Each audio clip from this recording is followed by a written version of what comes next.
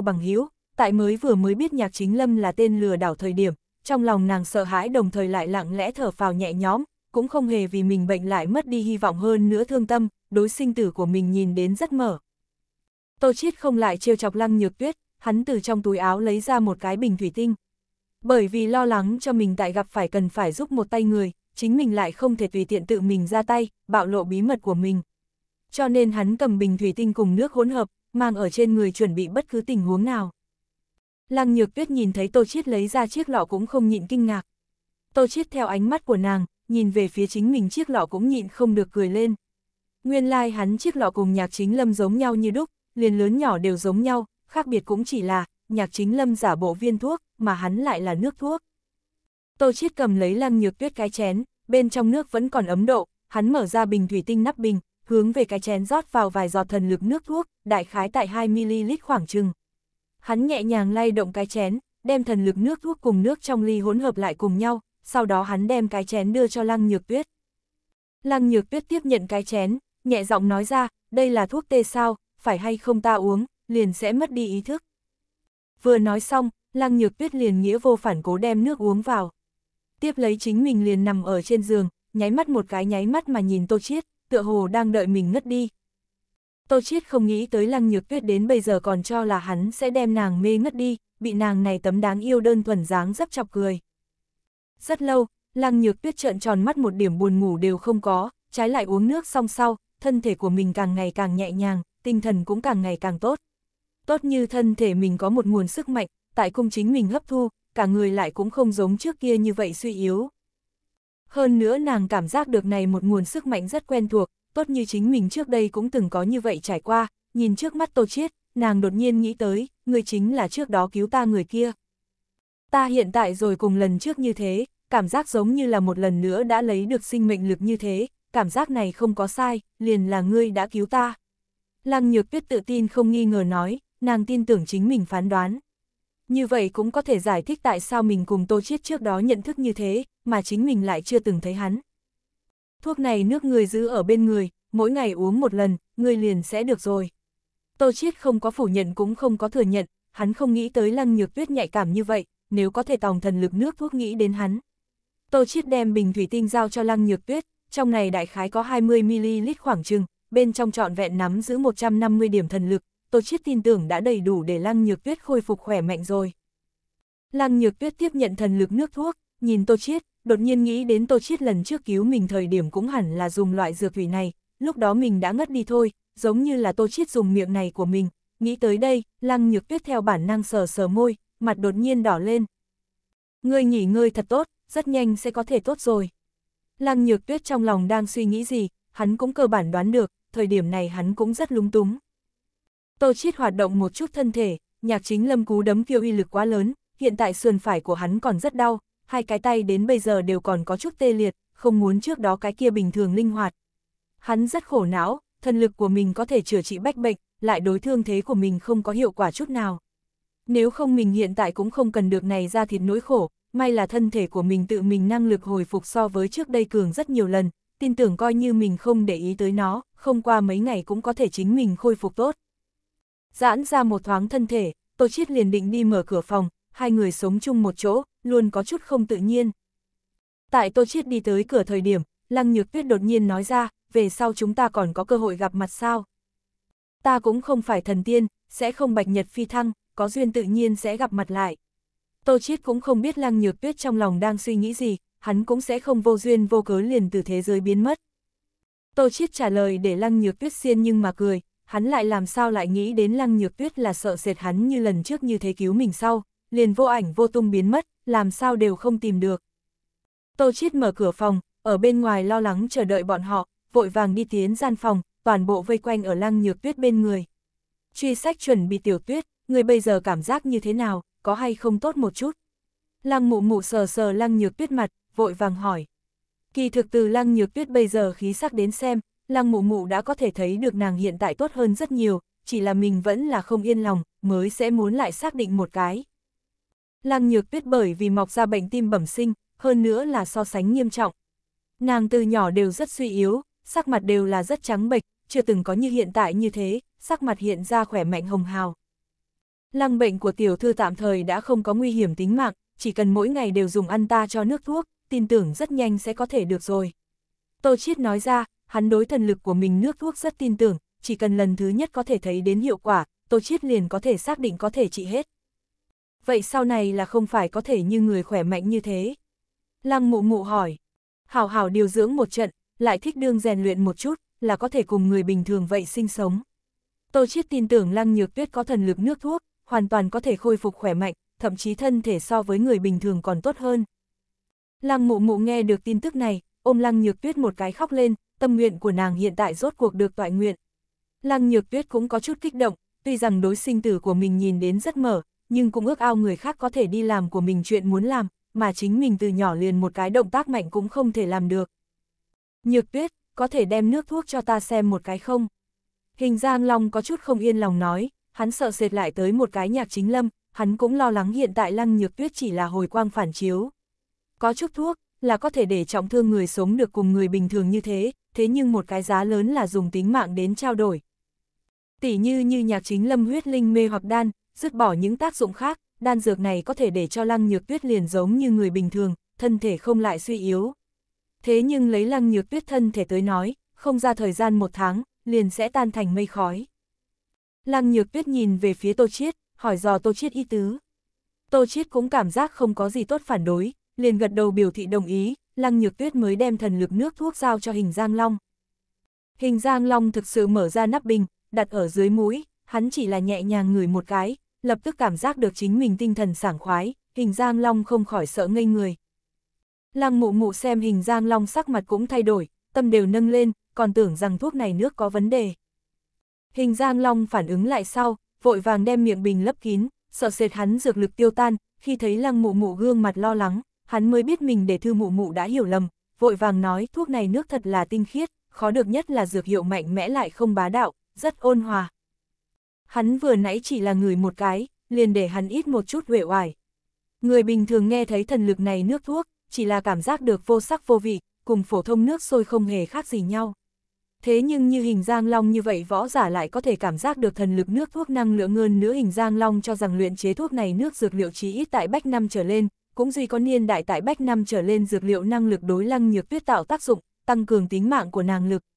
Thế nhưng bách năm trở lên dược liệu dược lực đều là rất cuồng bạo, không thích hợp như lăng nhược tuyết như vậy thể chất hư nhược người dùng, không phải vậy chỉ có thể lên phản hiệu quả, khiến người ta quá bổ không tiêu nổi. Bằng không lăng ra cũng không cần là lăng nhược tuyết bệnh đau thấu tim, không cần bó tay toàn tập. Trăm năm dược liệu tuy rằng khó được, thế nhưng lấy lăng ra tài lực nhân lực hoàn toàn có biện pháp đạt được. Thế nhưng tô chiết thần lực nước thuốc căn bản không cần quan tâm điểm ấy, năng lượng của hắn có thể so với trăm năm dược liệu dược lực, thế nhưng là rất là ôn hòa, đây mới là hình giang long giật mình địa phương. Hình giang long đem thần lực nước thuốc trả lại lăng nhược tuyết, căn dặn nàng phải giữ vững được, hắn biết thần lực này nước thuốc giá trị, có thể nói là thiên kim khó cầu. Trên đường về nhà, lái xe dư tố y không nhịn được hỏi, tô chiết, ngươi là làm sao biết nhạc chính lâm thuốc là giả, lẽ nào ngươi cũng nhận thức cái gì huyết linh mê hoặc đan?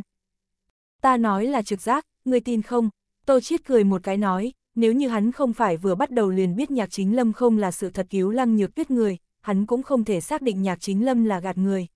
Ngày đó cứu lăng nhược tuyết người chính là Tô Chiết, nhạc chính lâm có thể lừa gạt đến tất cả mọi người, lại một mực không thể lừa gạt đến hắn. Không nói thì không nói, ta còn không muốn nghe. Dư tố y ngang ngược kiêu ngạo nói, thế nhưng ánh mắt lại thỉnh thoảng len lén liếc hướng về Tô Chiết. Chuyên tâm lái xe, ta còn trẻ. Tô Chiết nhắc nhở, hắn cũng không có cái gì tốt nói cho dư tố y.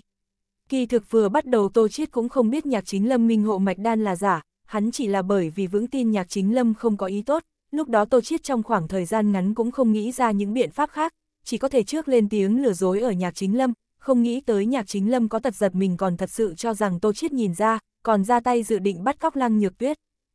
Thông qua chuyện này, Tô Chiết cảm nhận được cảm giác một ngạt.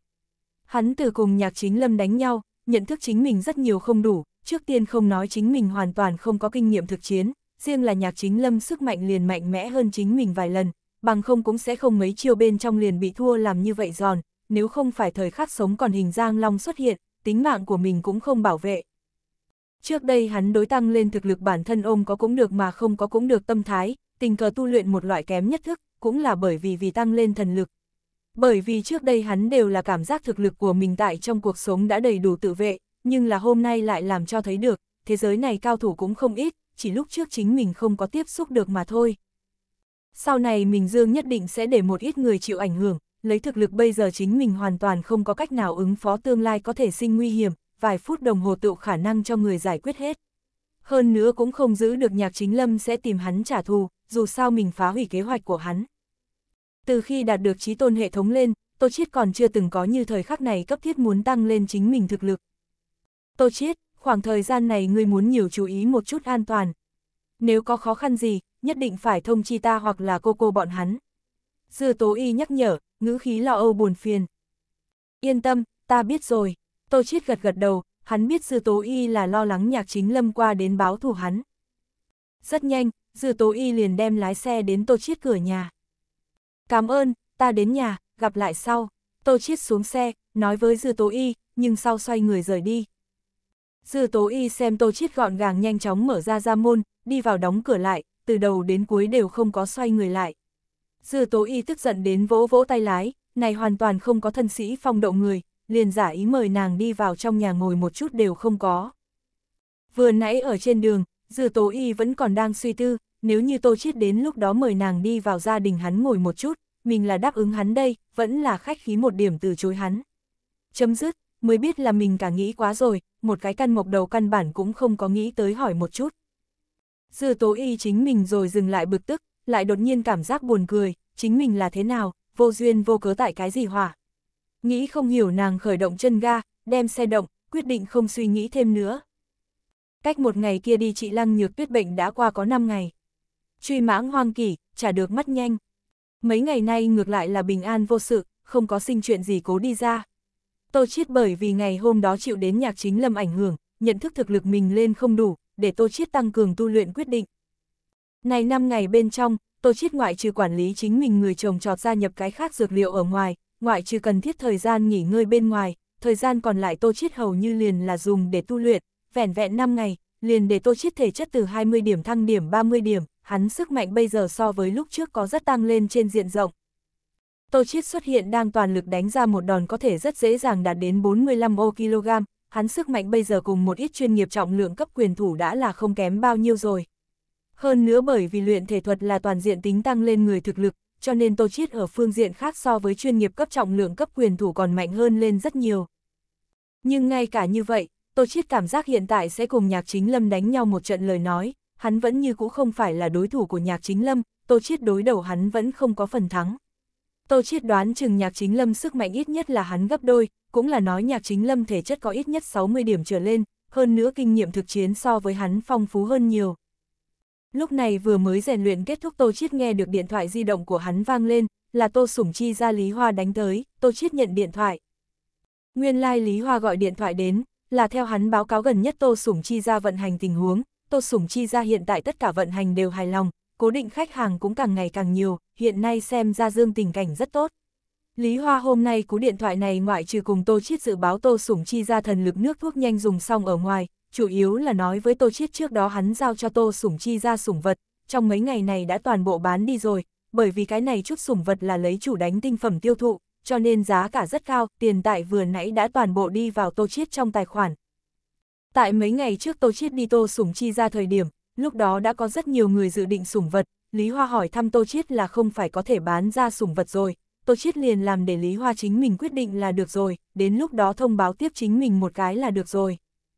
Không nghĩ tới mới mấy ngày, 20 nhiều con sủng vật liền toàn bộ bán đi rồi. Lý Hoa hiệu suất thật đúng là cao, cũng nói Tô Chiết hối đoái đi ra ngoài sủng vật rất là quý hiếm. Sủng vật này tốt như vậy bán, lợi nhuận cao như vậy, Tô Chiết tự nhiên sẽ không ngừng cố gắng rồi.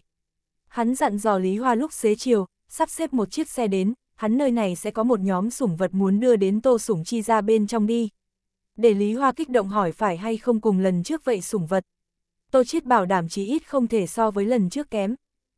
Tại Tô Chiết cúp điện thoại không bao lâu, hắn liền nhận được ngân hàng tin tức, là Lý Hoa chuyển khoản tin tức, kim ngạch có tới 1.500 vạn hơn. Giá tiền này ngược lại là ra ngoài Tô Chiết ý liệu, trong lòng hắn những này sủng vật tổng giá trị hẳn là có thể đạt đến 30 ô vạn đến 500 vạn, nếu như lăng xê thật tốt bán ra 80 ô vạn phải là đỉnh điểm rồi. Thế nhưng hắn không nghĩ tới cuối cùng này giá cả so với mình suy đoán giá cả cao nhất gần như vọt lên gấp đôi, hơn nữa là sau thuế. Tô Chiết mở ra sủng vật hối đoái thương thành, mở ra phàm thú. Tô Chiết tích phân trải qua những ngày qua tích lũy, tích phân đã gần như tiếp cận 3.000 điểm. Tìm tòi mình muốn mục tiêu, lần này Tô Chiết vẫn như cũ hối đoái so sánh thưa thất động vật, vẫn là hối đoái ấu thể. Lần này hối đoái số lượng Tô Chiết chỉ là đổi 24 chỉ, cùng lần trước số lượng là giống nhau. Đồng thời lần này hối đoái động vật đối tượng phần lớn là khuyển loại, bởi vì hối đoái khuyển loại động vật tích phân cần so ra hơn nhiều nhiều, cho nên lần trước Tô Chiết không có hối đoái khuyển loại động vật. Lần này tích phân so sánh đầy đủ, cho nên liền lựa chọn khuyển loại động vật. Tuy rằng lần này vẫn như cũ chỉ là đổi 24 chỉ động vật, thế nhưng sử dụng tích phân gần như có 2.000 điểm. Tô Chiết lần này định dùng đến bán ra sủng vật, chủ yếu nhất là hai con ưng bá khuyển. Ưng bá khuyển chính là mặt dài giống ưng vậy bá chó. Ưng bá khuyển lớn lên phi thường uy nghiêm, có vương giả phong phạm, đối tạ ác có lực chấn nhiếp. Thế nhưng ưng bá khuyển tính cách lại phi thường dịu ngoan.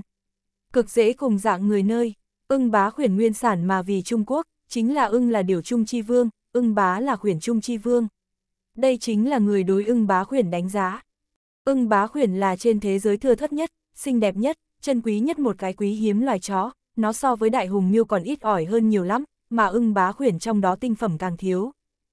Ưng bá khuyển đau đầu, đánh phương, thân ra muốn mỗi cái vị trí đều phải lỏng lẻo, đỉnh đầu ra tự nhiên rủ xuống hiện lên ngược lại tam giác, mắt to, sắc sâu, hai mắt khoảng cách muốn rộng, mũi nhỏ mà ngắn. Lên kẹp lại hoặc đủ răng kẹp lại, đáy ngọn nguồn miệng muốn rộng treo má, miệng môi trên che lại môi dưới, mặt bàn muốn cổ, treo tuệ nguyên bảo tai, lư hương chân, song sống lưng. Cúc hát xa đuôi, chân trước ngắn, cẳng tay cốt hình cung, vai rắn chắc, chân sau hơi nhẹ nhưng rắn chắc mà hình dạng bình thường, chân bình, chỉ hướng ngoại, không trình viên hình, khuỷu tay then chốt cùng nhảy then chốt gập lại góc độ vừa phải. Yêu tú ưng bá khuyển thân cái lông muốn thô, trường, thẳng không cong khúc, gáy cùng vai có lớn lên lông bờm. Chân, đuôi, cùng chỉ lên sức lông dài mà phong phú. Các loại màu lông cũng có thể, màu trắng, màu đỏ, nhạt màu vàng sẫm, màu đen, trồn sắc, hắc bạch hoa, vàng bạc hoa. Đơn sắc khuyển không nên chứa đựng cái khác màu sắc. Tổng hợp chính là ưng bá khuyển muốn ra tùng, răng được, mí trên lớn, đau đầu, đánh phương, hai má rộng, cổ mặt, sâu mắt, kính soi mũi ngắn tai lớn, lông dài, sắc tố sâu. Có người nói 20 năm trước đời thứ nhất ưng bá khuyển liền thay đổi ba máy xe con, sau đó mấy đời ưng bá khuyển giao dịch giá cả trên căn bản đều là bách vạn trở lên.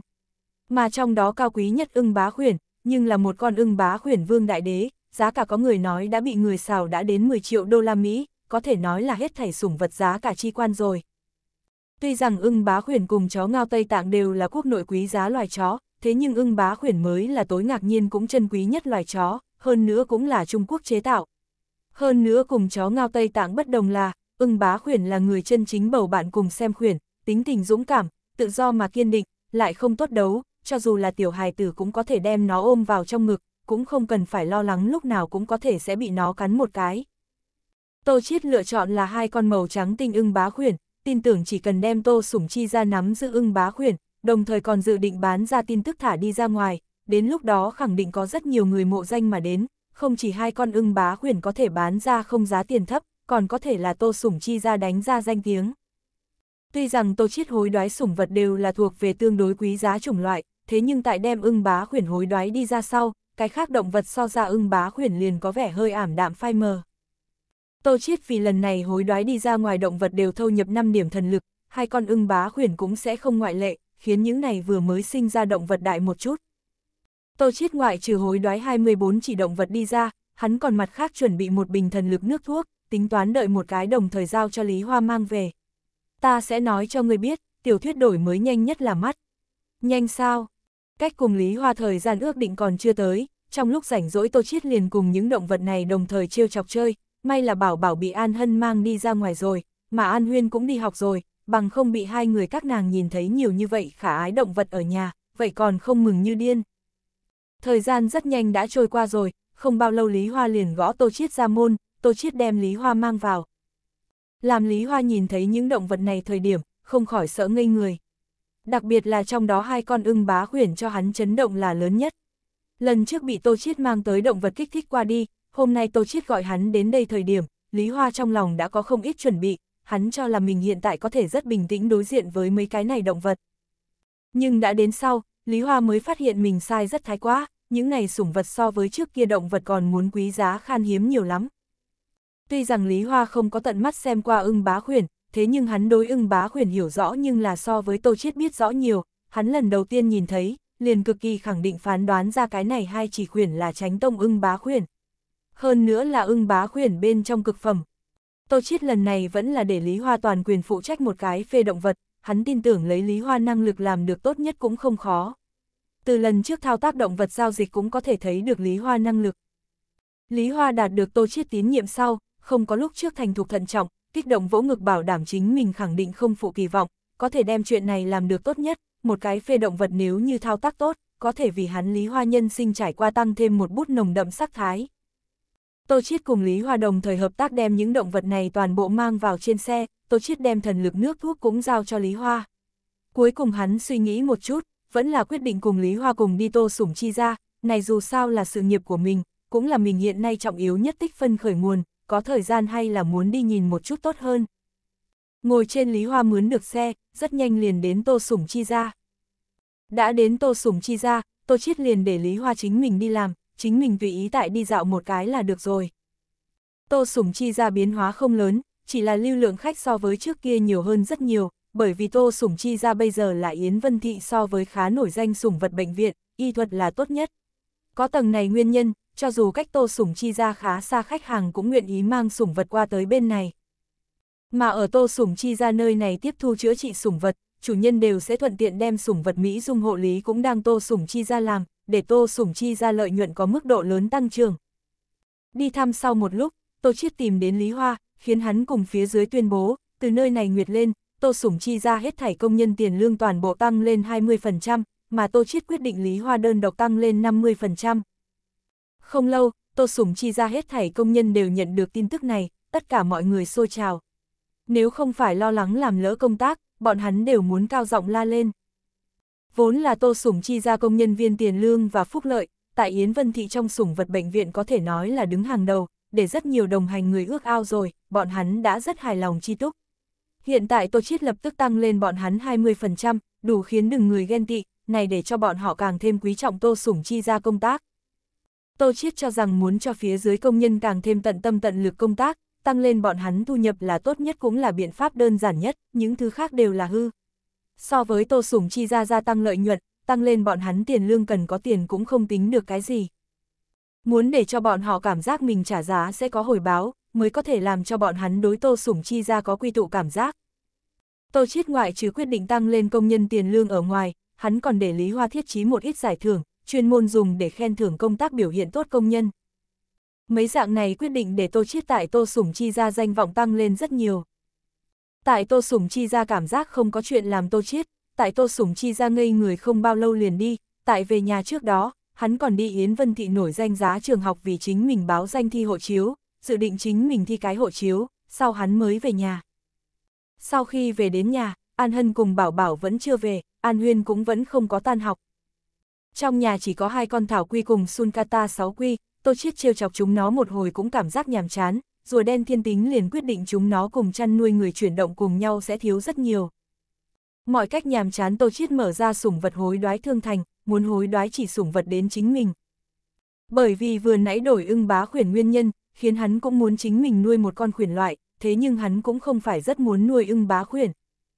Tây Tạng ngao sinh ra từ với thanh tàng cao nguyên, 6.000 năm trước bị loài người thuần hóa cùng nhân loại làm bạn đến nay. Chó ngao Tây Tạng độc hiếu thần uy ngoại hình, nhất lưu phẩm chất, biểu hiện xuất sắc, cao quý khí chất vương giả, là cả thế gian công nhận cổ lão nhất, hy hữu nhất cỡ lớn loài chó, được khen là đông phương thần khuyển. Như sư không phải sư, tựa hổ không phải hổ, hung mãnh dị thường, vinh đăng thế giới mãnh khuyển xếp hạng đệ năm tên. Ở quốc nội chó ngao Tây Tạng bị lăng xê được vô cùng kỳ diệu, hơn nữa chó ngao Tây Tạng nhìn lên cũng đúng là oai phong lẫm liệt, để rất nhiều người đều muốn nuôi tới một con, Tô Chiết trước đây cũng rất muốn nuôi tới một con chó ngao Tây Tạng, hiện tại muốn hối đoái tuyển động vật tự nhiên là chó ngao Tây Tạng rồi. Hắn tại sủng vật hối đoái thương thành tìm tòi chó ngao Tây Tạng rồi, lập tức các loại chủng loại chó ngao Tây Tạng toàn bộ tuôn hướng tại trong đầu của hắn. Bất kể là thuần chủng, chuỗi loại vẫn là á chủng đều có. Tô Chiết từng cái nhìn sang, hắn không thể đem chó ngao Tây Tạng hết thảy chủng loại đều hối đoái đi ra, cho nên chỉ có thể lựa chọn chính mình thích nhất chủng loại. Cuối cùng hắn bị một con toàn thân tuyết trắng chó ngao Tây Tạng hấp dẫn ánh mắt, chủng loại là vì tuyết ngao. Toàn thân tuyết trắng tuyết ngao lại được người gọi là trắng ngao, bởi vì toàn thân nó lông mọc trên thân thể đều là tuyết bạch sắc, cho nên gọi tuyết ngao, là chó ngao Tây Tạng bên trong cao quý mà chân quý chủng loại, bởi vì cả người kỳ lạ màu lông mà gấp đôi để người chú ý. Tuyết ngao bởi vì số lượng ít ỏi mà đặc biệt quý giá bởi vì tuyết ngao có cái truyền thuyết, tại cực kỳ lâu trước đây, tại cung điện Potala dưới chân, có một năm lũ lớn bạo, đông thiên đại địa lên băng tuyết bao trùm, ôn dịch hoành hành. Cả người lẫn vật tại ăn đói mặc rét thời gian, chợt thấy từ trên trời xuống rất nhiều người mặc áo cà sa, tay cầm thiền linh lạt ma. Lạt ma tỏa kỵ chính là chó ngao Tây Tạng, lạt ma cùng chó ngao Tây Tạng đến, giải trừ mọi người ốm đau, khiến băng tuyết nóng chảy, đại địa thức tỉnh. Tại thanh tàng cao nguyên, vừa nhắc tới, đều đối với nó kính nể vô hạn, cho rằng chó ngao Tây Tạng là trên trời phái tới sứ giả lạt ma tỏa kỵ, là thần khuyển, là dân chăn nuôi thần bảo hộ. Cho nên tuyết ngao bị dân tộc tạng người coi là cát tường thần khuyển, quý tộc, lạt ma đều lấy chính mình nắm giữ một cái màu trắng tinh lông dài chó ngao Tây Tạng là tự hào. Tuyết ngao bắt nguồn từ chó ngao Tây Tạng, không phải khác loại loại chất, dường như sợi vàng ngao, thiết mạ vàng các loại như thế, chỉ là cái lông sắc series bất đồng, là cái lông sắc biến dị gen mà đến. Tuyết ngao tiêu chuẩn cùng chó ngao Tây Tạng tiêu chuẩn vậy, hai người chỉ bất quá nhan sắc không giống nhau, cái khác đều không khác mấy như thế. Chó ngao Tây Tạng trời sinh chính là thích hợp nhất hộ vệ khuyển, hầu như không cần tiến hành bất kỳ huấn luyện liền có rất tốt hộ vệ công năng, hơn nữa chó ngao Tây Tạng dĩ nhiên là hiểu được muốn công kích địch nhân động mạch cổ. Hơn nữa chó ngao Tây Tạng còn có một bộ cho người nhìn mà phát khiếp phóc người, nó cổ bộ rậm rạp lông bầm, khiến đầu của nó hiện ra được rất lớn, người xa lạ rất khó không e ngại loại này có nguyên thủy giã tính sư tử. Tô Chiết lần đầu tiên nhìn thấy tuyết ngao, đã bị tuyết ngao sâu đậm hấp dẫn, cho nên hắn không chút do dự đổi một con tuyết ngao đi ra. Hắn lựa chọn là vừa mới sinh ra tuyết ngao ấu khuyển, dùng đi hắn 30 điểm tích phân. Một trận ánh sáng sau, Tô Chiết trước mắt liền xuất hiện một con cả người trụi lủi chó con. Con chó nhỏ này cuống rốn mới bóc ra không lâu, con mắt đều vẫn không có mở to, trên đất xúc động thân thể, hoàn toàn không nhìn ra thành niên chó ngao Tây Tạng hung mãnh, ngược lại là hết sức đáng yêu. Tô Chiết cho con này tuyết ngao thâu nhập 5 điểm thần lực, rất nhanh, con này tiểu tuyết ngao liền mở mắt ra, đồng thời trên người cũng bắt đầu sinh trưởng suốt tuyết trắng bộ lông, còn tại học tập đứng thẳng, đồng thời nỗ lực hướng về Tô Chiết bỏ tới. Này lần đầu tiên liền để Tô Chiết thích này tiểu sinh mệnh, không hối hận đem tiểu tuyết ngao hối đoái đi ra. Hắn đem tiểu tuyết ngao ôm, cảm giác tiểu tuyết ngao thân thể rất non mềm.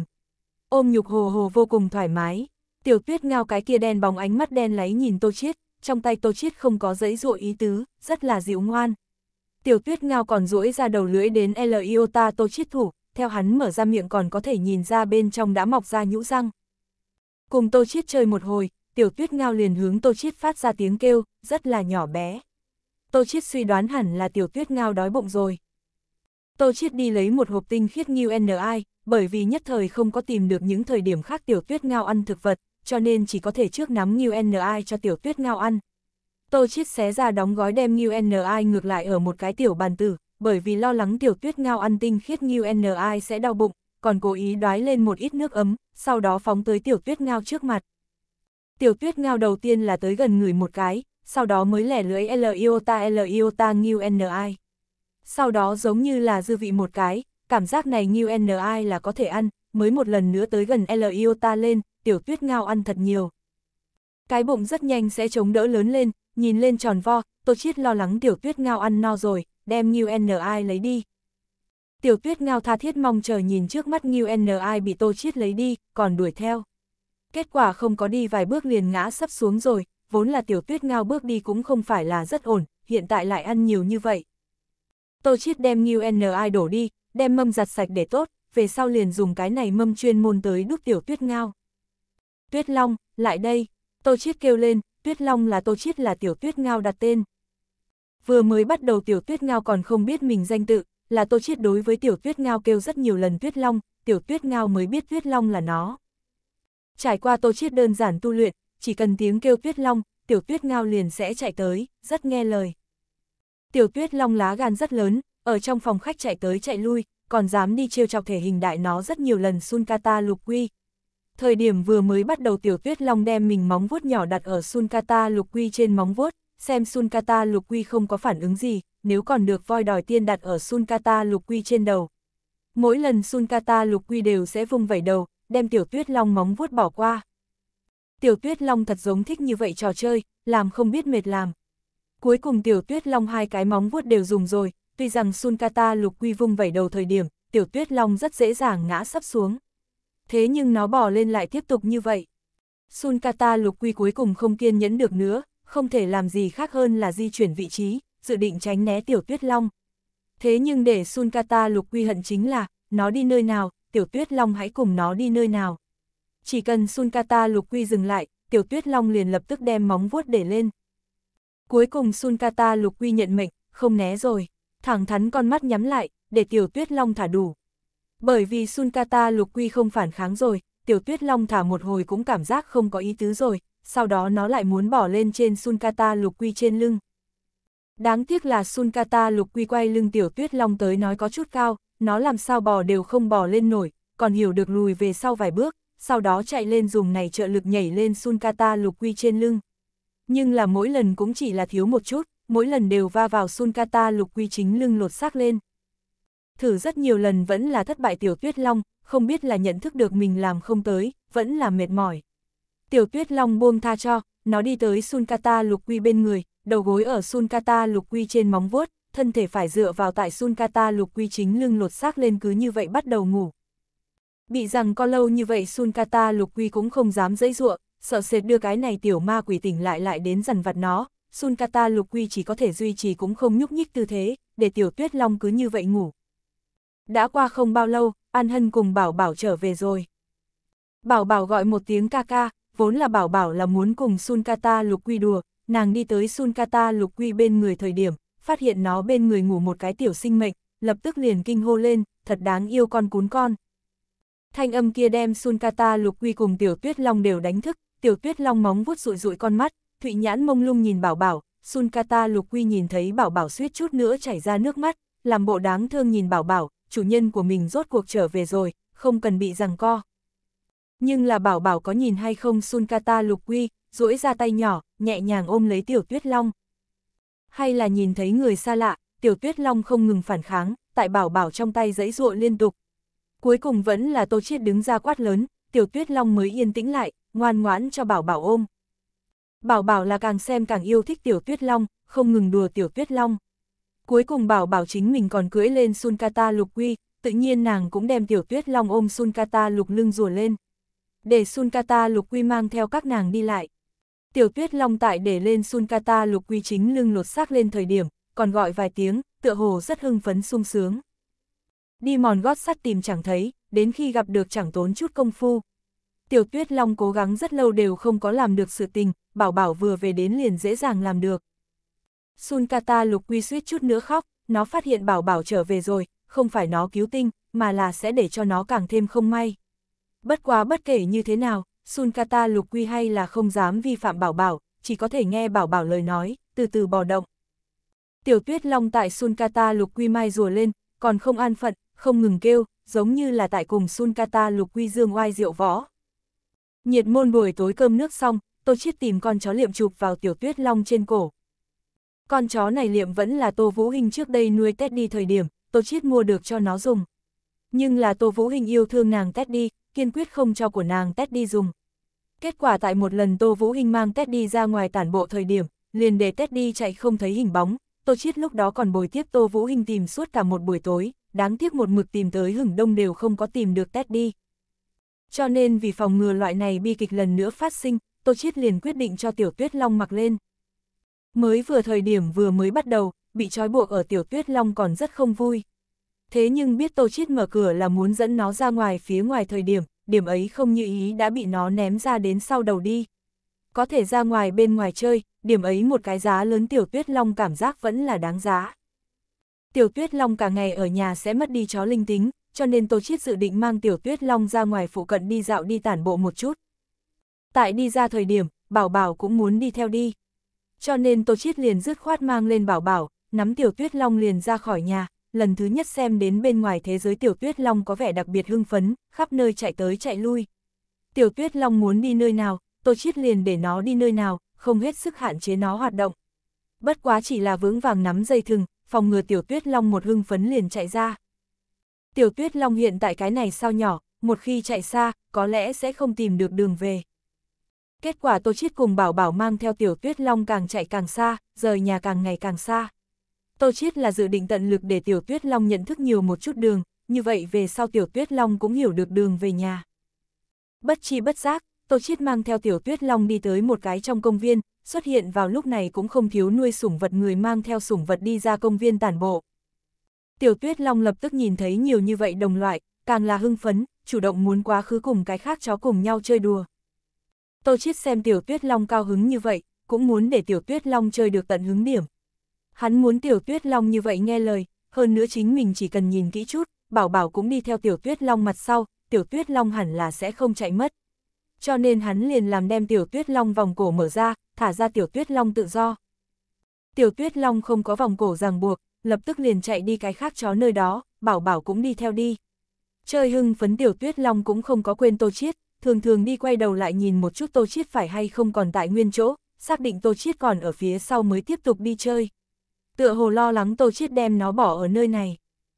Kỳ thực mỗi cái chó đối chủ nhân của nó đều là rất trung thành, chỉ cần dưỡng thục, đều sẽ vĩnh viễn nhớ rõ chủ nhân. Một ít giã tính tương đối lớn chó tuy rằng thường thường chạy mất, thế nhưng đều là hiểu được về nhà tìm chủ nhân. Mà Tô Vũ Hình Teddy chạy mất không có lại trở về, tôi chiết đoán hẳn là Teddy không tìm được đường về nhà rồi, hay là bị người nắm. Thời điểm vừa mới bắt đầu, tôi Chiết cũng lo lắng Tiểu Tuyết Long bây giờ còn nhỏ, sẽ bị cái khác đại cầu bắt nạt. Bất quá quan sát một cái, tới nơi này chó đa số so sánh dịu ngoan, tối đa cũng chỉ là không nhịn được phát ra vài tiếng chó sủa, muốn dọa đi Tiểu Tuyết Long.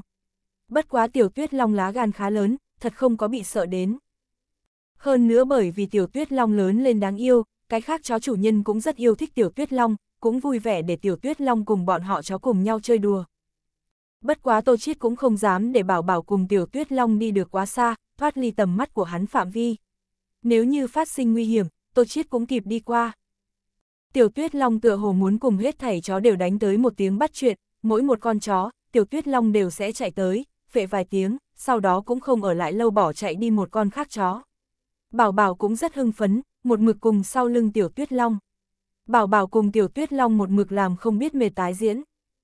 Bất quá để Tô Chiết nhức đầu là, Bảo Bảo thật giống rất bài xích người, Tiểu Tuyết Long đi qua thời điểm, Bảo Bảo một mực tại đi theo phía sau, cũng không đến gần một điểm, coi như là rất yêu thích đối phương chó, cũng không đi qua. Tô Chiết để Bảo Bảo một người mang theo Tiểu Tuyết Long đi khắp nơi, cũng là muốn để Bảo Bảo có thể nhiều cùng những người khác trao đổi một chút. Tô Chiết lo lắng Bảo Bảo như vậy trải qua thời gian dài sẽ có chứng bệnh tự bế. Bởi vì Tô Chiết không có ý định ép buộc Bảo Bảo đi cùng người khác giao lưu, sợ sẽ có phản hiệu quả, chỉ có thể thường thường đi tìm cơ hội, để Bảo Bảo hay đi nhận thức người. Bảo Bảo cùng Tiểu Tuyết Long thời điểm vừa mới bắt đầu cũng không có phát sinh cái gì chuyện không như ý. Tại Tiểu Tuyết Long cùng Bảo Bảo trải qua một cái bị đặc khuyển thời điểm, cái kia bị đặc khuyển đối với các nàng cuồng phệ, còn liều mạng mà muốn xông lại.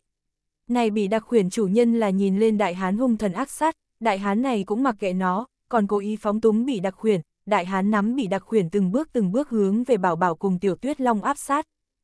Tiểu Tuyết Long tuy rằng còn nhỏ, lại đã hiểu được bảo vệ chủ nhân.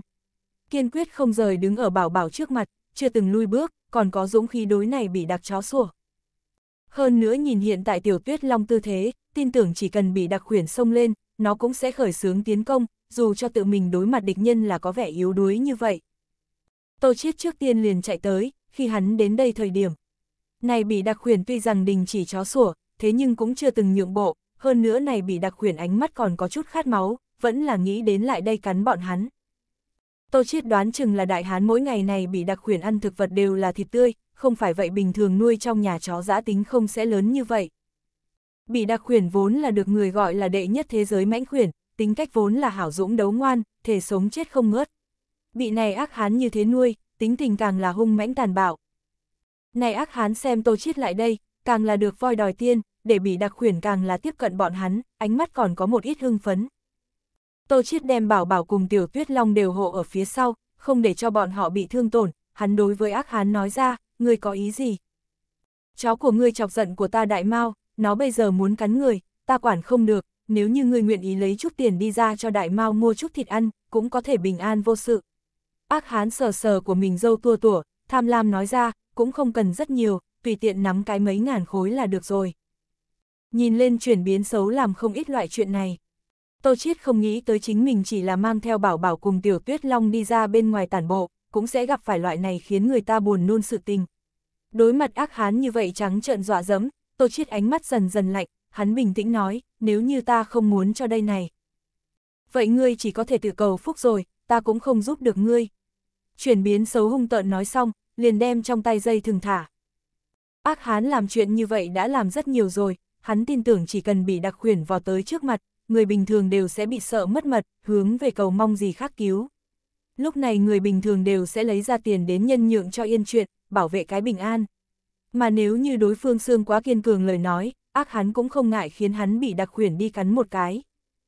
Bị đặc khuyển không có ràng buộc, lại như một con mãnh hổ như thế hướng về tô chiết vào tới. Ác hán tin tưởng chỉ cần bị đặc khuyển xông lên, tô chiết nhất định sẽ cầu xin tha thứ. Đáng tiếc ác hán nghĩ lầm rồi, tô chiết chính là thuộc về xương cứng người, thích mềm không thích cứng. Đối mặt bị đặc khuyển tiến công, hắn tiện tay từ trên mặt đất nắm lên một côn mộc côn, đập vào bị đặc khuyển trên đầu. Tuy rằng bởi vì tô chiết so sánh vội vàng, cũng không hề sử xuất toàn lực, thế nhưng lấy hiện tại tô chiết sức mạnh, tiện tay một đòn uy lực cũng là rất lớn. Bị đặc khuyển lập tức liền ngã nhào xuống đất, bất quá bị đặc khuyển không hổ là đệ nhất thế giới hung mãnh loài chó, bị tô chiết đánh ngã, một khôi phục như cũ, lại hướng về tô chiết xông đi. Tô chiết lại giơ lên gậy đập vào bị đặc khuyển trên người, tô chiết xem như là kiến thức bị đặc khuyển tranh đấu thời điểm không sợ đau đớn bản lĩnh rồi. Bởi vì bị đặc khuyển đang đánh nhau lúc hòn giái kích thích tố phân bố tốc độ so sánh cái khác loài chó nhanh, nồng độ cao hòn giái kích thích tố khiến cho nó đang đánh nhau thời điểm tạm thời không sợ đau đớn, cho nên bị đặc khuyển có thể kéo dài chiến đấu. Làm bị đặc khuyển kích thích tố trình độ hạ thấp sau, nó mới sẽ biết đau đớn. Bị đặc khuyển lần lượt bị tô chiết đánh đổ, lần lượt hướng về tô chiết khởi xướng tiến công, thể sống chết không nghỉ tinh thần. Cuối cùng tại tô chiết mạnh mẽ đem gậy đập vào bị đặc khuyển trên đùi, đem bị đặc khuyển đánh gãy chân mới kết thúc. Bị đặc khuyển trên đất ô ô kêu, cũng lại không bỏ dậy nổi. Thời điểm này bị đặc khuyển mới cảm thấy đau đớn, trên đất đối với chủ nhân của nó thê lương kêu. Nhưng là ác hắn cũng không để ý gì tới nó, mà là tiếp tục đối với tô chiết kêu gào nói, con mẹ nó, người đem cháu của ta đánh thành như vậy, hôm nay ngươi không lấy ra 100 ngàn khối đi ra, ngươi cũng đừng nghĩ đi rồi. Về phần bị đặc khuyển vì sao lại bị tô chiết đánh thành như vậy, ác hán đương nhiên sẽ không chủ động nhắc lên. Nếu như ta vẫn như cũ không cho đây này, Tô Chiết thản nhiên nói. Ác hán nghe nói như thế lập tức nhằm phía Tô Chiết, dự định ỉ vào chính mình thân thể cường tráng, cho Tô Chiết một điểm giáo huấn bằng máu, để Tô Chiết ngoan ngoãn cho hắn phun ra điểm chỗ tốt đi ra. Bất quá hắn cũng không phải người ngu, Tô Chiết trong tay có cây côn gỗ, mà hắn tay không, cái gọi là loạn côn có thể đánh chết sư phụ già. Bởi vì phụ cận có người ở trang trí cửa hàng, có mấy đứa trẻ lén lút cầm mấy cây côn gỗ qua tới nơi này chơi, chơi xong liền bỏ ở nơi này, cho nên có một ít mộc côn ở nơi này. Cho nên ác hán tại sông đến đây thời điểm cũng lượm một cây gậy, hung hăng đối với tô chiết gõ đi, hơn nữa còn là đối với tô chiết đầu, có thể thấy được ác hán là cỡ nào hung tàn. Nếu như là người bình thường, đối mặt ác hán còn thật sự không chống đỡ được. Thế nhưng tô chiết trải qua quá nhiều lần tu luyện, thân thể từ lâu không giống bình thường rồi. Không chỉ là sức mạnh, phản ứng của hắn cùng tốc độ cũng so với người bình thường nhanh hơn rất nhiều. Đối mặt ác hán công kích, Tô Chiết xem đúng thời cơ, cầm gậy trở tay một đòn đập vào ác hán hổ khẩu lên. Ác hán gặp phải đòn đánh này, nhất thời cầm một côn thủ bị đau dưới liền vung mở tay ra, một côn rời khỏi tay. Ác hán tay không có vũ khí, tại Tô Chiết trước mặt liền thành dê đợi làm thịt. Tô Chiết cũng không muốn dễ dàng buông tha ác hán, phải cho ác hán chút dạy dỗ, khiến hắn nhớ lâu một chút. Tô Chiết cầm gậy, liên tục gõ ác hán, tuy rằng khí lực chưa dùng tới bao nhiêu, thế nhưng cũng đủ để cho ác hán bị đau. Bởi vì tô chiết gõ tốc độ rất nhanh, ác hán căn bản không chống đỡ được, liền phòng ngự đều làm không đến, càng đừng nói phản kích. Không đánh mấy lần, ác hán chính mình nhào trên đất, cuộn tròn thân thể của mình. Phát ra tiếng kêu thê thảm, không ngừng hướng về tô chiết cầu xin tha thứ. Tô chiết biết ác hán sẽ không như thế đơn giản liền ăn năn, cho nên sẽ không có lý ác hán cầu xin tha thứ, tiếp tục đánh hơn nữa nhìn đến ác hán danh tiếng cũng không tốt, chu vi không có ai đến vì hắn cầu tình. Mãi cho đến Tô Chiết đánh tới mệt mỏi, hắn mới ngừng tay. Tuy rằng Tô Chiết chưa dùng tới bao nhiêu sức mạnh, cũng không có đi đánh ác hán chỗ yếu, nhưng là như thế này cũng đầy đủ để ác hán yên tĩnh mấy tháng. Tô Chiết làm mất đi gậy, ôm bảo bảo, kêu lên tiểu tuyết long cùng đi. Ở trên đường bảo bảo, người có sợ hay không? Tô Chiết nói ra, hắn có chút hối hận để bảo bảo một người mang theo tiểu tuyết long rồi, nếu như bởi vậy hù đến bảo bảo, hắn hối hận cũng không kịp rồi. Bảo bảo không sợ, bởi vì bảo bảo có ca ca bảo vệ, tiểu long long cũng sẽ bảo vệ bảo bảo. Xem ra chuyện này đối với bảo bảo cũng không lớn bao nhiêu ảnh hưởng. Tiểu tuyết long thật giống nghe hiểu bảo bảo là ở biểu dương nó, nó còn đối với tô chiết kêu vài tiếng. Tựa hồ là đang nói nó phải hay không rất dũng cảm. Tô chiết xem bảo bảo ánh mắt vẫn như cũ như thường ngày, cũng không hề kinh hãi, hơn nữa tim đập cũng không có gia tốc, mới yên lòng. Sau khi về đến nhà, An Hân liền dẫn Bảo Bảo đi tắm rửa. Từ khi An Hân sau khi đến, mỗi ngày Bảo Bảo rửa mặt chính là nàng phụ trách. Các loại Bảo Bảo tắm xong, Tô Chiết ôm Tiểu Tuyết Long mang tới phòng tắm, dự định cũng cho Tiểu Tuyết Long cũng tắm rửa. Tiểu Tuyết Long bị Tô Chiết mang tới phòng tắm thời điểm, cũng còn tốt khi, chuyển đầu nhìn khắp nơi. Nhưng khi Tô Chiết mở ra máy nước nóng vòi phun, thử tốt nước ấm, đem nước ấm chiếu vào trên người nó thời điểm, này không sợ trời không sợ đất Tiểu Tuyết Long vào lúc này nếu nghĩ chạy trốn, không một chút nào phối hợp. Tô Chiết cưỡng chế đem nó ấn lại, không cho nó chạy mất. Các loại nước ấm đem Tiểu Tuyết Long toàn thân thấm ướt lúc, Tô Chiết chen một chút sữa tắm ở trong tay, sau đó đều đều mà lau ở Tiểu Tuyết Long trên người. Tại Tô Chiết dưới sự ma sát, Tiểu Tuyết Long trên người của nhiều hơn rất nhiều ngâm ngâm. Tựa hồ Tiểu Tuyết Long cảm thấy thoải mái, cũng không phản kháng rồi, ngoan ngoãn đứng đấy cho Tô Chiết giúp nó rửa giấy, cuối cùng Tô Chiết dùng nước ấm đem Tiểu Tuyết Long thân thể sông rửa sạch sẽ. Tắm xong Tiểu Tuyết Long không ngừng mà run chuyển động thân thể, định đem trên người nước vung đi, Tô Chiết trên người của đều bị nó vung ướt. Tô Chiết lo lắng Tiểu Tuyết Long cảm lạnh bị cảm, vội vàng đi tìm một cái sạch sẽ bố giúp Tiểu Tuyết Long đem trên người nước lau khô ráo, cuối cùng còn lấy ra máy sấy là Tiểu Tuyết Long thổi khô trên người nước. Nếu như đem máy sấy nhiệt độ điều đến cao nhất, Tiểu Tuyết Long liền sẽ giấy ruộng nghĩ đào tẩu, mà máy sấy gió ôn nếu như là bên trong độ lời nói, Tiểu Tuyết Long liền sẽ rất phối hợp cho Tô Chiết thổi, để Tô Chiết cười mắng Tiểu Tuyết Long yêu cầu vẫn đúng là nhiều. Các loại đem Tiểu Tuyết Long trên người thổi khô sạch, xem nó sẽ không run chuyển động thân thể rồi, Tô Chiết liền để Tiểu Tuyết Long chính mình đi chơi đi. Giúp Tiểu Tuyết Long tắm rửa, làm cho Tô Chiết toàn thân đều không khác mấy ướt đẫm. Cho nên Tô Chiết đi gian phòng cầm một bộ quần áo, chính mình cũng tắm rửa sạch sẽ. Chờ hắn tắm xong lúc đi ra, Bảo Bảo cùng An Huyên đang cùng Tiểu Tuyết Long chơi được rất vui vẻ. Tô Chiết tìm tới buổi chiều cho Tiểu Tuyết Long dùng cái khay, ngược lại một chút tinh khiết sữa bò tăng nhiệt độ nước, định cho Tiểu Tuyết Long ăn. Tiểu Tuyết Long vừa nhìn thấy Tô Chiết cầm sữa bò lại đây, lập tức liền từ bỏ Bảo Bảo cùng An Huyên, chạy đến Tô Chiết bên người, lay động cái đuôi nhỏ, lấy lòng Tô Chiết, hy vọng Tô Chiết có thể đem sữa bò cho nó ăn. Tô Chiết đem mâm phóng tới Tiểu Tuyết Long trước mặt, vỗ vỗ đầu của nó, xem Tiểu Tuyết Long ăn được vui vẻ sẽ không có để ý đến nó rồi, dù sao lần này hắn ngược lại sữa bò không phải rất nhiều, Tiểu Tuyết Long toàn bộ ăn đi cũng sẽ không ăn no. Ngày thứ hai, Lưu Hùng cho Tô Chiết gọi điện thoại tới, hỏi hắn có hứng thú hay không cùng đi tham gia một cái buổi đấu giá. Tô Chiết cảm thấy đi nhìn một chút buổi đấu giá cũng thật có ý tứ, mà hắn cũng có một số việc vừa vặn muốn tìm Lưu Hùng hỗ trợ một cái. Cho nên đáp ứng, hắn hỏi Lưu Hùng buổi đấu giá địa điểm cùng thời gian. Lưu Hùng nói với Tô Chiết, buổi đấu giá thời gian ngay hôm nay, chờ một chút hắn sẽ tới tiếp Tô Chiết đi. Khoảng thời gian này Lưu Hùng thường thường có cùng Tô Chiết liên hệ, bất quá phần lớn là trên điện thoại liên hệ. Tô Chiết cúp điện thoại, liền sẽ gian phòng đem áo ngủ đổi lại, thay đổi một bộ quần áo thường. Không đến bao lâu, Lưu Hùng liền gọi điện thoại lại đây, nói hắn đã đến. Tô Chiết cùng An Hân các nàng lên tiếng chào hỏi liền vội vàng bận bịu đi ra. Lưu Hùng xe vẫn là chiếc kia Bentley O6, không quá nhiều một người tài xế, xem tài xế cường tráng vóc người, tôi Chiết đoán chừng tài xế này còn kiêm nhiệm Lưu Hùng bảo tiêu, mà Lưu Hùng mình ngồi ở chỗ ngồi phía sau. Tô Chiết đi ra sau, Lưu Hùng liền mở cửa xe, để Tô Chiết ngồi trên đến, sau đó xe liền khởi động. Lưu ca, lần này buổi đấu giá chủ yếu đập bán món đồ gì? Tô Chiết hỏi. Bán đấu giá vật phẩm là đa dạng, cái gì cũng có, có tiếng vẽ, đồ cổ, bảo thạch cũng có. Lưu Hùng cười nói bởi vì ta một người đi tham gia, có chút nhàm chán, cho nên liền đi lão đệ cùng đi. Lão đệ ngươi sẽ không trách ta chứ? Làm sao sẽ, ta cao hứng Lưu ca còn đến không kịp, để cho ta có cơ hội mở mang tầm mắt. Tại hai người trong lúc nói chuyện với nhau, rất nhanh liền đến nơi cần đến, Huy Đằng phòng đấu giá. Huy Đằng phòng đấu giá tại toàn quốc đều là nổi danh nhất có thực lực nhất phòng đấu giá, tại thành phố tương đối lớn bên trong đều có Huy Đằng phòng đấu giá chi nhánh ngân hàng. Danh dự cực cao, đồng thời nắm giữ rất mạnh giám định năng lực, Huy Đằng phòng đấu giá hiếm có bán đấu giá vật phẩm là hàng nhái tin tức truyền ra. Lưu Hùng cùng Tô Chiết tại Huy Đằng phòng đấu giá công nhân viên dẫn dắt đi, đi tới tương đối gần bàn đấu giá vị trí, đây là Huy Đằng phòng đấu giá chuyên môn là Lưu Hùng an bài. Trong phòng đấu giá không ít người.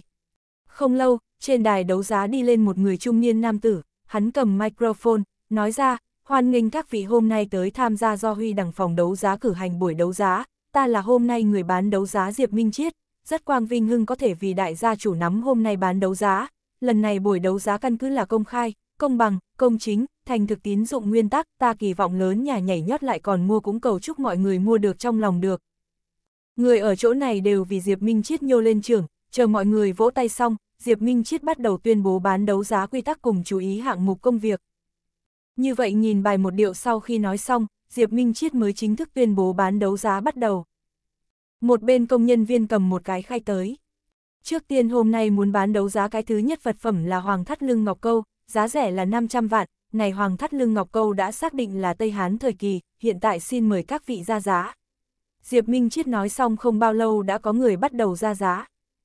550 vạn, 580 vạn, 6 triệu. Cuối cùng này hoàng thắt lưng ngọc câu bị người lấy 1.000 vạn giá cả thành công đập xuống, giá sau cùng so với giá rẻ cao gấp đôi. Lưu Hùng cũng từng ra giá, bất quá thật giống hắn đối cái này hoàng thắt lưng ngọc câu hứng thú không lớn, xuất hiện ở đến 8 triệu tự đình chỉ rồi. Tiếp lấy kiện thứ hai món đồ bán đấu giá là đời thanh càn long thời kỳ sứ thanh hoa bình, giá rẻ 1 triệu, cuối cùng giá sau cùng là 350 vạn. Lầm lượt từng món vật phẩm bị lấy ra bán đấu giá, có đồ sứ, có tiếng vẽ, còn có đại sư thiết kế kim cương dây chuyền. Mỗi một kiện vật phẩm đều là bán đấu giá thành công, không có lưu phách. Tô Chiết chỉ là yên lặng nhìn, chưa từng sinh ra một lần giá cả, những thứ đồ này hắn đều không có bao nhiêu hứng thú, cũng không hiểu được thưởng thức, mua được cũng chỉ là lãng phí tiền. Hắn không có đập xuống vật phẩm rất bình thường, thế nhưng hơn 10 kiện vật đấu giá bán đấu giá xong sau, Lưu Hùng một cái đều không có đập xuống đã tới liền có chút kỳ quái, Tô Chiết đến đấu giá sẽ nhưng là Lưu Hùng gọi tới. Tuy rằng Lưu Hùng thỉnh thoảng sẽ ra giá, thế nhưng giá cả đều là không cao, hoàn toàn là ôm có thể đập xuống liền đập xuống tâm thái, không đi cưỡng cầu. Đang đấu giá một bức cổ họa sau, công nhân viên không có lấy thêm vật đấu giá đi ra. Cái kế tiếp vật đấu giá, tin tưởng là lần này tới buổi đấu giá đa số người mục tiêu. Người bán đấu giá Diệp Minh Chiết nói ra. Mà mới vừa rồi còn mãn bất tại ý Lưu Hùng nghe nói như thế, lập tức ngồi thẳng thân thể, nhìn chằm chằm trên đài đấu giá. Tô Chiết tin tưởng cái kế tiếp vật đấu giá chính là Lưu Hùng đến đấu giá sẽ mục tiêu. Diệp Minh Chiết cũng không dám thừa nước đục thả câu, vội vàng để công nhân viên đem vật đấu giá mang lên. Xuất hiện ở sau đó muốn bán đấu giá vật đấu giá chính là cái này khỏa nhân sâm núi, niên đại trải qua giám định tại 42 ô năm trở lên, trọng lượng là 82. Sau khắc, giá rẻ là 6 triệu, hiện tại xin mời các vị ra giá. Diệp Minh Chiết đem hộp mở ra, bưng lên đến cho người phía dưới xem. 8 triệu, một vị thương nhân ăn mặc người trung niên hô, trực tiếp liền đem giá cả đề cao 2 triệu. Ta xuất 850 vạn, một vị đầu hoa dâm lão giả ra giá. Tuy rằng thời điểm vừa mới bắt đầu Lưu Hùng biểu hiện rất lưu ý này khỏa 42 ô năm nhân sâm núi, thế nhưng tại chính thức giá bắt đầu sau. Lưu Hùng trái lại chấn định lại rồi, cũng không có ra giá. Rất nhanh giá cả đã đột phá đến 9 triệu rồi. Đây là có người hô, 10 triệu, đem giá cả lên tới ngàn vạn cấp bậc, hôm nay vật đấu giá ngoại trừ cái thứ nhất đạt đến 10 triệu, những thứ khác đều là tại ngàn vạn trở xuống. Ra giá người thoạt nhìn là một cái hơn 40 tuổi người trung niên, cùng Lưu Hùng tuổi tác gần như. Xem tình huống khí vũ hiên ngang, khí khái anh hùng hừng hực. Trung niên nhân này xuất xong giá còn nhìn về phía Tô Chiết bên này phương hướng, Tô Chiết trực giác người trung niên là ở xem Lưu Hùng. Mà Lưu Hùng vào lúc này cũng bắt đầu ra giá, 11 triệu. 12 triệu, người trung niên theo kêu lên, người trung niên tên là Vương An Quốc, người này vạch tội hắn tình thế bắt buộc. Gia tộc của hắn xí nghiệp là làm dược liệu phương diện này, cùng Lưu Hùng gần như, là dược liệu ngành nghề tân quý, hiện nay kẻ địch lớn nhất chính là Lưu Hùng Lưu Thị xí nghiệp. Vương An Quốc sản nghiệp không có Lưu Thị xí nghiệp làm trăm năm cửa hiệu lâu đời nội tình, mọi việc đều kém Lưu Thị một đầu. Liên nói nhân sâm núi phương diện này, Lưu Thị xí nghiệp nắm giữ 30 ô năm trở lên nhân sâm núi làm trấn điếm chi bảo, mà Vương An Quốc xí nghiệp nhưng không có bách năm trở lên nhân sâm núi. Cho nên lần này niên đại nắm giữ 42 ô năm nhân sâm núi bất luận xài bao nhiêu tiền, Vương An Quốc đều yếu phách hạ lai. 13 triệu, Lưu Hùng mặc dù không có Vương An Quốc đối này nhân sâm núi tình thế bắt buộc, nhưng là nếu có thể lời nói, hắn cũng sẽ không bỏ qua thứ đồ tốt này. 14 triệu, Vương An Quốc tiếp lấy ra giá. Đến lúc này, cơ bản chỉ còn dư lại hai người bọn họ tại kiếm, những người khác đều không có lại tham dự vào rồi. Lưu Hùng nhíu nhíu mày, nghĩ một hồi mới hô, 15 triệu. 1.600 vạn, Vương An Quốc không do dự chút nào, lại bỏ thêm 1 triệu. 17 triệu, Lưu Hùng tiếp lấy ra giá. Này 17 triệu giá cả để tô chiết kinh hồn táng đảm, hắn không hiểu nhân sâm núi giá trị ở nơi đó, tại sao nhân sâm núi có thể bán cao như vậy giá cả. 18 triệu, Vương An Quốc hô, hiện tại cái này giá cả đã có chút hư cao, đã vượt ra khỏi 4-20 năm nhân sâm núi giá trị. Nhưng là vì đẩy lên vương thị bảng hiệu, hắn nhất định phải mua lại này nhân sâm núi. Lưu Hùng nghe được cái giá này, cao mày nghĩ một lát, cuối cùng vẫn là không có tái xuất giá. Hắn Lưu Thị đã bây giờ có được 300 năm nhân sâm núi, lại mua dưới này nhân sâm núi ý nghĩa không lớn, chỉ có thể coi là dệt hoa trên gấm. Tuy rằng Lưu Hùng biết nếu như hắn tiếp tục để giá cao, Vương An Quốc cũng sẽ đi theo ra giá. Thế nhưng chỉ vì để cho địch thủ xuất nhiều mấy triệu, cũng không có ý nghĩa gì, làm loại này không được chuyện lợi, ngược lại sẽ có vẻ Lưu Hùng không phóng khoáng, ảnh hưởng không tốt. Vị tiên sinh này ra đến 18 triệu, các vị có còn hay không cao hơn này giá cả, còn nữa không? 18 triệu lần thứ nhất, 18 triệu hai lần, 18 triệu ba lần. Được, thành giao, hiện tại cái này nhân sâm núi, đã bị vị tiên sinh này lấy 18 triệu chụp được. Người bán đấu giá Diệp Minh Chiết kích động hô, này 18 triệu là hôm nay buổi đấu giá đan kiện vật đấu giá bên trong giá cả cao nhất, đã vượt xa khỏi huy đằng phòng đấu giá dự đoán giá tiền. Các loại Diệp Minh Chiết tuyên bố này nhân sâm núi bị Vương An Quốc vỗ tới thời điểm, Vương An Quốc không khỏi thở phào nhẹ nhõm. Giá tiền này tuy nhiên đã hơi cao, thế nhưng còn tại Diệp Minh Chiết trong phạm vi chịu đựng. Buổi đấu giá kế tiếp còn tiếp tục đấu giá vài món vật đấu giá, thế nhưng trải qua cao tới 18 triệu nhân sâm núi bán đấu giá, tất cả mọi người hứng thú đều không cao. Lưu Hùng cuối cùng cũng dùng một triệu đập cái kế tiếp tiểu đồ vật, hơn nữa đập xuống thành công, Tô Chiết thấy Lưu Hùng cũng không có cái gì vui sướng tâm tình biểu lộ ra, đoán chừng Lưu Hùng chỉ là vì không có uổng phí đến đấu giá sẽ, hắn mới sẽ tiện tay đập xuống cái này vật đấu giá A. Buổi đấu giá sau khi kết thúc, Lưu Hùng cùng Tô Chiết đi theo công nhân viên đi lấy Lưu Hùng vật đấu giá, các loại Lưu Hùng trả tiền nhận được vật đấu giá sau, hai người bọn họ tự ly khai rồi huy đằng phòng đấu giá. Nhìn dáng dấp Lưu Hùng đối với mình không có vỗ tới 4-20 năm nhân sâm núi thật đáng tiếc, tâm tình giống như có chút không tốt. Dù sao hắn hôm nay tới buổi đấu giá mục tiêu chính là vì 4-20 năm nhân sâm núi mới tới. Mặc dù không có mua được vật mình muốn, bất quá Lưu Hùng vẫn là biểu thị muốn mời Tô Chiết cùng đi ăn cơm, coi như cảm tạ Tô Chiết cùng hắn đồng thời tới tham gia buổi đấu giá. Tô Chiết cự tuyệt, nói lần này dù như thế nào cũng phải đến phiên hắn mời.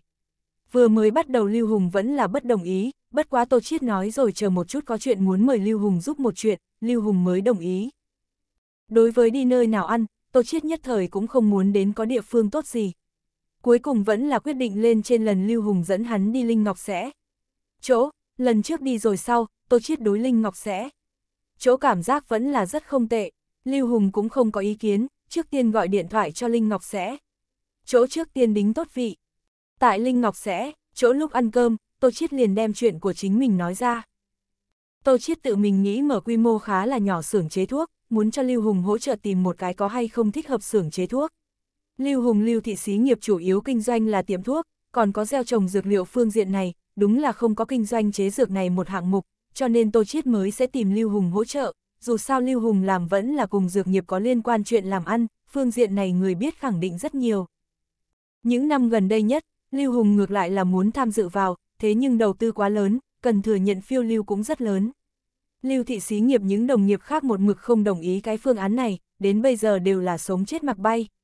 Có lúc Lưu Hùng cũng ước ao Vương An Quốc, dù sao Vương An Quốc xí nghiệp không giống Lưu thị xí nghiệp loại này trăm năm xí nghiệp, bên trong quan hệ quá phức tạp, liên lụy cũng rất nhiều. Lưu Hùng không thể buông ra tay chân đi làm, dẫn đến Lưu thị xí nghiệp một mực dậm chân tại chỗ, không có tiến thêm một bước. Mà Vương An Quốc sẽ không có loại phiền não này, chỉ cần Vương An Quốc cho rằng có phát triển tiền cảnh hạng mục, hắn đều có quyền đi buông tay một kích, Vương thị xí nghiệp năng lực trong thời gian ngắn cấp tốc phát triển, đến bây giờ đều muốn đuổi tới Lưu thị xí nghiệp cái này bá chủ.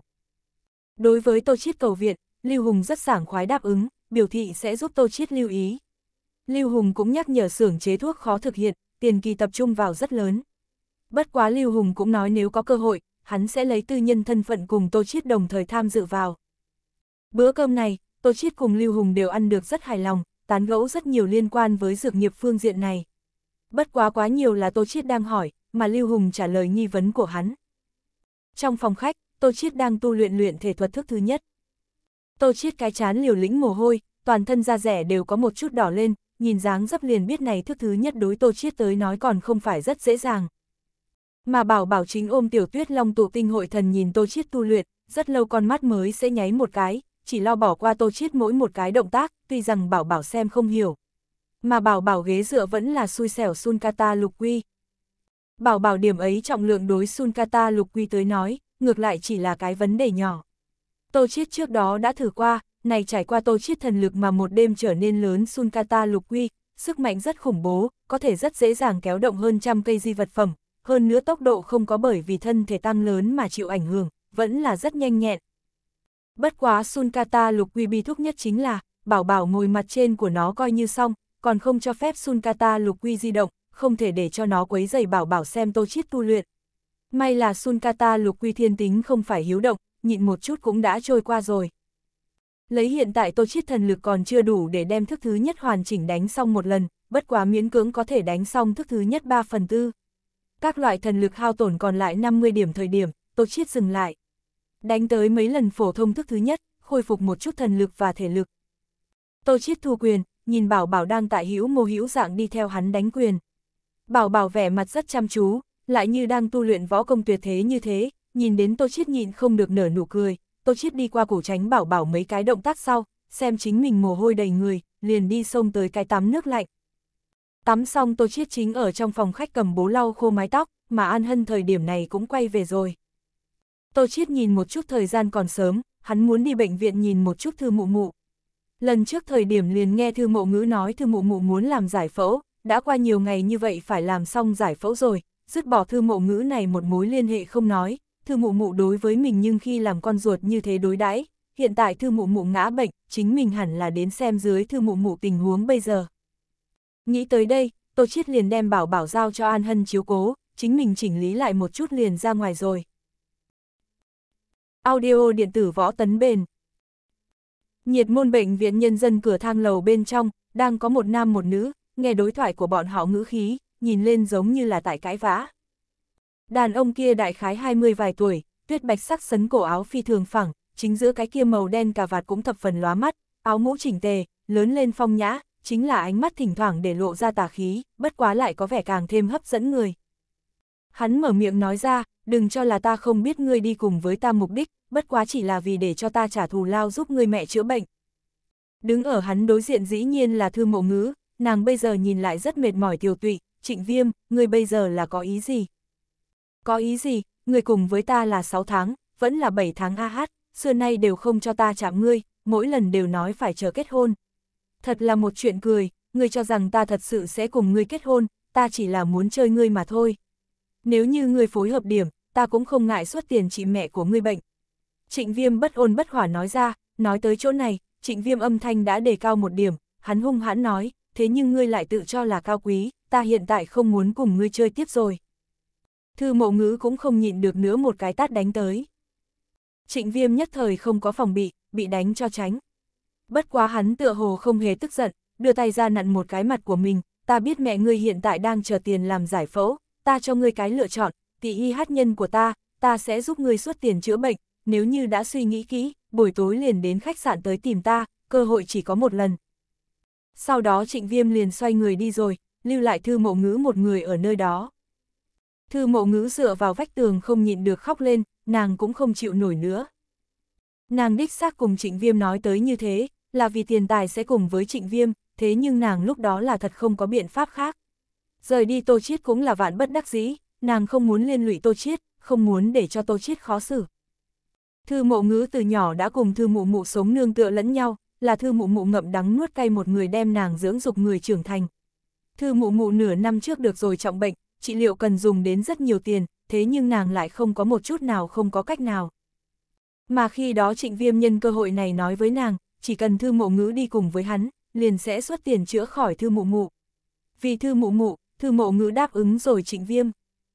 Này cho tới nay, trịnh viêm xác thực có tuân thủ hứa hẹn, thư mụ mụ dùng đến tiền chữa bệnh phần lớn đều là trịnh viêm ra. Thế nhưng hiện tại thư mụ mụ cần làm giải phẫu, thời điểm mấu chốt nhất đến rồi, trịnh viêm lại đổi ý rồi. Thư mộ ngữ lúc này mới biết nguyên lai trịnh viêm một mực liền không có tính toán cùng mình kết hôn, nhà hắn người đã sớm giúp hắn sắp xếp xong xuôi hôn sự, căn bản sẽ không đồng ý khiến hắn cùng mình kết hôn. Trịnh viêm chỉ bất quá chỉ là muốn lấy được thân thể của mình mà thôi. Mà thư mộ ngữ một mực đang kiên trì danh giới cuối cùng của mình, trịnh viêm bây giờ không có kiên trì, liền công bằng trực tiếp liền đem mình mục đích nói ra. Thư mộ ngữ hiện tại mệt mỏi quá, nàng không biết mình phải làm sao, vì chữa khỏi thư mụ mụ, nàng đã rời khỏi tô chiết, cùng một cái không yêu người cùng nhau. Hiện tại chẳng lẽ còn muốn đem tôn nghiêm của mình cũng từ bỏ ư mộ ngữ, ngươi làm sao vậy? Lúc này một thanh âm vang lên. Thư mộ ngữ ngẩng đầu nhìn lên, nguyên lai là chính mình muốn đi gặp nhất, lại lại không dám đi đối mặt người, tô chiết. Tô chiết tại đi tới bệnh viện nhân dân thời điểm, xem các loại thang máy người nhiều như vậy, liền quyết định làm giòn đi cầu thang được rồi, dù sao thư mụ mụ phòng bệnh cũng chỉ là tại lầu 3. Lại không nghĩ rằng tại cửa thang lầu gặp phải thư mộ ngữ, hơn nữa đối phương còn giống như đang khóc. Thư mộ ngữ vội vàng đem nước mắt lau khô, làm bộ như không có chuyện gì xảy ra nói ra, ta không sao. Phải hay không thư di chuyển, nàng hiện tại thế nào rồi? Tô Chiết hỏi. Tô Chiết, làm sao ngươi tới nơi này? Thư mộ ngữ lắc đầu một cái, không hề trả lời Tô Chiết vấn đề. Để ta xem một chút thư di. Thư mộ ngữ không muốn trả lời, Tô Chiết cũng không đi ép buộc nàng. Tô Chiết cùng thư mộ ngữ đi tới phòng bệnh thời điểm, thư mụ mụ đang tại trên giường bệnh nghỉ ngơi. Tựa hồ bị lần trước nhìn thấy của nàng thời điểm còn muốn tiểu tụy một ít. Tô Chiết cũng không có đi quấy giày thư mụ mụ nghỉ ngơi, hiện tại thư mụ mụ cần nhất chính là nghỉ ngơi. Tại trong phòng bệnh, Tô Chiết cùng thư mộ ngữ đều không có mở miệng nói chuyện, hai người chỉ là lẳng lặng nhìn thư mụ mụ. Trong lúc, y sinh đã tới phòng bệnh một lần, cùng thư mộ ngữ tìm hiểu một chút thư mụ mụ tình huống bây giờ, còn nhắc nhở thư mộ ngữ, thư mụ mụ bây giờ bệnh không thể lại hao tổn nữa, nhất định phải lập tức làm giải phẫu. Nghe được tin tức này, Tô Chiết hơi nhíu nhíu mày, các loại y sinh đi rồi sau, hỏi hắn, chuyện gì xảy ra, lần trước không phải nói muốn làm giải phẫu sao? Phải hay không có khó khăn gì? Thư mộ ngữ lại một lần nữa không nhịn được chảy ra nước mắt, lo lắng bị thư mụ mụ nghe được, nàng che miệng chạy ra phòng bệnh. Phải hay không xảy ra chuyện gì? Tô Chiết cũng đuổi theo. Thư mộ ngữ không hề trả lời hắn, chỉ là không dừng khóc lóc. Nhìn nàng xuất hiện tại bộ dáng này, Tô Chiết không khỏi đau lòng. Là không phải là bởi vì vấn đề tiền, ta chỗ này có 200 ngàn, người cầm trước đi cho thư mụ mụ chữa bệnh. Tô Chiết lấy ra một tờ thẻ ngân hàng giao cho thư mộ ngữ trong tay. Thư mộ ngữ không có đi tiếp Tô Chiết thẻ, nàng rời đi hắn đã thua thiệt rất nhiều, hiện tại làm sao sẽ đi lại dùng tiền của hắn. Ta đây tiền là cho Thư Di, là báo đáp Thư Di, không có quan hệ gì với ngươi. Tô Chiết cứng rắn đem thẻ ngân hàng thả ở trong tay nàng. Thư mộ ngữ không có cự tuyệt nữa, Tô Chiết câu kia không có quan hệ gì với ngươi, làm cho nàng giờ phút này tâm càng thêm lạnh, vẻ mặt càng là cô đơn, nàng cầm thẻ xoay người trở về phòng bệnh bên trong. Tô Chiết đem nàng lại kéo trở về, từ trong túi lấy ra một cái bình thủy tinh nhỏ, giao cho trong tay nàng, mỗi ngày nhỏ vài giọt ở trong nước, cho Thư Di thử một chút, xem có hiệu quả hay không, nhớ rõ đừng cho người khác biết thuốc này nước, có thời điểm khó khăn tới tìm ta, ta sẽ giúp ngươi. Sau Tô Chiết chính mình rời đi trước, hắn không muốn nhìn thấy thư mộ ngữ xuất hiện tại bộ dáng này, sẽ để cho hắn rất khó chịu. Nói Tô Chiết không hận thư mộ ngữ rời đi hắn, đó chỉ là Tô Chiết tại lừa mình dối người. Thế nhưng tại nhìn thấy thư mộ ngữ thương tâm khổ sở bộ dáng, cái kia không giúp thư mộ ngữ lại làm cho Tô Chiết làm sao cũng sinh không nổi hận ý đến. Thư mộ ngữ cùng Tô Chiết đều không có phát hiện, ở trong góc, chính có một cái mang theo mũ lưỡi chai người, lén lén lút lút nhìn chằm chằm nhất cử nhất động của bọn hắn, còn nắm điện thoại di động đem quá trình đập xuống đến. Tô Chiết không có lại trở về phòng bệnh, trực tiếp rời khỏi bệnh viện. Đi ra bệnh viện, tâm phiền ý loạn Tô Chiết, bị mát mẻ gió biển thổi một trận, tâm tình mới tốt hơn rất nhiều. Bệnh viện tới gần bờ biển, đi ra là có thể nhìn thấy một mảnh trong sáng vô cùng màu xanh thẳm, trên mặt biển bị thổi lên ngàn vạn cái trong trèo tiểu nếp nhăn. Nhìn sóng biển một cái liền một cái hướng về bên bờ vào tới, hơi đi lại sóng gợn đi, để tâm tình của người ta bất chi bất giác buông lỏng rất nhiều, có thể khiến người ta tạm thời quên lãng một ít chuyện không vui. Buổi tối, Tô Chiết mang Tiểu Tuyết Long đi bên ngoài tản bộ thời điểm, Lưu Hùng gọi điện thoại tới, nói với Tô Chiết, hắn mong muốn xưởng chế thuốc hiện tại vừa vặn có thích hợp, ước Tô Chiết ngày mai đi ra cùng đối phương nói chuyện. Tô Chiết sau khi cúp điện thoại, nhìn một chút thời gian, đi ra ngoài thời gian đã lâu. Liền đối với ở phía xa chạy nhanh Tiểu Tuyết Long kêu lên, Tuyết Long, đi về nhà. Tiểu Tuyết Long nghe được, lập tức chạy tới đi theo Tô Chiết mặt sau. Tiểu Tuyết Long biết muốn nghe Tô Chiết lời nói, lần sau Tô Chiết mới sẽ dẫn nó đi ra chơi. Mấy ngày nay, Tô Chiết mỗi ngày đều biết dùng hai điểm thần lực cường hóa Tiểu Tuyết Long. Bây giờ Tiểu Tuyết Long đã không phải là lúc trước nhóc tỷ rồi, đã cùng cái khác ba tháng lớn cháu ngao Tây Tạng không sai biệt lắm, hơn nữa khí lực còn lớn hơn nhiều lắm. Tô Chiết đem Tiểu Tuyết Long mang về nhà, ngược lại một chút cẩu lương cho nó ăn. Hiện tại Tiểu Tuyết Long đã không thích hợp ăn nữa sữa tươi, cho nên hắn liền đi Tô Sủng Chi ra nắm một chút cẩu lương cùng cái khác đồ dùng. Sau Tô Chiết tu luyện luyện thể thuật, ra một thân mồ hôi sau, đi tắm rửa sạch sẽ liền rất sớm về phòng ngủ. Ngày thứ hai, Tô Chiết rất sớm ngồi xe đi cùng Lưu Hùng ước định địa phương, Lưu Thị Tập đoàn. Đã đến Lưu Thị Tập đoàn, Tô Chiết đi tới trước bàn, cùng trước bàn tiếp đón nói rồi ý đổ đến. Trước bàn tiếp đón liền mang theo Tô Chiết trực tiếp lên đi, xem ra Lưu Hùng đã phân phó. Trước bàn tiếp đón nhẹ nhàng gõ cửa, báo cáo, Lưu Đồng, Tô Tiên Sinh đã đến. Văn phòng chỉ có hai người, một cái là Lưu Hùng, một người khác là hơn 40 tuổi đàn ông trung niên, lông mày rậm hắc mà chỉnh tề, một đôi mắt lòe lòe có thần thái, vóc người tầm trung, mặt vuông chữ điền bàng. Nhìn thấy Tô Chiết đến, hai người đều đứng lên nghênh tiếp. Tô Chiết vội vàng xin lỗi, thật không tiện, đến quá muộn rồi chút. Không có chuyện gì, là ta đến sớm. Đàn ông trung niên nói ra, biểu hiện có chút không tự nhiên, xem ra cũng là sẽ không tăng giao thiệp với người. Tô Chiết, vị này chính là trường hoa xưởng chế thuốc chịu trách nhiệm lý trường hoa, trường hoa xưởng chế thuốc hiện nay muốn chuyển nhượng ra ngoài. Lưu Hùng cũng không phí lời, trực tiếp nói. Trường hoa chế dược xí nghiệp thành lập với năm 2001 tháng 9, với năm 2003 tại Yến Vân Thị khu công nghiệp đầu tư 50 triệu chính thức xây hàng, bây giờ kiến trúc diện tích đã đạt đến 6-5.000 mét vuông, nắm giữ thuốc đạn, mảnh tề, bao con nhộng tề, trà tề, hạt tròn tề cùng dược dụng vật liệu phụ sinh sản phân xưởng, là một tòa GMP quy phạm tiêu chuẩn hiện đại xưởng thuốc. Lý Trường Hoa giới thiệu.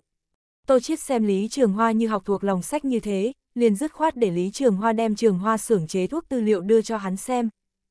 Lý Trường Hoa hiển nhiên đã sớm chuẩn bị, vội vàng từ mang tới túi công văn lấy ra một đại sấp tài liệu cho Tô Chiết. Tô Chiết tiếp cho tư liệu, đại thể xem một chút. Tô Chiết đối trường hoa xưởng chế thuốc rất hài lòng, trường hoa xưởng chế thuốc quy mô tuy rằng không lớn, thế nhưng trên căn bản cần có phần cứng đều có đủ, chỉ cần hắn tập trung vào tài chính là có thể nặng mới sinh sản. Lý Trường Hoa khẩn trương nhìn Tô Chiết, trường hoa xưởng chế thuốc là hắn một tay làm, Lý Trường Hoa cũng không bỏ được đem trường hoa xưởng chế thuốc chuyển nhượng ra ngoài.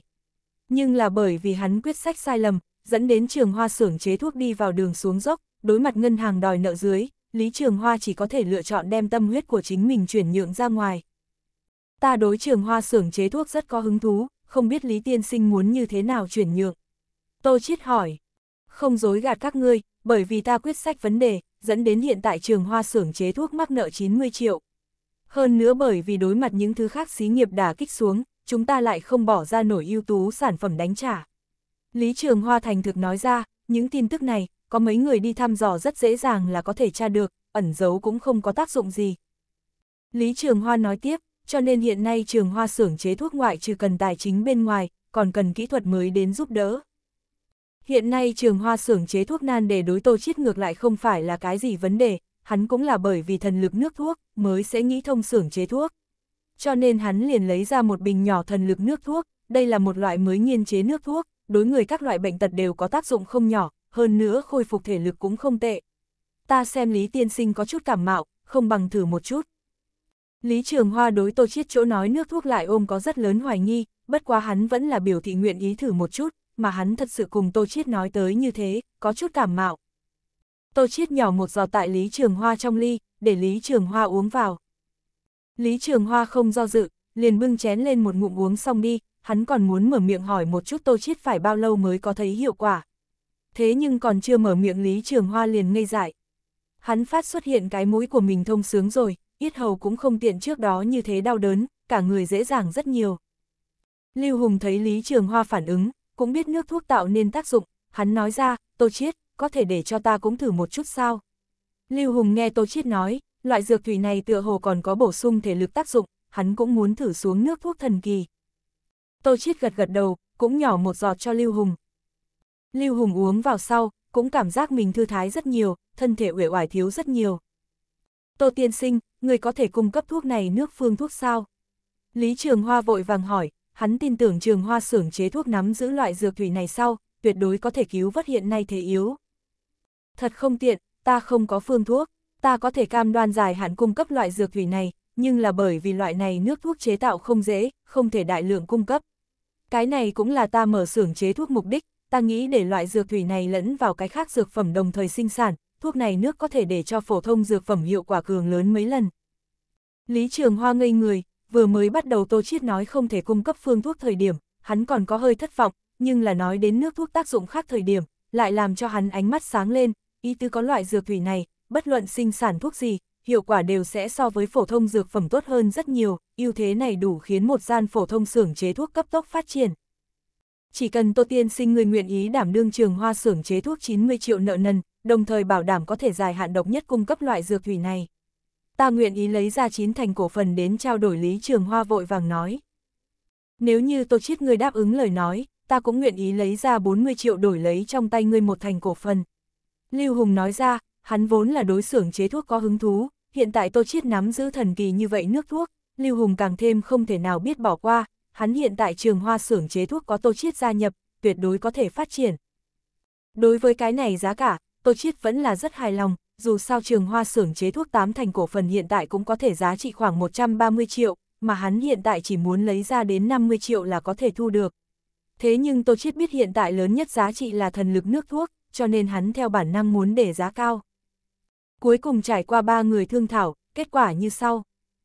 Tô Chiết lấy ra 50 triệu thêm thần lực nước thuốc một mình chiếm trường hoa xưởng chế thuốc 85 cổ phần, Lưu Hùng vẫn như cũ suất 40 triệu, thế nhưng cổ phần chỉ có 5, mà Lý Trường Hoa nắm giữ 10 cổ phần. Không quá dài hoa xưởng chế thuốc phần lớn hoạt động vẫn là Lý Trường Hoa thao tác, Tô Chiết cùng Lưu Hùng sẽ không tham dự vào. Nhiệt môn nghiệp thương thật dài hoa xưởng chế thuốc cổ phần phân phối sau, ba người ước định sau ký hiệp nghị thời gian sau, Lý Trường Hoa liền đi, nói muốn về xưởng thuốc xử lý một ít chuyện. Kết quả như thế, Tô Chiết rất hài lòng, đạt đến trong lòng mình yêu cầu, nhưng là vừa một cái phiền phức tùy theo mà tới. Liền là dùng để thu mua trường hoa xưởng chế thuốc tiền thưởng, Tô Chiết nhất định phải xuất 50 triệu năng lực nắm giữ trường hoa xưởng chế thuốc 85 cổ phần, mà hắn bây giờ có thể vận dụng tài chính chỉ có tính toán đâu ra đấy 33 triệu, còn cần 17 triệu năng lực tập hợp 50 triệu. Hướng về Lưu Hùng mở miệng, Tô Chiết khẳng định Lưu Hùng rất tình nguyện lấy tiền đi ra đổi cổ phần trong tay của hắn. Thế nhưng trường hoa xưởng chế thuốc 85 cổ phần, Tô Chiết không có chút nào muốn buông tha. Trường hoa xưởng chế thuốc có Tô Chiết thần lực nước thuốc gia nhập, tin tưởng tương lai cổ phần giá trị không nghi ngờ chút nào có thể trở mình hơn trăm lần, điểm ấy Lưu Hùng cùng Lý Trường Hoa đều thấy rất rõ ràng, Tô Chiết tự nhiên cũng biết trong này giá trị. Quãng thời gian trước Tô Chiết cho Tô Sủng chi ra một nhóm kia động vật, bây giờ còn không phải thích hợp nhất bán ra thời cơ, cho nên xuất hiện tại tự nhiên không thể đem hy vọng đặt ở một cái phê sủng vật trên người. Cuối cùng Tô Chiết nhớ tới trong nhà chính mình gieo trồng dược liệu, hiện nay có hy vọng có thể bán ra giá cao, chỉ có cái kia 10 khỏa đặc biệt đào tạo nhân sâm. Bất quá đối với này 10 khỏa nhân sâm Tô Chiết tâm cũng không có đáy ngọn nguồn, hắn cũng không biết cái kia 10 khỏa nhân sâm bây giờ niên đại có bao nhiêu, có thể hay không cùng chân chính nhân sâm núi đem so sánh. Tuy rằng lần trước lưu thị tiệm thuốc lão trung y Lý Văn Bác, cho Tô Chiết giảng một chút nhân sâm núi phân biệt thưởng thức, thế nhưng Tô Chiết làm sao có thể sẽ trong thời gian thật ngắn liền nắm giữ ở yếu lĩnh. Hắn xem chính mình loại nhân sâm niên đại giống như là 50 năm, cũng giống như là 100 năm. Bất quá bây giờ Tô Chiết chỉ có thể trước lấy ra thử một chút, nếu như không được, sẽ thấy tìm biện pháp khác, cho nên hắn liền nói với Lưu Hùng, Lưu ca, ta quãng thời gian trước từ ở trong tay người khác đã nhận được mấy viên nhân sâm, nói là trăm năm nhân sâm núi, ta cũng không hiểu được phân biệt. Nha, vậy ngươi có thể đem ra, ta gọi chuyên gia giám định giúp ngươi nhìn một chút. Nghe Tô Chiết nói chuyện, Lưu Hùng đến rồi một chút hứng thú, nhưng cũng chỉ là một điểm mà thôi, nếu như trăm năm nhân sâm núi có dễ dàng như vậy lấy được lời nói, cũng sẽ không như vậy đáng giá tiền. Được, ta hiện tại liền về nhà đi lấy, Lưu ca ngươi chờ một chút. Tô Chiết nói ra, Lưu Hùng gọi điện thoại cho tài xế của hắn, khiến hắn lái xe đưa Tô Chiết trở lại. Ngồi trên Lưu Hùng xe, cùng tài xế nói rồi địa điểm liền lái đi. Lưu Hùng tài xế là một cái trầm mặc ít nói người, rất thiếu chủ động mở miệng nói chuyện. Mà Tô Chiết cũng không phải một cái yêu thích người nói chuyện, tự nhiên dọc theo đường đi không nói chuyện.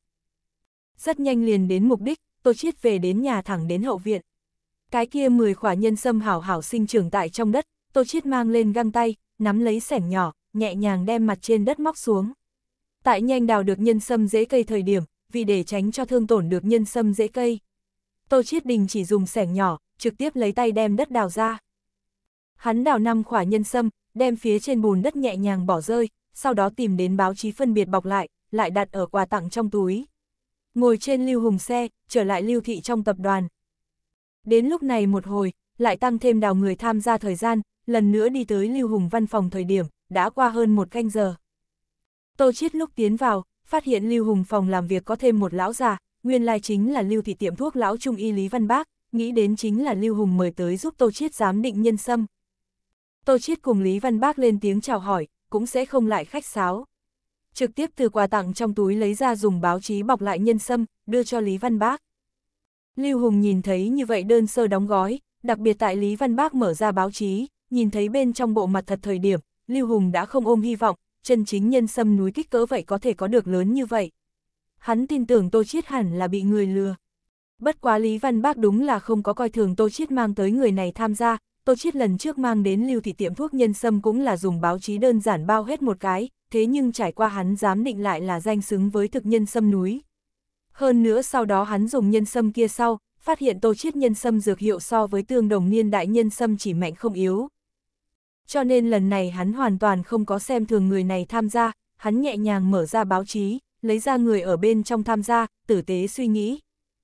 Mới vừa đo lường không bao lâu, Lý Văn Bác trên căn bản liền có thể xác định đây là chính tông nhân xâm núi, hơn nữa niên đại không thấp. Bất quá vì thận trọng điểm, Lý Văn Bác vẫn là từ đầu tới đuôi tỉ mỉ mà kiểm tra nhân sâm. Rất lâu, Lý Văn Bác mới đem người tham gia trả về, nói ra, đây là tránh tông nhân sâm núi, hơn nữa niên đại sen vào 100 năm đến 120 năm trong lúc đó.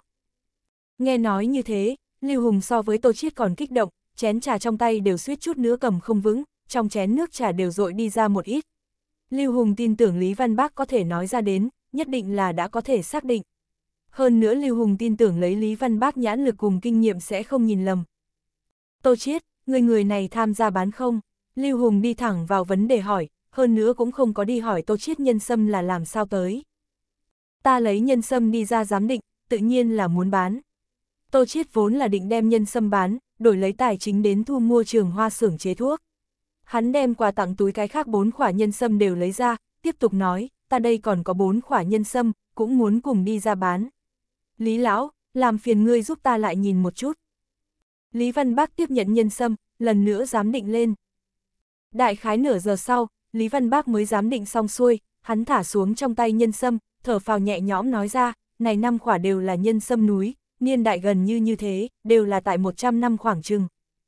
Lưu Hùng càng là rung động, này trăm năm nhân sâm núi lúc nào nhiều như vậy, lập tức liền xuất hiện năm khỏa. Tô Chiết, người này năm khỏa nhân sâm có thể hay không đều bán cho ta. Ta dùng một khắc một, sáu vạn giá cả hướng về ngươi thu mua. Lưu Hùng vững vàng một hạ tâm tình, trịnh trọng mà hỏi. Tô Chiết gật đầu một cái đáp ứng, hắn biết giá tiền này không thấp. Tô Chiết đồng ý bán ra sau, chuyện kế tiếp liền đơn giản hơn nhiều, Lưu Hùng tìm người đến làm cho này năm khỏa nhân sâm xóa đi trên người kề cận bùn đất, đồng thời vì chúng nó cân nặng. Kết quả cuối cùng là năm khỏa nhân sâm tổng trọng lượng là 1.355 khắc, bình quân đơn khỏa trọng lượng là 271 khắc. Trọng lượng là cái khác trăm năm nhân sâm núi hơn một lần, cho dù phơi khô sau, Lý Văn Bác cũng đoán chừng đơn khỏa trọng lượng khô 60 khắc đến 70 khắc khoảng chừng, này cho ra trọng lượng để Lý Văn Bác cùng Lưu Hùng tấm tắc lấy làm kỳ lạ. Tô chiết này năm khỏa nhân sâm tổng giá trị tổng cộng là 2.168 vạn, tài đại khí thô Lưu Hùng tại chỗ liền đem tiền một lần chuyển cho Tô chiết, lần này liền giải quyết xong Tô chiết khẩn cấp, Tô chiết hiện tại không cần buồn thu mua trường hoa xưởng chế thuốc cổ phần tài chính không đủ, mà Lưu Hùng cũng có thể lợi dụng này năm khỏa trăm năm nhân sâm núi vì mình Lưu thị tập đoàn hảo hảo tuyên truyền. Tất cả đều vui vẻ. Cùng Tô chiết giao dịch hoàn thành sau, Lưu Hùng để công nhân viên đem năm khỏa nhân sâm cầm bảo tồn tốt. Nơi này hiện tại đã không cần Lý Văn Bác rồi, cho nên Lý Văn Bác liền chủ động xin cáo lui, nói phải đi về quản lý Lưu Thị tiệm thuốc, Lưu Hùng liền để hắn đi trước. Các loại Lý Văn Bác đi rồi, Lưu Hùng nhìn một chút đồng hồ đeo tay, đột nhiên đối với Tô Chiết hỏi, Tô Chiết, có hứng thú hay không cùng đi với ta nhìn một chút năm nay đổ thạch tiết văn hóa. Tô Chiết sững sờ, nói ra, đổ thạch tiết văn hóa, hiện tại đi không?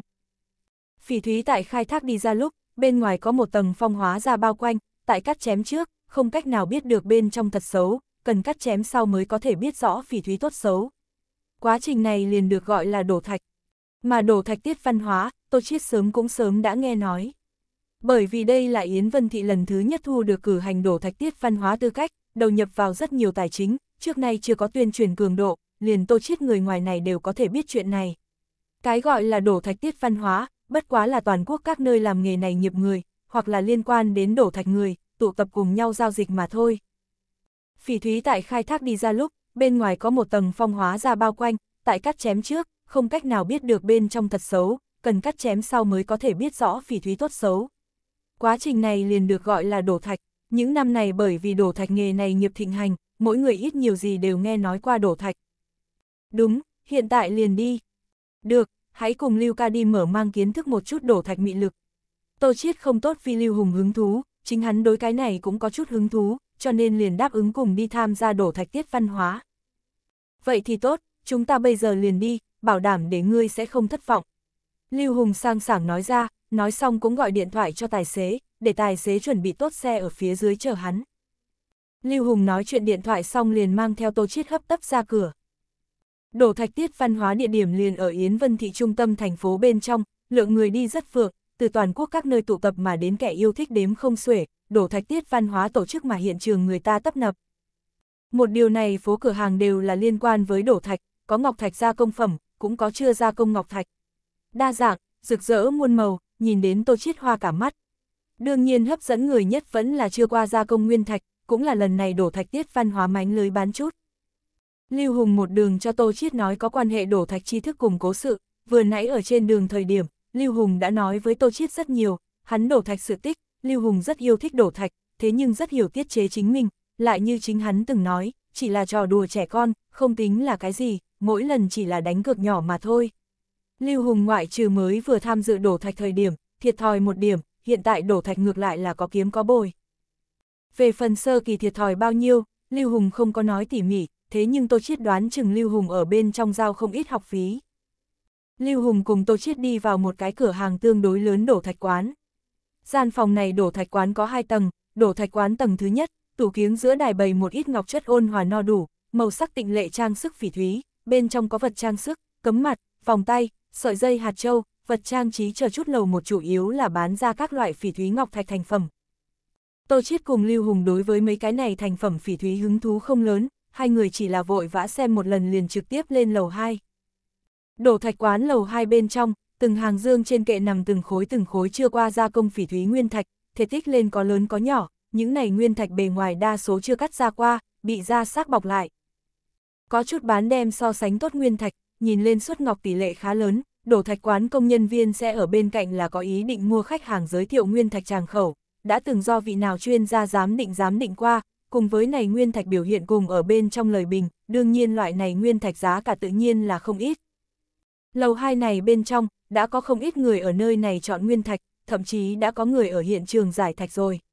Bình thường đổ thạch quán vì hấp dẫn khách hàng, đều sẽ miễn phí là khách hàng giải thạch, mà Tô Chiết tới gian phòng này đổ thạch quán cũng không ngoại lệ. Tô Chiết bọn hắn lúc đến nơi này, vừa vặn có người chọn được rồi nguyên thạch, đang tại hiện trường giải thạch, hấp dẫn không ít người quan tâm. Lưu Hùng cùng Tô Chiết cũng không gấp với một cái lúc, cũng đụng đi lên quan sát giải thạch quá trình. Khối này nguyên thạch người mua là một cái 50 da mặt nam nhân, vóc dáng không cao, ngược lại là lớn lên một mặt phúc hậu. Nghe người vây xem nói, hiện tại cái này khối chuẩn bị phải mở ra nguyên thạch nhưng là bỏ ra người mua một 50 ngàn. Để Tô Chiết giật mình không nhỏ, hắn làm sao nhìn ngang liếc dọc, đều là một khối rất đá bình thường mà thôi. Nhưng là từ các vị người vây xem giọng điệu đến xem, khối này nguyên thạch vẻ ngoài rất tốt, xuất lục tỷ lệ không nhỏ. Người mua hòa giải thạch sư phụ thương lượng sau một lúc, khối này giá trị 150.000 nguyên thạch liền bị mang lên cơ khí. Giải thạch sư phụ điều tốt góc độ, hỏi thăm người mua ý tứ, đi ngang qua người mua sau khi đồng ý, liền một đao cắt đi xuống. Theo một đao kia đi xuống, này hàng thô vết cắt xuất hiện một cái bích lục, đại khái có lớn bằng ngón cái.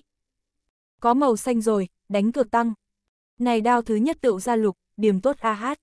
Người vây xem nghị luận sôi nổi, so với người mua còn kích động, thật giống khối này xuất lục nguyên thạch là bọn hắn như thế. Tảng đá kia hiện tại nếu như bán, ít nhất có thể bán 200 ngàn. Lưu Hùng nhỏ giọng nói. Này đào mắt liền có thể kiếm được 50 ngàn, để Tô Chiết càng là ngạc nhiên. Lưu Hùng ánh mắt quả nhiên kinh chuẩn, hắn vừa mới nói xong, liền có một cái thương nhân ăn mặc người trung niên suốt 200 ngàn muốn mua dưới khối này nguyên thạch. Đáng tiếc người mua thật giống đối với mình nguyên thạch rất tin tưởng, biểu thị muốn toàn bộ cắt lúc đi ra, mới sẽ suy xét bán ra. Giải thạch sư phụ dựa theo người mua ý tứ, tại nguyên thạch một hướng khác cắt nữa một đao. Rất may mắn, một đao kia đi xuống lần nữa xuất lục. Đồng thời xuất lục phạm vi so với cái trước vết cắt còn lớn hơn gấp đôi, tức thì cái này một khối nguyên thạch giá trị bản thân lên tới 300 ngàn. Người mua vẫn như cũ không nghĩ ra bán, quyết định chủ ý muốn toàn bộ cắt ra sau mới sẽ bán ra. Không ngừng cố gắng tại nguyên thạch tiếp tục cắt mở ra mấy đao, đáng tiếc thật giống này nguyên thạch tiềm lực trước đó đã dùng hết rồi, cũng không còn từng ra lục. Cuối cùng dùng tới cắt nhỏ vòng đánh bóng qua đi, bên trong phỉ thúy toàn bộ mở ra sau, lộ ra bộ mặt thật thời điểm, lại khiến người thất vọng. Này phỉ thúy chất sắc mặc dù không tệ, thế nhưng kích cỡ quá nhỏ. Vừa nãy hăng hái người mua mặt lập tức khóa xuống, cuối cùng này giải đi ra ngoài phỉ thúy vẫn bị bán cho vừa nãy ra giá thương nhân, bất quá bây giờ giá cả chỉ có 30 ngàn, cùng lúc trước cách biệt 27 vạn. Không trách đổ thạch người thường nói, đổ thạch một đao nghèo, một đao phú, thay đổi rất nhanh, thần quỷ khó dò. Để tô chiết hư hí không ngớt, trong thời gian thật ngắn giá tiền này liền cách biệt 10 lần. Mà Lưu Hùng ngược lại tốt như không cảm thấy kinh ngạc, thật giống xem qua quá nhiều loại sự kiện này. Kết quả đi ra sau, người vây xem đều tản ra, đi quan sát cái kế tiếp giải thạch, hoặc là đi chọn nguyên thạch. Lưu Hùng cùng Tô Chiết cũng đi nguyên thạch khu, mới đầu hai người là như thế chọn nguyên thạch. Thế nhưng không bao lâu bọn hắn liền tách ra, từng người đi chọn hàng thô. Bởi vì bọn họ mục tiêu không giống nhau, Lưu Hùng tới nơi này tự nhiên là đến đổ thạch, mỗi một khối cảm giác hứng thú nguyên thạch, Lưu Hùng đều sẽ dừng lại hồi lâu, tử quan sát kỹ, đánh giá có hay không mua giá trị. Mà Tô Chiết lại chưa từng có muốn tới đây đổ thạch, chỉ là cùng Lưu Hùng mới sẽ tới nơi này. Cho nên hắn mỗi một khối đều sẽ nhìn một chút, thế nhưng dừng lại thời gian rất ngắn. Tô Chiết không thích đánh bạc, bởi vì đánh bạc quá không chắc chắn rồi, mà đổ thạch so với những khác đánh bạc càng là điên cuồng. Tô Chiết sẽ đi đánh cược cá, cũng bởi vì hắn đối với mình đấu cá có lòng tin mới sẽ đi đánh cược. Tuy rằng hắn không muốn đánh cuộc thạch, thế nhưng hắn đối với mấy cái này nguyên thạch lại cảm thấy rất hứng thú, bề ngoài nhìn lên bình thường, cùng phổ thông tảng đá không có gì khác biệt nguyên thạch, nhưng có thể bán ra cao như vậy giá cả. Cho nên Tô Chiết liền đến ở vào nguyên thạch trong vùng đi tới đi lui, mỗi một khối nguyên thạch hắn đều sẽ đi qua, nhìn một chút, sờ một cái. Thế nhưng những kia bán thân mật, giá cả cao, hắn lại rất ít sẽ tới xem. Bởi vì mỗi một lần đi tới, đều là có công nhân viên lại đây với hắn giới thiệu. Tô Chiết hoàn toàn không có mua ý nguyện, công nhân viên ra sức giới thiệu khiến hắn rất không dễ chịu. Cho nên Tô Chiết nhìn nguyên thạch đều là tùy ý chất đống trên mặt đất, không giống cái khác nguyên thạch chuyên môn dùng khung đang triển lãm biểu diễn cho người nhìn. Nơi này nguyên thạch rất ít người hỏi thăm, bởi vì vẻ ngoài kém, cũng là bị người trải qua quá nhiều lần sàng lọc, trên căn bản đã phán đoán sẽ không có phỉ thúy hàng thô, cho nên giá cả rất là tiện nghi. Cứ việc giá cả tiện nghi, thế nhưng vẫn như cũ rất ít người sẽ đến mua loại này hàng thô. Hy vọng loại này hàng thô xuất phỉ thúy, còn không bằng đi mua vé sổ số trúng số độc đắc tỷ lệ. Thế nhưng Tô Chiết nhưng lại không biết, cho dù biết rồi hắn cũng sẽ không để ý. Đối với hắn mà nói, nguyên thạch tốt xấu đều là giống nhau, hắn cũng xem không hiểu. Không người đến phản ứng nơi này càng tốt hơn, cũng sẽ không có người quấy rầy hắn. Mỗi một khối nguyên thạch, Tô Chiết đều sẽ ngồi trồm hốm xuống, nhìn một chút, sau đó vươn tay ra sờ một cái. Đem mỗi một khối nguyên thạch so sánh một chút, xem giữa bọn họ có những gì không giống. Cuối cùng Tô Chiết cho ra kết luận là, nơi này nguyên thạch khác nhau lớn nhất là thể tích không giống nhau, to to nhỏ nhỏ đều có. Về phần những thứ khác khác biệt, Tô Chiết tạm thời vẫn không có nghiên cứu ra. Tô Chiết liên tiếp nhìn mấy chục khối đổ thạch, đều không có lại khác biệt suốt bọn chúng cái khác chỗ bất đồng. Đã chán ghét Tô Chiết dự định kết thúc nghiên cứu của mình, tay hắn vươn hướng trước mặt nguyên thạch, dự định mượn lực đứng lên. Nhưng là tay tại đụng tới khối đá này thời điểm, hắn liền ngây dại. Tô Chiết cảm giác từ tảng đá ở trong chỗ sâu đối với hắn phát ra một loại khát vọng, tựa hồ tưởng hấp thu Tô Chiết thần lực. Cảm giác này để Tô Chiết rất là giật mình, bởi vì loại này cảm giác, Tô Chiết chỉ từ thực vật hoặc là động vật bên trong cảm giác được, thế nhưng còn chưa có thử qua từ vật chết bên trong từng có cái cảm giác này. Cái này một khối nguyên thạch nhìn lên cùng những khác nguyên thạch không có không giống với, thể tích cùng một cái bóng rổ tương đồng lớn nhỏ, vẻ ngoài càng là cực kém, bị tùy ý ném ở trong góc không người hỏi thăm. Vì xác nhận cảm giác của mình không có phạm sai lầm, Tô Chiết lấy tay sờ về phía bên cạnh nguyên thạch, nhưng không có cái cảm giác này. Hắn sờ soạng vài khối nguyên thạch đều không có cái cảm giác này, thế nhưng một khi lấy tay đặt ở khối này bóng rổ lớn nguyên thạch liền lập tức có thể cảm giác được. Nhiệt môn Tô Chiết vì biết rõ khối này nguyên thạch vì sao lại cho hắn cái cảm giác này, cảm giác này là làm sao tới. Hắn quyết định mua lại cái này một khối nguyên thạch, hắn tìm đến đổ thạch quán công nhân viên, cùng công nhân viên sáng tỏ chỉ định mình muốn nguyên thạch. Cái này một khối nguyên thạch, công nhân viên báo giá 500 khối. Giá tiền này cũng không phải rất thấp, nhưng là đối với cái khác nguyên thạch hơi một tí hơn mấy ngàn vạn giá cả, thậm chí hơn 100 ngàn trăm vạn giá cả đều có, đem so sánh mà nói, khối này nguyên thạch mới chỉ muốn 500 khối ngược lại là có vẻ rất rẻ rồi. Tô Chiết không hiểu nguyên thạch giá cả, cũng không biết này đổ thạch quán có thể hay không có kè mặc cả. Cho nên cũng không có đi mặc cả, bỏ ra 500 khối trực tiếp mua cái này một khối nguyên thạch. Vì mở ra khối này nguyên thạch bí mật, Tô Chiết quyết định cởi thạch trong vùng đem khối này nguyên thạch mở ra, lúc này trực tiếp nhất phương pháp đơn giản nhất. Tô Chiết cũng không có đi tìm xe đẩy các loại công cụ, chính hắn nâng lên cái này một khối nguyên thạch hướng về giải thạch khu đi đến, đây chỉ có bóng rổ lớn nhỏ nguyên thạch trọng lượng đối Tô Chiết hoàn toàn không có ảnh hưởng. Đang tách đá trong vùng, Tô Chiết vừa vặn gặp phải Lưu Hùng, hắn thật giống cũng có thu hoạch, phía sau hắn có công nhân viên đẩy xe đẩy đi theo mặt sau, xe đẩy lên để đó một khối nguyên thạch. Khối này nguyên thạch thể tích trọn vẹn so với Tô Chiết trong tay nguyên thạch lớn hơn 5 lần không ngừng. Ồ, người cũng tìm tới hài lòng sao? Lưu Hùng liếc mắt là đã nhìn ra Tô Chiết trong tay nguyên thạch là không có người muốn gạch liệu, bất quá hắn không có nói ra, miễn cho quấy rầy đến Tô Chiết hứng thú. Đồ tiện nghi liền mua một khối, đến thử một lần vận khí, thua cũng sẽ không đau lòng. Tô Chiết cũng không có giải thích cái gì. Hai người cũng sẽ không tiếp tục phí lời, đều nóng ruột muốn mở ra của mình nguyên thạch. Giải thạch khu chỉ có một rảnh rỗi giải thạch sư phụ, Tô Chiết liền nhường cho Lưu Hùng trước tiên giải thạch, Lưu Hùng cũng không khách sáo, hòa giải thạch sư phụ thương thảo một cái hẳn là muốn làm sao cắt, sau liền đem nguyên thạch để lên cơ khí. Này đao thứ nhất đi xuống, nguyên thạch vẫn là mờ mịt, không có nhìn thấy chút nào màu xanh biếc. Lưu Hùng sắc mặt không có thay đổi, vẫn như cuối cùng Tô Chiết đứng chung một chỗ chuyện trò vui vẻ, không có chịu đến khối này nguyên thạch ảnh hưởng, thật giống khối này có giá trị không nhỏ nguyên thạch không phải hắn như thế. Giải thạch sư phụ điều tốt góc độ một lần nữa cắt đi xuống, này đao thứ hai ngược lại là cắt ra không ít lục mặt. Lúc này đã có người ra đến 350 ngàn giá tiền, Lưu Hùng không nhúc nhích tâm, để giải thạch sư phụ tiếp tục cắt. Giá tiền này chỉ cùng hắn mua cái này một khối nguyên thạch giá cả tương đương, không kiếm không bồi thường. Cuối cùng giải ra phỉ thúy chất sắc không sai, kích cỡ cũng không nhỏ, để Lưu Hùng rất là thỏa mãn. Tại chỗ đã có người muốn dùng một triệu mua lại, bất quá Lưu Hùng không muốn bán, chính hắn giải ra phỉ thúy chỉ cần phẩm tương khá một chút, có giá trị. Hắn đều sẽ chính mình cất giấu. Dùng Lưu Hùng lời của mình tới nói, chính là mình giải ra phỉ thúy có thể là một loại thành tựu, này thành tựu tại sao có thể dễ dàng liền bán mất. Tô chiết các loại giải thạch sư phụ đem cơ khí thu thập sạch sẽ, liền đem trong tay nguyên thạch giao cho giải thạch sư phụ, nói với hắn muốn làm sao giải. Giải thạch sư phụ mới vừa bắt được nguyên thạch thời điểm, còn sướng sờ, tựa hồ rất ít thấy đã có người nắm loại này nguyên thạch đến giải, bất quá giải thạch sư phụ cũng không hề nói gì. Đem nguyên thạch để tốt, giải thạch sư phụ dựa theo tô chiết ý tứ, tại nguyên thạch một phần ba địa phương, cắt đi xuống.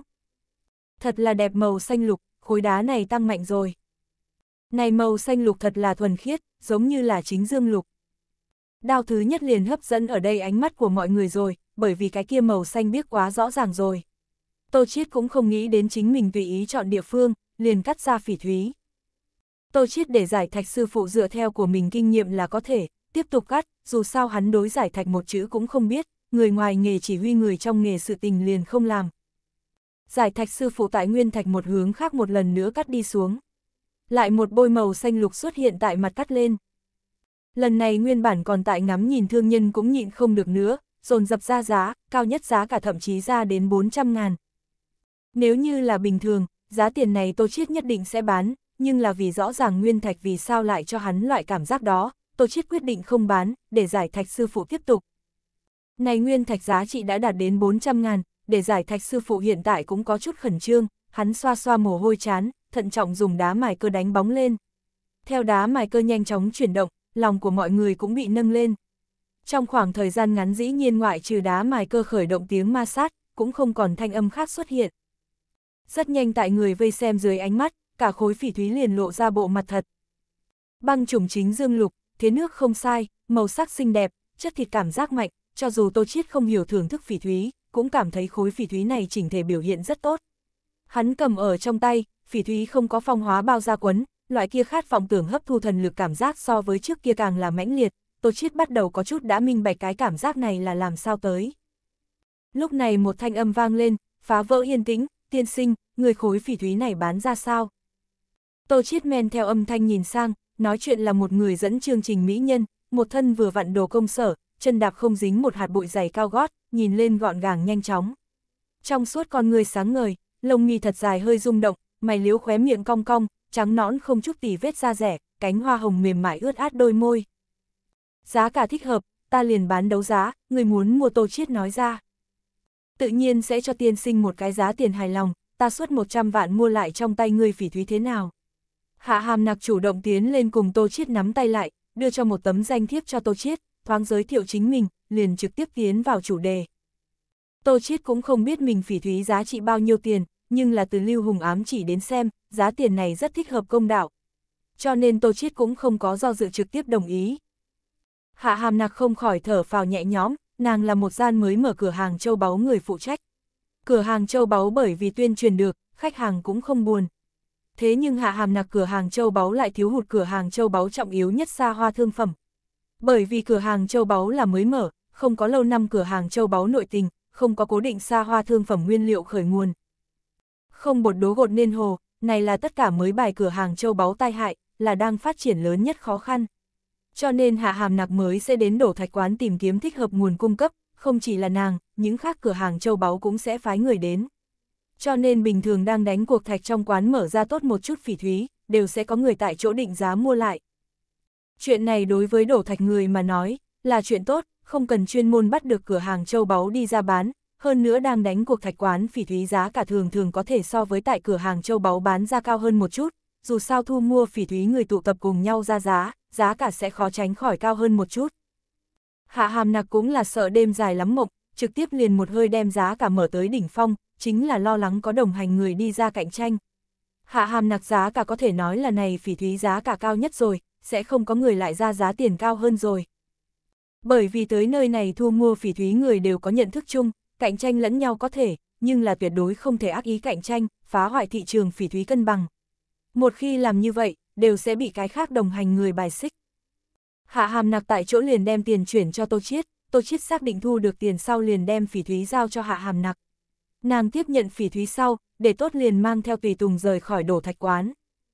Không bao lâu, mở ra một triệu phỉ thúy tin tức liền truyền khắp đổ thạch quán, hơn nữa rất nhanh sẽ có người nói suất này giá trị trăm vạn phỉ thúy, nguyên thạch vẻn vẹn mới giá trị 500 khối. Tin tức này để hết thảy đổ thạch người điên điên. 500 khối mua được nguyên thạch qua tay liền bán ra một triệu giá cả, dòng giá lật ra 2.000 lần. Giá trị trăm vạn phỉ thúy không hiếm thấy, thế nhưng giá cả lật ra 2.000 lần giá cả lại chưa từng thấy.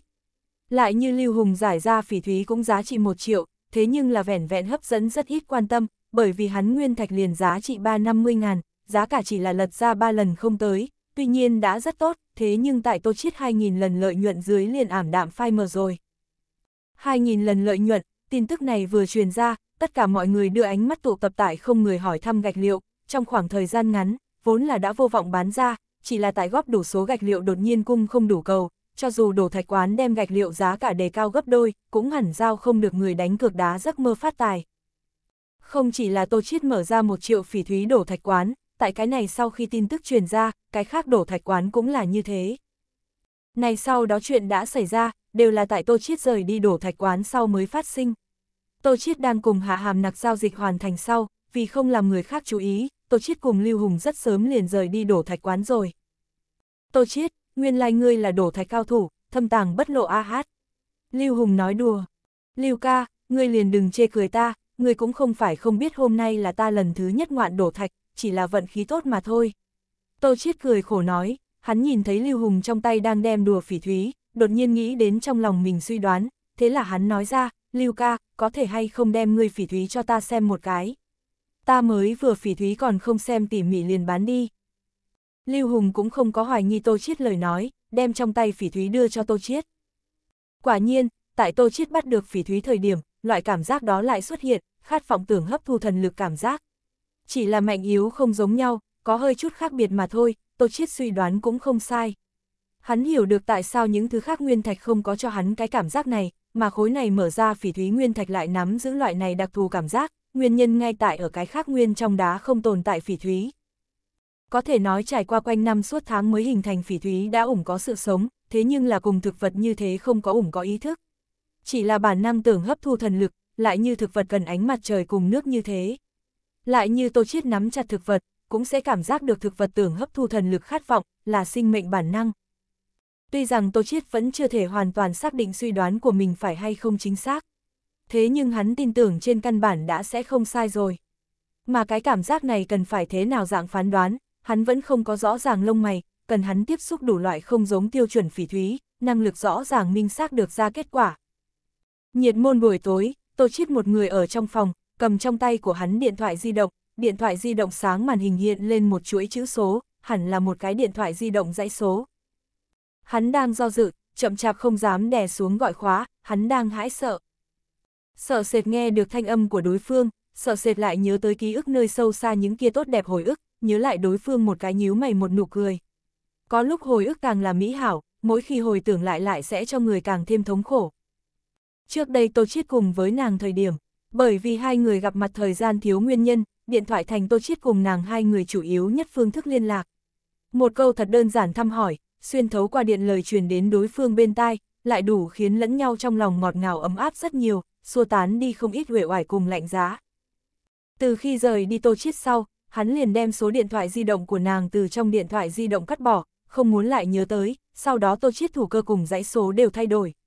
Nhưng là điện thoại di động ghi lại dãy số có thể cắt bỏ, thế nhưng chỗ sâu trong óc dãy số làm thế nào cũng không thể quên được. Khi người chân chính yêu lên một người thời điểm, đối phương nhất cử nhất động, một cái nhíu mày một nụ cười đều sẽ dẫn động tới trái tim của ngươi. Ngươi sẽ nhớ được đối phương tất cả, yêu thói quen tốt, thậm chí so với đối phương trả lại giải chính mình. Liền giống như Tô Chiết, hắn số điện thoại của mình đều không nhớ được, thế nhưng thư mộ ngữ số điện thoại, lại tại mọi thời khắc nhớ rõ ở trong lòng. Một khi cần, này số điện thoại liền sẽ nổi lên, hơn nữa người rất xác định người nhớ không lầm. Do dự hồi lâu, cuối cùng Tô Chiết vẫn là gãy đánh ra ngoài. Bởi vì hắn quan tâm thư mụ mụ bây giờ bệnh tình, cũng là hắn gọi số điện thoại này nguyên nhân. Điện thoại rất nhanh tiếp thông, một cái so sánh thanh âm yếu ớt từ điện thoại truyền tới, uy, là ai? Tô Chiết đã trầm mặc sau một thời gian ngắn, tại đối phương nhiều lần tiếng hỏi thăm mới mở miệng nói ra, là ta, Tô Chiết, thư di thân thể hiện tại thế nào rồi, khá hơn chút nào không? Thư mộ ngữ tựa hồ sửng sốt một chút, mới lên tiếng, mụ mụ phục ngươi cho nước thuốc, bây giờ đã khá rất nhiều, ta mang nàng kiểm tra xuống thân thể, bệnh đã tốt hơn rất nhiều, cũng không có làm giải phẫu, ngày mai ta liền sẽ đi công việc thủ tục xuất viện. Vậy thì tốt, ta có thời gian sẽ đi gặp hy vọng Thư Di, thay ta hướng về Thư Di vấn an. Ta hiểu rồi. Hai người vào lúc này đều trầm mặc lại, hồi lâu Tô Chiết mới mở miệng nói ra, có việc liền gọi điện thoại cho ta. Nói xong hắn liền theo điện thoại di động kết thúc khóa, kết thúc lần này trò chuyện. Các loại Tô Chiết sau khi cúp điện thoại, thư mộ ngữ cũng không nhịn được nữa nước mắt, nàng không giúp khóc lên. Oảng, oảng, oảng, vài tiếng hùng tráng dứt khoát tiếng kêu tại Tô Chiết vang lên bên tai đến. Nguyên lai là tiểu tuyết long, nó tốt muốn biết chủ nhân không vui, lại đây làm bạn chủ nhân. Tô Chiết đối với tiểu tuyết long làm một cái tới thủ thế, tiểu tuyết long nhìn thấy lập tức trai tới, đang nhìn đến bên giường thời điểm, tứ chi hơi dùng sức liền nhảy lên lên giường lên, chui vào Tô Chiết trong lồng ngực. Tiểu tuyết long vừa ra đời thời điểm, tiểu tuyết long còn liền sun kata lục quy mai rùa đều không lên nổi, hiện tại mới mấy ngày, liền có thể dễ dàng nhảy lên giường đến. Tô Chiết xoay người, đem thân thể nằm lì ở trên giường, đối với tiểu tuyết long chỉ chỉ sau lưng của mình. Tiểu tuyết long lập tức hiểu Tô Chiết ý tứ, nhảy lên Tô Chiết sau lưng, dùng chân trước dùng sức đạp ở Tô Chiết sau lưng. Tiểu tuyết long trưởng bộ nhục hồ hồ, dẫm sau lưng Tô Chiết, khiến hắn rất thoải mái. Đây là Tô Chiết huấn luyện rất lâu, tiểu tuyết long mới học được kỹ năng, hiện nay trong nhà chỉ có Tô Chiết mới hưởng thụ đạt được. Liên tục xoa bóp nửa giờ, tiểu tuyết long rốt cuộc mệt mỏi, cả người nằm sấp sau lưng Tô Chiết. Tô Chiết đem tiểu tuyết long đặt lên giường, nói ra, được rồi, hiện tại đến phiên ta phục tùy tùng ngươi rồi. Hắn đưa tay ra đặt tại tiểu tuyết long trên người, vì nó làm xoa bóp. Tiểu tuyết long tựa hồ cũng biết hưởng thụ, tại tô chiết xoa bóp dưới nhắm mắt lại, thỉnh thoảng phát ra trầm thấp tiếng ô ô. Cùng tiểu tuyết long đùa giỡn một trận, thật ra khiến tô chiết quên một chút không vui tâm tình. Là tiểu tuyết long xoa bóp sau một lúc, tô chiết ôm lấy tiểu tuyết long dự định dẫn nó đi tắm. Đi ra khỏi phòng thời điểm, An Hân vừa vặn trải qua, lo lắng hỏi, chuyện gì xảy ra, người bây giờ không có sao chứ? Không có chuyện gì, chỉ là nhớ tới một ít chuyện. Tô Chiết cười nói, hắn biết An Hân đang lo lắng hắn, dù sao vừa nãy hắn nhìn lên cả người rất không có tinh thần. Không có chuyện gì là tốt rồi, ta đi hống bảo bảo ngủ.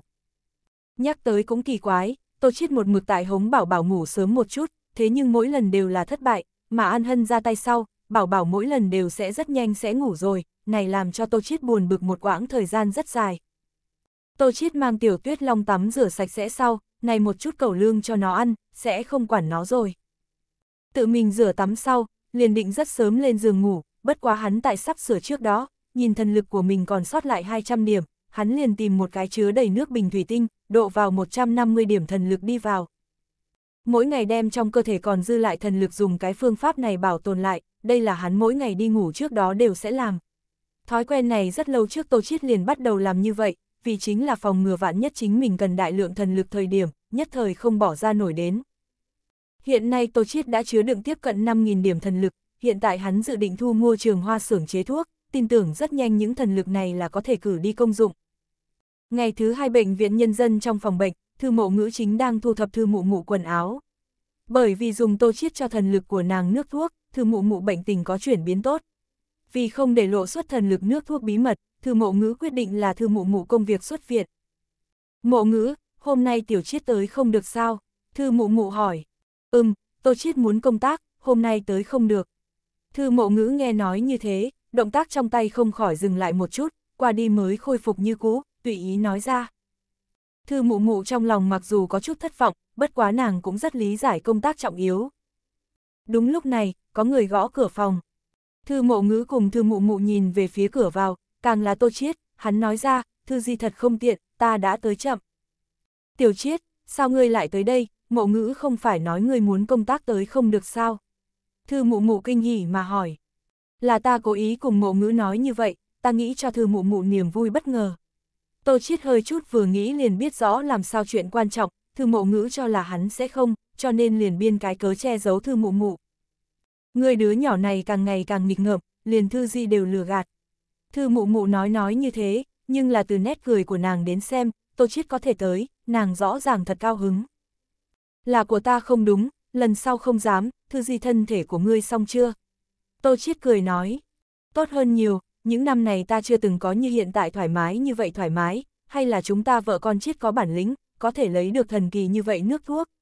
Xem ra thư mộ ngữ có cùng thư mụ mụ nói nước thuốc nguồn gốc, thư mụ mụ biết thần lực nước thuốc là Tô Chiết lấy ra. Lúc này thư mộ ngữ cũng thu thập xong đồ vật. Vậy thì tốt, thư gì chúng ta bây giờ đi về nhà. Tô Chiết chủ động đi đem chứa quần áo bao sách tại trong tay, đối thư mụ mụ nói ra. Tốt, tốt, chúng ta bây giờ liền về nhà, bệnh viện này ở rất không thoải mái. Nhiệt môn dọc theo đường đi, thư mụ mụ lôi kéo Tô Chiết thủ, không ngừng hỏi hết đông tới tây, nhìn lên rất là tưởng niệm Tô Chiết. Tô Chiết cùng thư mụ mụ hai người vừa nói vừa cười, ngược lại là thư mộ ngữ dọc theo đường đi lẳng lặng không nói gì, tinh thần phảng phất có chút hoảng hốt. Thư mụ mụ về đến nhà sau, câu nói đầu tiên là, còn là trong nhà thoải mái, tại bệnh viện ở, đều là cảm giác âm u đầy tử khí, thật không tự tại, không bệnh cũng phải ở suốt bệnh đến. Tô Chiết cười cười, không một người sẽ thích ở tại bệnh viện. Thư mụ mụ muốn Tô Chiết để ở nhà, nàng hôm nay muốn đích thân làm cơm cho Tô Chiết ăn, hơn nữa còn muốn chính mình tự mình đi mua thức ăn. Hết cách rồi, thư mộ ngữ không thể làm gì khác hơn là đi theo thư mụ mụ cùng đi ra ngoài mua thức ăn. Thư mộ ngữ nhà, Tô Chiết cũng không xa lạ gì, trước đây hắn đến qua rất nhiều lần, chính hắn đi rót một chén nước. Tô Chiết lấy điện thoại di động ra, gọi điện thoại cho An Hân nói cho nàng biết, chờ một chút hắn không trở về nhà ăn cơm đi, làm cho các nàng chính mình ăn là được rồi. Rất nhanh, thư mộ ngữ cùng thư mụ mụ liền mua xong món ăn trở về rồi. Hai người tại nhà bếp bắt đầu bận việc lên, Tô Chiết muốn đi vào nhà bếp hỗ trợ, đều bị thư mụ mụ đuổi ra, muốn hắn ở phòng khách xem tivi chờ ăn là được rồi. Đại khái hơn nửa canh giờ, thư mụ mụ liền gọi Tô Chiết đi rửa tay, có thể ăn cơm đi. Tô Chiết giặt xong tay sau, ba đạo đồ ăn cũng đã bưng lên bàn ăn bên trong, đều là Tô Chiết bình thường thích ăn món ăn, xem đến như vậy lâu đi qua, thư mụ mụ còn nhớ Tô Chiết khẩu vị. Thư mộ ngữ sới một chén cơm cho Tô Chiết, Tô Chiết mới vừa tới ngồi lên, thư mụ mụ liền bắt đầu không ngừng gắp thức ăn cho hắn, một bên kẹp vừa nói, tiểu chiết bình thường khẳng định chưa ăn được, đều gầy nhiều như vậy. Tô Chiết cũng không có đi phản bác, bất kể là mập là gầy, trưởng bối mãi mãi cũng chỉ sẽ cho rằng ngươi gầy. Tiểu Chiết, ngươi lần này cần tại Yến Vân Thị ở lại bao lâu? Thư mụ mụ hỏi, lần này hẳn là sẽ không đi rồi, sẽ ở lại Yến Vân Thị công tác. Tô Chiết suy nghĩ một chút vẫn là không có ý định ẩn giấu, vạn nhất ở trên đường đụng tới thư mụ mụ cũng không tiện giải thích. Thư mụ mụ nghe được tin tức này, lập tức mặt mày hớn hở, có vẻ tâm tình càng thêm sung sướng. Tiểu Chiết, người ý định lúc nào cùng mộ ngữ đem giấy hôn thú nhận được. Thư Di, bây giờ còn sớm, ta còn chưa tới kết hôn tuổi tác, còn không lãnh được chứng nhận, cho dù kết hôn cũng phải chờ mộ ngữ tốt nghiệp. Tô Chiết suýt chút nữa bị ăn nghẹn, như ý thở ra một hơi mới lên tiếng. Nha, còn có chuyện này, ta còn tưởng rằng 18 tuổi trưởng thành là có thể kết hôn, xem ra là Thư Di già rồi. Tô Chiết cùng Thư Mộ Ngữ đồng thời thở phào nhẹ nhõm, cửa ải này cuối cùng cũng coi như tạm thời đi qua. Ba người trò chuyện chuyện nhà đang ăn cơm, ăn được một nửa thời điểm, Thư Mụ Mụ đột nhiên đứng lên, nói ra, nhà bếp xúc hẳn là được rồi, tiểu chiết ta đi cấp người sới một bát đi ra, cho người bồi bổ thân thể. Thư Mụ Mụ nói xong cũng hấp tấp đi phòng bếp. Thư Mụ Mụ vừa đi, Tô Chiết cùng Thư Mộ Ngữ hai người đồng thời trở nên trầm mặc, đều không có mở miệng nói chuyện nữa, hay là không biết nên nói gì, nơi này lập tức liền yên tĩnh.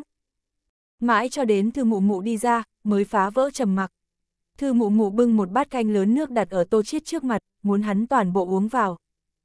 Này súp là Thư Mụ Mụ sở trường lão hỏa súp, bắp ngô cà rốt xương lợn súp. Thư Mụ Mụ nồi súp tay nghề có thể nói là lô hỏa thuần thanh, xuất thần nhập hóa. Hôm nay bởi vì trở về muộn, cho nên thư mụ mụ lựa chọn bắp ngô cà rốt xương lợn súp, bởi vì loại này súp không cần như những khác lão hỏa súp, cần dùng tiểu hỏa muộn lên 4-5 giờ năng lực phong thái mùi vị. Thư mụ mụ lão hỏa súp rất có chú trọng, nồi súp đồ dùng nhà bếp dùng là dày đặc nồi đất. Nếu như muốn nồi bắp ngô cà rốt xương lợn súp, đầu tiên cần đem xương lợn chém thành khối hình dáng, đặt ở nước sôi bên trong nóng lên một trận, như vậy có thể đi đi xương lợn dòng máu, sau đó lại dùng nước lạnh xông một cái, thả ở bên cạnh đồ dự bị, đem bắp ngô cắt thành khối nhỏ, cà rốt cần phải đi ra cắt nữa thành đao khối. Như vậy bắp ngô cà rốt xương lợn súp cần dùng đến nguyên liệu liền cơ bản hoàn thành, lúc này đem xử lý tốt xương lợn bỏ vào nồi bên trong, tiếp lấy thả bắp ngô khối, sau đó mới thả cà rốt, như vậy lần lượt bỏ vào là được rồi. Nồi súp thời điểm cần một lần thêm đủ nước, không phải vậy tại nồi súp thời điểm châm nước lời nói, liền sẽ trôi đi súp dinh dưỡng. Cuối cùng che lên nắp nổ súng là được rồi. Trên căn bản như vậy nồi lên thời gian một tiếng, bên trong xương lợn đều hẳn là tơi xốp rồi, cuối cùng chỉ cần thêm vào một chút muối cùng gà tinh gia vị là được rồi, ngọc này mét cà rốt xương lợn súp cho dù xong rồi. Như bắp ngô cà rốt xương lợn súp như vậy rau dưa loại súp, không thể nồi lên thời gian quá lâu, nồi quá lâu lời nói, vitamin sẽ bốc hơi mất. Nghe nồng nặc hương vị, tô chiết không lo được nóng, bưng chén lên, từng ngụm từng ngụm uống, cuối cùng mới hài lòng vỗ vỗ cái bụng. Xem tô chiết ăn uống no đủ, thư mụ mụ xiên nhưng mà cười. Tô Chiết vẫn như cố thích ăn của nàng làm món ăn, để thư mụ mụ rất là cao hứng. Sau khi cơm nước xong, Tô Chiết bồi tiếp thư mụ mụ xem tivi, mà thư mộ ngữ thu thập bát đũa. Bồi tiếp thư mụ mụ hàn huyên một đoạn chuyện phiếm, Tô Chiết nhìn một chút thời gian, đã không còn sớm, cho nên rồi cùng thư mụ mụ cáo từ dự định về nhà. Thư mụ mụ để thư mộ ngữ đưa Tô Chiết trở lại, Tô Chiết cự tuyệt mấy lần, thư mụ mụ cũng kiên trì muốn như vậy làm. Hết cách rồi, chỉ có thể nghe thư lời của mẹ. Tô Chiết cùng thư mộ ngữ trầm mặc đi tới, hai người đều không nói gì. Khi đi ra cầu thang thời điểm, thư mộ ngữ lấy ra trước đó Tô Chiết cho ngân hàng của nàng mắc tốt, trả lại Tô Chiết, mẹ ta hiện tại đã không dùng được số tiền này rồi, trả lại cho ngươi. Ta cho, thì sẽ không thu hồi lại đến, ta không muốn lại có chuyện như vậy phát sinh, nếu như ngươi còn làm bạn của tôi, người tiền này sẽ thu hồi đi. Tô Chiết nói ra, thư mộ ngữ cùng thư mụ mụ cũng không dễ dàng, hai người sống nương tựa lẫn nhau, bình thường sinh hoạt khởi nguồn, đều là thư mụ mụ ra ngoài làm công kiếm về, nàng hiện tại cái này bệnh cũng là bởi vì quá mức mệt nhọc luộc đi ra ngoài. Nếu như bình an vô sự cũng còn tốt, thời gian này còn có thể duy trì, nhưng mà nếu như phát sinh cái gì ngoài ý muốn, liền sẽ đem các nàng ép vỡ. Tô Chiết nói tiếp, thời gian không còn sớm, đưa tới đây là được rồi, ngươi lên đi. Nói xong Tô Chiết liền trực tiếp đi. Lưu lại thư mộ ngữ còn tại cửa thang lầu bên trong, nhìn bóng lưng của hắn, không tiếng động nói ra, chúng ta vẫn là bằng hữu sao. Rất lâu, mãi cho đến lại cũng không nhìn thấy tô chiết bóng lưng lúc, thư mộ ngữ mới phục hồi tinh thần lại, nàng xoay người đi lên lầu bậc thang. Mà ở cách nơi này cách đó không xa, lại có một cái mang theo mũ lưỡi chai nam tử xa lạ nhìn chăm chú vào nơi này, nam tử xa lạ chọn địa phương rất có bí mật tính, rất khó phát hiện nơi này ẩn giấu một người, hơn nữa nơi này góc độ cũng rất dễ dàng có thể nhìn thấy thư mộ ngữ nhà dưới lầu. Nam tử xa lạ cầm điện thoại di động lên, mở ra điện thoại di động photo album kiểm tra rồi một lần, sau đó đem bên trong bức ảnh toàn bộ phân phát một người. Cũng cho người này gọi điện thoại tới, với hắn báo cáo một ít chuyện.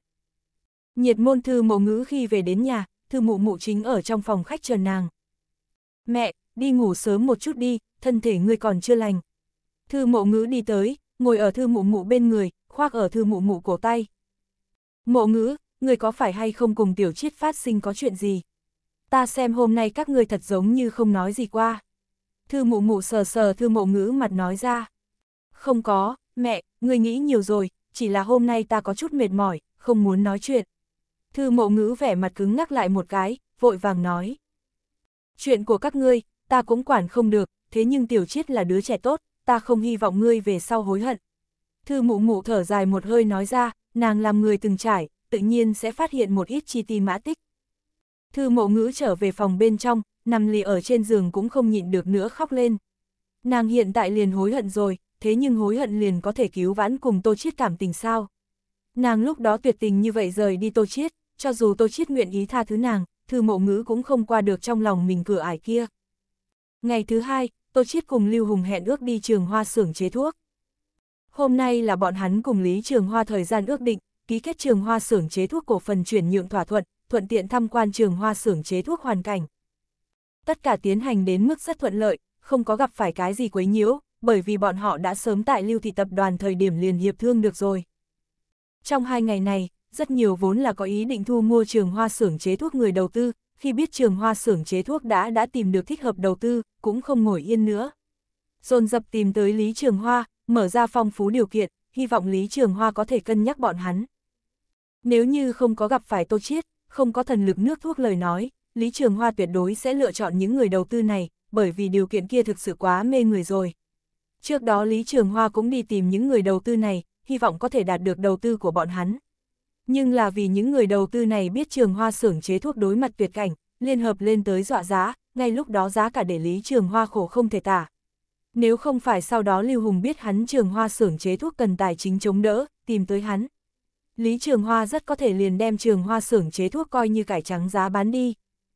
Thế nhưng hiện tại Tô Chiết cùng Lưu Hùng muốn đầu tư Trường Hoa xưởng chế thuốc rồi, những người đầu tư này lại hối hận rồi, để Lý Trường Hoa tâm tình sảng khoái vô cùng.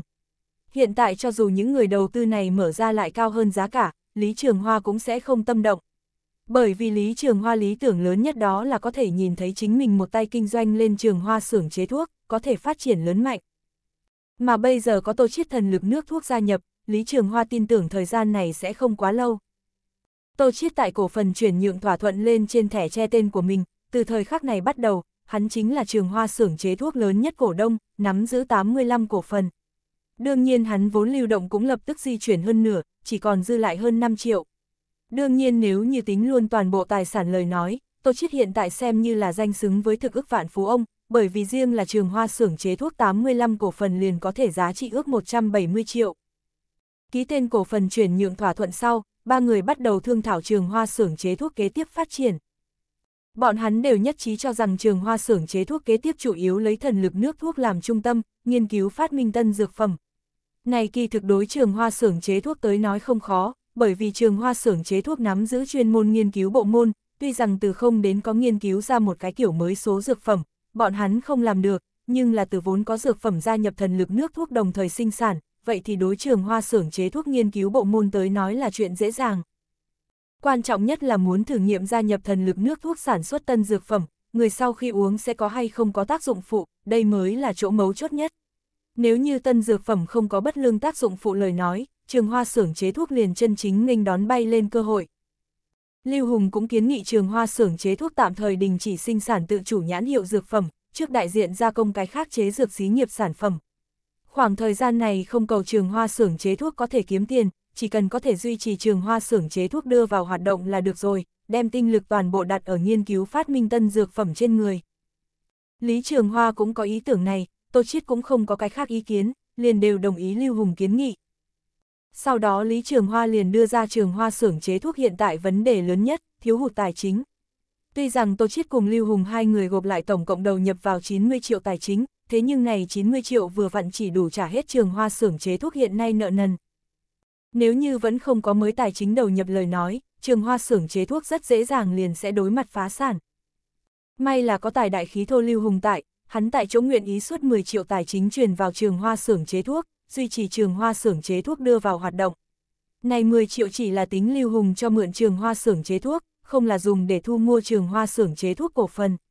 Cho dù Lưu Hùng muốn nhận mua cổ phần, chắc hẳn Tô Chiết cùng Lý Trường Hoa đều sẽ không đồng ý bán ra trong tay mình cổ phần. Bất quá Lưu Hùng có một điều kiện, liền là lúc sau trường hoa xưởng chế thuốc sản xuất ra tân dược phẩm, quyền đại lý đầu trước tiên nghĩ cho Lưu Thị Tập đoàn, đây là Lưu Hùng điều kiện duy nhất. Lý Trường Hoa cùng Tô Chiết vui vẻ đồng ý, có Lưu Thị Tập đoàn cái này trăm năm cửa hiệu lâu đời biển chữ vàng gia nhập, đối trường hoa xưởng chế thuốc mở rộng tân dược phẩm có rất nhiều chỗ tốt, Lưu Hùng cũng là xem trọng trường hoa xưởng chế thuốc về sau phát triển mới sẽ đưa ra điều kiện này. Sau Tô Chiết đem trong nhà chứa đựng thần lực nước thuốc giao cho Lý Trường Hoa đi quản lý, thần lực này nước thuốc tỷ lệ là một điểm thần lực phối hợp một điểm ml nước, tỷ lệ là một so với một, tổng cộng có 5.000 điểm thần lực. Tô Chiết cũng nói rõ thần lực này nước thuốc chế tác không dễ, không thể lượng lớn sinh sản, hiện tại tạm thời mỗi ngày chỉ có thể cung cấp 350 ml nước thuốc, hy vọng Lý Trường Hoa có thể hợp lý sắp xếp thần lực này nước thuốc, đây mới là trường hoa xưởng chế thuốc xuất hiện đang nhanh chóng phát triển lớn nhất trở ngại. Tô Chiết cũng muốn thần lực nước thuốc có thể nhiều một chút, dù sao hắn là trường hoa xưởng chế thuốc lớn nhất cổ đông, trường hoa xưởng chế thuốc phát triển cùng lợi ích của hắn móc nối. Thế nhưng hiện nay Tô Chiết thể chất chỉ có 3 năm điểm, thần lực chỉ có 350 điểm, mỗi ngày cho dù cực hạn vận dùng thần lực cũng sẽ không vượt qua 500 điểm thần lực. Mà hắn xuất hiện đang bảo đảm mỗi ngày có thể cung cấp 350 ml thần lực nước thuốc, cũng là phát hiện tích phân có thể chính mình khôi phục thần lực, một điểm tích phân có thể khôi phục 10 điểm thần lực.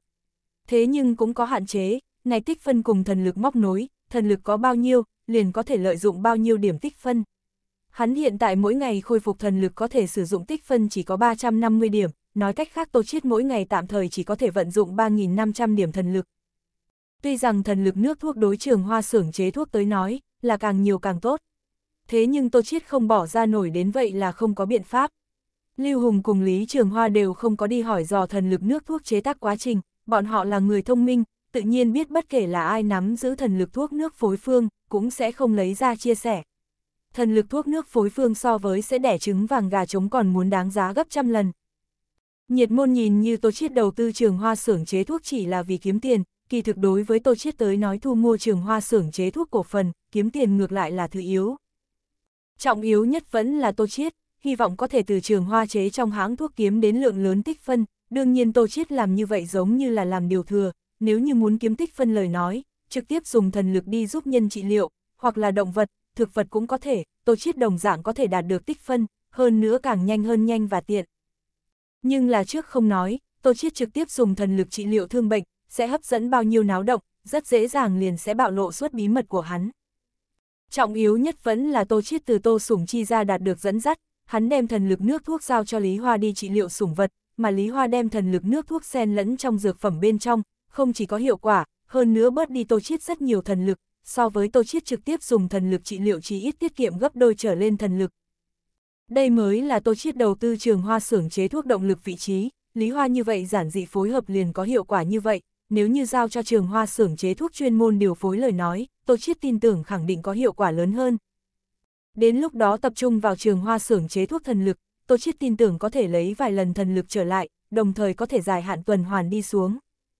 Cứ như vậy, đầu tư trường hoa xưởng chế thuốc, Tô Chiết không chỉ có thể giảm bớt bạo lộ bí mật phiêu lưu, còn có thể dài hạn ổn định đạt được tích phân, đồng thời còn có thể kiếm được tiền, cuối cùng còn có thể giúp cho một ít cần phải trợ giúp người, là làm một được bốn sự tình, Tô Chiết cớ sao mà không làm.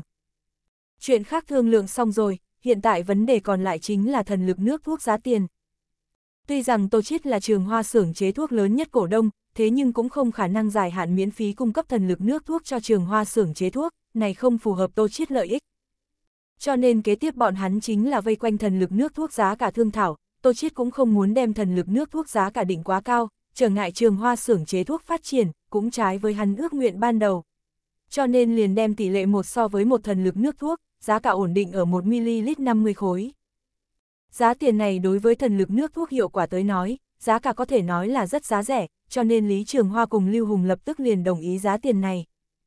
Hiện nay Trường Hoa xưởng chế thuốc gặp phải các loại vấn đề, hiện tại trên căn bản đều đã có phương án giải quyết, lần này Trường Hoa xưởng chế thuốc hội nghị cũng coi là phi thường thuận lợi kết thúc mỹ mãn. Thương lượng xong sau, Tô Chiết liền rời đi trường hoa xưởng chế thuốc sau, đột nhiên nhớ lại ngày mai là giao phòng vay tháng ngày, hắn xem mình còn có một ít tiền, hiện tại tạm thời cũng không cần vận dụng tài chính, liền dứt khoát đem phòng vay toàn bộ giao thanh toán rồi. Cho nên hắn liền gọi điện thoại cho ngân hàng thân thỉnh sớm còn vay, khi chiếm được trả lời sau, liền dẫn đủ tư liệu đi tới ngân hàng, đem còn dư lại phòng vay đều trả sạch. Cứ như vậy cũng coi như là trả lại cha mẹ một việc tâm nguyện, Tô Chiết cảm giác trong lòng một mực treo tảng đá lặng lẽ biến mất không còn tâm hơi, cả người cảm giác dễ dàng rất nhiều, thật giống lập tức thiếu rất nhiều áp lực. Tô Chiết tại về nhà trên đường đột nhiên nhớ tới, hôm nay là tháng thứ tư ngày cuối cùng, ngày mai sẽ là một tháng năm ngày quốc tế lao động. Hắn lấy điện thoại di động ra gọi cho muội muội Tô Vũ Hinh, điện thoại rất nhanh sẽ chuyển được. Ca, có chuyện gì không? Vũ Hinh, của ngươi phiếu vé mua sao? Phải hay không ngày mai trở về là ngày mai sớm nhất chuyến bay, ngươi ngày mai nhất định phải nhớ rõ đến sân bay tiếp ta. Lớn như vậy, còn muốn ca đi đón A hát. Tô Chiết cười cười, trêu chọc nói. Kỳ thực cho dù Tô Vũ Hinh không cần hắn đi tiếp, hắn cũng sẽ đi. Ta mặc kệ, nói chung ta ngày mai nhất định phải ca ở phi trường chờ ta, không phải vậy ta liền lưu ở phi trường không trở về nhà. Không cùng ca nói rồi, ta tại thu thập quần áo, gặp lại. Tô Vũ Hinh ngang ngược nói ra. Tô Chiết không nhịn được cười một tiếng, hắn giải Tô Vũ Hinh, nếu như ngày mai hắn thật không có đi phi trường đón lời của nàng, nàng nhất định sẽ tại lưu ở phi trường, mãi cho đến Tô Chiết xuất hiện vì thế. Ngày thứ hai, điện thoại di động thiết định đồng hồ báo thức còn chưa tới thời gian vang lên, Tô Chiết cũng rất trực giác đi lên. Hắn rửa mặt xong xuôi, tùy tiện ăn chút gì, liền rất sớm ra cửa. Làm Tô Chiết ngồi xe đi tới Yến Vân Thị Phi trường thời điểm, Tô Vũ Hình ngồi chuyến bay còn muốn sau một tiếng mới sẽ hàng lâm sân bay. Sân bay phòng chờ máy bay, Tô Chiết dùng thủ ghi lưu lãm tin tức gần đây, nhờ vào đó phái một ít thời gian. Tô tiên sinh, thật là tố xảo, người cũng là đến tiếp người sao. Một đạo có chút thanh âm quen thuộc tại Tô Chiết vang lên bên tai, Tô Chiết ngẩng đầu lên theo âm thanh nhìn sang. Càng là lần trước đang đánh cuộc thạch quán mua sắm Tô Chiết phỉ thúy hạ hàm nặc, nàng cười tươi như hoa, đứng ở bên cạnh nhìn Tô Chiết, tựa hồ tại sân bay nơi này gặp phải Tô Chiết có chút bất ngờ. Đúng vậy a, hôm nay muội muội ta trường học nghỉ về nhà. Tô tiên sinh, muội muội ngươi có người người ca ca này thật hạnh phúc. Hạ hàm nặc cười nói, Tô tiên sinh, lần trước cùng ngươi hợp tác rất vui vẻ, hy vọng lần sau còn có thể có cơ hội cùng ngươi cái này đổ thạch đại sư hợp tác. Ta tính là gì đại sư, lần trước chỉ là vận khí tốt, không thể coi là thật. Tô Chiết ngượng ngùng giải thích, đổ thạch đại sư hắn có thể không chịu đựng nổi, hắn đối phỉ thúy đều là kiến thức nửa vời, trồng liên tục một giống cây loại đều không phân rõ, huống chi là càng thâm ảo hơn khó hiểu phỉ thúy nguyên thạch. Tô tiên sinh, ngươi liền chớ khiêm nhường, hơn nữa đang đánh cuộc thạch giới không phải có một câu châm ngôn, đổ thạch một phần dựa vào thực lực, chín phần xem vận khí. Hạ hàm nặc nói chuyện rất có chừng mực, sẽ không biểu hiện quá mức rõ ràng nịnh hót, khiến người ta cảm thấy làm bộ, thế nhưng là để nghe lòng người bên trong rất thoải mái. Tô Chiết cười cười không hề trả lời, hắn đương nhiên sẽ không đem hạ hàm nặc lời nói quá mức quả nhiên, hắn thấy rõ chính mình, sẽ không bị người tùy tiện một đôi lời liền nói được lâng lâng, không có nhận thức. Chẳng qua nếu như có cơ hội, Tô Chiết cũng rất nguyện ý cùng hạ hàm nặc lần nữa hợp tác. Hai người tại phòng chờ máy bay bên trong tùy ý trò chuyện, thời gian trôi qua ngược lại là đầy nhanh, phòng chờ máy bay phát thanh Tô Vũ Hình ngồi chuyến bay đã giáng lâm sân bay. Tô Chiết cùng Hạ Hàm Nặc hai người nghe được phát thanh sau, đồng thời nhìn về phía lối ra, nhìn dáng dấp hai người chờ đợi chính là cùng một cái chuyến bay. Không lâu, bắt đầu có người đi ra, Tô Chiết ở trong đám người tìm kiếm muội muội Tô Vũ Hình thân ảnh của. Hạ Hàm Nặc đầu tiên trước tiên tìm tới chính mình mục tiêu, cùng Tô Chiết chào hỏi một tiếng, liền đi đi nghênh đón. Tại Hạ Hàm Nặc đi không lâu sau, Tô Chiết rốt cuộc cũng nhìn thấy Tô Vũ Hinh, cấp vội vàng đi tới. Tô Vũ Hinh nhìn lên 18-19 tuổi tuổi, một trương viên viên mặt trái xoan, hai gò má ửng đỏ, quanh thân lộ ra một luồng thanh xuân hoạt bát khí tức, cõng lấy một cái ba lô nhỏ. Tô Vũ Hinh bên cạnh còn đi theo một cái cùng nàng tuổi tác không chênh lệch nhiều nam sinh, không ngừng cùng Tô Vũ Hinh nói chuyện, Tô Vũ Hinh sắc mặt hơi chút có vẻ thiếu kiên nhẫn, tựa hồ đối với bên cạnh nam sinh có chút phản cảm. Thế nhưng nam sinh này lại không có chút nào cảm giác được Tô Vũ Hinh không vui, vẫn còn đang Tô Vũ Hinh trước mặt nói bốc nói phét.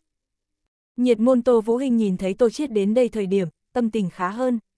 Nàng mím môi, cười tủm tỉm nhìn thấy Tô Chiết, da trắng như mới lột tiên lăng, cái kia lơ đãng cười cười phong tình để bên cạnh nàng nam sinh đều nhìn ngẩn ra rồi. Tô Chiết đi tới Tô Vũ Hinh bên người thời điểm, Tô Vũ Hinh rất tự nhiên đưa tay ra khoác trên Tô Chiết cánh tay. Một cái thân mật động tác, để đứng ở bên cạnh nam sinh suýt chút nữa tâm đều rách nát rồi, cảm giác mới vừa rồi còn dương quang phổ chiếu thiên lập tức tối lại. Ca, ta còn tưởng rằng ngươi không tới chứ Tô Vũ Hình nói ra. Tô Vũ Hình lời nói để nam sinh một lần nữa giấy lên hy vọng, hắn vội vàng đối với Tô Chiết tự giới thiệu mình, đại ca được, ta gọi Trương Duệ, là bạn của Vũ Hình. Nghe được Trương Duệ lời nói, Tô Vũ Hình nhíu nhíu mày, bất quá cũng không hề nói gì. Vũ Hình, ta có xe, ta đưa các ngươi, các ngươi muốn đi nơi nào? Trương Duệ ân cần nói ra. Không cần, tự chúng ta trở lại là được rồi. Nói xong Tô Vũ Hinh không cho Trương Duệ cơ hội, trực tiếp lôi kéo Tô Chiết đi rồi. Vũ Hinh nhớ rõ gọi điện thoại cho ta, lúc nào cũng có thể. Trương Duệ còn ở sau lưng hô, bất quá hắn hiện tại ngược lại cũng thức thời, không có đuổi theo. Ra phòng chờ máy bay sau, Tô Chiết hỏi, tấm kia Duệ là bạn học của ngươi sao? Dĩ nhiên không phải bằng hiếu, chỉ là tại trên phi cơ, Trương Duệ mới vừa thích ngồi ở bên cạnh ta chỗ ngồi. Tô Vũ Hình nói đến Trương Duệ, lại để cho tâm tình của nàng cảm giác được buồn bực. Ở trong phi cơ Trương Duệ vẫn đối với Tô Vũ Hình dây dưa đến cùng khó đánh, muốn cùng Tô Vũ Hình trao đổi phương thức liên lạc, bất quá Tô Vũ Hình không đáp ứng, Trương Duệ vẫn là cứng rắn đem điện thoại của mình giao cho Tô Vũ Hình, không ngừng lấy lòng Tô Vũ Hình, tại nàng bên tai một mực khoe khoang học thức của mình, đồng thời thỉnh thoảng còn khoe khoang gia cảnh của chính mình tốt bao nhiêu. Để Tô Vũ Hình cảm thấy rất căm ghét, thế nhưng Trương Duệ lại không thức thời, máy bay hạ cánh, còn một mực dây dưa nàng, Tô Vũ Hình lại không tốt phát hỏa, một mực khổ sở nhẫn nhịn. Hiện tại Trương Duệ không ở, nàng rốt cuộc có thể thanh tính. Ca, ta mệt mỏi, ta đi không được rồi, ta muốn ngươi lưng. Tô Vũ Hình đột nhiên ngừng lại, đối với Tô Chiết làm núng. Ngươi đều lên đại học, vẫn như thế tính trẻ con, về sau ta xem ngươi làm sao gả ra ngoài. Tô Chiết trong miệng tuy rằng nói như vậy, bất quá vẫn là khom người xuống. Tô Vũ Hình yêu cầu, Tô Chiết xưa nay thì sẽ không cự tuyệt, mỗi lần đều là tận của mình khả năng tối đa đi thỏa mãn nàng. Tô Vũ Hình cười khúc khích, liền nhảy Tô Chiết lưng, cười nói, muội muội người ta mới không lo gả, chẳng qua sẽ không lấy chồng. Tô Chiết phóng lấy Tô Vũ Hình đi ra sân bay, mãi cho đến chờ xe địa phương, mới đem Tô Vũ Hình buông ra. Trên đường về nhà, Tô Vũ Hình dây dưa Tô Chiết, muốn Tô Chiết giảng chuyện của hắn. Tô Chiết cũng không có ẩn giấu Tô Vũ Hình, đem An Hân, An Huyên cùng Bảo Bảo hiện tại ở chung với hắn sự tình, nói với Tô Vũ Hình rồi, Tô Chiết cũng đem mình mở ra một gian sủng vật bệnh viện, hơn nữa gần nhất còn thành một gian xưởng chế thuốc tối cổ đông lớn, cũng toàn bộ nói với Tô Vũ Hình. Để Tô Vũ Hình cười nói, nàng nguyên lai bất chi bất giác liền thành con nhà giàu rồi. Ngươi là Vũ Hình sao? Lớn lên thật xinh đẹp, An Hân nhìn thấy Tô Vũ Hinh sau cười nói, ngày hôm qua Tô Chiết liền nói với các nàng Kim Thiên muội muội Tô Vũ Hinh sẽ về nhà sự tình, cho nên An Hân đối Tô Vũ Hinh đến cũng không cảm thấy bất ngờ. Hân tỷ mới đẹp đẽ, ta đều có điểm đố kỵ Hân tỷ rồi. Tô Vũ Hinh tiến lên kéo An Hân thủ, động tác cực kỳ thân mật, cũng không phải xa lạ. Ở trên đường Tô Chiết đều cùng Tô Vũ Hinh nói trong nhà tất cả mọi người, cho nên Tô Vũ Hinh cũng không khó đoán ra phải hay không An Hân. Tô Vũ Hình cùng An Hân An Huyên lẫn nhau đơn giản giới thiệu chính mình. Ca ca, bảo bảo muốn người ôm, ở trong phòng nghe được động tĩnh bảo bảo, vội vàng khởi động Sunkata lục quy đi ra, tại nhìn thấy Tô Chiết thời điểm, liền từ Sunkata lục quy chính lưng lột xác bên trên xuống tới, chạy hướng về Tô Chiết, vươn tay ra muốn Tô Chiết ôm. Tô Chiết theo bảo bảo ý, ôm nàng, tại bảo bảo bên tai nói ra, bảo bảo, đây là Vũ Hình tỷ tỷ, mau gọi tỷ tỷ. Bảo bảo nhìn Tô Vũ Hình sau một thời gian ngắn, mới ngoan ngoãn gọi một tiếng, Vũ Hinh tỷ tỷ tốt.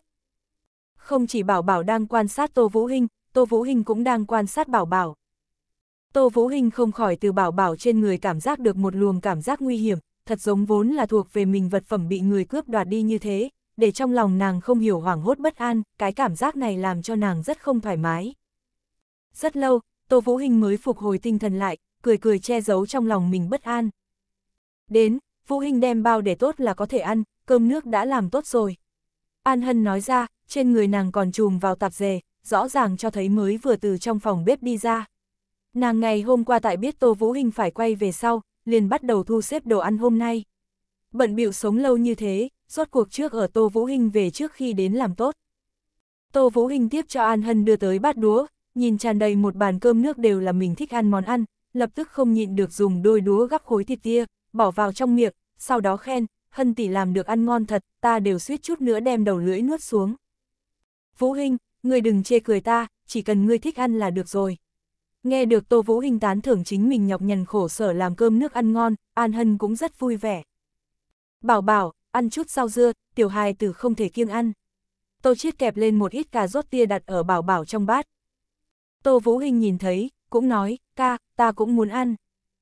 Nghe nói như thế, Tô Chiết lại kẹp một chút cà rốt tia cho Tô Vũ hinh. Ca ca, có thể hay không này bảo bảo. Bảo bảo thả xuống tiểu đôi đúa, đối với Tô Chiết nói ra. Tô Chiết tuy rằng cảm giác bảo bảo có chút kỳ quái, bởi vì bảo bảo xưa nay đều không có chủ động muốn người nuôi, bất quá bảo bảo mở miệng, Tô Chiết cũng sẽ không khiến bảo bảo thất vọng. Liền cầm lấy thìa thịnh một chút cơm tẻ, thêm vào một khối nhỏ hát yêu ta đáp, đưa tới bảo bảo trước mặt. Bảo bảo hé miệng, một cái đem thìa bên trong cơm ăn đi, ăn say sưa thích thú. Tô Vũ Hình nhìn không được, nói ra, bảo bảo, người không nhỏ, không thể nhận người đút. Nhưng là Vũ Hình tỷ tỷ ngươi so với bảo bảo lớn, như nào đây muốn ca ca gắp thức ăn đâu này. Bảo bảo cũng không chịu yếu thế, lập tức phản kích. Nói xong, hai người liền lập tức mắt lớn chừng mắt nhỏ, không ai nhường ai. Trong không khí mơ hồ có một luồng không giống bình thường mùi thuốc súng, vô duyên vô cớ Tô Vũ Hình cùng Bảo Bảo liền khơi lên tranh luận, để Tô Chiết cảm thấy đau đầu. An Huyên tại đây động lại bầu không khí, cũng không dám thở mạnh một cái, chỉ là cúi đầu yên lặng đang ăn cơm, tránh khỏi cây đuốc chọc tới trên người mình. Đến, Bảo Bảo, ta cho ngươi ăn ăn. An Hân xuất tới giải vây, tiếp nhận Tô Chiết trong tay bát đũa, dự định nàng tới đút Bảo Bảo ăn cơm. Có An Hân gia nhập vào, không khí này mới tốt nữa một điểm, bất quá bảo bảo cùng Tô Vũ Hình hai người vẫn là thỉnh thoảng chừng đối phương một mắt. Tô Vũ Hình cùng bảo bảo hai người không có dấu hiệu nào liền giao phong lên, để Tô Chiết đầu óc mơ hồ, không hiểu nguyên nhân trong đó. Audio điện tử võ tấn bền Tại lúc ăn cơm, Tô Vũ Hình cùng bảo bảo lần thứ nhất giao phong bắt đầu sau, liền bắt đầu lẫn nhau nhìn đối phương không vừa mắt, bất luận cái gì đều phải tranh giành một hồi trước. Liền tiểu tuyết long đều sợ các nàng hai cái, trốn ở dưới sàng không dám ra đến. Hai người xung đột để Tô Chiết cảm thấy rất là đau đầu, cũng không biết làm sao giảm bớt các nàng quan hệ trong đó. Đến buổi tối thời gian ngủ, Tô Vũ Hình cùng Bảo Bảo lại tranh giành lên gian phòng thuộc về quyền, ai cũng không nhượng bộ. Vốn là tầng 2 còn có một giữa phòng trống, thế nhưng các nàng ai cũng không lên bên trên căn phòng. Bảo Bảo, căn phòng này để Vũ Hình tỷ tỷ dùng, người buổi tối cùng ca ca cùng ngủ, được không? Tô Chiết ôm lấy đang cùng Tô Vũ Hình đoạt chân bông bảo bảo, nhẹ nhàng tại bảo bảo bên tai nói ra. Bất đắc dĩ Tô Chiết chỉ có thể ra mặt, không phải vậy để hai người các nàng tiếp tục náo đi xuống, tối hôm nay ai cũng chớ ngủ. Tốt, bảo bảo muốn cùng ca ca ngủ. Bảo bảo vừa nghe đến Tô Chiết lời nói, mới vừa rồi còn dùng tới hai tay tóm chặt lấy chân bông, lập tức liền giạt ra tay, không cùng Tô Vũ Hình đoạt. Không được, bảo bảo không thể cùng ca ngủ. Tô Vũ Hình hô to một tiếng, nhìn thấy Tô Chiết cùng Bảo Bảo đều nhìn về nàng, vội vàng giải thích, Bảo Bảo đã không nhỏ, muốn học độc lập, không thể lại ỉ lại người, được rồi, ta đem gian phòng để Bảo Bảo ngủ ngon rồi, ta lên bên trên căn phòng ngủ. Tô Vũ Hình nói đúng quang minh lẫm liệt, để Bảo Bảo đều tạm thời bị nàng dọa dẫm rồi, không có phản bác, Tô Vũ Hình nói xong cũng thu thập vật phẩm của mình đi tầng 2 rồi. Bảo Bảo các loại Tô Vũ Hình đi rồi, mới phản ứng được, bĩu môi bất mãn nói, Bảo Bảo mới 4 tuổi. Tô Chiết dùng mũi ma thẳng một sinh bảo bảo khuôn mặt nhỏ bé, nói ra, bảo bảo, Vũ Hình tỷ tỷ đem gian phòng để cho ngươi, ngươi về sau muốn cùng Vũ Hình tỷ tỷ hảo hảo ở chung, không thể lại như hôm nay như vậy, biết không? Không phải vậy ca ca sẽ mất hứng đấy. Bảo bảo nghĩ một lát, giống như là đang suy tư chính mình có thể hay không làm được, cuối cùng mới gật gật đầu, trịnh trọng bảo đảm nói, bảo bảo biết rồi, bảo bảo sẽ cùng Vũ Hình tỷ tỷ làm bạn tốt. Đây mới là ca ca tốt bảo bảo, đến, bảo bảo giấc ngủ. Tô Chiết hôn một cái bảo bảo, để bảo bảo cười khanh khách lên. Tô Chiết đem bảo bảo đặt lên giường, vì nàng đắp kín chăn bông, sau đó mới ra ngoài. Tô Chiết chưa có trở về gian phòng, mà là đi lên lầu bậc thang, đi Tô Vũ Hình căn phòng. Tô Chiết gõ Tô Vũ Hình cửa phòng, đạt được đáp lại sau, mới mở cửa phòng đi vào. Tô Vũ Hình đang tại để tốt y phục của nàng, bởi vì An Hân biết rồi Tô Vũ Hình phải quay về sau, đã sớm đem cái này hết rồi rất lâu căn phòng thu thập sạch sẽ, cho nên Tô Vũ Hinh hiện tại cũng không cần chính mình dọn dẹp phòng ở, có thể trực tiếp ở người. Vũ Hinh, người hôm nay làm sao vậy? Tô Chiết ngồi ở trên giường, hỏi. Tại Tô Chiết trong ấn tượng, Tô Vũ Hinh cũng sẽ không vì những việc này cùng một đứa bé tranh, nàng hôm nay đối bảo bảo thái độ có thể là có chút khác thường, còn đối với An Hân cùng An Huyên lại là rất hiếu hảo. Vậy thì để Tô Chiết cảm thấy rất khó hiểu. Không có gì, ta chỉ là cùng bảo bảo đùa giỡn. Tô Vũ Hình cũng biết Tô Chiết hỏi là cái gì, kỳ thực nàng hiện tại đã có chút hối hận rồi, Tô Vũ Hình cũng không biết mình tại sao lại như vậy. Tô Chiết thở dài một hơi, ra hiệu Tô Vũ Hinh lại đây, cùng nàng tỉ mỉ nói bảo bảo lai lịch. Tô Vũ Hinh nghe xong được bảo bảo cố sự, con mắt đã đỏ lên, trong lòng có chút đau buồn. Nàng hiện tại càng là hối hận rồi, tại sao mình muốn cùng bảo bảo tranh giành, bảo bảo vẫn là tiểu hài tử. Từ giờ khắc này Tô Vũ Hinh đối bảo bảo địch ý từ đây vô ảnh vô tung biến mất, đồng thời thích đáng yêu tinh linh bảo bảo. Tô Chiết cùng Tô Vũ Hinh hàn huyên một lát, liền để Tô Vũ Hinh nghỉ ngơi, đi ra khỏi phòng. Hắn rốt cuộc thở vào nhẹ nhõm, cuối cùng cũng coi như đem chuyện này giải quyết xong, đối với thư hai người các nàng hẳn là sẽ không còn như vậy, gặp mặt như cửu nhân rồi. Tô Chiết đi tới phòng khách thời điểm, toàn bộ buổi tối ở tại Tô Chiết dưới sàng, một mực không dám ra tới tiểu tuyết long.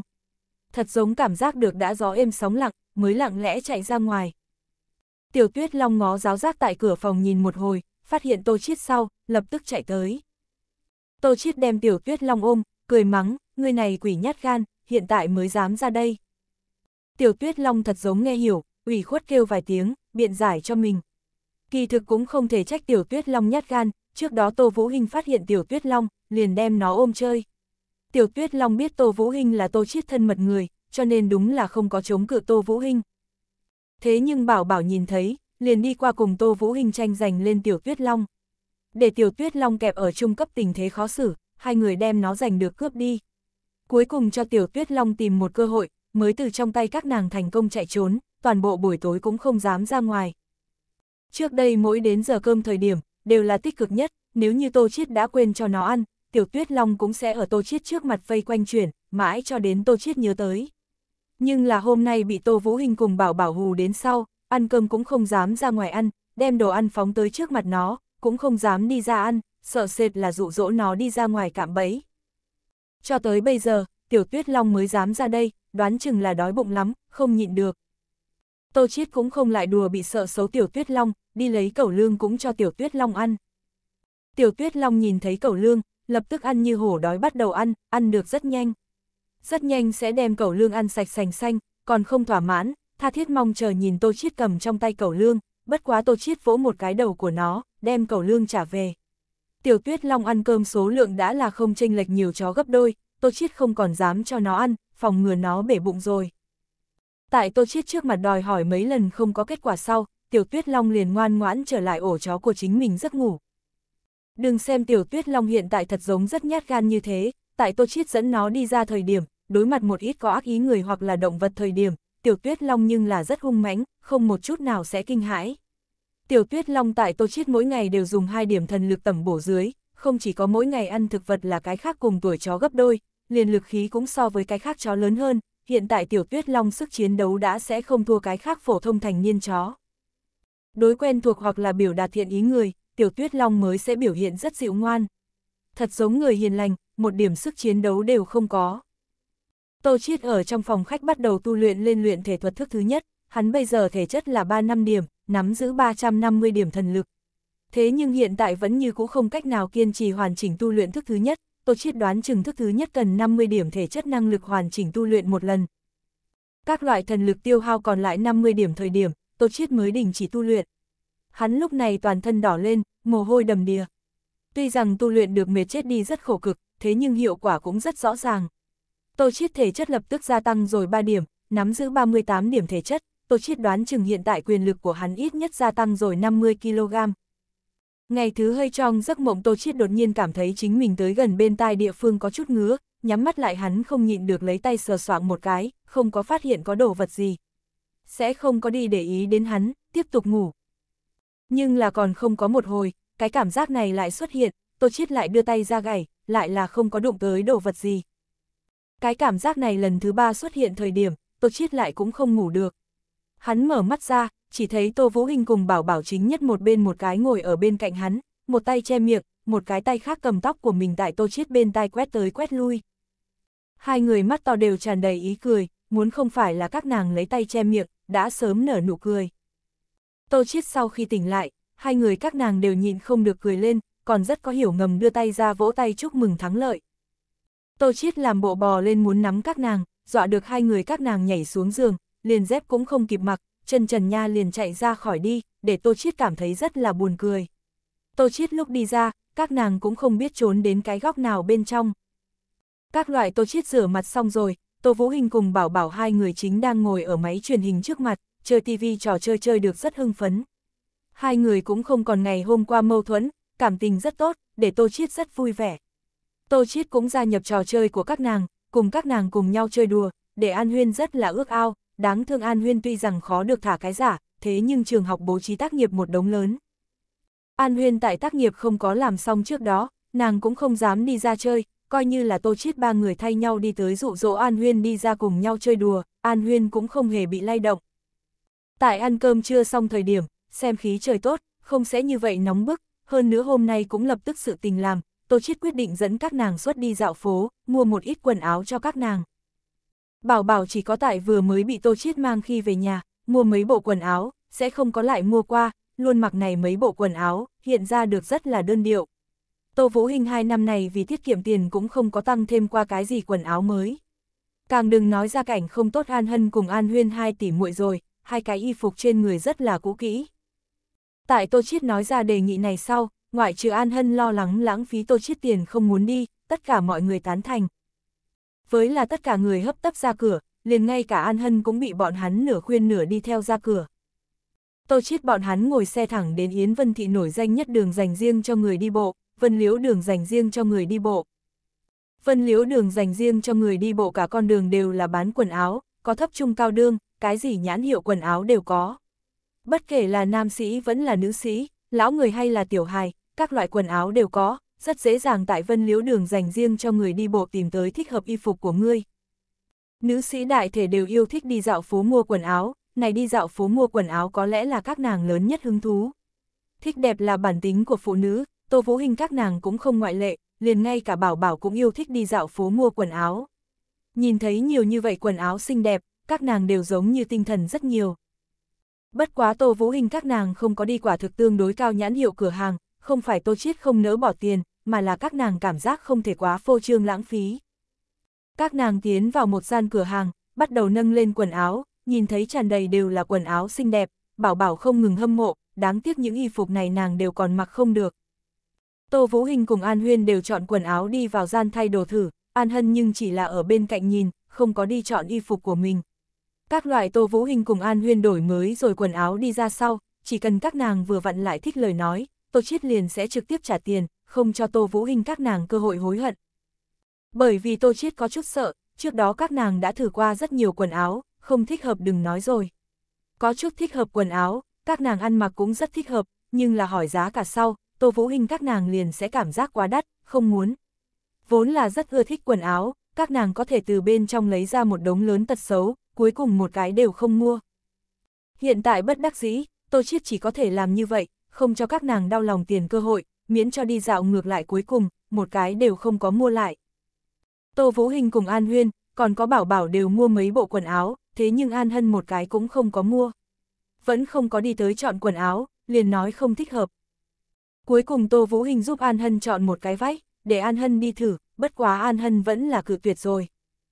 Tô Chiết từ An Hân chợt lóe lên ánh mắt, nhìn ra An Hân cũng rất yêu thích Tô Vũ Hình chọn váy, cuối cùng Tô Chiết chỉ có thể lên tiếng uy hát yêu ta An Hân, nếu như An Hân không đi thử lời nói, hắn liền trực tiếp mua lại cái quần này, đến lúc đó mua không thích hợp càng là lãng phí. Bất đắc dĩ, An Hân chỉ có thể cầm váy đi vào gian thay đồ đổi. Các loại An Hân đi ra sau, Tô Chiết đều có chút nhìn ngẩn ra rồi. Sâu màu tím váy dài biểu lộ ra suốt An Hân eo thon thân, đường cong là lướt, lại giải rác suốt tiêu rụt rè cao quý, một đầu tóc đen thui vuông góc mà phủ xuống trên vai, An Hân khuôn mặt hơi có chút đỏ nhạt, liền như tiên nữ hạ phàm như thế, xinh đẹp cực kỳ, không cho nhìn thẳng. Tình hôn lại Tô Chiết, hỏi thăm này váy giá tiền sau, trực tiếp liền đi trước bàn quẹt thẻ tính tiền, không cho An Hân bất kỳ cơ hội cự tuyệt. Cuối cùng An Hân cũng buông ra, nghĩ thông suốt, bản thân nàng chủ động vì chính mình chọn mấy bộ quần áo, Tô Chiết chính mình cũng mua mấy bộ quần áo thường.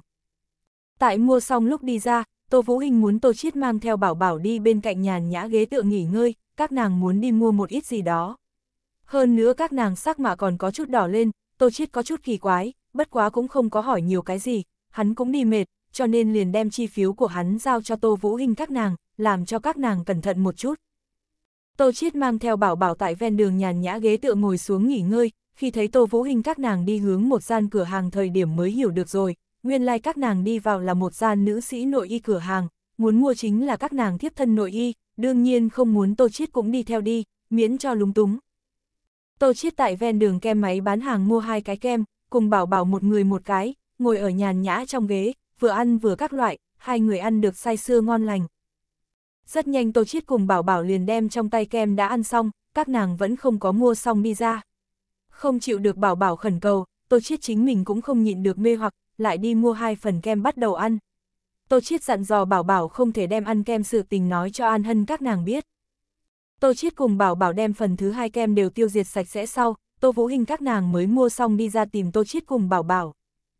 Tô Chiết cùng bảo bảo rất hiểu ngầm, đều không có nói tới bọn hắn ăn vụng kem, còn ăn hai phần. Chứng cứ đều bị Tô Chiết cùng bảo bảo tiêu diệt hết, sớm tại An Hân các nàng đi ra trước, Tô Chiết cùng bảo bảo liền đem kem ăn vào trong bụng, đồng thời còn đem miệng đều lau khô ráo rồi. Bảo bảo không nói, Tô Chiết không nói, các nàng là tuyệt đối sẽ không biết bọn hắn ăn hai phần kem sự tình. Tô Chiết hôm nay đi giá trường học học xong sau xe, chưa có trở về đi. Đọc sách thần khí mà là trực tiếp ngồi xe đi Yến Vân Thị đổ thạch phố, hôm nay đổ thạch tiết văn hóa còn chưa kết thúc, Tô Chiết dự định lại đi nhìn một chút. Cứ việc đổ thạch tiết văn hóa đã cử hành chừng mấy ngày, nhưng là mỗi ngày dòng người số lượng vẫn như cũ không thấp, xem ra đổ thạch đối người sức hấp dẫn vẫn còn lớn. Tô Chiết vì để tránh cho có người nhận ra hắn, không có lại đi lần trước đổ thạch quán, mà là tìm một gian khác quy mô tương đối lớn đổ thạch quán. Nơi này đổ thạch quán đều đại khái giống nhau, phần lớn đều là lầu một bán thành phẩm trang sức phỉ thúy, mà tầng 2 chính là tràn ngập kích thích đổ thạch rồi. Hắn không có đang đánh cuộc thạch quán lầu một dừng lại, trực tiếp lên tầng 2. Tô Chiết đem mục tiêu trước tiên đặt ở bị định vì đầu thừa đuôi thẹo nguyên thạch. Tô Chiết tới gian phòng này đổ thạch quán, không như lần trước cùng Lưu Hùng đi đổ thạch quán, đầu thừa đuôi thẹo không người hỏi thăm. Nơi này rất nhiều người tại nơi này chọn đầu thừa đuôi thẹo. Nhưng thật ra là Tô Chiết không biết, này đầu thừa đuôi thẹo tại sao có nhiều như vậy người đến chọn, nguyên nhân chủ yếu nhất chính là hắn tạo thành, thứ yếu mới là thương gia nhân cơ hội lăng xê. Chính là hắn dùng 500 khối mua được đầu thừa đuôi thẹo, giải ra giá giá trị trăm vạn phỉ thúy sau, 2.000 lần lợi nhuận, mới có người nhìn thẳng vào những này đầu thừa đuôi thẹo. Hy vọng có thể từ nơi này chút giá cả rẻ tiền đầu thừa đuôi thẹo giải suất phỉ thúy, do đó một đêm trượt giàu Tô Chiết không thèm quan tâm những người khác, chính mình chọn nguyên thạch. Lần này, hắn xem nguyên thạch độ so với lần trước còn nhanh hơn rất nhiều. Mỗi một khối nguyên thạch, hắn trên căn bản chỉ phải bỏ ra nửa phút là có thể làm xong. Nửa giờ sau, Tô Chiết vẫn là không hề thu hoạch, hắn đều nhìn gần như hơn trăm khối nguyên thạch, những này nguyên thạch có lớn có nhỏ. Nhưng là không có một khối nguyên thạch đối thần lực của hắn lên phản ứng, chưa từng xuất hiện lần trước cảm giác. Tại Tô Chiết nhanh lấy là thần lực của mình đã đối phỉ thúy không có tác dụng, hắn rốt cuộc tại một khối vẻ ngoài không thật là tốt nguyên thạch cảm giác được có phản ứng, khối này nguyên thạch so với gia dụng máy vi tính máy chủ càng lớn hơn gấp đôi, so với Tô Chiết lần trước mua nguyên thạch lớn hơn nhiều. Thế nhưng so sánh mà nói, khối này nguyên thạch cho phản ứng của hắn cũng rất là yếu ớt. Tô Chiết cũng không có nghĩ quá nhiều, trực tiếp liền mua cái này một khối nguyên thạch, này nguyên thạch giá cả còn không tiện nghi, cần 5.000 khối. Hắn mua lại khối này nguyên thạch, liền trực tiếp để công nhân viên giúp hắn đưa đến giải thạch trong vùng, dự định tiến hành giải thạch. Mở ra sau, kết quả cuối cùng cũng rất là tạm được. Tuy rằng cái này một khối nguyên trong đá xác thực có phỉ thúy, thế nhưng này phỉ thúy rất nhỏ, phẩm tương phẩm chất cũng không tiện. Chỉ có một người mở 2.000 khối nguyện ý nhận lấy khối phỉ thúy này. Tô Chiết lưu lại cũng không có dùng, liền đem khối phỉ thúy này bán. Tuy rằng khối phỉ thúy này Tô Chiết xem như là thường 3.000 khối, nhưng là cũng không phải không hề thu hoạch. Nguyên trong đá nếu như tồn tại phỉ thúy liền sẽ đối Tô Chiết thần lực lên phản ứng, mà phản ứng mạnh yếu hay là hóa trang quấn phỉ thúy sát ngoài độ dày có quan hệ, cũng hay là cùng nguyên trong đá phỉ thúy lớn nhỏ phẩm chất có quan hệ, có lẽ là hai cái đều có quan hệ, đều sẽ ảnh hưởng đến phản ứng mạnh yếu. Tô Chiết thu hoạch này không nhỏ, đối nguyên thạch phán đoán rất hữu dụng. Tô Chiết đem phỉ thúy bán đi sau, liền tiếp tục đi nguyên thạch khu tìm kiếm mục tiêu của mình, lần này mục tiêu của hắn cũng không tiếp tục là không đáng tiền đầu thừa đuôi thẹo. Hắn vừa nãy đều không khác mấy nhìn một nửa, mới phát hiện một khối bên trong có phỉ thúy, tỷ lệ quá nhỏ, hơn nữa giải đi ra ngoài phỉ thúy còn không đáng tiền, thu hoạch cùng trả giá rõ ràng không được tỷ lệ thuận. Cho nên Tô Chiết liền không ở nơi này chút đầu thừa đuôi thẹo lãng phí thời gian rồi, trực tiếp tại giá trị dù sao tương đối cao nguyên thạch, khu vực này nguyên thạch đều là lấy vạn giá khởi điểm. Tô Chiết xuất hiện những này giá cả tương đối cao nguyên thạch, quả nhiên có nó cao lý do. Cũng không lâu lắm, Tô Chiết liền phát hiện mấy khối đối thần lực có phản ứng nguyên thạch, tuy rằng không phải mỗi một khối đều có, hơn nữa phản ứng cũng không mãnh liệt, thế nhưng so với 100 khối mới có một khối có phỉ thúy đầu thừa đuôi thẹo tới nói, tỷ lệ tương đối cao rất nhiều. Tuy rằng Tô Chiết phát hiện mấy khối đối thần lực có phản ứng nguyên thạch, thế nhưng hắn không có mua lại, bởi vì cái này phản ứng quá yếu. Tô Chiết đoán chừng cho dù giải suất phỉ thúy cũng sẽ không tốt đi nơi nào. Hơn nữa này mấy khối nguyên thạch giá cả còn không thấp, hoàn toàn là đã vào được thì không ra được. Cho nên Tô Chiết trực tiếp buông tha cho này mấy khối nguyên thạch, tiếp tục tìm kiếm mục tiêu. Rốt cuộc lần nữa tại một khối nguyên thạch cảm giác được phản ứng, hơn nữa phản ứng không yếu, mặc dù không hơn một lần giá trị trăm vạn phỉ thúy cường. Thế nhưng so với cái khác có phản ứng nguyên thạch mạnh quá nhiều. Cái này một khối nguyên thạch ít giá 8 vạn, cũng không tiện nghi. Tô Chiết suy tư một trận, mới quyết định mua, đánh cuộc một cái. Trả tiền sau, Tô Chiết trực tiếp đem khối này nguyên thạch đưa đi giải thạch khu, để giải thạch sư phụ đem khối này nguyên thạch mở ra. Kết quả là Tô Chiết đánh cược thắng, giải đi ra ngoài phỉ thúy kích cỡ không nhỏ, phẩm sắc cũng không tệ. Bị người lấy 32 vạn giá cả lấy đi, giá cả trọn vẹn lật ra 4 lần. Khối phỉ thúy này tuy rằng không ít người vây xem, thế nhưng cũng không có gây nên bao nhiêu náo động, dù sao này lợi nhuận đánh cược thạch tới nói rất là bình thường. Đem khối này giải ra phỉ thúy bán đi sau, Tô Chiết không ngừng cố gắng tiếp tục tìm kiếm tồn tại phỉ thúy nguyên thạch. Lần nữa giải xuất phỉ thúy sau, Tô Chiết đối phản ứng mạnh yếu cùng phỉ thúy liên quan càng là tiến một bước hiểu rõ, có thể tận lực tránh khỏi giải ra phỉ thúy giá trị còn chưa đủ mua sắm nguyên thạch tiền. Tô Chiết tốn không ít thời gian, tại nguyên thạch khu mua 6 khối có phản ứng nguyên thạch, tổng giá trị 850 ngàn. Hắn tin tưởng những này nguyên thạch giải thạch sau, cho dù phỉ thúy không thể bán suất cao giá cả, thế nhưng chỉ ít sẽ không để cho Tô Chiết lỗ vốn. Lần này, Tô Chiết không có trực tiếp cởi thạch khu giải thạch, nếu như mỗi một khối nguyên thạch đều giải xuất phỉ thúy, đồng thời giá chỉ còn không phỉ, nhất định sẽ gây nên náo động, Tô Chiết không muốn quá làm người khác chú ý. Cho nên liền tìm tới công nhân viên, hy vọng có thể có so sánh thanh tĩnh mà Phương có thể để Tô Chiết giải thạch. Trên căn bản quy mô tương đối lớn đổ thạch quán, ngoại trừ cung cấp giải thạch khu cho mua sắm nguyên thạch khách hàng miễn phí giải thạch bên ngoài, còn mặt khác sẽ chuẩn bị gian phòng cho một ít khá là khiêm tốn khách hàng giải thạch. Đương nhiên những này gian phòng cũng không phải sẽ tùy tiện nhắc tới cung cấp người sử dụng, đổ thạch quán đều sẽ có tương ứng điều kiện, thỏa mãn trong đó điều kiện mới có sử dụng gian phòng quyền lợi. Tỷ như như tô chiết tới đổ thạch quán, nhất định phải đang đánh cuộc thạch quán một lần mua 50 vạn trở lên nguyên thạch, mới có tư cách sử dụng gian phòng. Tô chiết lần này mua nguyên thạch giá cả tổng giá trị 850 ngàn, ngược lại là đầy đủ tư cách. Cho nên đổ thạch quán công nhân viên rất nhanh sẽ an bài một gian phòng cho Tô Chiết giải thạch. Tô Chiết để giải thạch sư phụ giáo một chút chính mình giải thạch cơ bản thao tác bước đi, liền để giải thạch sư phụ rời khỏi, dự định chính mình tự mình ra tay giải thạch. Bởi vì không ít đổ thạch người đều yêu thích chính mình tự tay giải thạch, như vậy đang mở suất phỉ thúy thời điểm cảm giác thành công sợ đã gia tăng gấp 2 rồi. Cũng có chút người đối với mình rất tin tưởng, chỉ tin tưởng chính mình vận khí, như vậy cho dù mở hàng hụt cũng không trách người khác đi. Đổ thạch giới bên trong người như vậy cũng không ít, cho nên giải thạch sư phụ đúng là không có hoài nghi tô chiết. Đợi giải thạch sư phụ đi rồi, căn phòng này cũng chỉ có tô chiết một người. Tô chiết đem nguyên thạch toàn bộ chuyển tới giải thạch cơ khí bên cạnh, lần này tự mình ra tay giải thạch, tô chiết tâm cũng không có đáy ngọn nguồn, cũng không phải sợ mở ra sau, phát hiện nguyên trong đá không có phỉ thúy, mà là lo lắng chính là chính mình không cẩn thận đang tách đá quá trình cắt đến bên trong phỉ thúy, chuyện này đối với phỉ thúy giá chỉ có ảnh hưởng rất lớn. Vì hết khả năng hạ thấp tổn thất, Tô Chiết chọn một khối phản ứng dù sao tương đối kém nguyên thạch đi ra, định đem cái này một khối nguyên thạch dùng để thử nghiệm, cho mình chướng chút kinh nghiệm. Tô Chiết chọn 6 khối nguyên thạch thể tích cũng không phải rất lớn, trọng lượng cũng không phải rất nặng. Cho nên chỉ cần một mình hắn là có thể tùy ý di chuyển trong đó một khối. Tô Chiết đem quyết định làm là thứ nhất khối giải thạch nguyên thạch chuyển tới giải thạch cơ khí bên trong. Tô Chiết không có đi dùng người thường đổ thạch cần dùng đến công cụ, tỉ như cường quang đèn pin bên trong, hắn hoàn toàn là dùng hai tay đi cảm ứng. Cảm ứng cái nào một mặt phản ứng khá mạnh liệt, liền làm là thứ nhất đao vị trí. Tô Chiết lấy ra phấn viết, tại chính mình muốn cắt địa phương vẽ lên tuyến, tránh khỏi chờ một chút cắt chật. Đem giải thạch cơ khí điều tốt góc độ, liền thẳng cắt xuống đi, đáng tiếc cắt ra một mặt cũng không hề nhìn thấy suốt lục.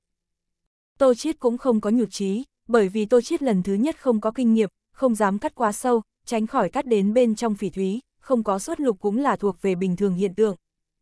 Tô Chiết đưa tay ra tại nguyên thạch mặt cắt tỉ mỉ cảm ứng một trận, so sánh một chút mới vừa phán đoán. Tỉ mỉ cảm ứng lời nói, đã có thể cảm giác được mặt cắt phản ứng so với trước đó mãnh liệt một tia, tuy rằng rất không là rất rõ ràng, thế nhưng đối Tô Chiết đối cảm ứng mạnh yếu rất có ích lợi. Quan sát sau một lúc, Tô Chiết một lần nữa nắm phấn viết vẽ ra một cái tuyến, một lần nữa điều tốt góc độ cắt xuống đi. Lần này, mặt cắt xuất hiện một tia màu xanh biếc, mặc dù chỉ là mơ mơ hồ hồ không phải rất rõ ràng, thế nhưng đủ để chứng minh Tô Chiết phán đoán càng ngày càng chuẩn xác. Suốt lục sau, Tô Chiết đem nguyên thạch chuyển tới mặt khác, một lần nữa cắt xuống đi.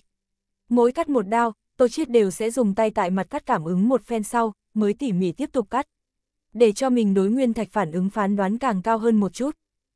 Tuy rằng Tô Chiết không cần như người khác giải thạch, mỗi một bước đều cần suy nghĩ rất lâu mới sẽ động thủ, nhưng là vì lần này là Tô Chiết lần thứ nhất tự mình ra tay giải thạch, động tác khó tránh khỏi sẽ chỉ độn rất nhiều, cho nên cũng tốn không ít thời gian, mới đem phỉ thúy đại thể giải trừ đi ra. Sau đó Tô Chiết dùng đá mài cơ tỉ mỉ mà là phỉ thúy xóa đi mặt ngoài hiểu rõ vỏ ngoài, phỉ thúy mới chính thức lộ ra bộ mặt thật, làm thủy lục, Tô Chiết cũng phán đoán không ra thuộc về cái gì loại, khối phỉ thúy này khổ người không nhỏ, vẻ ngoài cũng không tệ, Tô Chiết tin tưởng hẳn là có thể giá đáng giá không ít tiền. Mở ra cái này một khối phỉ thúy sau, Tô Chiết từ đó đạt được không ít kinh nghiệm. Tự tin tăng nhiều hắn, không ngừng cố gắng đem còn dư lại 5 khối nguyên thạch đều giải trừ đi ra. Hào không ngoài suy đoán, Tô Chiết mua 6 khối nguyên trong đá đều tồn tại có phỉ thúy, hơn nữa giá trị hẳn là cũng sẽ không thấp, chỉ ít này 6 khối phỉ thúy sẽ không để cho Tô Chiết thâm hụt tiền. Có mở ra 6 khối phỉ thúy kinh nghiệm, Tô Chiết hiện tại đã không còn là giải thạch thường dân rồi, có thần lực đối phỉ thúy cảm ứng, Tô Chiết so với chuyên môn làm nghề này nghiệp giải thạch sư phụ còn lợi hại hơn nhiều, bằng này trở thành giải thạch đại sư cũng không phải là không có khả năng. Giải thạch đại sư đang đánh cuộc thạch giới bên trong địa vị có thể không thấp, rất nhiều người nguyện ý dùng giá cao mời giải thạch đại sư hỗ trợ giải thạch. Bởi vì một ít giá trị cao nguyên thạch, nếu như mở hàng hụt rồi, còn không phải tối chuyện buồn bực, nhất làm cho người cảm thấy buồn bực là nguyên trong đá phỉ thúy bị giải thạch người phá hoại đã đến, do đó ảnh hưởng đến phỉ thúy nguyên bản giá trị. Cũng chỉ có kinh nghiệm chu đáo giải thạch đại sư, mới có thể tận lực tránh khỏi phá hoại đến bên trong phỉ thúy, bảo lưu lại trong đó giá trị. Sáu khối phỉ thúy đều giải đi ra sau, Tô Chiết hướng về đổ thạch quán mua một cái vali du lịch cùng vải nhung. Trên căn bản đổ thạch quán đều sẽ bán ra vali du lịch bên trong, bởi vì có chút khách hàng mua nguyên thạch không muốn đang đánh cuộc thạch quán giải thạch, cũng có khách hàng giải xuất phỉ thúy sau, không muốn đang đánh cuộc thạch trong quán tại chỗ bán ra, muốn dẫn lúc đi, lúc này vali du lịch là có thể phát huy được tác dụng rồi. Tô Chiết phỉ thúy đương nhiên sẽ không đang đánh cuộc thạch trong quán bán ra, không phải vậy hắn muốn một gian phòng chính mình tự mình giải thạch liền không có bao nhiêu ý nghĩa. Tô Chiết liền vì không để cho người chú ý, mới tự mình động thủ giải thạch. Nếu như hắn lập tức đem 6 khối phỉ thúy lấy ra lời nói, tin tưởng này 6 khối phỉ thúy sẽ khiến cho không nhỏ náo động. Tô Chiết đem 6 khối phỉ thúy dùng vải nhung bọc lại, lại bỏ vào vali du lịch bên trong. Đem phỉ thúy toàn bộ cất vào vali du lịch bên trong, Tô Chiết liền lôi kéo vali du lịch trực tiếp rời khỏi đổ thạch quán, đổ thạch quán bên trong không có ai biết Tô Chiết giải xuất 6 khối phỉ thúy sự tình. Này 6 khối phỉ thúy, Tô Chiết không có ý định chính mình giữ lại. Mà thu mua phỉ thúy người, Tô Chiết chỉ nhận nhận thức hạ hàm nặc một người. Hắn đối hạ hàm nặc ấn tượng cũng không tệ lắm, hẳn là một cái có thể hợp tác người. Tô Chiết tìm ra lần trước hạ hàm nặc lưu lại danh thiếp, mang theo vali du lịch trực tiếp ngồi xe lên bên trên ghi lại địa chỉ. Ở trên đường, Tô Chiết gọi điện thoại cho hạ hàm nặc, hỏi nàng có rảnh rỗi hay không, muốn hợp tác với nàng. Hạ hàm nặc nhận được Tô Chiết điện thoại, đối Tô Chiết biểu đạt ý đồ đến cũng có chút ngạc nhiên. Bất quá nàng vẫn là biểu thị sẽ ở trong cửa hàng chờ hắn đến. Không lâu liền đến nơi cần đến, thiên nhã cửa hàng châu báu. Quy mô không nhỏ, trang trí cũng rất độc đáo. Tô Chiết đã đến sau, liền gọi điện thoại cho Hạ Hàm Nặc. Đã qua không lâu, Hạ Hàm Nặc liền tự mình đi ra đợi Tô Chiết đi vào. Hạ Hàm Nặc trực tiếp mang Tô Chiết đi thiên nhã cửa hàng châu báu lầu 3, phòng làm việc của nàng bên trong. Hai người sau khi ngồi xuống, Hạ Hàm Nặc là Tô Chiết rót một chén trà, mới mở miệng nói ra, Tô Tiên Sinh, không biết lần này ngươi nghĩ hợp tác với ta cái gì. Tô Chiết cũng không phí lời, trực tiếp mở ra vali du lịch, đem khối thứ nhất giải đi ra ngoài phỉ thúy lấy ra, giao cho Hạ Hàm Nặc, nói ra, ta đến, là muốn bán ra phỉ thúy cho Hạ Quản lý, không biết Hạ Quản lý hiện tại thu mua phỉ thúy sao. Hạ Hàm Nặc mở ra bao vây phỉ thúy vải nhung, làm nàng nhìn thấy bên trong phỉ thúy lúc, liền có chút không rời nổi mắt rồi, lập tức liền bị phỉ thúy hấp dẫn. Nữ nhân trời sinh yêu thích châu báu, Hạ Hàm Nặc cũng sẽ không ngoại lệ. Một lát sau, nàng mới phục hồi tinh thần lại, ngữ khí đã hơi có chút gấp gáp, tổ Tiên Sinh, ngươi dự định bán ra cái này một khối phỉ thúy sao? Xin ngươi yên tâm, ta tuyệt đối sẽ cho ngươi một cái giá vừa ý. Tô Chiết gật gật đầu, biểu thị chính mình nguyện ý bán ra, hắn đến thiên nhã cửa hàng châu báu chính là vì bán ra phỉ thúy, cuối cùng Tô Chiết thẳng thắn đem vali du lịch trong phỉ thúy toàn bộ lấy ra cho hạ hàm nặc xem. Lập tức nhìn thấy nhiều như vậy phỉ thúy, đối hạ hàm nặc tới nói sung kích không nhỏ, nàng đã có chút không nén được tức giận. Tô Chiết sau đó lấy ra phỉ thúy so với khối thứ nhất phẩm chất còn tốt hơn một ít. Hạ hàm nặc nhìn một hồi sau, xác định Tô Chiết là phải đem những này phỉ thúy bán ra, nàng và Tô Chiết lên tiếng chào hỏi, để Tô Chiết xin chờ một chút, sau hạ hàm nặc đánh một cái nội bộ điện thoại, kêu một người lại đây. Không lâu, đã có người gõ hạ hàm nặc phòng làm việc cửa phòng, hạ hàm nặc khiến người ta đi vào. Một cái ước chừng hơn 60 tuổi lão người đi vào, tuy rằng lão nhân mái tóc đã hơi bạc, thế nhưng khí sắc rất tốt, nhìn lên rất có tinh thần. Trương lão, ngươi nhìn một chút những này phỉ thúy, giúp ta đánh giá một cái giá. Hạ hàm nặc nói ra, những này phỉ thúy có giá trị không nhỏ, hạ hàm nặc cũng không dám chính mình dễ dàng liền làm chủ mua lại, giá trị một triệu tả hữu phỉ thúy, nàng còn có thể chính mình phán đoán có hay không cái giá này giá trị, thế nhưng như lần này, hạ hàm nặc liền sẽ không dễ dàng hạ quyết định rồi, cho nên nàng liền mời tới thiên nhã cửa hàng châu báu số tiền lớn mời mọc phỉ thúy chuyên gia giám định trương lão lại đây giám định phỉ thúy, giúp nàng xem xét. Trương lão cũng không lãng phí thời gian, lập tức nắm ra bản thân mang tới công cụ, bắt đầu giám định phỉ thúy giá trị, bận rộn hồi lâu, mới mở miệng nói ra, này sáu khối phỉ thúy loại sắc cũng không tệ, thuộc về phỉ thúy thượng phẩm, cái này một khối phỉ thúy giá trị ước 150 vạn, cái này một khối phỉ thúy giá trị ước 2.500 ngàn. Mà cái này một khối phỉ thúy giá trị ước 6 triệu, tổng giá trị ước 26 triệu khoảng chừng. Trương lão đem mỗi một khối phỉ thúy giá trị đều nói ra, Trương lão giám định xong, báo xong giá cả rồi cùng hạ hàm nặc lên tiếng chào hỏi liền đi ra. Tô tiên sinh, không biết người giá tiền này hài lòng không? Trương lão sau khi rời khỏi đây, hạ hàm nặc bình phục thoáng một chút tâm tình nói ra, hạ hàm nặc tin tưởng trương lão giám định phỉ thúy trình độ, dù sao trương lão tại phỉ thúy chuyên gia giám định bên trong cũng là nổi danh. Tin tưởng trương lão sẽ báo ra 26 triệu giá cả, những này phỉ thúy giá trị nhất định sẽ cao hơn 26 triệu không ít. Có thể, ta đây chút phỉ thúy tự lấy 26 triệu giá cả bán cho ngươi. Tô Chiết không có suy nghĩ bao lâu trực tiếp đáp ứng, hắn có ý nghĩ của mình. Tô Chiết sảng khoái để hạ hàm nặc cũng có chút giật mình, nàng tin tưởng Tô Chiết nhất định sẽ biết này 26 triệu giá cả chỉ là giá thấp nhất, giá tiền này còn có thể đi lên trên không gian. Thế nhưng Tô Chiết đáp ứng rồi 26 triệu giá cả bán ra phỉ thúy, làm thương nhân hạ hàm nặc cũng sẽ không chủ động đi lấy giá. Hạ hàm nặc tin tưởng Tô Chiết mục đích làm như vậy nhất định là có dụng ý khác.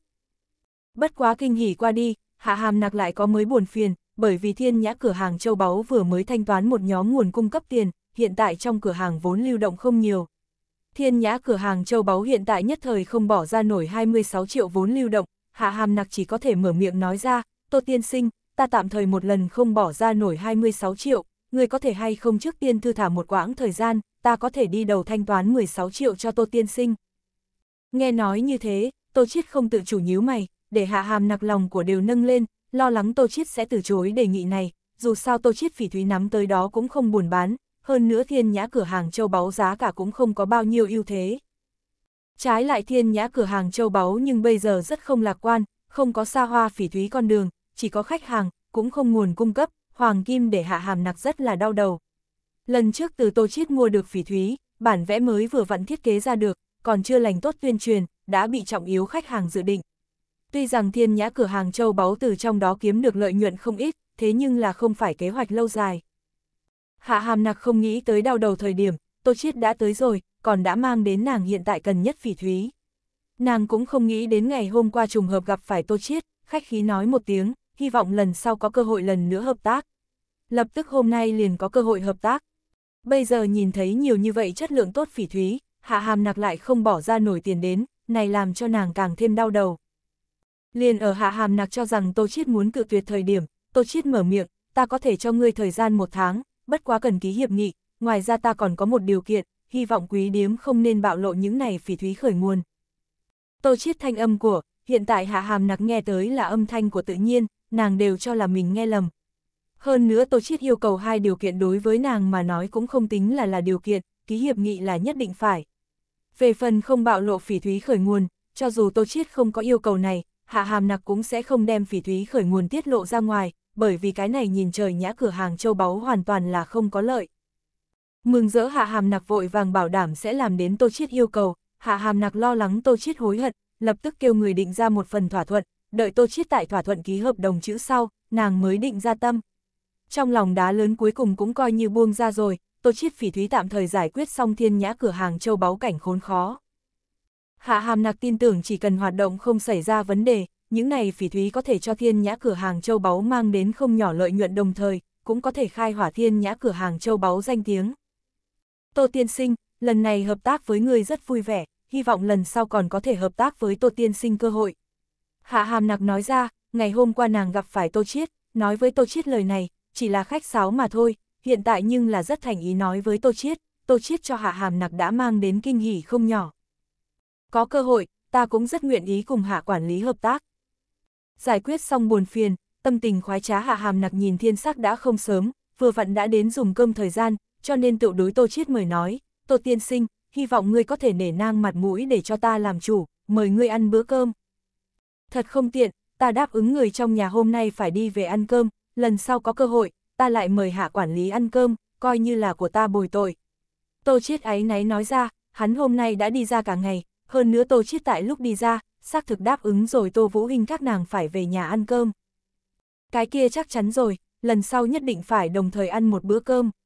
Hạ hàm nạc trong lúc lơ đãng lộ ra tiểu nữ tử thần thái, ít đi nữ cường nhân cường thế, nhiều hơn một điểm khác phong vị, ngược lại là càng càng xinh đẹp động lòng người. Vinh hạnh cực điểm Tô Chiết bảo đảm nói, hắn nhìn một chút thời gian, cùng hạ hàm nặc hàn huyên nữa vài câu liền cáo từ rời khỏi. Trên đường về nhà, ngồi trên xe Tô Chiết, lấy điện thoại di động ra, lần nữa nhìn về phía ngân hàng phát tới chuyển khoản tin tức, hạ hàm nặc chuyển tới 16 triệu, để Tô Chiết cười cười, thêm vào này 16 triệu, Tô Chiết ngân hàng tiền dư đạt đến 20 triệu, hơn nữa trong vòng một tháng, còn sẽ có 10 triệu tới sổ.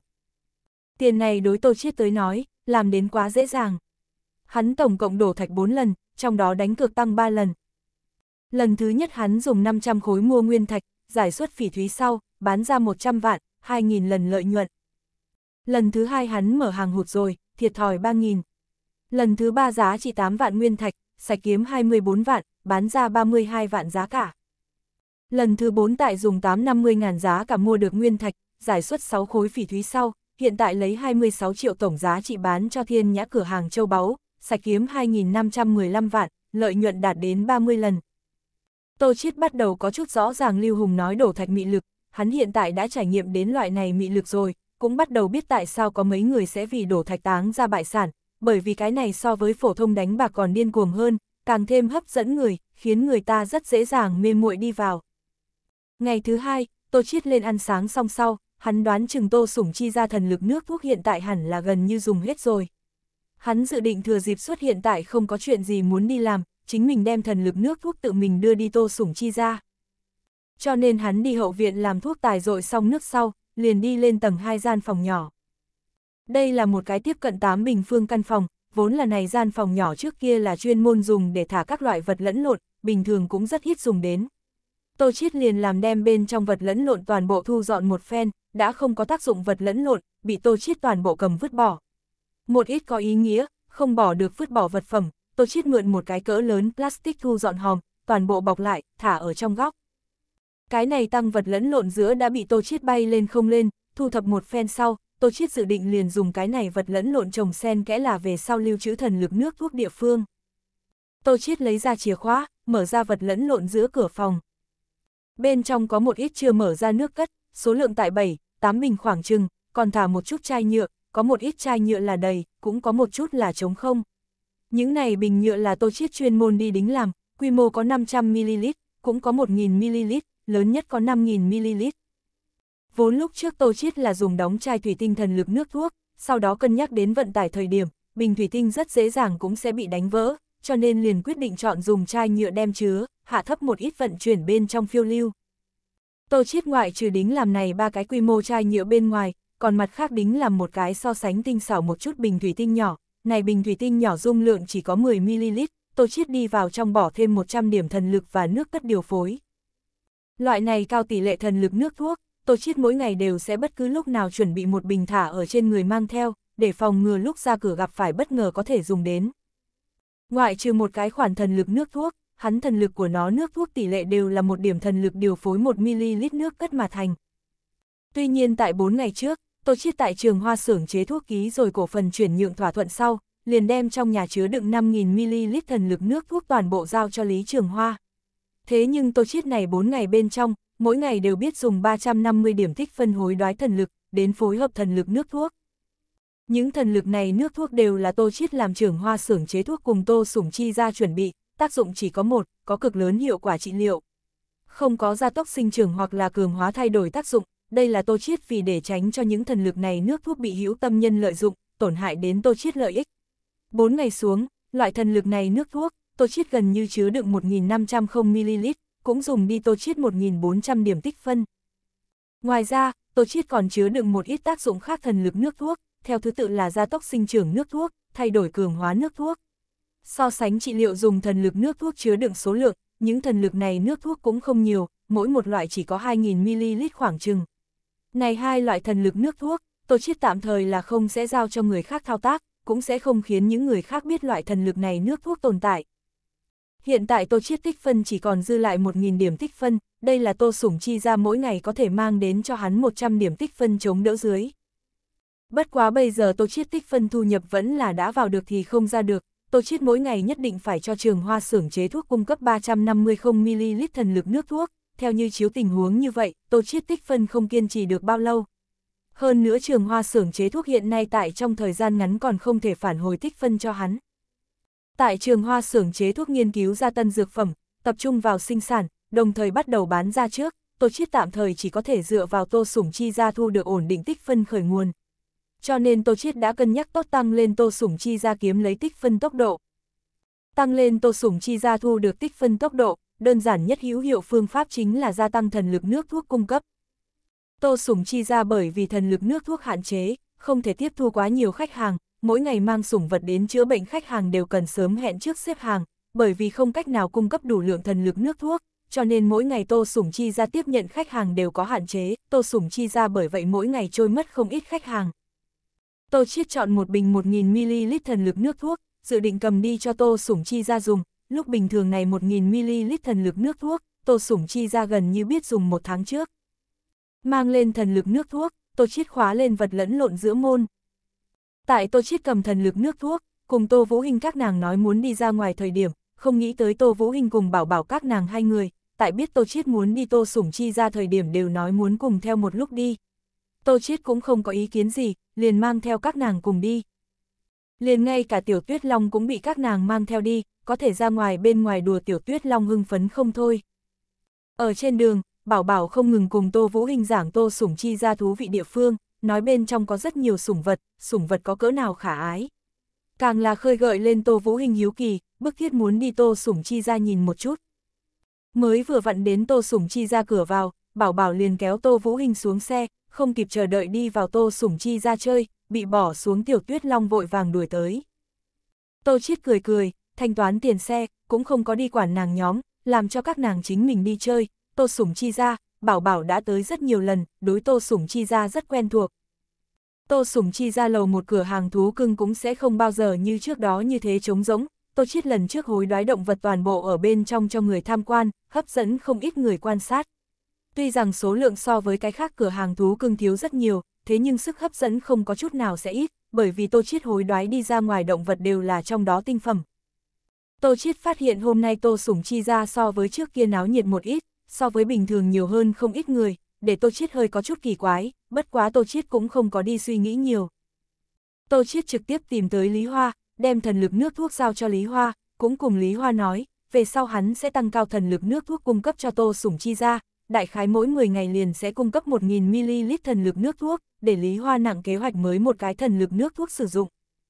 Tin tức này, để Lý Hoa hơi chút ngạc nhiên một cái, bất qua phản ứng lại sau, Lý Hoa rất là cao hứng, đối Tô Sủng Chi ra phát triển tới nói, thần lực nước thuốc số lượng tăng cường là chuyện tốt, tuy rằng muốn lần nữa phân phối thần lực nước thuốc, muốn hợp lý lợi dụng, công việc này số lượng không nhỏ, sẽ hơi chút phiền toái một ít, thế nhưng tương đối với Tô Sủng Chi ra có thể lấy được chỗ tốt, những phiền toái này cũng không tính là lên cái gì. Bất kể là trước kia Lý Hâm sủng vật bệnh viện vẫn là hiện tại Tô Sủng Chi ra, Lý Hoa đều là nguyên lão, hắn ở bên trong trả giá tâm huyết cùng tinh lực, bất kể là Tô Chiết vẫn là Lý Hâm đều là không sánh được hắn. Từ một khía cạnh khác tới nói, Tô Sủng Chi ra có thể phát triển, Lý Hoa so với Tô Chiết còn cao hứng hơn.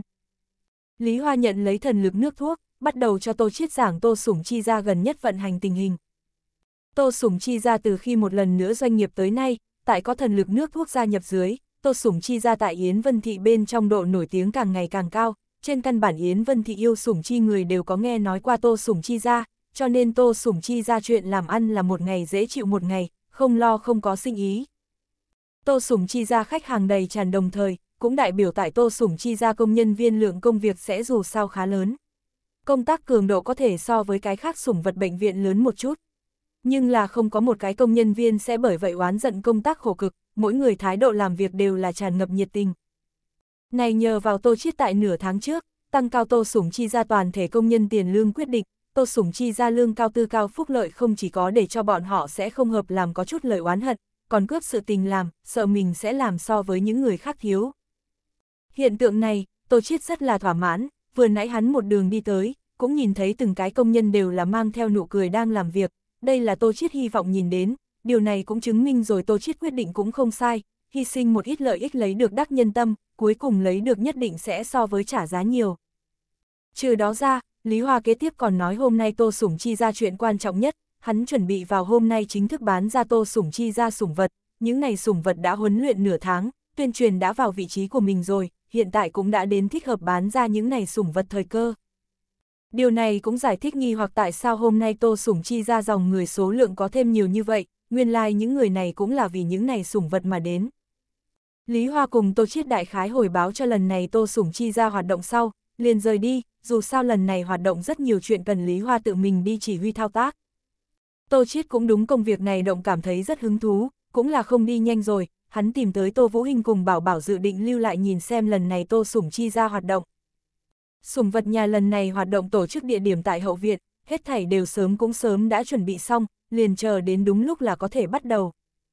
Lý Hoa cầm microphone, đi tới mọi người phía trước, thử một chút microphone thanh âm của sau, nói ra, cảm tạ các vị hôm nay tới tham gia tô sủng chi ra cử hành hoạt động, ở đây ta hy vọng các vị đều có thể đem mình yêu thích sủng vật mang về nhà đi, cảm tạ các vị. Người phía dưới đều phối hợp vỗ tay, Lý Hoa đợi tiếng vỗ tay sau khi dừng lại, mới tiếp tục giới thiệu lần này hoạt động quy tắc.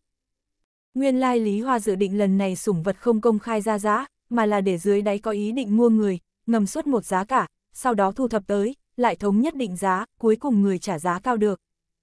Một phương này Pháp, có lúc xác thực có thể so với bán đấu giá còn muốn bán ra giá tiền cao hơn, bởi vì một ít tình thế bắt buộc người, vì không để cho người khác giá cả cao hơn chính mình, nhất định sẽ viết ra một chữ rất cao giá cả. Không giống bán đấu giá thời điểm, biết đối phương ra giá bao nhiêu cách. Đương nhiên điều kiện tiên quyết là ngươi nhất định phải đối vật phẩm của ngươi rất tin tưởng, không phải vậy vài phút đồng hồ bán đấu giá suốt một cái rất giá tiền thấp.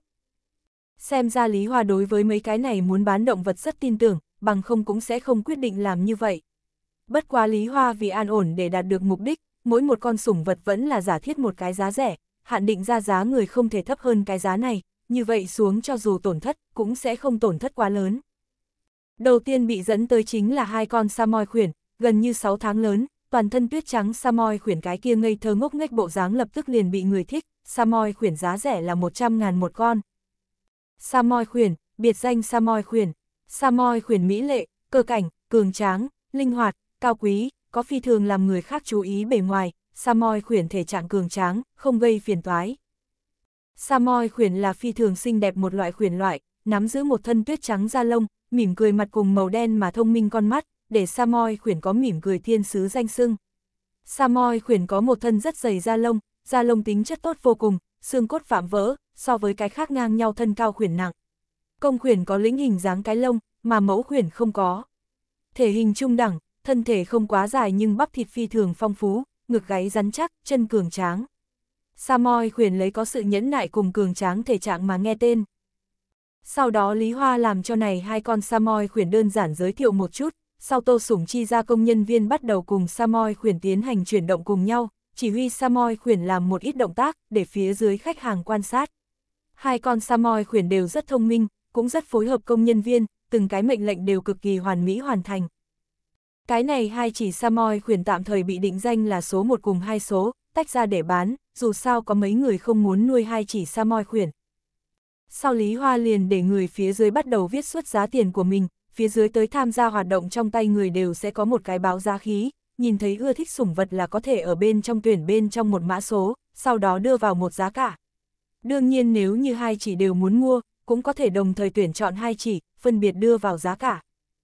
Đợi thời hạn cuối cùng, số liệu liền cùng lúc đưa đến trong server, sau đó lại do server phân biệt ra được giá cả cao nhất, đến lúc đó đưa vào giá cả cao nhất người, hắn báo giá khí liền sẽ sáng lên, vậy thì đại biểu người này thu được giao hàng sủng vật.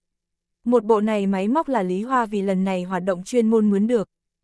3 phút vừa đến, trong đám người trong đó một cái báo giá khí phát sáng lên. Đây là một cái nhìn lên hơn 30 tuổi quý phụ, nhìn lên hóa trang không giàu sang thì cũng cao quý. Lý Hoa lập tức đi ra tuyên bố kết quả, chúc mừng Lý Phu Nhân lấy một chỉ 800 ngàn giá cả thu được cái này hai chỉ Samoy khuyển, để cho chúng ta vì nàng vỗ tay. Lý Phu Nhân bỏ ra 1.6 triệu mua hai con Samoy khuyển, không có nhìn thấy chút nào vẻ đau lòng, lại là một mặt vui sướng. Nhìn ra được đối hai con Samoy khuyển rất là yêu thích. Cái này hai chỉ Samoy khuyển bị Lý Phu Nhân mua đi rồi, kế tiếp Lý Hoa tiếp tục bán ra cái khác sủng vật. Tô Sủng Chi ra lần này hoạt động, bán ra động vật mỗi một con phẩm tương đều là cực kỳ hoàn mỹ, hơn nữa rất thông nhân tính, rất được người ta yêu thích.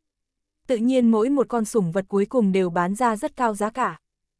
Lục tục, bán ra 22 chỉ động vật, mỗi một con động vật đều thành công bị người mua đi, đồng thời mỗi một con động vật cuối cùng giá sau cùng đều chỉ ít so với giá rẻ cao gấp 3, Tô Chiết cuối cùng đại khái đoán chừng một chút 22 chỉ sủng vật tổng giá sau cùng, tổng giá sau cùng dĩ nhiên tiếp cận 3.000 vạn.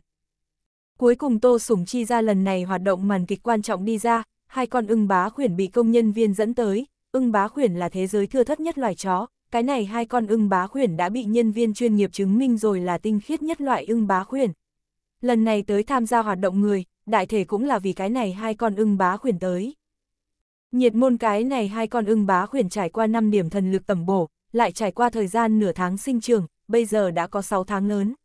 Hai con ưng bá khuyển toàn thân đều là chỉ một màu sắc, một con là màu trắng tinh, mà một con khác là màu lửa đỏ. Một thân bộ lông đều là vừa to vừa dài, thập phần hấp dẫn người. Cái này hai con ưng bá khuyển tại công nhân viên dưới sự chỉ huy, đều đứng thẳng lên, dùng hai chỉ chân sau hành tẩu, hơn nữa động tác cực kỳ nhất trí. Công nhân viên dùng ngón tay tại chúng nó trên đầu vẽ một vòng tròn lớn, hai con ưng bá khuyển đi theo chuyển vòng xung quanh. Theo công nhân viên các loại mệnh lệnh, ưng bá khuyển thật giống nhảy lên vũ đạo đến, tiểu cái mông nhỏ uốn éo, khiến người ta không khỏi phình bụng cười to. Ưng bá khuyển nhảy vũ đạo tuy rằng đơn giản, thế nhưng làm một chỉ khuyển có thể làm được đã rất không dễ dàng. Dễ dàng liền điều lên không khí của hiện trường, khiến người ta càng thêm yêu thích chúng nó. Những người khác không nói, liền nói Tô Vũ Hình cùng bảo bảo hai mắt phát sáng biểu hiện đến xem, liền biết các nàng đã hoàn toàn bị ưng bá khuyển hấp dẫn. Trải qua hai con ưng bá khuyển biểu diễn sau, Lý Hoa cầm microphone đi ra nói ra, các vị đối cái này hai chỉ manh vật biểu diễn còn hài lòng không, tin tưởng các vị đều hiểu ưng bá khuyển ít ỏi cùng quý giá, hơn nữa cũng rất ít loài chó có thể như chúng nó thông minh như vậy. Hy vọng các vị có thể quý trọng cơ hội lần này, tuyệt đối đừng bỏ lỡ. Lý Hoa hơi chút dừng lại một hồi, mới nói tiếp, được rồi, ta không làm lỡ các vị thời gian, hiện tại xin mời muốn đem chúng nó mang về nhà các vị ra giá đi, giá rẻ là 100 vạn. Lý Hoa sau khi nói xong, phía dưới không ít người đều cầm lên báo giá khí, bắt đầu đưa vào giá cả. 3 phút rất nhanh sẽ sau khi đi qua, báo giá khí đã đình chỉ tiếp tục đưa vào giá tiền, hết thảy giá cả lên một lượt truyền đến server. Server bảy màu đèn bắt đầu lóe lên, không lâu liền ngừng lại, đồng thời trong đám người cũng sáng lên một đạo lóe sáng sắc thái, một người trẻ tuổi đứng lên, thân sĩ cùng người xung quanh chào hỏi. Để Tô Chiết có chút bất ngờ, nguyên lai đứng lên người trẻ tuổi, càng là Dư Hiên Hạo. Chúc mừng, Dư tiên sinh thu được cái này hai con ưng bá khuyển, hắn ra giá tiền là 800 vạn một con, để cho chúng ta là Dư tiên sinh vỗ tay. Hiện tại, Tô Sủng chi ra hoạt động cũng kết thúc mỹ mãn, ở nơi này, ta lần nữa cảm tạ các vị lý hoa báo ra Dư Hiên Hạo ra giá cả, cũng tuyên bố hoạt động đã kết thúc tin tức. Cùng Chu Vi chào hỏi Dư Hiên Hạo cũng nhìn thấy Tô Chiết, cũng có một chút kinh hỉ. Hắn và Tô Chiết chào hỏi, ra hiệu Tô Chiết chờ hắn một cái. Không lâu, Dư Hiên Hạo đi theo Tô Sủng Chi ra công nhân viên đi công việc thủ tục, tại đi tới Tô Chiết nơi này thời điểm, trong tay đã dắt hai con chó lại đây, chính là hai con ưng bá khuyển.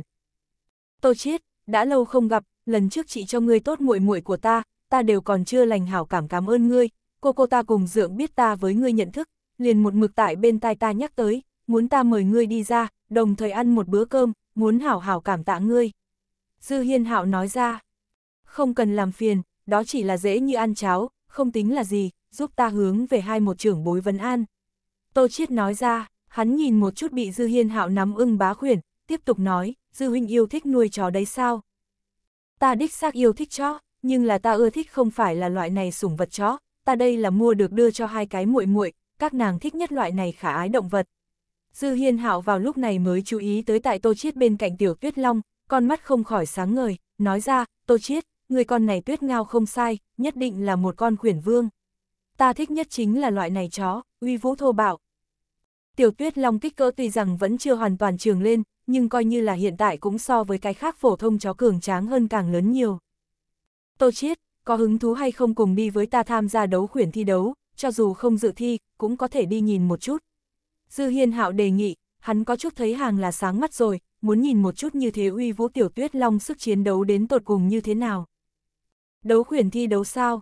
Đến lúc đó ta nhìn lại một chút. Tô Chiết suy nghĩ một chút nói ra, hắn đã nghe qua rất nhiều đấu khuyển so tài cố sự, thế nhưng là không có chân chính xem qua. Được, đến lúc đó ta thông báo tiếp ngươi.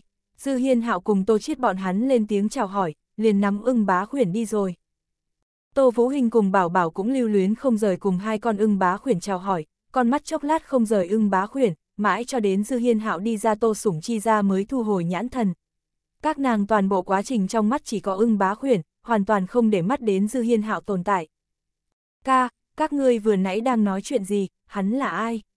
Không biết hắn có thể hay không đối chó con tốt, thu hồi ánh mắt sau, Tô Vũ Hình một hỏi liên tiếp tốt mấy vấn đề. Vừa nãy Tô Vũ Hình cùng bảo bảo một mực tại cùng ưng bá khuyển chơi, sự chú ý toàn bộ đặt ở ưng bá khuyển trên người. Lại tăng thêm Dư Hiên Hạo cùng Tô Chiết đang nói đến đấu khuyển thời điểm tranh tài, bọn hắn hết sức nhỏ giọng, cho nên bọn họ đúng là không có nghe được cái gì. Hắn là bằng hữu của ta, vừa nãy chúng ta chỉ là tùy tiện nói chuyện phiếm, không có tán gẫu cái gì, còn có các ngươi yên tâm, tin tưởng cái này hai con chó sẽ sống rất tốt. Tô Chiết từng cái trả lời Tô Vũ Hình vấn đề, về phần hai con ưng bá khuyển tương lai vận mệnh, nếu như là Dư Hiên Hạo chính mình nuôi lời nói, Tô Chiết còn có thể có chút không yên lòng. Thế nhưng Dư Hiên Hạo nói đúng mua lại, muốn tặng cho hai cái muội muội, đó phải là đưa cho Dư Tố Y cùng Lăng Nhược Tuyết. Lấy Dư Tố Y đối tiểu kim thái độ, tin tưởng nên đối ưng bá khuyển rất tốt. Mà theo Tô Chiết, lấy Lăng Nhược Tuyết tính cách, cũng hẳn sẽ thích lên ưng bá khuyển. Đây là Tô Chiết trực giác, đương nhiên sẽ rất ít có nữ sinh không thích khả ái động vật. Trải qua Tô Chiết nói chuyện, Tô Vũ Hình mới yên lòng. Vũ Hình, người muốn cái gì dạng sủng vật, ca tiến người một con. Tô Chiết nói ra, ta muốn một bé đáng yêu lại thông minh, đẹp đẽ hơn vừa biết nghe lời sủng vật. Tô Vũ Hình cao mày nghĩ đến rất lâu, mới lập lờ nước đôi nói. Tô Vũ Hình yêu thích rất nhiều loại sủng vật, thật muốn nàng lựa chọn trong đó một loại lời nói, nàng hiện tại nhất thời cũng không cách nào nói suốt mình thích sủng vật đến. Tô Chiết cười khổ, đẹp đẽ khả ái sủng vật có rất nhiều loại, hắn cũng không thể xác định Tô Vũ Hình ưa thích là một loại nào, xem ra hắn cần phí một phen tâm tư. Chuyện này chỉ có thể trước gác lại một chút, hắn ôm lấy bảo bảo, dùng mặt ma thẳng bảo bảo khuôn mặt nhỏ bé, đùa được bảo bảo khanh khách cười không ngừng, chơi một hồi, Tô Chiết mới lên tiếng, bảo bảo ngươi muốn cái gì sủng vật, ca ca cũng tiến ngươi một con, có được hay không? Không cần, bảo bảo có đại đần quy, còn có ca ca tiểu tuyết long bồi tiếp bảo bảo chơi, bảo bảo sợ chiếu cố không tốt chúng nó. Bảo bảo ngữ khí rất nghiêm túc trả lời, khuôn mặt nhỏ bé hồng hồng, không nói ra được đáng yêu.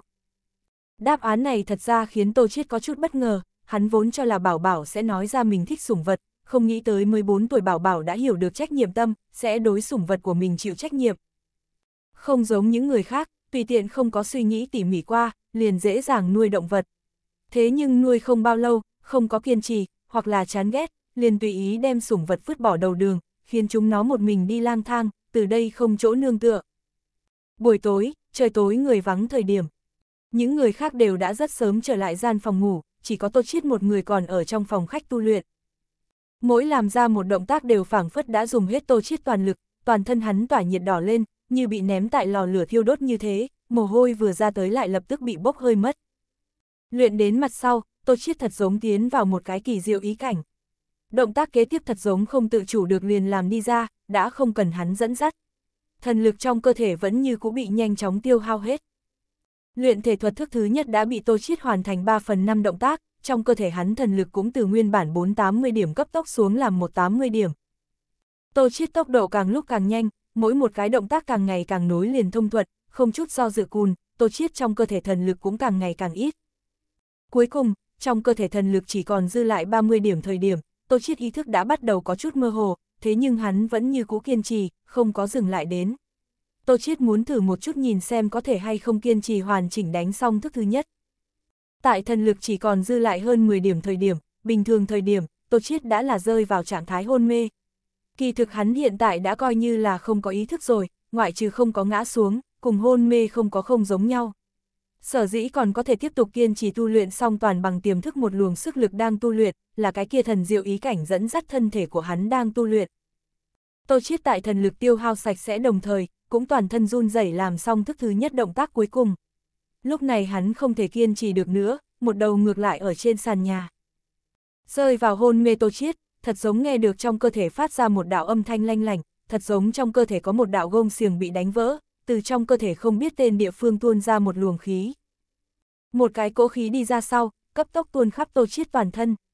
Khí này chỗ trải qua thân thể mỗi một lần địa phương, cái kia một nơi thật giống đều phát ra sung sướng cảm xúc, cấp tốc tham lam hấp thu một cái cỗ khí. Tô Chiết thân thể thật giống đã nhận được thuốc đại bổ, vô cùng thoải mái. Một cái cỗ khí rất nhanh sẽ bị hấp thu sạch sẽ, tại đây khí biến mất thời điểm, cái kia cảm giác thoải mái cũng biến mất không còn tâm tích. Tùy theo mà đến là một luồng cơn đói bụng cồn cào cảm giác, rơi vào hôn mê Tô Chiết miễn cưỡng bị đói bụng tỉnh rồi. Nhịn xuống này cho người cực độ khó chịu đói bụng, Tô Chiết cấp tốc từ dưới đất bò dậy, chạy đến trong phòng bếp, chỉ cần thấy được ăn được, hắn cũng mặc kệ cái gì, tại xé ra đóng gói sau, liền liều mạng hướng về trong miệng nhét, cái bụng thật giống biến thành động không đáy như thế. Tô Chiết đang tiêu diệt kinh đồ ăn của người sau, khó chịu cảm giác đói bụng mới biến mất, thân thể của hắn mới dễ chịu một điểm. Lúc này, Tô Chiết mới có tâm tư thể hội một chút thay đổi của mình, hắn bây giờ thể chất đã đạt đến 50 điểm. Hắn tùy ý đánh một quyền, uy thế hừng hực. Tô Chiết đoán chừng hắn xuất hiện đang toàn lực đánh ra một quyền lời nói, sức mạnh có thể đạt đến 1.000 kg, sức mạnh này thập phần khủng bố, đã có thể nói là đến phổ thông cực hạn của con người. Này ngược lại là để Tô Chiết có chút kinh hỉ, hắn cũng không nghĩ tới thể chất tại lên tới 50 điểm thời điểm, sức mạnh thậm chí có mức độ lớn tăng cường, khi hắn thể chất chỉ có 48 điểm thời điểm, hắn một quyền chỉ có thể đánh ra 800 kg khoảng chừng. Ngoại trừ sức mạnh, tốc độ cùng phản ứng cũng tăng lên không ít.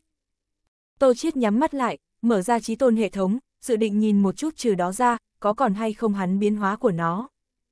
Ký chủ, Tô Chiết thể chất, 50 thần lực, 500 tích phân, 1020 tử hệ thống, sủng vật hối đoái thương thành chủ giới diện ngoại trừ con số có một ít biến hóa, những thứ khác ngược lại là không hề khác gì nhau, Tô Chiết tiếp tục mở ra sủng vật hối đoái thương thành. Sủng vật hối đoái thương thành cũng không phải cùng rồi, giới diện lên ngoại trừ phàm thú ở ngoài, còn mặt khác nhiều hơn một cái dị thú cho người lựa chọn. Tô Chiết tiếp tục mở ra dị thú, giới diện nhất thời xuất hiện đủ loại đủ kiểu động vật. Các loại thiên hình vạn trạng động vật để Tô Chiết mở mang tầm mắt, nguyên lai này dị thú cũng không thuộc về địa cầu động vật. Những này dị thú hối đoái cần tích phân cùng phàm thú ngược lại là không kém nhiều. Tô Chiết đại khái xem một cái dị thú sau, liền lui ra trí tôn hệ thống, thể chất lên tới 50 điểm, ngoại trừ thực lực tăng lên bên ngoài, sủng vật hối đoái thương thành nhiều hơn một cái dị thú, trí tôn hệ thống cái khác đúng là không có biến hóa, Tô Chiết tạm lúc cũng không có nghĩ tới đây dị thú có ích lợi gì, đối với hắn hiện tại đến nói không có trợ giúp gì. Bây giờ sắc trời đã muộn rồi, Tô Chiết ngày mai còn cần dậy sớm, cho nên Tô Chiết liền tắm rửa sạch sẽ sau, về phòng ngủ đi. Ngày thứ hai, Tô Chiết cùng Tô Vũ Hình ngồi xe đi tới sân bay, hôm nay là ngày mùng 5 tháng 5, Tô Vũ Hình kỳ nghỉ chấm dứt ở đây, ngày mai nàng liền muốn khai giảng, hôm nay liền muốn đi máy bay về trường học.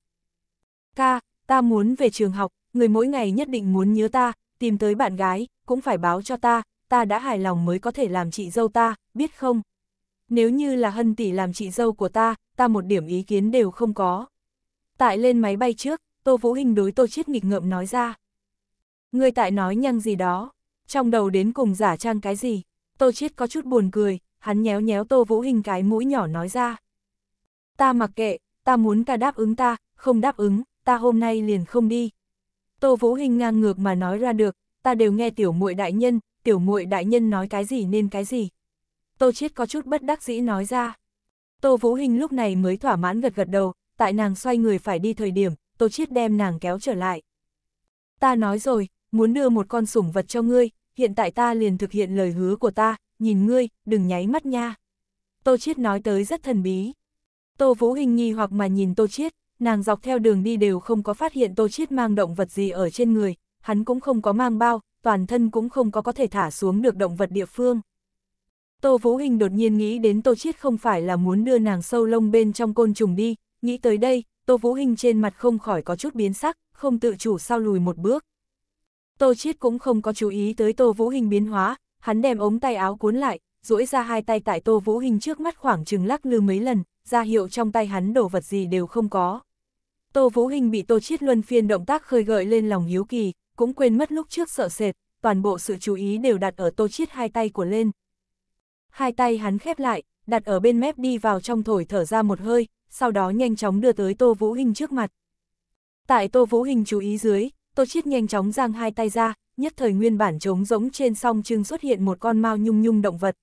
Tận mắt thấy này con động vật nhỏ xuất hiện Tô Vũ hình, không khỏi có chút sững sờ. Tại toàn bộ quá trình bên trong, Tô Chiết mỗi một cái động tác, Tô Vũ hình đều không có bỏ qua, thế nhưng nàng vẫn không hiểu Tô Chiết là làm sao làm được, hắn là làm sao vô thanh vô tức biến ra một con này động vật, hoàn toàn là từ không sinh có. Tô Vũ Hinh si ngốc nhìn nó, một lát sau mới phản ứng được, nàng hoan hô một tiếng, vội vàng từ Tô Chiết trong tay tiếp nhận một con này động vật. Tại Tô Vũ Hinh ngay dưới mắt, Tô Chiết miễn cưỡng bỗng dưng biến ra một con động vật nhỏ đến, Tô Vũ Hinh còn chưa từng thấy thần kỳ như vậy ma thuật, này xưng là trên thế giới thần kỳ nhất ma thuật cũng không quá đáng. Bất quá Tô Vũ Hinh bị động vật nhỏ hấp dẫn, nhất thời ngược lại là quên đi hỏi dò Tô Chiết rốt cuộc là làm sao làm được. Tô Chiết đương nhiên sẽ không biểu diễn ma thuật, vì cho Tô Vũ hình một điểm kinh hỉ, này con động vật nhỏ là Tô Chiết tại lấy tay đưa tới Tô Vũ hình trước mặt trong quá trình, cấp tốc mở ra sủng vật hối đoái thương thành, chọn lựa động vật hối đoái đi ra ngoài. Trước đó, Tô Chiết cũng lo lắng cho mình hối đoái động vật thời điểm sẽ bị người phát hiện, dù sao tại hối đoái động vật lúc đi ra, sẽ có một vệt sáng mang từ hắn mi tâm bắn ra, tia sáng này quá làm người khác chú ý. Bất quá sau đó hắn phát xuất hiện lo lắng của mình là đa nghi, bởi vì ngoại trừ Tô Chiết ở ngoài, những người khác ánh mắt căn bản là không nhìn thấy tia sáng này. Tô Chiết cũng thử qua tại hối đoái động vật thời điểm, dùng chữ số máy quay phim đem toàn bộ quá trình đập xuống đến. Thế nhưng Tô Chiết nhìn video, cũng không hề phát hiện có những gì ánh sáng xuất hiện, chỉ là hối đoái động vật đột nhiên xuất hiện mà thôi, ngoài ra cũng không còn hắn dị thường của nó. Ở cái này hối đoái trong quá trình, ngoại trừ Tô Chiết bên ngoài người, không chỉ những người khác ánh mắt, không cách nào nhìn thấy hối đoái thời điểm xuất hiện ánh sáng, liền ngay cả vận dụng thiết bị cũng không cách nào vỗ tới trong quá trình ánh sáng. Cái này cũng là Tô Chiết hiện tại dám ở phi trường bên trong, ở trước công chúng hối đoái động vật đi ra, mà không lo lắng bạo lộ bí mật nguyên nhân. Tô Vũ Hình cẩn thận từng ly từng tí ôm trong tay động vật nhỏ, chỉ lo té xuống. Nguyên lai Tô Chiết hối đoái động vật là một con sủng vật trồn. Con này không an phận nhân vật, cũng là một cái không an phận nhân vật, từ Tô Vũ Hình trong tay cấp tốc chạy tới trên bờ vai của nàng, tứ chi thập phần linh hoạt, hành động rất nhanh nhẹn. Con này sủng vật trồn tiểu trên gương mặt khảm một đôi sáng sủa mắt nhỏ, trên người màu nhũ bạch cái lông, nhìn qua rất có sáng bóng, thập phần bóng loáng nhu thuận, lại tăng thêm màu hồng cái mũi nhỏ, sủng vật trồn chỉnh thể có vẻ đặc biệt đẹp đẽ đáng yêu. Bởi vì Tô Vũ Hình xem như là con này sủng vật trồn nhìn thấy cái thứ nhất người, cho nên ngoại trừ Tô Chiết bên ngoài, Tô Vũ Hình là con này sủng vật trồn người thân cận nhất, cho nên cũng không phải sợ Tô Vũ Hinh, cùng Tô Vũ Hinh cực kỳ thân mật. Sủng vật trồn hình thể cùng mèo nhà tương tự lớn nhỏ, thành niên công sủng vật trồn thân dài ước 40cm, nặng 0.8 đến 2 kg khoảng chừng, mẫu sủng vật trồn thân dài ước 35cm, nặng 0.5 đến 1 tháng 5 kg trong lúc đó. Sủng vật tuổi thọ bình thường là có thể đạt đến 8 đến 12 năm trong lúc đó. Sủng vật trồn là thuộc về một loại cực địa động vật, so sánh nhịn lạnh, nhưng là vì sủng vật trồn không có tuyến mồ hôi, cho nên chịu nhiệt năng lực tương đối độ chênh lệch. Sủng vật trồn nhưng thật ra là trồn tuyết, nó danh tự tuy rằng gọi trồn, thế nhưng là không phải thuộc về trồn loại, kỳ thực cùng trồn một chút quan hệ cũng không có, cho nên có thể chăn nuôi sủng vật trồn. Sủng vật trồn thân hình có chút thon dài, hiện lên dáng thuôn dài, thân thể tròn trịa, không có bất kỳ sừng nhọn cùng bẹp địa phương, da lông mềm mại có sáng bóng. Sủng vật trồn màu sắc gộp lại có hơn 40 loại, so với mèo cùng chó màu sắc còn muốn phức tạp cùng đẹp đẽ nhiều lắm. Âu Châu, Mỹ Quốc cùng bản Nhật Quốc nuôi trồn tuyết đã tạo thành một loại thời thượng phong trào. Trồn tuyết không chỉ có nắm giữ thuộc về mình câu lạc bộ, thậm chí còn sẽ định kỳ cử hành sủng vật trồn Thế vận hội Olympic. Hiện nay sủng vật trồn có hai loại, chia ra làm Anglo cùng Marse. Đều thuộc về động vật ăn thịt mục, trồn sóc chuột khoa. Mà Tô Chiết cho Tô Vũ Hình hối đoái sủng vật trồn là ma xe trồn tuyết, bởi vì ma xe trồn tuyết tính cách Biangelu trồn tuyết dịu ngoan rất nhiều, trên căn bản chưa từng nghe qua ma xe trồn tuyết công kích chủ nhân sự tình. Tô Chiết ngày hôm qua tại đáp ứng rồi Tô Vũ Hinh sau, nhưng là dòng dã muốn một ngày, mới quyết định hối đoái ma xe trồn tuyết đưa cho Tô Vũ Hinh. Đồng thời Tô Chiết tại ngày hôm qua giúp Tô Vũ Hinh đính vé máy bay thời điểm, hắn cũng đã giúp ma xe trồn tuyết dự định có dưỡng kho vị, liền ngay cả sủng vật trồn một ít chứng minh, cùng vận chuyển sủng vật cần kiểm dịch chứng minh Tô Chiết cũng rất sớm công việc được rồi. Có Tô Sủng chi ra, Tô Chiết công việc những này chứng minh cũng không khó. Thích sao, con này trồn tuyết nhưng là hao tốn ta không ít tâm tư. Kỳ thực không cần hỏi Tô Chiết đã biết tiêu diệt, Tô Vũ Hình cùng ma xe trồn tuyết hiện tại biểu hiện như thế thân cận, Tô Vũ Hình nói rõ đối con này ma xe trồn tuyết rất hài lòng, con này sủng vật trồn thật đáng yêu, ta rất yêu thích, trước đây ta liền một mực muốn nuôi, hiện tại rốt cuộc thỏa mãn nguyện vọng, cảm tạ ca. Tô Vũ Hình con mắt cười thành Nguyệt Nha Nhi, không ngừng mà đùa ma xe trồn tuyết, ánh mắt một khắc đều không rời đi ma xe trồn tuyết. Hiện tại chứng minh rồi Tô Chiết lựa chọn không có sai, Tô Vũ Hình đích xác rất yêu thích con này ma xe trồn tuyết, Tô Chiết cuối cùng là đoái hiện đối Tô Vũ Hình hứa hẹn. Tô Chiết cùng Tô Vũ Hình đút điểm đồ ăn cho ma xe trồn tuyết, sau đó ở phi trường bên trong mua hàng không hòm, đem ma xe trồn tuyết bỏ vào hàng không trong dương, lại ấn chiếu thủ tục đem ma xe trồn tuyết đưa lên có dưỡng nơi chứa hàng. Tô Chiết tại Tô Vũ Hình lên phi cơ trước, cầm một bình thần lực nước thuốc cho nàng, làm cho nàng bất cứ lúc nào mang ở trên người. Làm cho nàng gặp phải cái gì hết ý thời điểm, có thể dùng được với, lấy phòng ngừa vạn nhất cũng tốt. Cuối cùng đợi Tô Vũ Hinh lên máy bay, Tô Chiết đang định rời đi phi trường thời điểm, điện thoại di động của hắn vang lên, là Lưu Hùng đánh tới. Tô Chiết, hôm nay có rảnh rỗi hay không? Lưu Hùng sang sảng âm thanh thông qua điện thoại di động truyền ra. Lưu ca, có chuyện gì không? Ngươi thật giống như hứng thú rất lớp 10 dạng. Tô Chiết hỏi. Lần này đổ thạch tiết văn hóa liền cũng gần kết thúc rồi, có muốn hay không cùng ta đồng thời lại đi chơi một chút? Bỏ lỡ, về sau muốn chơi sẽ không có cơ hội tốt như vậy. Được, Lưu ca gọi vào, ta nhất định sẽ đi, cho dù không có thời gian cũng phải chen ra thời gian đến AH Tô Chiết nói ra, hắn bây giờ đối với đổ thạch cũng rất có hứng thú, này đánh cược trong đá lợi nhuận nhưng là sâu sắc hấp dẫn Tô Chiết. Lưu Hùng hỏi Tô Chiết hiện tại ở nơi nào sau, để Tô Chiết ở phi trường chờ hắn tới đón. Vốn là Tô Chiết cũng không tính phiền phức như vậy, hắn trực tiếp ngồi xe đi là được rồi. Cần gì Lưu Hùng tới đón hắn đi, cứ như vậy không phải càng lãng phí thời gian, nhưng là Lưu Hùng không có cho Tô Chiết mở miệng cơ hội cự tuyệt, nói xong cũng trực tiếp cúp điện thoại. Kết quả không có 10 phút, Lưu Hùng Bentley Continental liền ngừng đến Tô Chiết trước mặt. Tô Chiết mở cửa xe, cùng Lưu Hùng đồng thời ngồi tại ghế sau. Ta vừa vặn tại phụ cận làm ít chuyện, không nghĩ tới người cũng ở nơi đây, liền tiện đường tới đón người rồi. Lưu Hùng trước tiên giải thích. Nha, là như thế này a hát, Lưu ca hôm nay làm sao đột nhiên muốn đi ngoạn đổ thạch. Hôm nay không có chuyện gì muốn làm, tương đối rãnh rỗi, hơn nữa hôm nay đổ thạch tiết văn hóa có một ít hoạt động, cho nên liền định đi xem xem, ta bảo đảm ngươi hôm nay đi rồi khẳng định sẽ không hối hận. Lưu Hùng thần bí nói.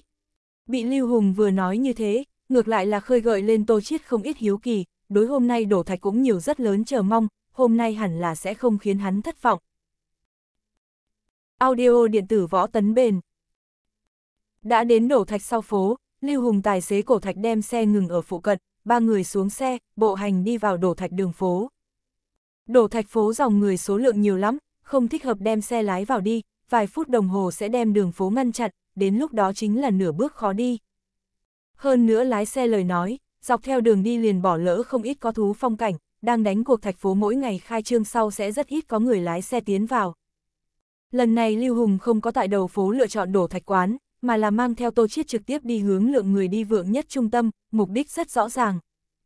Lưu Hùng mang Tô Chiết tới là một gian tên là Ngọc Hinh đổ thạch quán, gian phòng này Ngọc Hinh đổ thạch quán không chỉ có chiếm cứ đổ thạch giữa đường vượng nhất địa phương, hơn nữa cửa hàng quy mô đang đánh cuộc thạch giữa đường đổ thạch trong quán cũng là kể đến hàng đầu.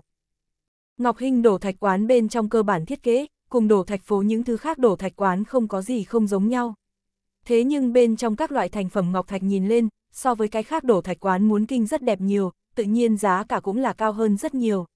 Trên căn bản hết thảy đổ thạch quán trọng tâm đều là đặt ở phỉ thúy nguyên thạch lên, liên quan với điểm này Ngọc Hinh đổ thạch quán cũng sẽ không ngoại lệ.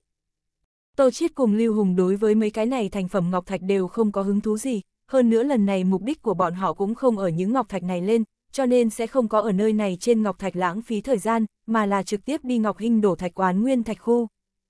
Ngọc Hinh đổ thạch quán nguyên thạch khô quy mô cũng là rất lớn, giá cả từ thấp đến cao phỉ thúy nguyên thạch không thiếu gì cả. Thế nhưng Tô Chiết phát hiện đến Ngọc Hinh đổ thạch quán người, rất ít người tại chọn lựa phỉ thúy ngọc thạch. Thế nhưng nguyên thạch khu lại tụ tập rất nhiều người, Lưu Hùng cũng không giống lần trước đến đổ thạch trong quán, đi chọn phỉ thúy nguyên thạch, mà là mang theo Tô Chiết cũng đi trung tâm chỗ. Đợi Tô Chiết đi tới nguyên thạch trong vùng thời điểm, rốt cuộc biết vì sao lại có nhiều như vậy người vây ở nơi này. Nguyên lai là Ngọc Hinh đổ thạch quán ở nơi này cử hành đổ thạch, Ngọc Hinh đổ thạch quán chọn 5 khối phỉ thúy nguyên thạch đi ra, đem này 5 khối nguyên thạch giá cả, cùng với đổ thạch giới nổi danh đổ thạch sư giám định phán đoán, đều trưng bày tại tất cả mọi người trước mặt, cùng mọi người tham quan rót. Ngọc Hinh đổ thạch quán cuối cùng sẽ ở hiện trường đem 5 khối phỉ thúy nguyên thạch đều mở ra, cuối cùng giá trị cao nhất cái kia một khối phỉ thúy thắng lợi. Mà phán đoán phỉ thúy giá trị là do đổ thạch giới 5 vị nổi danh chuyên gia giám định, cộng đồng cho ra kết quả mà định ra. Này năm khối phỉ thúy nguyên thạch nguyên bản giá cả không ít, giá cả thấp nhất phỉ thúy nguyên thạch đều cần 1.5 triệu, mà giá cả cao nhất phỉ thúy ngọc thạch cần 5 triệu. Đồng thời Ngọc Hinh đổ thạch quán cũng bán ra này năm khối phỉ thúy nguyên thạch, đương nhiên mua sắm này phỉ thúy nguyên thạch người, đang tách đá trong quá trình, bất kể là đánh cược chướng mở hàng hụt cũng không thể đổi ý, nhất định phải đồng ý đem cái này một khối phỉ thúy toàn bộ giải đi ra, kết quả đi ra sau mới có thể mang đi. Bởi vì cái này tham dự đổ thạch năm khối phỉ thúy nguyên thạch biểu hiện không giống nhau, giá cả cũng không đồng dạng, bởi vậy mỗi một khối phỉ thúy nguyên thạch tỷ lệ đặt cược cũng đều không giống nhau, có cao có thấp.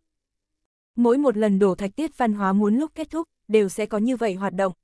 Bình thường đều là như địa phương đổ thạch giới long đầu cử hành, lần này đổ thạch tiết văn hóa chính là Ngọc Hinh đổ thạch quán đi đầu, liên hợp cái khác có thực lực đổ thạch quán cử hành. Cũng là Lưu Hùng bảo đảm Tô Chiết sẽ không hối hận tới nơi này đổ thạch nguyên nhân, đối như vậy hoạt động, Tô Chiết đích xác rất có hứng thú. Cho nên Tô Chiết dự định chọn một khối phỉ thúy nguyên thạch đánh cược một lần nhìn xem, dự định đặt cược người đều có thể đi qua quan sát phỉ thúy nguyên thạch, cho nên Tô Chiết cùng Lưu Hùng Tựu đi tới phỉ thúy nguyên thạch nơi này, dự định lựa chọn chính mình hợp tâm ý phỉ thúy nguyên thạch. Tại Tô Chiết cùng Lưu Hùng quan sát thời điểm, có một cái nam tử đi tới, cùng Lưu Hùng chào hỏi. Lưu Tổng, không nghĩ tới ở nơi này cũng có thể gặp phải ngươi, thật là có duyên, vị này chính là. Nam tử này chừng 20, mặt như ngọc, hiền lành lịch sự, chỉ là trong ánh mắt có một ít tà mị. Nguyên lai là trịnh tiên sinh A Hát, này là bằng hữu của ta Tô Chiết, vị này chính là Ngọc Hinh tập đoàn trịnh viêm trịnh tiên sinh, gian phòng này Ngọc Hinh đổ thạch quán chính là trịnh viêm nhà xí nghiệp. Lưu Hùng cười là Tô Chiết cùng trịnh viêm hai người giới thiệu. Để Lưu Tổng chê cười, Ngọc Hinh tập đoàn làm sao so được với Lưu Tổng tập đoàn A Hát, Tô Tiên Sinh, hôm nay rất hân hạnh được biết ngươi. Trịnh Viêm đưa tay ra cùng Tô Chiết nắm tay. Trịnh Tiên Sinh, ta cũng thật cao hứng có thể nhận thức ngươi. Tô Chiết cũng đưa tay ra đến, tuy rằng Trịnh Viêm biểu hiện hào hoa phong nhã, đối Lưu Hùng cùng Tô Chiết nhìn như đều nho nhã lễ độ, lễ tiết đều làm đến nơi đến chốn. Thế nhưng Tô Chiết từ Trịnh Viêm ánh mắt bên trong cảm giác được một điểm khinh thường cùng địch ý. Cái cảm giác này rất nhạt, nhạt đến khiến người ta rất dễ dàng liền không để ý đến, liền ngay cả Lưu Hùng đều không có cảm giác đến. Trịnh Viêm xem thường, Tô Chiết hoặc nhiều hoặc ít có thể rõ ràng một ít, bởi vì hắn trang điểm cũng không như là một cái người có quyền thế, như trịnh viêm như vậy mắt cao hơn đầu xem thường hắn, Tô Chiết cũng có thể lý giải. Thế nhưng trịnh viêm địch ý đối với hắn, Tô Chiết liền có chút không rõ. Trước đó Tô Chiết lại không quen biết trịnh viêm, xung đột càng là không thể nói là, hai cái người không quen biết từ nơi nào tới địch ý. Vậy thì để Tô Chiết không nghĩ ra, hơn nữa từ trịnh viêm ngôn hành cử chỉ cũng nhìn không ra có địch ý đến, Tô Chiết chỉ có thể cho rằng là chính mình ảo giác, mình là quá mức mẫn cảm rồi. Trịnh Viêm cùng Lưu Hùng khách sáo vài câu sau, tự lấy không làm lỡ bọn hắn dám định phỉ thúy nguyên thạch lý do cáo từ. Trịnh Viêm đi rồi, Lưu Hùng là Tô Chiết lần nữa tỉ mỉ giới thiệu Ngọc Hinh tập đoàn cùng Trịnh Viêm, Ngọc Hinh tập đoàn trước đó là quốc nội tiệm châu báu nghiệp kể đến hàng đầu long đầu, ở nước ngoài cũng giàu có nổi danh, Ngọc Hinh tập đoàn trước đây ít năm trọng tâm đặt ở tiệm châu báu nghiệp bên trong, tại mấy năm qua, bắt đầu phát triển y dược ngành nghề, đồng thời từ từ đem trọng tâm trách đi đến y dược ngành nghề. Mà trịnh viêm chính là Ngọc Hinh tập đoàn đời kế tiếp có hy vọng nhất người nối nghiệp, gần nhất vẫn muốn cùng Lưu Thị tập đoàn hợp tác. Cuối cùng Lưu Hùng nói ra, tương lai tô chiết trường hoa xưởng chế thuốc phát triển rất có thể, sẽ cùng Ngọc Hinh tập đoàn hình thành cạnh tranh, Vũ Hinh Dược nghiệp là trường hoa xưởng chế thuốc tương lai lớn nhất đối thủ cạnh tranh một trong.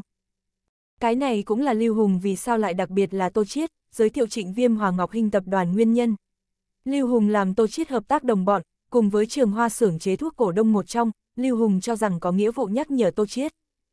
Đương nhiên Lưu Hùng cũng làm cho Tô Chiết hiện nay cũng không cần quá mức lưu ý trịnh viêm, bởi vì trịnh viêm Hòa Ngọc Hinh tập đoàn cũng không biết Lưu Hùng đầu tư trường hoa xưởng chế thuốc, cho dù biết cũng sẽ không có quá nhiều phản ứng, bởi vì tại y dược ngành nghề bên trong tập trung vào mấy chục triệu, căn bản là kích không nổi cái gì cuộn sóng đến. Muốn nói trịnh viêm là vì trường hoa xưởng chế thuốc, mới đối tô chiết có quan hệ có định ý, cũng nói không thông. Bởi vì trịnh viêm liền lưu hùng đầu tư trường hoa xưởng chế thuốc cũng không biết. Càng đừng nói sẽ chú ý đến không có danh tiếng gì tô chiết trên người đến.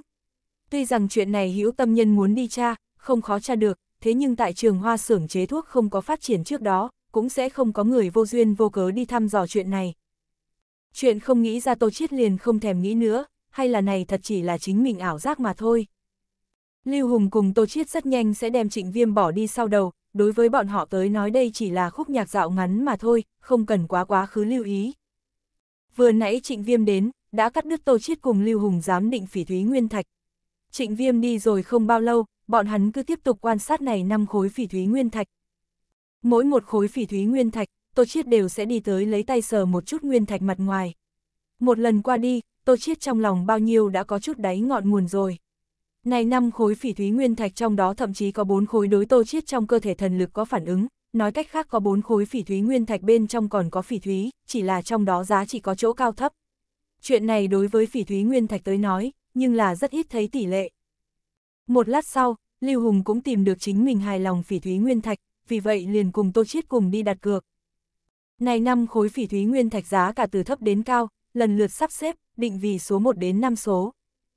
Tô Chiết lựa chọn là phỉ thúy nguyên thạch giá trị 150 vạn số 1, tỷ lệ đặt cược là một bồi 8.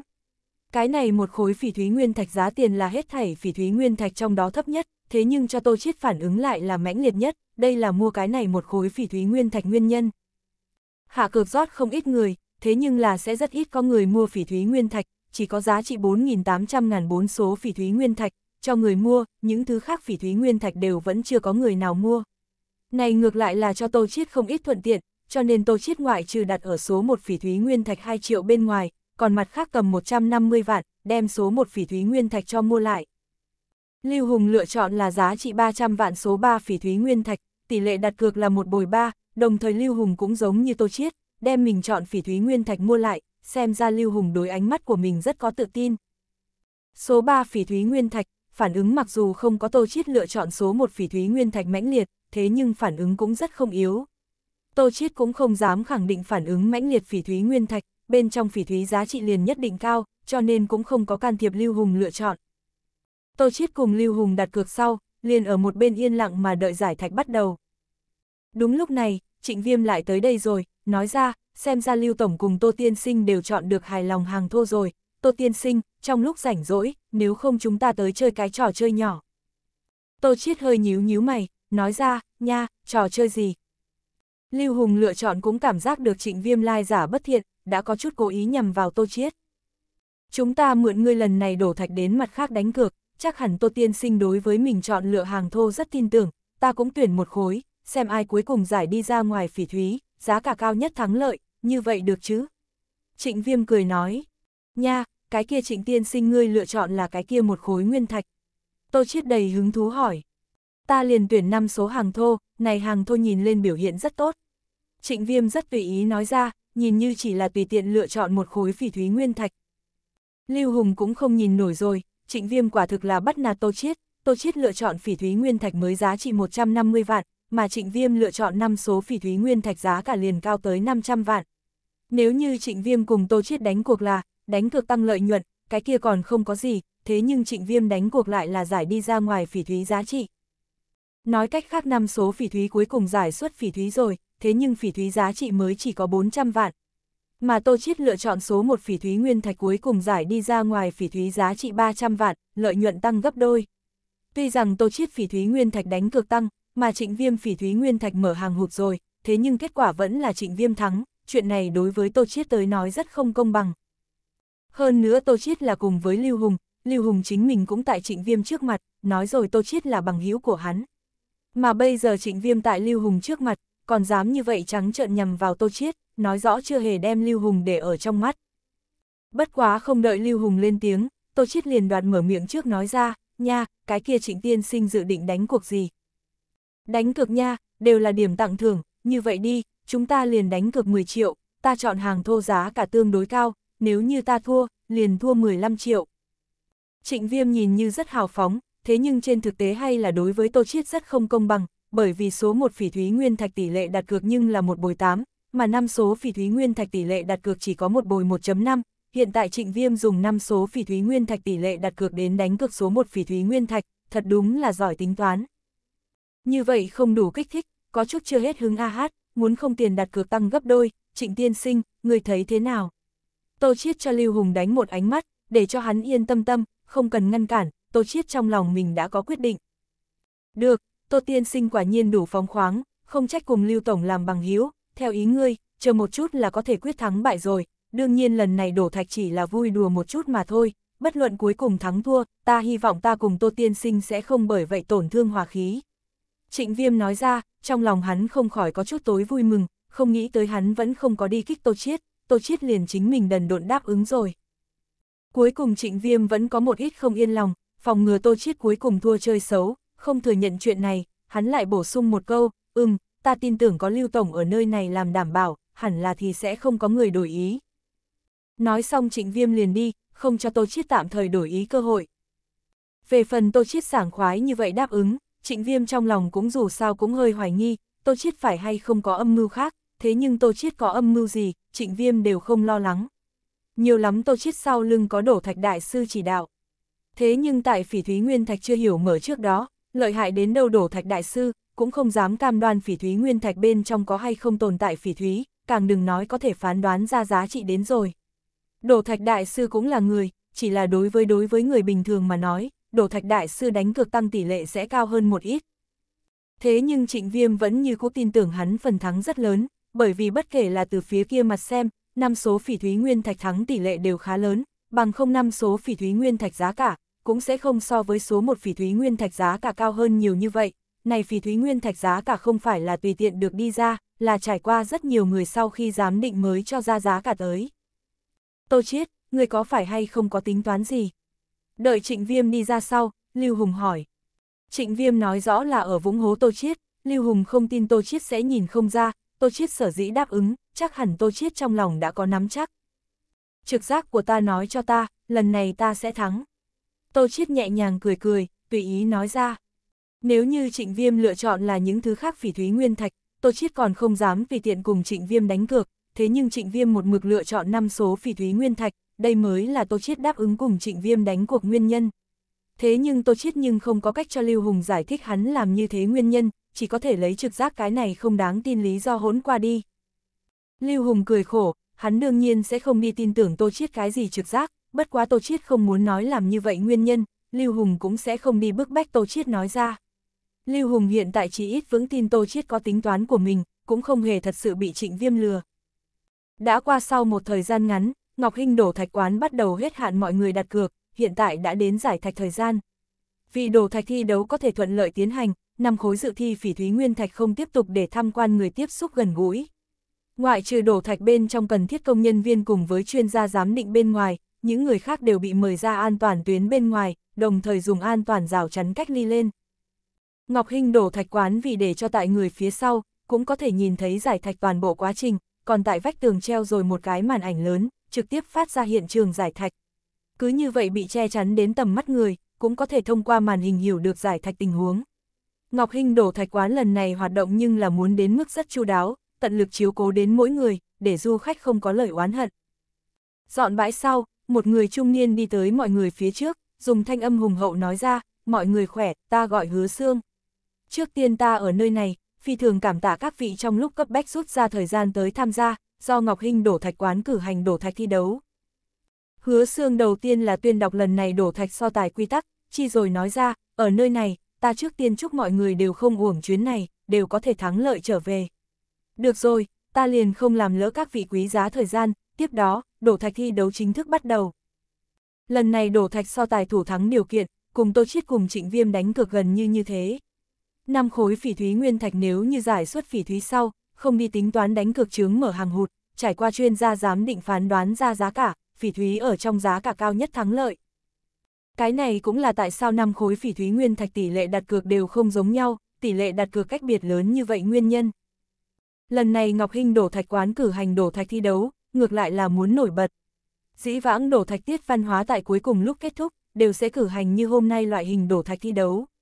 Nhưng là trước đây đổ thạch thi đấu, tổ chức phương đều là chọn giá trị sấp xỉ phỉ thúy nguyên thạch, như vậy tỷ lệ đặt cược cũng tương đồng. Theo hứa xương tuyên bố trận đấu bắt đầu sau, năm vị giải thạch sư phụ từng người đi hướng phỉ thúy nguyên thạch bên trong, này năm vị giải thạch sư phụ đều là chuyên nghiệp cấp bậc, giải thạch rất có kinh nghiệm, tiên có lúc thất thủ. Mỗi một vị giải thạch sư phụ cũng bắt đầu quan sát phỉ thúy nguyên thạch, nghiên cứu ra hợp lý nhất giải thạch bước đi đến. Tại đây công khai trong trận đấu, giải thạch nhưng là không qua loa được. Vạn nhất giải thạch thời điểm không cẩn thận phá hoại đến bên trong phỉ thúy, ảnh hưởng tới kết quả cuối cùng. Đến lúc đó không chỉ cần có mang tiếng xấu, liền danh dự đều sẽ mất giá rất nhiều. Dù sao cũng không thể đảm bảo người khác sẽ không hoài nghi giải thạch sư phụ cùng tổ chức mới có hậu trường giao dịch mà cố ý hành động. Giải thạch sư phụ vì tín dự của chính mình danh tiếng, đối với cái này lần giải thạch nhưng là lấy ra hoàn toàn tâm đến. Trong trận đấu năm khối phỉ thúy nguyên thạch đều là toàn bộ đánh cược phỉ thúy nguyên thạch, mà trong đó làm người khác chú ý nhất là năm số phỉ thúy nguyên thạch. Năm số phỉ thúy nguyên thạch là nhiều người nhất xem trọng, phần thắng là lớn nhất, tại năm số phỉ thúy nguyên thạch đặt cược người cũng là nhiều nhất. Đương nhiên năm số phỉ thúy nguyên thạch tỷ lệ đặt cược là thấp nhất, tỷ lệ đặt cược chỉ có một bồi 1.5. Này năm số phỉ thúy nguyên thạch đường kính O, 5 Âu, khoảng 6 mét, nặng đến 35 OKG, năm số phỉ thúy nguyên thạch nửa tấn nhiều thể tích, là năm khối phỉ thúy nguyên thạch bên trong lớn nhất cũng là nặng nhất. Phụ trách số 1 phỉ thúy nguyên thạch giải thạch sư phụ, trước tiên hoạch định xong như thế nào cởi số 1 phỉ thúy nguyên thạch. Tại số 1 phỉ thúy nguyên thạch vẽ lên chuẩn bị cắt tuyến, trợ thủ phối hợp số 1 giải thạch sư phụ đem nguyên thạch dọn xong, lắp xong máy cắt kim loại. Bên này một loạt động tác, nhất thời hấp dẫn chú ý của mọi người, ánh mắt của mọi người đều tụ tập tại số 1 phỉ thúy nguyên thạch trên người. Giải thạch sư phụ lựa chọn phỉ thúy nguyên thạch 1 phần 3 địa phương, máy cắt kim loại chậm rãi di động xuống dưới, số 1 phỉ thúy nguyên thạch cũng không lớn, máy cắt kim loại rất nhanh sẽ cắt rốt cuộc, trợ thủ lập tức lấy ra chuẩn bị xong nước tưới vào phỉ thúy nguyên thạch mặt cắt lên. Cắt ra trước mặt đều là đen xì, không có thứ gì, hiển nhiên là cắt vỡ rồi. Nhất thời không ít nhìn đến người ra một trận tiếc nuối hư thanh, bởi vì số một phỉ thúy nguyên thạch cao tỷ lệ đặt cược, đặt bát tại số một phỉ thúy nguyên thạch người cũng rất nhiều. Hiện tại số một phỉ thúy nguyên thạch đao thứ nhất liền cắt vỡ rồi, phần thắng thì càng thêm thấp. Theo số một phỉ thúy nguyên thạch bắt đầu giải thạch sau, năm số phỉ thúy nguyên thạch cũng bắt đầu chính thức giải thạch rồi, vẫn không có cảm thán bao lâu người vây xem liền lập tức bị rời đi sức hấp dẫn. Không hổ là biểu hiện tốt nhất năm số phỉ thúy nguyên thạch, đao thứ nhất đi xuống, chỉ thấy tái rồi. Nhất thời dẫn một trận hoan hô cùng nghị luận. Năm số phỉ thúy nguyên thạch vết cắt hiện ra xanh lá cây sắc, nhìn qua loại lão thủy túc, biểu hiện rất tốt. Thông qua số một phỉ thúy nguyên thạch cắt đổ, hơn nữa năm số phỉ thúy nguyên thạch, đao thứ nhất sẽ mở cửa đỏ, hai người này so với dưới khác biệt càng là có vẻ to lớn. Thấy ở đây, Lưu Hùng sắc mặt không khỏi hơi đổi một chút, có chút là Tô Chiết lo lắng. Ngược lại là Tô Chiết sắc mặt vẫn như cũ rất bình tĩnh, không có gì thay đổi, rất có một loại vân đạm phong khinh cảm giác. Lúc này, trịnh viêm lại tới bên người của bọn họ, nói ra, xem ra Tô Tiên Sinh, người hôm nay vận khí không thật là tốt a hát. Nghe nói người còn đem số một nguyên thạch mua lại rồi, tổn thất cũng không nhỏ chứ. Trịnh viêm hiện tại tới nói lời này, công khai là tới chào phúng Tô Chiết, đánh Tô Chiết mặt, Lưu Hùng sắc mặt càng là khó coi, này trịnh viêm cũng quá tự đại rồi. Có lẽ vậy, bất quá không tới cuối cùng, kết quả là như thế nào vẫn là không biết mấy. Tô Chiết trong mắt nhiều hơn một tia ý cười, nói ra.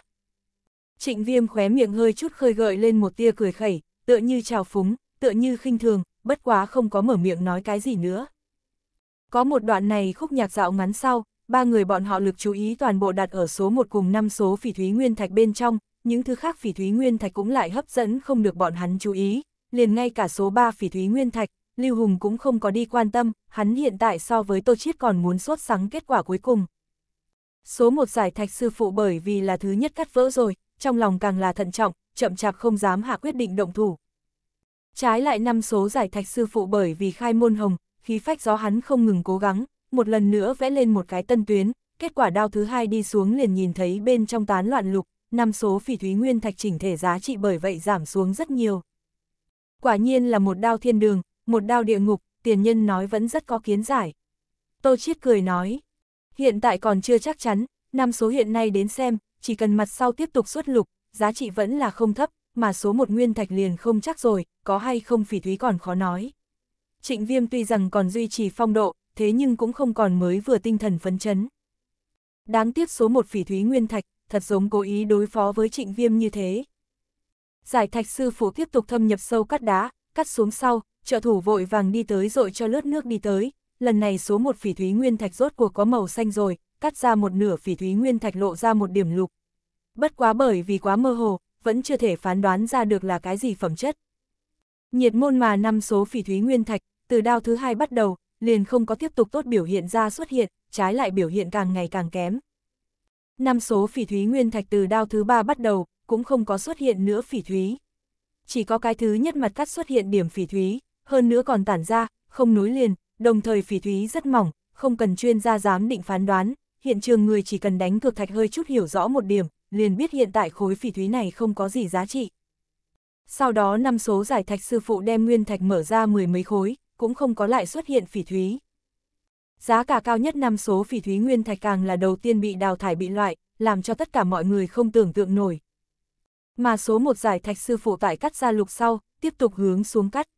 Mà mặt cắt màu xanh biếc càng rõ ràng hơn. Màn ảnh lớn dùng ra lục mặt cắt làm một cái đại đặc tả, làm cho tất cả mọi người có thể càng thêm thấy rõ ràng. Là chính dương lục, hơn nữa là thủy tinh loại, tăng, số một nguyên thạch tăng mạnh rồi. Có người vây xem không kìm lòng được hô lên. Hiện tại số một phỉ thúy nguyên thạch nếu như bán ra lời nói, ít nhất có thể giá trị 2 một triệu. Tô chiết ý cười càng thêm đậm đặc, mà trịnh viêm sắc mặt bắt đầu biến hóa, rất là khó coi.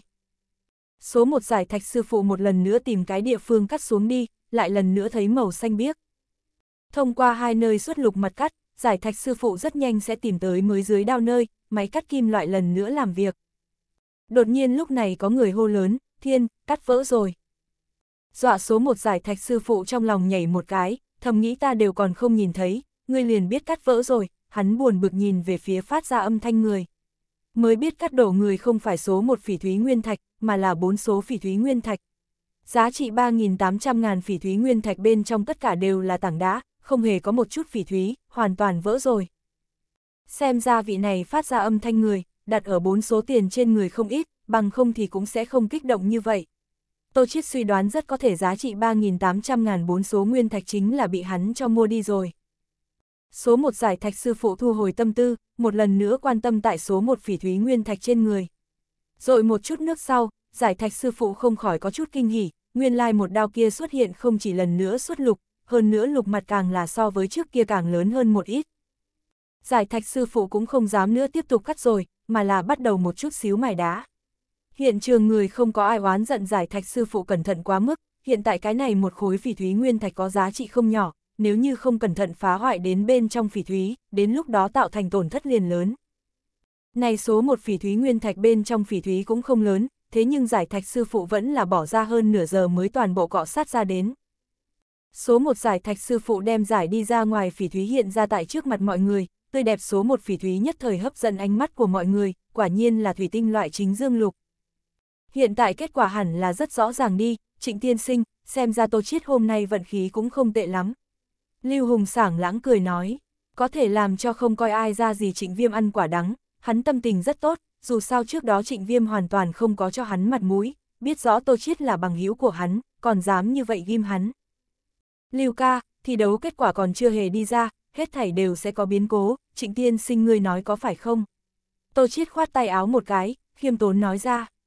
Tô chiết vừa nói như vậy, càng thêm có vẻ là ở trào phúng trịnh viêm, hiện tại số một phỉ thúy giá trị cho dù không phải cao nhất, thế nhưng ít nhất cũng so với trịnh viêm năm số phỉ thúy giá cả cao hơn nhiều, đây là rất rõ ràng việc đến. Đối mặt Tô Chiết cùng Lưu Hùng một sướng một họa, trịnh viêm lửa giận chỉ là một cái thoáng mà qua, sau liền biểu hiện rất bình tĩnh, Tô Tiên Sinh, người nói đùa rồi, ta có chơi có chịu. Sau trịnh viêm ngay tại chỗ chuyển khoản cho Tô Chiết, không có mang thi đấu kết quả đi ra. Toàn bộ quá trình biểu hiện nho nhã lễ độ, thật giống không có một tia không vui như thế, đang chờ Tô Chiết xác nhận sau, mới cáo từ rời đi. Trịnh viêm càng là biểu hiện không sao cả, thật giống đối lần này thắng thua không để ý, thì càng là đáng sợ. Nếu như trịnh viêm thẹn quá thành giận cũng còn tốt chút, mình thường dễ tránh, ám tiễn khó phòng. Cho nên Tô Chiết trong lòng đã bắt đầu đề phòng trịnh viêm. Không bao lâu, thi đấu kết quả là đi ra. Hứa xương đi ra tuyên bố kết quả. 5 khối phỉ thúy nguyên thạch giải suất 4 khối phỉ thúy, trải qua 5 vị chuyên gia giám định phán đoán sau, Kết quả như sau, số 1 phỉ thúy định giá là 16 triệu, hai số phỉ thúy định giá là 200 ngàn, số 3 phỉ thúy định giá là 550 vạn, 4 số phỉ thúy nguyên thạch không có giải suất phỉ thúy, mà 5 số phỉ thúy định giá là 5.000. Kết quả rất rõ ràng, lần này thủ thắng chính là số 1 phỉ thúy, cái khác phỉ thúy giá cả gộp lại vẫn không có số 1 phỉ thúy giá cả cao, tranh tài như vậy kết quả khiến người ta rất là bất ngờ. Tô Chiết, người thực sự là thật lợi hại, kết quả đi ra, Lưu Hùng không khỏi nói ra. Đều là vận khí, vận khí của ta không sai. Tô Chiết giải thích, đem hết thảy nguyên nhân tất cả thuộc về kết tại vận khí lên. Tô Chiết không thể nào biết nói ra chân thật nguyên nhân đến, hay là nói ra, cũng sẽ không có dạng người thư. Dù sao không thể có người sẽ tin tưởng, có người có thể tại phỉ thúy nguyên thạch không có giải thạch trước đó, liền có thể biết bên trong có hay không tồn tại phỉ thúy. Lần này cũng là trịnh viêm không may, tốt tuyển không chọn, một mực lựa chọn 5 số phỉ thúy nguyên thạch. Chỉ có trịnh viêm lựa chọn 4 số cùng 5 số phỉ thúy nguyên thạch, Tô Chiết mới có niềm tin tất thắng. Bởi vì giá trị 3.800 ngàn bốn số phỉ thúy nguyên thạch là duy nhất một khối, không có đối với Tô Chiết thần lực có phản ứng phỉ thúy nguyên thạch. Cái khác mấy khối phỉ thúy nguyên thạch hoặc nhiều hoặc ít đều sẽ có chút phản ứng, cho nên Tô Chiết có thể khẳng định bốn số phỉ thúy nguyên thạch bên trong không có tồn tại phỉ thúy. Mà Trịnh Viêm lựa chọn 5 số phỉ thúy nguyên thạch mặc dù đối với Tô Chiết thần lực lên phản ứng, thế nhưng phản ứng không chỉ yếu ớt, còn rất phân tán. Cùng trước đó Tô Chiết dùng để thử nghiệm gạch liệu phản ứng gần như như thế yếu, lúc đó Tô Chiết là dùng 5.000 cục gạch liệu đem mua lại, cuối cùng giải ra phỉ thúy phẩm chất không tốt, kích cỡ cũng rất dưới, cuối cùng chỉ là bán ra 2.000 khối, là Tô Chiết duy nhất mở hàng hụt phỉ thúy nguyên thạch. Mà bây giờ giá trị 500 vạn năm số phỉ thúy nguyên thạch, lại cùng 5.000 khối gạch liệu phản ứng như thế yếu. Cho nên lúc đó Tô Chiết liền suy đoán bên trong tuy rằng còn có phỉ thúy, thế nhưng kích cỡ khẳng định rất nhỏ, không sẽ có cái gì lớn giá trị. Cùng số một phỉ thúy nguyên thạch phản ứng quả thực là khác biệt một trời một vực, không phải vậy Tô Chiết cũng sẽ không dễ dàng đáp ứng cùng trịnh viêm đánh cược, hắn là trong lòng đã sớm nắm chắc rồi, mới sẽ tiếp thu lần này người sáng suốt cũng có thể thấy được không ngang nhau đánh cược. Lúc đó trịnh viêm nếu như lựa chọn hai số phỉ thúy nguyên thạch, hoặc là số 3 phỉ thúy nguyên thạch, Tô Chiết cũng sẽ không dễ dàng mạo hiểm đáp ứng trịnh viêm. Bởi vì tuy rằng số 1 phỉ thúy nguyên thạch phản ứng mãnh liệt nhất, thế nhưng Tô Chiết cũng không thể tùy tiện khẳng định, phản ứng mãnh liệt phỉ thúy nguyên thạch, giải đi ra ngoài phỉ thúy liền nhất định giá trị cao. Tô Chiết trước đó chỉ là suy đoán, đối thần lực phản ứng mãnh liệt phỉ thúy nguyên thạch có thể so với phản ứng yếu phỉ thúy nguyên thạch, giải đi ra ngoài phỉ thúy hẳn là sẽ khá lớn. Nhiệt môn thế nhưng lần này đổ thạch kết quả của cuộc so tài đi ra sau, Tô Chiết đã có thể khẳng định phỉ thúy nguyên thạch phản ứng mạnh yếu, cùng thể tích cùng với phẩm sắc đều có quan hệ rất lớn. Bởi vì số 1 phỉ thúy phản ứng mặc dù so sánh số 3 phỉ thúy mạnh, thế nhưng giải đi ra sau thể tích trái lại nhỏ số 3 phỉ thúy rất nhiều, cùng giá trị 200 ngàn hai số phỉ thúy thể tích gần như lớn bằng, thế nhưng giá cả lại là cách biệt rất nhiều lần. Tô Chiết suy đoán hẳn là phẩm sắc tốt phỉ thúy, bình thường hình thành thời gian tương đối dài quan hệ, mà trong đó linh tính cũng sẽ khá mạnh, cho nên phỉ thúy đối thần lực phản ứng liền sẽ tương đối mạnh hơn một ít. Này phát hiện để Tô Chiết đối phỉ thúy giá trị càng là tiến một bước hiểu rõ, đối phán đoán nguyên trong đá phỉ thúy giá trị có trợ giúp rất lớn. Tô Chiết, người hôm nay xem như là đại thắng A hát, người cần phải mời ăn cơm. Lưu Hùng nói, tuy rằng hắn mua số 3 nguyên thạch không có thủ thắng, thế nhưng vẫn là đánh cược tăng. Hắn bỏ ra 300 vạn mua số 3 phỉ thúy nguyên thạch, giải đi ra ngoài số 3 phỉ thúy, chuyên gia giám định định giá là 550 vạn. Cho dù giảm đi hắn đặt cược 2 triệu, Lưu Hùng vẫn là có thể tiểu kiếm một bút. Hơn nữa 550 vạn giá cả chỉ là chuyên gia giám định phỏng đoán cẩn thận, nếu như chân chính bán ra lời nói, giá cả ít nhất cũng có thể cao hơn 1 triệu. Quan trọng nhất là, tại lần tranh tài này trong, Tô Chiết thắng ngông cuồng tự đại trịnh viêm, đây mới là khiến hắn hiện tại tâm tình thoải mái nhất sự tình. Tô Chiết đi lĩnh tiền thưởng, cười nói, không thành vấn đề, Lưu ca, ăn cái gì, người đi làm chủ. Lưu Hùng cùng Tô Chiết đều đi lĩnh thuộc về mình phỉ thúy, đổ thạch trong quán không ít cửa hàng châu báu người, đã biết phỉ thúy thuộc về người. Trong trận đấu 5 khối phỉ thúy nguyên thạch giải ra 4 khối phỉ thúy, tuy chỉ có hai khối phỉ thúy nguyên thạch đánh cược tăng, thế nhưng chuyện này đối với phỉ thúy nguyên thạch tới nói, vẫn là rất ít thấy sự tình. Trong đó năm số phỉ thúy đừng nói rồi, tuy rằng xuất phỉ thúy rồi, thế nhưng giá trị không cao, cho dù dùng để gia công, lợi nhuận cũng không cao, cho nên cửa hàng châu báu người đối năm số phỉ thúy không có hứng thú gì. Mà hai số phỉ thúy giá trị 200 ngàn, tuy rằng mở hàng hụt rồi, có lỗi với phỉ thúy nguyên thạch cao tới 2.200 ngàn giá cả. Thế nhưng vẫn là thuộc về không thấy nhiều xa hoa phỉ thúy, trong đó gia công làm ra thành phẩm sau, lợi nhuận vẫn là rất hấp dẫn người. Thế nhưng cửa hàng châu báu người mặc dù đối với hai số phỉ thúy có hứng thú, lại cũng không có đi đánh hai số phỉ thúy chú ý. Bởi vì hai số phỉ thúy nguyên thạch trước đó cũng không có người mua lại, bây giờ là thuộc về Ngọc Hinh đổ thạch quán. Ngọc Hinh đổ thạch quán sau lưng là Ngọc Hinh tập đoàn, bản thân liền là lấy châu báu lập nghiệp. Làm sao có thể sẽ đem hai số phỉ thúy bán ra, cho dù Ngọc Hinh đổ thạch quán nguyện ý bán ra, giá cả kia khẳng định cũng không có bao nhiêu gia công lợi nhuận, cho nên cửa hàng châu báu người cũng liền từ bỏ hai số phỉ thúy. Mà Lưu Hùng số 3 phỉ thúy, cùng với Tô Chiết số 1 phỉ thúy, hai khối phỉ thúy đều là có giá trị không nhỏ, mới là hấp dẫn người nhất phỉ thúy. Cửa hàng châu báu người cũng là dồn dập đánh tới cái này hai khối phỉ thúy chủ ý, cái này hai khối phỉ thúy muốn là lấy xuống rồi, trước tiên không nói lợi nhuận có bao nhiêu khả quan, riêng là lợi dụng này hai khối phỉ thúy đến tuyên truyền, đều đủ để kiếm về rồi. Đáng tiếc là Tô Chiết cùng Lưu Hùng, hiện tại cũng không có bán ra phỉ thúy ý nguyện. Tô Chiết coi như là muốn bán ra, tạm thời cũng sẽ không cân nhắc đến những này cửa hàng châu báu người. Mà Lưu Hùng càng thêm không cần nói, người này chính mình tiếp đi ra ngoài phỉ thúy xưa nay là sẽ không xuất thụ, đều là dùng để chính mình thu gom, mà Lưu Hùng cũng không đến cần bán thành tiền phỉ thúy mức độ. Cho nên Tô Chiết cùng Lưu Hùng đem mình phỉ thúy gói lại, cự tuyệt hiện trường cửa hàng châu báu người báo giá, mang theo phỉ thúy tự ly khai rồi Ngọc Hinh đổ thạch quán. Bọn hắn hiện tại đã không có cách nào tiếp tục lưu lại, chọn phỉ thúy nguyên thạch rồi. Trước tiên không nói trên người bọn hắn mang theo có giá trị không nhỏ phỉ thúy, riêng là mặt sau đi theo một đống đáng ghét con ruồi, liền để cho bọn họ phiền phức vô cùng rồi, cái kia còn có cái gì tâm tình chọn phỉ thúy nguyên thạch. Tô Chiết cùng Lưu Hùng rời khỏi Ngọc Hinh đổ thạch quán sau, đang đánh cuộc thạch phố đầu phố, đợi cổ thạch đi lái xe tới đây. Sau khi lên xe, Lưu Hùng cùng cổ thạch nói rồi một địa phương, cổ thạch gật gật đầu, liền xe khởi động rồi. Đại khái chừng nửa canh giờ, bọn hắn là đến nơi cần đến. Nguyên lai là một gian hải sản điếm, biển Á Hải sản điếm. Tô Chiết rất sớm liền nghe nói qua biển Á Hải sản điếm một cái danh tự, là Yến Vân Thị nổi danh nhất hải sản điếm. Nhưng là vì trước đây xấu hổ vì trong ví tiền rỗng tuyết nguyên nhân, một mực không thể đến biển Á Hải sản điếm hưởng qua, không nghĩ tới hôm nay ngược lại là thỏa mãn nguyện vọng. Bọn hắn tiến vào một gian bao xương, từng người điểm mấy cái bảng hiệu món ăn, Lưu Hùng còn điểm một bình rượu đế. Không lâu, rượu và thức ăn của bọn họ tất cả lên rồi. Cổ thạch bởi vì chờ một chút phải lái xe nguyên nhân, không thể uống rượu, cho nên cùng Lưu Hùng người uống rượu chỉ có Tô Chiết một người. Mới đầu Tô Chiết vốn là từ chối uống rượu, bởi vì hắn không là ưa thích người uống rượu. Thế nhưng Lưu Hùng khuyên nhiều lần, hắn cũng không tiện tiếp tục từ chối, không thể làm gì khác hơn là cùng Lưu Hùng cùng uống lên một điểm. Tô Chiết uống rượu số lần dùng ngón tay đều tính được lại đây, còn không cần dùng tới hai cái tay, hơn nữa Tô Chiết cũng không phải một cái có uống rượu thiên phú người, tử lượng rất thấp. Càng đừng nói Lưu Hùng điểm rượu đế độ tinh khiết không thấp, Tô Chiết chỉ là uống rất ít mấy cái, liền bắt đầu có chút không thoải mái. Vì ngăn chặn rượu mời, Tô Chiết chỉ có thể mãnh liệt dùng bữa, để Lưu Hùng cảm thấy người rất hiếu học, từ Tô Chiết biểu hiện bây giờ xem, rõ ràng là một cái không người biết uống rượu. Kết quả bất hạnh Tô Chiết, lại ăn được một đạo cửa cay món ăn, hơn nữa hắn lại ăn cấp, suýt chút nữa bị sặc chết, cái kia vị cay vừa vặn liền sặc đến trong cổ họng, cay đến mức Tô Chiết nước mắt đều suýt chút nữa chảy ra. Bị quả ớt kích thích đến, thêm vào rượu mời kết quả, Tô Chiết càng là theo tay cầm lên đến hắn cái ly trước mặt, không có đi chú ý là cái gì, liền một ngụm uống xong đi. Như vậy tạo thành hậu quả là Tô Chiết nhũ đầu bị kích thích đến thiếu chút nữa mất đi cảm giác.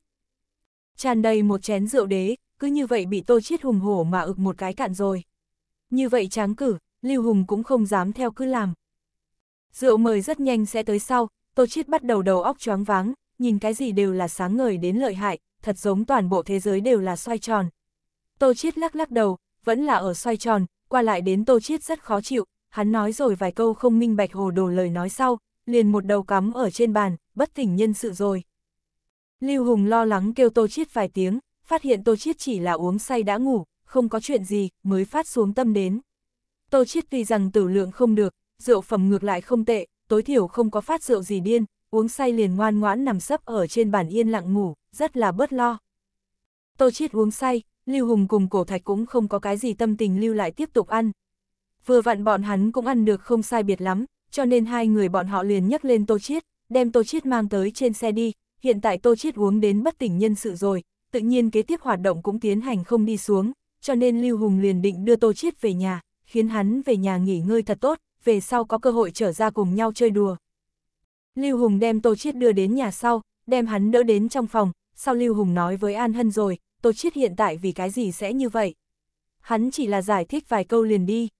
Làm ông chủ lớn Lưu Hùng cũng sẽ không chiếu cố người, chứ nói chi là chiếu cố một cái thành con ma men Tô Chiết. Lưu Hùng không chịu trách nhiệm tiêu sái rồi, lưu lại An Hân một người ở nơi đó đau đầu. An Hân thử kêu Tô Chiết vài tiếng, đồng thời lắc lắc Tô Chiết cổ tay, không nghi ngờ chút nào, An Hân không chiếm được Tô Chiết bất kỳ đáp lại. An Hân đem Tô Chiết giày cởi ra rồi, phí sức đem Tô Chiết đỡ thẳng, khiến hắn tư thế ngủ khá một chút, ngủ cho thoải mái một điểm. Tiếp lấy nàng đi ra khỏi phòng, đi lấy một cái bồn rửa mặt, ngược lại một chút nước ấm, lấy thêm lên một cái khăn lông. Một lần nữa đi vào Tô Chiết căn phòng, dự định là Tô Chiết sát một cái mặt. An Hân thử một chút nước ấm, cảm giác nhiệt độ thích hợp sau, đem khăn mặt thấm ướt lại vắt khô, An Hân cầm khăn lông nóng nhẹ nhàng là Tô Chiết lau chùi khuôn mặt. Trong ngủ mê Tô Chiết, không biết là bởi vì uống rượu say khó chịu, vẫn là nghĩ đến một ít không vui phiền lòng việc, lông mày thật chặt tụ tập cùng một chỗ, hầu như chưa từng nhìn thấy Tô Chiết có vẻ mặt như thế qua. Tô Chiết một mực cho người ấn tượng là lạc quan rộng rãi, giống như cái gì sự tình cũng có thể đi ung dung đối mặt. Để An Hân trong lòng hơi có chút thương tiếc, nguyên lai Tô Chiết cũng có yếu ớt một mặt, chỉ bất quá không sở trường vu biểu đạt Tô Chiết, đem một cái phần yếu đuối che giấu rất sâu. An Hân là Tô Chiết tỉ mỉ lau lau rồi một lần sau, đem khăn mặt đặt ở trong bồn rửa mặt. Sau đó An Hân ngồi ở Tô Chiết bên cạnh, duỗi ra hai tay đặt ở Tô Chiết trong huyệt thái dương, nhẹ nhàng dùng ngón tay trỏ tại Tô Chiết hai bên huyệt thái dương bên theo như vò lên, động tác của nàng rất nhẹ nhàng, chỗ dùng lực độ vừa vặn thích hợp, sẽ không bởi vậy làm tỉnh lại Tô Chiết, lại có thể để Tô Chiết cảm giác được thả lòng. Rất lâu, Tô Chiết lông mày bắt đầu từ từ giãn ra, ngủ được rất là an tường. Ngón tay đau nhức An Hân, xem Tô Chiết đã dễ dàng rất nhiều, liền đứng lên, định đem đồ vật thu thập một chút, liền trở về phòng nghỉ ngơi. Kết quả An Hân mới vừa vặn đứng lên, còn chưa kịp đứng vững. Cũng cảm giác có người giữ nàng lại thủ, đối phương chỉ là nhẹ nhàng lôi kéo, không có phòng bị nàng liền thuận thế ngã ở trên giường. Bị sợ hết hồn An Hân, rất nhanh cũng cảm giác được thân thể chìm xuống, đối phương liền đặt ở trên người nàng. Sát theo đó môi của nàng, liền cảm giác được ướt át đồ vật bao trùm lên rồi. Bị đột nhiên tập kích An Hân lập tức thất thần, con mắt trợn trừng lên. Ngoài ra, cũng không còn hắn phản ứng của nó, liền liền tim đập đều giống như vào giờ khắc này quên nhảy lên, An Hân đã quên mất làm sao đi hô hấp. Tô Chiết chỉ là lấy môi áp sát vào An Hân trên môi, cái khác cũng không có làm gì, như vậy thậm chí cũng không tính hôn môi. phảng phất đã qua rất lâu, liền ở An Hân cảm giác, chính mình cũng sắp hít thở không thông thời điểm, Tô Chiết mới ngẩng đầu lên, rời khỏi An Hân môi. Tô Chiết chăm chú nhìn An Hân, nóng rực ánh mắt thật giống muốn đem An Hân đã hòa tan, tan vào trong ánh mắt của hắn. Rất nhanh sẽ phản ứng lại An Hân, liền không chịu nổi Tô Chiết ánh mắt, đem con mắt thật chặt nhắm, cái kia khẽ run lông nghi cho thấy An Hân bất an. Nhắm mắt lại An Hân, cảm giác Tô Chiết hơi thở nóng bỏng cách nàng càng ngày càng gần, An Hân tâm tính thiện lương như khôi phục trong lồng ngực, cấp tốc nhảy lên. Tại yên tĩnh này thời khắc, An Hân phảng phất cũng có thể nghe được tiếng tim mình đập, phiêu động rất nhanh, trong lòng nàng hiện tại rất hoang mang, thế nhưng tại bất an đồng thời, lại mơ hồ tồn tại vẻ mong đợi, chỉ bất quá An Hân không có nhận ra được. Rất nhanh, Tô Chiết ấm áp khí tức liền dừng lại tại An Hân bên tai, thế nhưng ngoài ra, An Hân cũng không còn những cảm giác khác.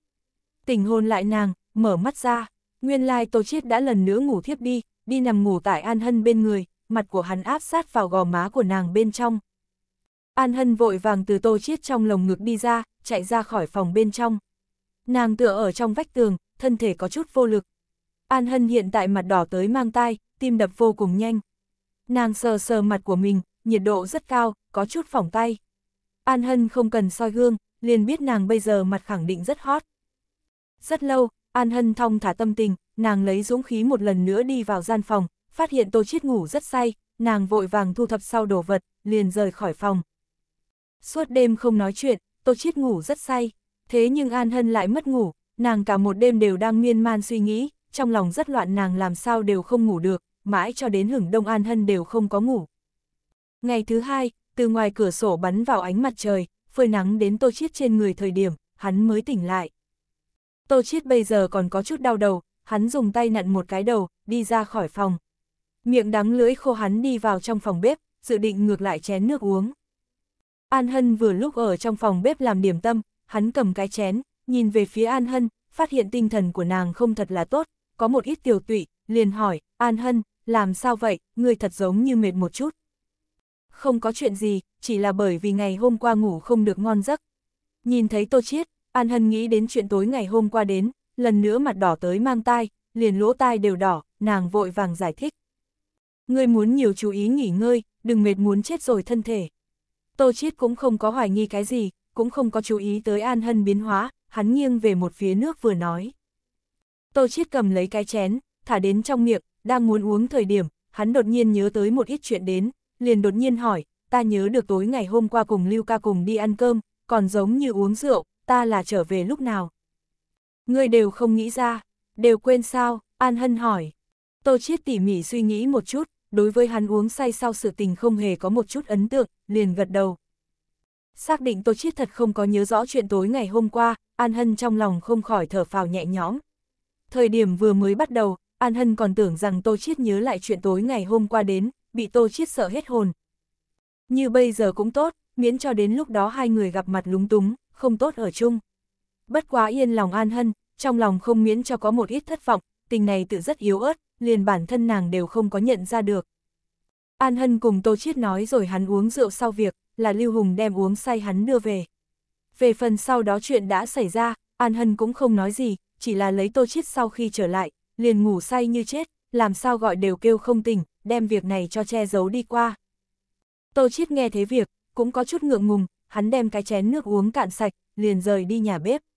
Tại một cô gái trước mặt say rồi, Tô Chiết cảm giác rất mất mặt. Cũng không tiện ở lại trong phòng bếp, tiếp tục cùng An Hân tán gẫu. Nhìn thấy Tô Chiết không kịp chờ đợi đi ra, An Hân cảm giác thấy hơi buồn cười, lúc này Tô Chiết cho người cảm giác thấy hơi đáng yêu, lại như một đứa bé không chịu lớn như thế. Ngoại trừ Tô Vũ Hình đi một ngày kia, Tô Chiết có cùng Lưu Hùng đi đổ thạch. Thời gian sau này bên trong, tuy rằng Tô Chiết thỉnh thoảng sẽ cùng Lưu Hùng ra ngoài, thế nhưng cũng không còn đi chơi qua đổ thạch. Trong thời gian nửa tháng này, hắn thỉnh thoảng sẽ đi Tô Sủng Chi ra nhìn một chút, tùy tiện tống thần lực nước thuốc đi qua. Có lúc cũng sẽ cùng Lưu Hùng cùng đi trường hoa xưởng chế thuốc, tìm hiểu một chút trường hoa xưởng chế thuốc nghiên cứu phát minh tân dược phẩm tiến triển. Trong khoảng thời gian này, Tô Chiết trước trước sau sau cho trường hoa xưởng chế thuốc, đưa đi 50.000 nhiều ml thần lực nước thuốc. Tuy rằng thể chất của hắn sớm tại nửa tháng trước liền tăng lên tới 50 điểm, dùng tích phân hối đoái thần lực số lượng cũng không giới hạn với 350 điểm tích phân rồi. Thế nhưng hắn vẫn như cũ mỗi ngày chỉ là tích phân hối đoái 3.500 điểm thần lực khoảng chừng, có rất ít vượt qua số lượng ấy đến. Cũng không phải hắn không muốn hối đoái nhiều một chút thần lực, đến chế tác thần lực nước thuốc. Mà là hắn bây giờ tích phân khởi nguồn tạm thời chỉ có tô sủng chi ra, mà tô sủng chi ra hắn tuy rằng đề cao thần lực nước thuốc cung cấp, nhưng là mỗi ngày tô chiết đạt được tích phân cũng chỉ có hơn 300 điểm, đây đã là tô sủng chi ra có thể tiếp thu mức cực hạn. Tăng thêm nữa thần lực nước thuốc số lượng lời nói, cũng quá không thể tưởng tượng nổi, rất dễ dàng liền sẽ khiến cho hữu tâm nhân hoài nghi. Vì hết khả năng bảo vệ chính mình bí mật, hiện tại chỉ có thể từng bước từng bước từ từ đi, chỉ có thể chậm rãi phát triển. Không phải vậy sẽ có cái gì hậu quả, Tô Chiết đoán không được, thế nhưng Tô Chiết biết bạo lộ lời nói, đối với hắn tuyệt đối không có kết quả gì tốt. Bởi vì mỗi ngày đạt được tích phân có hạn, cho nên mỗi ngày Tô Chiết nhiều nhất cho trường hoa xưởng chế thuốc chế tác 350 ml thần lực nước thuốc, mà hắn nguyên bản còn dư lại 1.000 điểm tích phân, cũng bởi vì đổi một ít động vật, hối đoái cho Tô Sủng Chi ra huấn luyện, bây giờ tích phân đã còn thừa không có mấy. Hiện tại Tô Sủng Chi ra mỗi tháng lợi nhuận đều đạt đến 500 ngàn khoảng chừng, so với Lý Hâm Sủng vật bệnh viện, Tô Sủng Chi ra lợi nhuận tăng gấp mấy lần. Nhưng mà này còn là không có tính cả buôn bán sủng vật lợi nhuận, chuyện này đối với sủng vật bệnh viện tới nói, lợi nhuận kinh nghiệm rất cao. Nếu là lúc trước Tô Chiết, có thể sẽ bởi vì Tô Sủng Chi ra lợi nhuận, cao hứng ngủ không yên. Thế nhưng trải qua mấy lần đổ thạch hắn, đối Tô Sủng Chi ra mỗi tháng lợi nhuận lại cảm giác rất bình thường, đối Tô Chiết tới nói này lợi nhuận có cũng được mà không có cũng được, hắn hiện tại vẻn vẹn coi Tô Sủng Chi ra là làm thu được tích phân công cụ, hoàn toàn không có làm làm kiếm tiền công cụ, cho dù Tô Sủng Chi ra mỗi ngày lỗ vốn, Tô Chiết cũng sẽ tiếp tục làm tiếp. Bởi vì vẻn vẹn mấy lần đổ thạch, thêm vào cùng trịnh viêm đánh cược đoạt được tiền, thì đến được một ức 20 triệu. Lại tăng thêm Tô Chiết bây giờ còn có một khối ít nhất giá trị 16 triệu phỉ thúy, vẫn không có bán ra. Cho nên Tô Chiết bây giờ ánh mắt biến cao, cũng không tiếp tục làm mấy tháng trước, cần làm mấy ngàn khối bôn ba mệt nhọc hắn rồi. Chỉ là trong vòng mấy tháng, Tô Chiết sinh hoạt biến hóa lớn như vậy, nhanh như vậy. Nhanh đến Tô Chiết chính mình cũng chưa kịp phản ứng, xưng là trời đất xoay vần đều không quá đáng. Hắn hôm nay không cần tiếp tục phải vì một phần công tác cẩn trọng, chỉ vì cái kia một phần hơi mỏng tiền lương, làm chính mình không chuyện thích, nói xong nghĩ một đằng nói một nẻo lời nói. Nghĩ tới đây, Tô Chiết trong lòng không khỏi hơi cảm khái. Chính đang hồi tưởng chuyện cũ Tô Chiết, đột nhiên cảm giác có đồ vật đang làm chân của hắn. Hắn cúi đầu vừa nhìn, nguyên lai là tiểu tuyết long dùng đầu tại nhú chân của hắn. Tô Chiết đưa thay sờ sờ tiểu tuyết long nhu thuận bộ lông, cười nói, lại nghĩ ra đi rồi sao? Tiểu tuyết long thật giống nghe hiểu, đối với Tô Chiết kêu vài tiếng, giống như là tại đáp lại Tô Chiết. Tốt, tốt, ta hiện tại liền mang ngươi ra ngoài. Tô Chiết suy nghĩ một chút, dù sao hiện tại cũng không có chuyện gì phải làm, liền mang Tiểu Tuyết Long suốt đi tản bộ cũng tốt. Tiểu Tuyết Long cực kỳ thông minh, biết Tô Chiết đáp ứng rồi, lập tức chạy tới cửa, đợi Tô Chiết mở ra môn. Làm Tô Chiết mang theo Tiểu Tuyết Long rời nhà sau, đi ra ngoài Tiểu Tuyết Long lập tức giạt ra bước chân, chạy, có vẻ cực kỳ hưng phấn. Tô Chiết không có vì Tiểu Tuyết Long mặc lên dây chuyền, cho nên Tiểu Tuyết Long có thể tận tình chạy nhanh, sẽ không được đến hạn chế. Mặc dù nhỏ Tuyết Long nghiêm ngặt mà tính, hiện tại mới một tháng bao lớn. Thế nhưng lấy hiện tại Tiểu Tuyết Long thể hình, đã sẽ không thua phổ thông thành niên chó ngao Tây Tạng thể hình. Tô Chiết ngày hôm qua mang Tiểu Tuyết Long đi Tô Sủng Chi ra thời điểm, liền thuận tiện chắc lượng một cái thể trọng cùng với thân cao. Tiểu Tuyết Long hiện tại nặng 65kg, dài chừng 1 mét, vai cao không? 7 mét, nhìn lên thập phần uy vũ. Tất cả những thứ này đều là Tô Chiết thần lực tác dụng, Tô Chiết này hơn một tháng qua, mỗi ngày đều sẽ thua bởi Tiểu Tuyết Long hai điểm thần lực. Cũng chính là như vậy, Tiểu Tuyết Long mới sẽ cấp tốc như vậy sinh trưởng. Nhưng mà này còn là vì Tô Chiết, chủ yếu đem thần lực dùng tại cường hóa thay đổi Tiểu Tuyết Long, mà không phải gia tốc Tiểu Tuyết Long sinh trưởng tốc độ.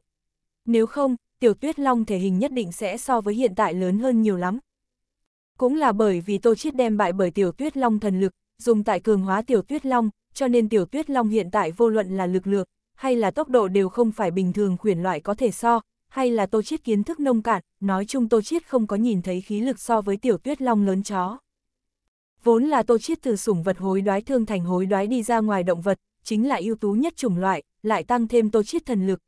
Cho nên Tiểu Tuyết Long không chỉ rất thông minh, hơn nữa cực kỳ thông nhân tính. Lúc bình thường, Tiểu Tuyết Long là sẽ không đi thương tổn người, cùng cái khác động vật. Bị chọc tới, cũng là đầu tiên hướng về đối phương gầm rú vài tiếng, biểu thị mình đã tức giận rồi.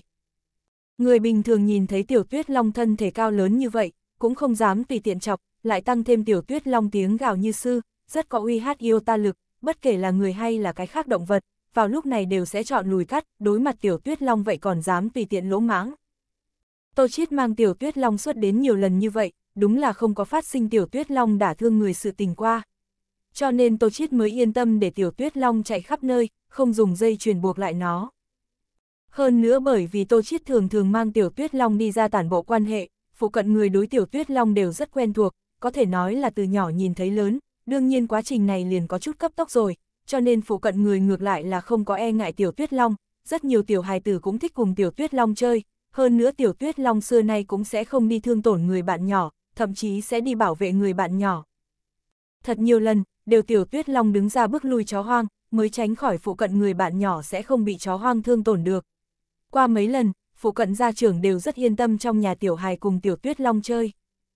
Cứ như vậy, tiểu tuyết long mơ hồ thành phụ cận hài tử vương, ra lệnh một tiếng, lập tức có hơn 10 cái tiểu hài tử đi theo nó chạy, đương nhiên không nhìn tới tiểu hài tử thân cao, không nhìn tới tiểu hài tử còn mang theo nước mũi lời nói, tiểu tuyết long nhìn lên lời nói, vẫn rất có vương giả phong phạm. Liền nói hiện tại, tiểu tuyết long mới ra ngoài bao lâu a hát, lập tức liền có mấy cái người bạn nhỏ đi theo nó mặt sau, vì chiếu cố những này người bạn nhỏ, tiểu tuyết long không được chậm lại tốc độ. Tô Chiết sâu sắc hoài nghi tiểu tuyết long, cùng người bạn nhỏ cùng nhau chơi đùa mục đích.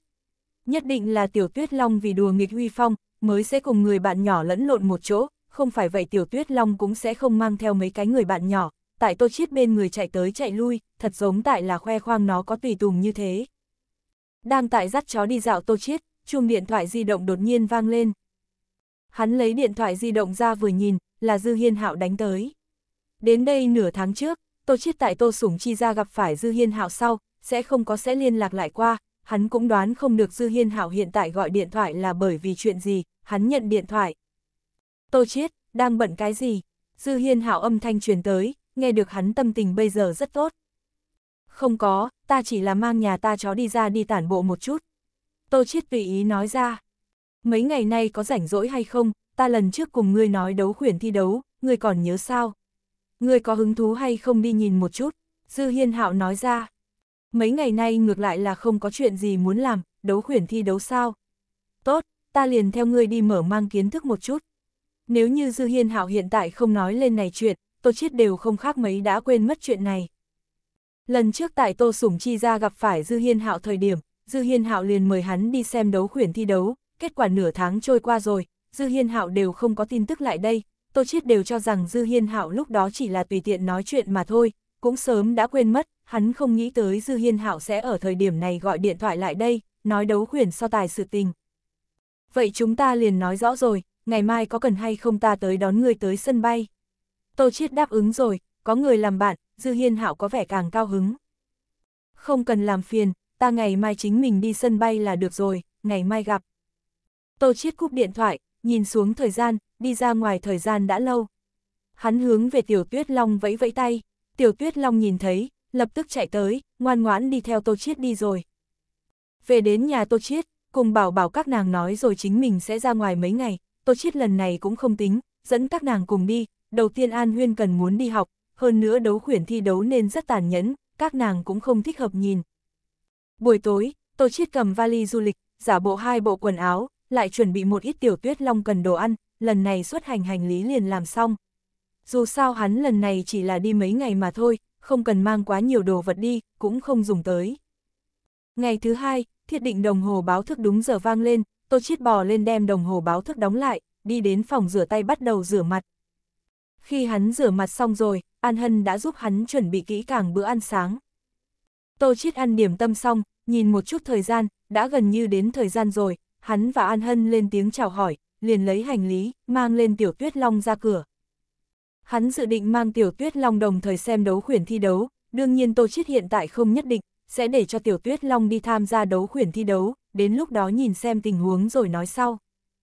Tô Chiết bọn họ là đi máy bay đi, muốn dẫn tiểu tuyết long cùng đi, Tô Chiết trước tiên mang theo tiểu tuyết long đi động vật kiểm dịch chỗ, trước tiên vì nó thúc đẩy vật kiểm dịch chứng minh, bởi vì Tô Chiết có mấy lần kinh nghiệm, đã xe nhẹ chạy đường quen, cho nên không dùng đến bao nhiêu thời gian, liền giúp Tiểu Tuyết Long mở ra cái động vật kiểm dịch chứng minh. Thúc đẩy vật kiểm dịch chứng minh không là chuyện phiền toái gì, nhưng là mang theo Tiểu Tuyết Long ngồi xe lại là một chuyện rất phiền phức. Cũng không phải Tiểu Tuyết Long không muốn ngồi xe, mà là bình thường tài xế không tải Tiểu Tuyết Long. Vốn là tài xế cũng không phải là rất nguyện ý tải động vật, miễn cho đem xe làm ô uế, huống chi là nhìn lên như thế uy mãnh Tiểu Tuyết Long. Lãng phí thời gian thật dài, Tô Chiết mới vừa tới xe nguyện ý tải hắn và Tiểu Tuyết Long. Tại đã đến động vật kiểm dịch chỗ sau, vì chờ một chút không cần tiếp tục chờ xe, Tô Chiết để tài xế tại cửa vào chờ hắn đi ra, chờ một chút hắn còn muốn cần ngồi xe, Tô Chiết để tài xế có thể tiếp tục đánh bề ngoài, tài xế tự nhiên rất tình nguyện đợi Tô Chiết. Tuy rằng như vậy sẽ lãng phí tiền, thế nhưng Tô Chiết cũng hết cách rồi, miễn cho đến lúc đó đón không được xe, lãng phí thời gian lại làm lỡ việc tình. Tô Chiết là tiểu tuyết long làm tốt động vật kiểm dịch chứng minh sau, lần nữa ngồi lên xe sân bay. Tô Chiết trong lòng đối với mua xe càng thêm bức thiết rồi, không có xe làm rất nhiều chuyện đều rất không tiện rồi, hơn nữa hắn bằng lái đã thi được rồi, hắn quyết định lần này trở về sau, liền nắm chặt thời gian đi mua chiếc xe thay đi bộ. Hắn mang theo tiểu tuyết long đã đến phi trường thời điểm, Dư Hiên Hạo đã đến, chính ở phi trường thượng đẳng hắn. Ngoại trừ Dư Hiên Hạo bên ngoài, còn có một cái 30 tuổi khoảng chừng nam tử đứng ở bên cạnh hắn, nam tử này mày rậm mắt to, lưng hùm vai gấu, hơn nữa nhìn hắn hơi đứng ở Dư Hiên Hạo mặt sau, từ trang phục của hắn xem ra, hẳn là Dư Hiên Hạo bảo tiêu. Ngoài ra, này 30 tuổi trong tay nam tử còn nắm một con chó, thân hình khổng lồ, hiện lên cung hình, bao trùm đứng thẳng lông bờm, lưng đen hoàng chân, hai mắt phía trên có hai điểm tiền đồng giống như hoàng ban điểm, càng là một con chó ngao Tây Tạng, nhìn lên rất là hung mãnh. Làm Tô Chiết tới gần Dư Hiên Hạo thời điểm, một con này chó ngao Tây Tạng lập tức đối với Tô Chiết chó sủa, tiếng kêu thập phần trầm thấp mạnh mẽ. Tiểu Tuyết Long xem thấy đối phương dám uy hát Iota Tô Chiết, lập tức cũng không chịu yếu thế đáp lại đi qua, Dư Hiên Hạo chó ngao Tây Tạng lập tức rời đi sự chú ý, đem sự chú ý đặt ở Tiểu Tuyết Long trên người, cứ như vậy hai con chó ngao Tây Tạng lẫn nhau kêu lên, ai cũng không nhường nhịn.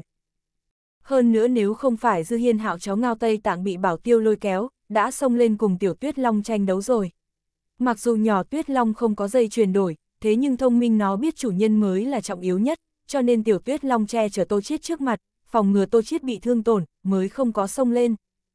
Tô Chiết đối với Dư Hiên Hạo chó ngao Tây Tạng có can đảm đối với hắn gầm rú, cũng không phải bất ngờ, tuy rằng hắn nắm giữ thần lực, có thể để cho động vật đối với hắn có thân cận cảm giác, thế nhưng này động vật chỉ là tính cách so sánh dịu ngoan, hoặc là thể hình so sánh dưới động vật.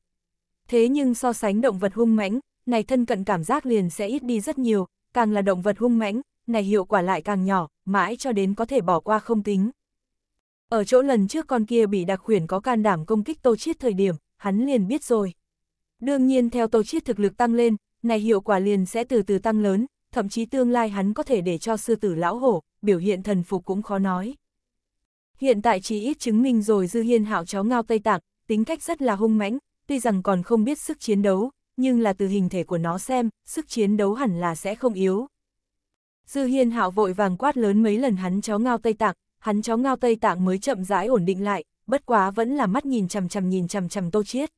Tiểu Tuyết Long nhìn đối phương không gọi, cũng ngừng lại, bất quá vẫn là thật chặt phòng bị đối phương. Lần này đấu khuyển so tài địa phương là ở cảnh Nam Thị, cách Yến Vân Thị có chút xa, cho nên bọn hắn cần đi máy bay đi.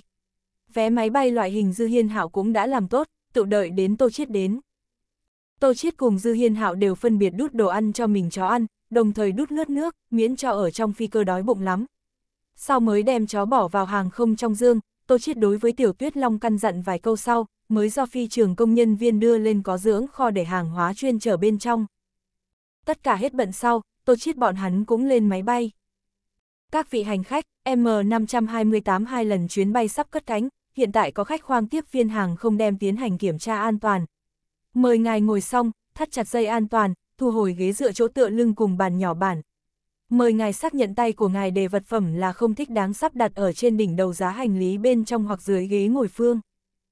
Dư Hiên Hạo ngồi song sau, nói ra, như thế nào, của ta hắc hổ cũng không tệ lắm phải không? Ta theo hắn ra đời thời điểm liền nuôi đến bây giờ, rất không dễ dàng. Nhìn là rất tốt, rất cường tráng, ngươi là dự định dẫn nó đi tham gia thi đấu đấy sao?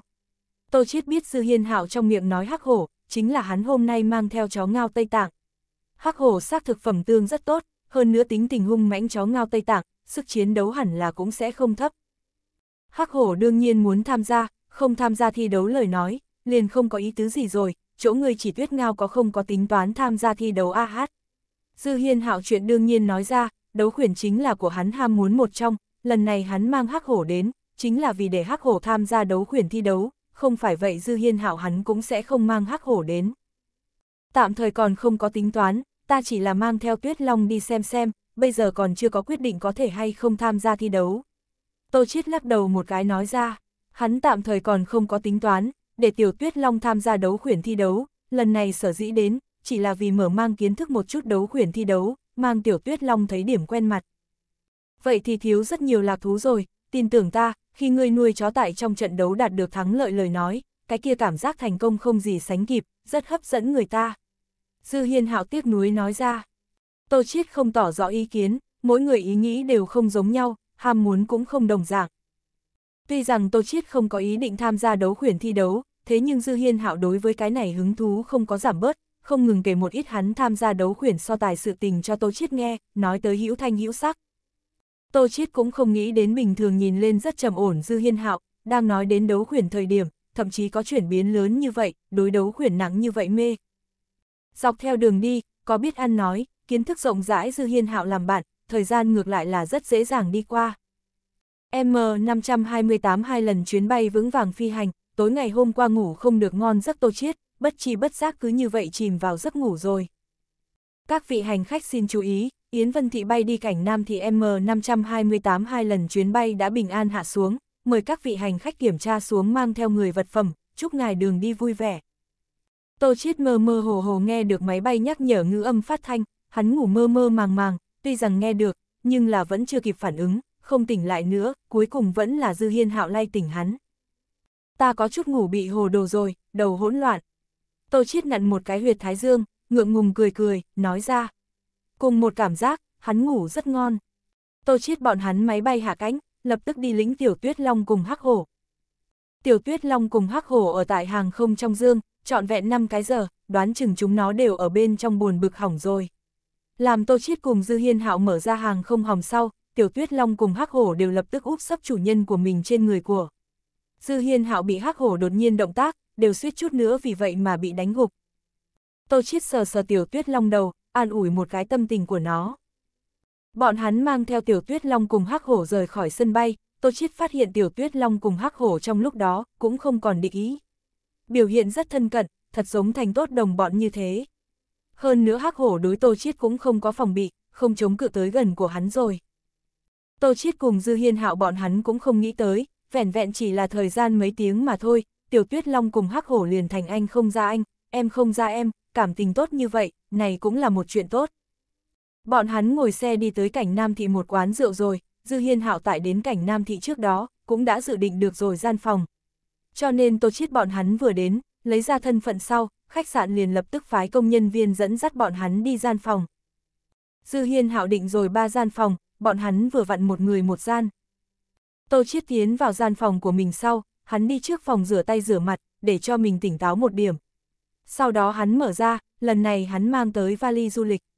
Từ bên trong lấy ra tiểu tuyết long cầu lương, ngược lại một chút tại bồn chứa bên trong, phóng tới tiểu tuyết long trước mặt. Mới vừa vặn làm xong những chuyện này, Tô Chiết cửa phòng đã bị gõ. Tô Chiết vỗ tay một cái, ngựa bên trên đi tới, mở cửa phòng. Nguyên lai like là Dư Hiên Hạo, hắn và Bảo Tiêu nắm hắc hổ đứng ở cửa vào. Bây giờ là thời gian ăn cơm, có muốn cùng đi hay không ăn cơm? Dư Hiên Hạo hỏi, hắn nói xong, vừa vặn nhìn thấy Tiểu Tuyết Long, chính ở bên trong phòng ăn cẩu lương, liền nói ra, đừng cho Tuyết Long ăn cẩu lương, ăn cẩu lương không có dinh dưỡng, đối Tuyết Long, đi, mang Tuyết Long ăn chút có dinh dưỡng đồ ăn. Tô Chiết cái bụng cũng có chút đói bụng, liền đồng ý. Hắn trở về trong phòng, cầm dây chuyền đem Tiểu Tuyết Long bộ lên. Ở nơi này cũng không thể để Tiểu Tuyết Long chạy loạn khắp nơi, tuy rằng không cần lo lắng Tiểu Tuyết Long sẽ vô cớ hại người, thế nhưng vạn nhất hù đến người cũng không tiện, cho nên vì không sẽ chọc cho đến phiền toái gì, vẫn là thận trọng điểm tốt. Tô Chiết cái chốt tốt Tiểu Tuyết Long sau, liền cùng Dư Hiên Hạo cùng đi phòng ăn. Tô Chiết bọn hắn ở khách sạn có điểm đặc sắc, có chuyên môn là khách hàng mang tới sủng vật phục vụ phòng ăn, hay là cũng là bởi vì nguyên nhân này, Dư Hiên Hạo mới lựa chọn cái quán rượu này. Dư Hiên Hạo cùng Tô Chiết bọn hắn trước tiên mang theo Tiểu Tuyết Long cùng Hắc Hổ, đi sủng vật phòng ăn. Là chúng nó từng cái điểm một đại phần năm thành thuộc thịt bò, xem ra Tiểu Tuyết Long cùng Hắc Hổ đều rất thích ăn thịt bò, đều ăn như hổ đói, chỉ lo ăn chậm liền bị cướp đi. Lưu lại bảo tiêu chiếu xem chúng nó, Dư Hiên Hạo cùng Tô Chiết liền đi bên cạnh là khách hàng phục vụ phòng ăn rồi, từng người điểm một phần phần món ăn. Quán rượu này làm như vậy rất thích hợp, chuyên môn thiết trí một gian sủng vật phòng ăn, như vậy khách hàng mang tới sủng vật hữu dụng món ăn địa phương, hơn nữa cũng sẽ không quấy rầy đến cái khác khách hàng dùng cơm, muốn nổi bật tâm tư, song phương đều có thể chiếu cố đến, ngược lại là nhất cử lưỡng tiện sự tình. Phòng ăn người phục vụ rất nhanh, liền đem tô chiết bọn hắn điểm phần món ăn đưa tới. Tô chiết nếm thử một miếng, cảm giác mùi vị rất tốt, liền đại cật đặc cật lên, Dư Hiên Hạo cũng không có chú ý cái gì lễ tiết, tướng ăn cũng rất khai phóng. Hai người bọn họ tính cách đều là thuộc về rất tùy ý người, tại bình thường thời điểm, cũng sẽ không đi hết sức duy trì cái gì phong độ. Ở nơi này cao cấp trong phòng ăn, bọn hắn hành vi như vậy đều là rất ít thấy, rất nhanh ở nơi này dùng cơm những người khác, thì đem bọn hắn đánh tới nhà giàu mới nổi nhãn mác. Tuy rằng phòng ăn dùng cơm cái khác khách hàng, đối tô chiết bọn hắn như vậy, không chú trọng dáng vẻ hành vi rất không răng, thế nhưng cũng không có không có mắt người, vô duyên vô cớ đến tìm phiền phức. Cho nên bữa cơm này, bất kể là tô chiết, vẫn là Dư Hiên Hạo đều ăn được rất hài lòng, tâm tình rất tốt. Ăn uống no đủ tô chiết cùng Dư Hiên Hạo, trở về sủng vật trong phòng ăn. Tiểu Tuyết Long cùng Hắc Hổ cũng đã đã ăn xong, hai con chó đang tại tụ lại cùng nhau chơi đùa, giữa bọn họ trò chơi, cũng không giống như chó thường như thế, đuổi theo đuổi theo. Mà là lựa chọn cứng đối cứng, Tiểu Tuyết Long cùng Hắc Hổ hai con chó dùng thân thể đến đối va, bởi vì Tiểu Tuyết Long cùng Hắc Hổ đều rõ ràng chưa dùng tới toàn lực, cho nên tô chít bọn họ đều là không biết, một con kia chó lợi hại chút. Dư Hiên Hạo để bảo tiêu trước tiên đi ăn cơm, mà bọn hắn trước tiên mang theo Tiểu Tuyết Long cùng Hắc Hổ trở lại gian phòng trước tiên. Dư Hiên Hạo cùng Tô Chiết ước định cẩn thận, chờ một chút liền đi đấu khuyển tràng. Tô Chiết trở về phòng bên trong, tắm rửa sạch sẽ, thay đổi một bộ quần áo. Cũng không lâu lắm, Dư Hiên Hạo liền đến tìm hắn rồi. Cho nên Tô Chiết liền dẫn Tiểu Tuyết Long đi theo hắn. Làm Tô Chiết cùng Dư Hiên Hạo đi ra khách sạn thời điểm, Dư Hiên Hạo bảo tiêu đã nở một chiếc xe thương vụ, tại cửa tiệm rượu chờ bọn hắn rồi. Tô Chiết cũng không biết này xe thương vụ, Dư Hiên Hạo là làm sao lấy được.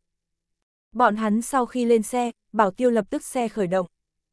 vẻn vẹn khoảng 10 phút lộ trình, Tô Chiết bọn hắn là đến nơi cần đến, di câu lạc bộ, rõ ràng Dư Hiên Hạo đã tới di câu lạc bộ rất nhiều lần rồi, đối di câu lạc bộ rất quen thuộc. Dư Hiên Hạo không có mang Tô Chiết trực tiếp đi thừa trong đại sảnh thang máy, mà là mang theo Tô Chiết đi hướng một bên so sánh ẩn núp thông đạo. Bọn hắn tại quẹo một cái cua ngoặt sau, Tô Chiết liền nhìn thấy một cái cửa khẩu. Bất quá có hai cái đại hán vạm vỡ giữ cửa khẩu, ngăn cản người khác tùy tiện đi vào. Dư Hiên Hạo bọn hắn đi tới đây sau, đại hán vạm vỡ liền vươn tay ra ngăn cản bọn hắn tiến vào. Lúc này, đi theo Dư Hiên Hạo phía sau bảo tiêu, móc ra một tấm tương tự thẻ hội viên đồ vật đi ra. Người giữ cửa kiểm tra sau, liền lập tức cho đi, cho tô chiết bọn hắn đi vào. Nguyên lai like bên trong cửa, còn có một phần thang máy. Tô chiết bọn hắn đi vào thang máy, này thang máy tầng trệt chỉ có lầu một cùng âm một lầu hai cái lựa chọn, này ngược lại là để tô chiết có chút kỳ quái, vừa nãy tô chiết lúc ở bên ngoài, nhìn thấy di câu lạc bộ nhưng là có 5 tầng lầu cao. Cửa thang máy chậm rãi đóng cửa, Dư Hiên Hạo xoa bóp âm một lầu cái nút, mở miệng nói ra, này di câu lạc bộ, ở bề ngoài là phổ thông sàn giải trí, mà trên thực tế lại là dưới đất đấu khuyển, lầu 1 đến 5 tầng đều là di câu lạc bộ dùng để che giấu tai mắt người, đấu khuyển chàng là ở âm một lầu, phải là di câu lạc bộ hội viên mới có tư cách tiến vào. Tô Chiết gật gật đầu, tỏ ra hiểu rõ, không trách Dư Hiên Hạo không đi ngồi phía ngoài thang máy, mà nhất định phải tha cho như thế một vòng. Dù sao di câu lạc bộ đấu khuyển chàng là tư nhân, hơn nữa di câu lạc bộ còn bắt đầu phiên giao dịch đánh bạc, những thứ này đều là không hợp pháp, cho dù di câu lạc bộ sau lưng hậu trường cứng rắn hơn nữa, cũng cần phải chú ý ảnh hưởng, tự nhiên không thể trắng trợn mở đấu khuyển trang. Thang máy đã đến âm một sau lầu, tôi Chiết bọn hắn đi ra thang máy. Dư Hiên Hạo hỏi Tô Chiết có muốn hay không làm cái thẻ hội viên, sau này tới cũng thuận tiện, hơn nữa nếu như muốn xuống rót lời nói, cũng cần hội viên mới được. Tô Chiết suy nghĩ một chút, hiện tại công việc cũng tốt, miễn cho đến lúc đó muốn dùng rồi, mới qua đến công việc. Thế là Dư Hiên Hạo liền dẫn Tô Chiết đi đến trước bàn. Bởi vì Dư Hiên Hạo đã là nơi này hội viên, có thể giới thiệu mới hội viên. Cho nên Tô Chiết công việc hội viên thủ tục không cần phức tạp như thế, chỉ cần cung cấp thẻ căn cước, Tô Chiết lại thiết trí một cái mật mã, Tô Chiết liền thành di câu lạc bộ mới hội viên. Di câu lạc bộ thẻ hội viên, cùng phổ thông thẻ ngân hàng gần như lớn bằng. Mặt trên ghi lại một cái hội viên tài khoản, còn có di câu lạc bộ trang web, hình thức nhìn lên rất phổ thông. Tô Chiết vừa mới làm này tấm thẻ hội viên, hiện tại ngoại trừ nắm giữ ra vào di câu lạc bộ tư cách, chuyện khác đều không làm được, bởi vì Tô Chiết thẻ hội viên tài khoản ngạch trống là linh. Hắn vẫn không có đi vào trong sung tiền, bởi vì hắn tạm thời còn không xác định, có cần hay không dùng đến này tấm thẻ hội viên, cho nên liền tạm thời không có ý định sung tiền trước tiên. Cho dù tương lai muốn dùng đến thẻ hội viên, lại tiến vào trong sung tiền cũng sẽ không muộn, đến lúc đó trực tiếp đăng nhập di câu lạc bộ trang web, liền có thể trực tiếp hướng về hội viên tài khoản sung tiền, rất thuận tiện mau lẹ. Dư Hiên Hạo cùng Tô Chiết bọn hắn tiến vào đấu khuyển trang, Dư Hiên Hạo dùng hắn hội viên mở ra một gian bao xương, này phòng khách tương đối gần đấu khuyển sân bãi, có thể trực tiếp thông qua cửa sổ quan sát đấu khuyển. Bên trong bao xương ngoại trừ sofa cái bàn bên ngoài, trên vách tường còn có một khối màn ảnh lớn, cũng mà còn có đi kèm hai bộ máy vi tính. Nếu như khách hàng không muốn đứng ở cửa sổ xem đấu khuyển tranh tài, cũng có thể thông qua vách tường màn hình quan sát phía ngoài thi đấu, về phần máy vi tính chính là cho khách hàng giải thi đấu, cùng với đặt cược dùng. Gian phòng này bao xương thiết bị rất đầy đủ, hoàn cảnh cũng rất thư thích, cũng mà còn có chuyên môn công nhân viên, ở bên cạnh phục vụ. Đương nhiên như thế phục vụ chu đáo phòng khách, cần chi phí tự nhiên cũng sẽ không thấp, bất quá Dư Hiên hảo sẽ không để ý chút tiền lẻ này. Tô Chiết cùng Dư Hiên hảo tiến vào phòng khách, lập tức liền có người đưa một chút điểm tâm đi vào, gồm vách tường màn ảnh lớn mở ra. Bọn hắn lúc tiến vào, mới vừa liền lập tức có một hồi đấu khuyển thi đấu muốn bắt đầu, di câu lạc bộ bắt đầu phiên giao dịch, tiếp thu đổ khách đặt cược. Cuộc tranh tài này theo thứ tự là do, di câu lạc bộ phái ra Tây Ban Nha và Ghana lợi khuyển uy vương tiếp thu bất kỳ du khách mang tới đấu khuyển khiêu chiến. Ghana lợi khuyển là một loại chuyên môn là đấu khuyển phát triển mà đến loài chó. Tổ tiên của nó khả năng bao quát địa phương kề bên tuyệt diệt ba địch nặc ngựa kiệt xuất lạc khuyển, cùng với dẫn vào Anh quốc ngao đời sau. Đến thế kỷ 20 thập kỷ 60 đến, một cái chủng loại kề bên tuyệt diệt, nhưng sau đó bị nước Mỹ bác sĩ thú y Đại học Guillermo Seke Almansi tiến sĩ cứu lại. Ghana lợi khuyển là một loại điển hình hiếu chiến khuyển, da rẻ dày, xương cốt rắn chắc, phạm vỡ, đau đầu mà lại quai hàm bộ bắp thịt dị thường dài rộng, mạnh mẽ hình vuông đầu hắn độ rộng cùng độ dài gần gũi, miệng mũi bộ rộng mà trường, gáy da rẻ dày vạm vỡ, ngực rộng sâu khí lực lớn, cái mông hơi hướng lên trên vỉnh lên, bị cái lông có thiển màu vàng sẫm, màu đỏ vằn cùng màu đen vằn đợi màu sắc. Tại công nhân viên dưới sự chỉ đạo, Tô Chiết mở máy vi tính ra, đăng nhập lên di câu lạc bộ trang web. Mỗi một tràng đấu khuyển thi đấu, di câu lạc bộ trang web đều sẽ trực tiếp đổi mới. Mỗi một con tham gia thi đấu đấu khuyển tư liệu cũng sẽ ở trên website công bố, cùng di câu lạc bộ hội viên tuần tra. Tỷ như một con này bị đặt tên là Uy Vương Tây Ban Nha và Ghana lợi khuyển, các loại tư liệu cũng rất cặn kẽ trưng bày tại trang web bên trong. Uy Vương vai cao 63mm, thể trọng đạt đến 52kg, hiện nay tổng cộng đã tham gia 3 cuộc tranh tài, chiến tích là 2 thắng bại một lần. Dư Hiên Hạo cuộc tranh tài này không có tính toán để Hắc Hổ tham gia, cho nên sẽ không có là Hắc Hổ báo danh dự thi. Đồng thời tối hôm nay Dư Hiên Hạo đều không có tính toán để Hắc Hổ tham gia bất kỳ một cuộc tranh tài, hắn tối hôm nay chỉ là cùng Tô Chiết đến quan sát đấu khuyển so tài, có hứng thú lời nói liền đánh bạc mấy trận, hắn sẽ không để Hắc Hổ tham gia tối hôm nay đấu khuyển so tài. Dư Hiên Hạo giải thích là, Hắc Hổ hôm nay ngồi mấy tiếng máy bay, lặn lội đường xa, vẫn không có thích ứng lại đây, bây giờ trạng thái vẫn chưa tới đỉnh phong, hôm nay cũng không thích hợp tham gia thi đấu, mang Hắc Hổ đến chỉ là xem nhìn một chút thi đấu, thích ứng một cái hoàn cảnh của nơi này, sau đó trở lại nghỉ ngơi thật tốt một buổi tối, để Hắc Hổ bồi dưỡng đủ tinh thần, ngày mai Dư Hiên Hạo lại mang Hắc Hổ tới tham gia đấu khuyển thi đấu. Audio điện tử võ tấn bền Tuy rằng Dư Hiên Hạo tối hôm nay không có tính toán để Hắc Hổ tham gia thi đấu, thế nhưng đối cuộc so tài này hứng thú vẫn như cũ không giảm. Không lâu Di câu lạc bộ liền tuyên bố có người mang đấu khuyển xuất tới khiêu chiến Uy Vương rồi, đồng thời Di câu lạc bộ công nhân viên, còn đem Uy Vương cùng người khiêu chiến đưa đến đấu khuyển trên sân, để đổ khách quan sát, nhiều một chút hiểu rõ so tài đấu khuyển. Hai con đấu khuyển đều bị nhốt tại lồng chó bên trong, lẫn nhau căm thù, chó sủa không ngừng. Chỉ cần thời gian vừa đến, đấu khuyển chàng công nhân viên liền sẽ đem lồng sắt mở ra, tin tưởng đến lúc đó nhất định sẽ là một hồi chiến huống kịch liệt. Khiêu chiến Uy Vương chính là một con Argentine Dogo khuyển, thể hình không có chút nào sẽ yếu hơn Uy Vương, thậm chí thân cao còn hơi có ưu thế. Dogo khuyển là ở Nam Mỹ đào tạo số ít khuyển chủng loại một trong, thế kỷ 20-20 năm đời, một cái Argentina gây giống người, Antonio. Zas, Martin cái kia từ tiến sĩ, vì săn bắn Mỹ châu báo và Mỹ châu sư chó săn sinh thành nên chủng loại. Mới đầu đào tạo một cái hung mãnh mà lại cho người khắc sâu ấn tượng chủng loại là vì thành đàn săn bắn.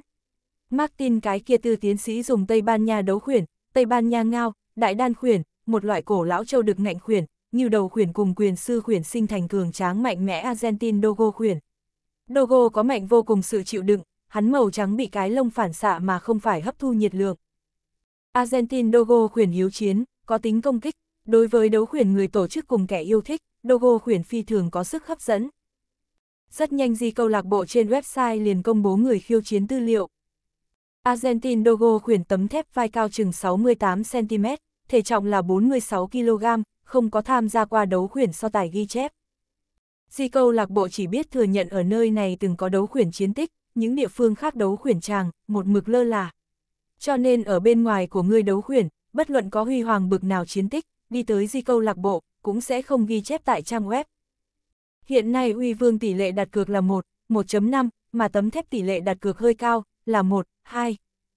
Tuy rằng tấm thép thân cao cao hơn uy vương, thế nhưng nó thể trọng so sánh uy vương lại là ở thế yếu. Hơn nữa uy vương ở nơi này còn có qua mấy cuộc tranh tài, có chiến tích cho người tham khảo, đổ khách đối uy vương thực lực cũng ít nhiều có chút hiểu rõ, thế nhưng tấm thép chiến tích lại là linh, không có ai biết tấm thép sức chiến đấu. Cho nên ép uy vương thắng đổ khách tương đối nhiều, dẫn đến uy vương tỷ lệ đặt cược liền so với tấm thép tương đối thấp một chút. Đấu khuyển thi đấu thời gian vừa đến, công nhân viên lập tức mở ra lồng chó, thả hai con đấu khuyển đi ra. Tây Ban Nha và Ghana lợi khuyển cùng Argentine Dogo khuyển đều là hiếu chiến loài chó, mà trải qua chuyên nghiệp huấn luyện uy vương cùng tấm thép, càng là trong đó người nổi bật. Hai con đấu khuyển vừa rời đi lồng chó, thu được tự do sau, lập tức hướng về đối phương xông tới. Dogo khuyển động tác dị thường hung mãnh, vừa bắt đầu liền hướng Ghana lợi khuyển giết gào xông đi. Đáng tiếc đối thủ của nó là có qua kinh nghiệm tinh nhuệ đấu khuyển, căn bản sẽ không kinh hãi Dogo khuyển hung mãnh, Ghana lợi khuyển trực tiếp cùng Dogo khuyển triển khai điên cuồng nhất cắn xé. Rất gần như không còn kinh nghiệm Dogo khuyển đã bị Ghana lợi khuyển cắn được chân trước, Dogo khuyển bị đau, lung tung dẫy ruộ lên.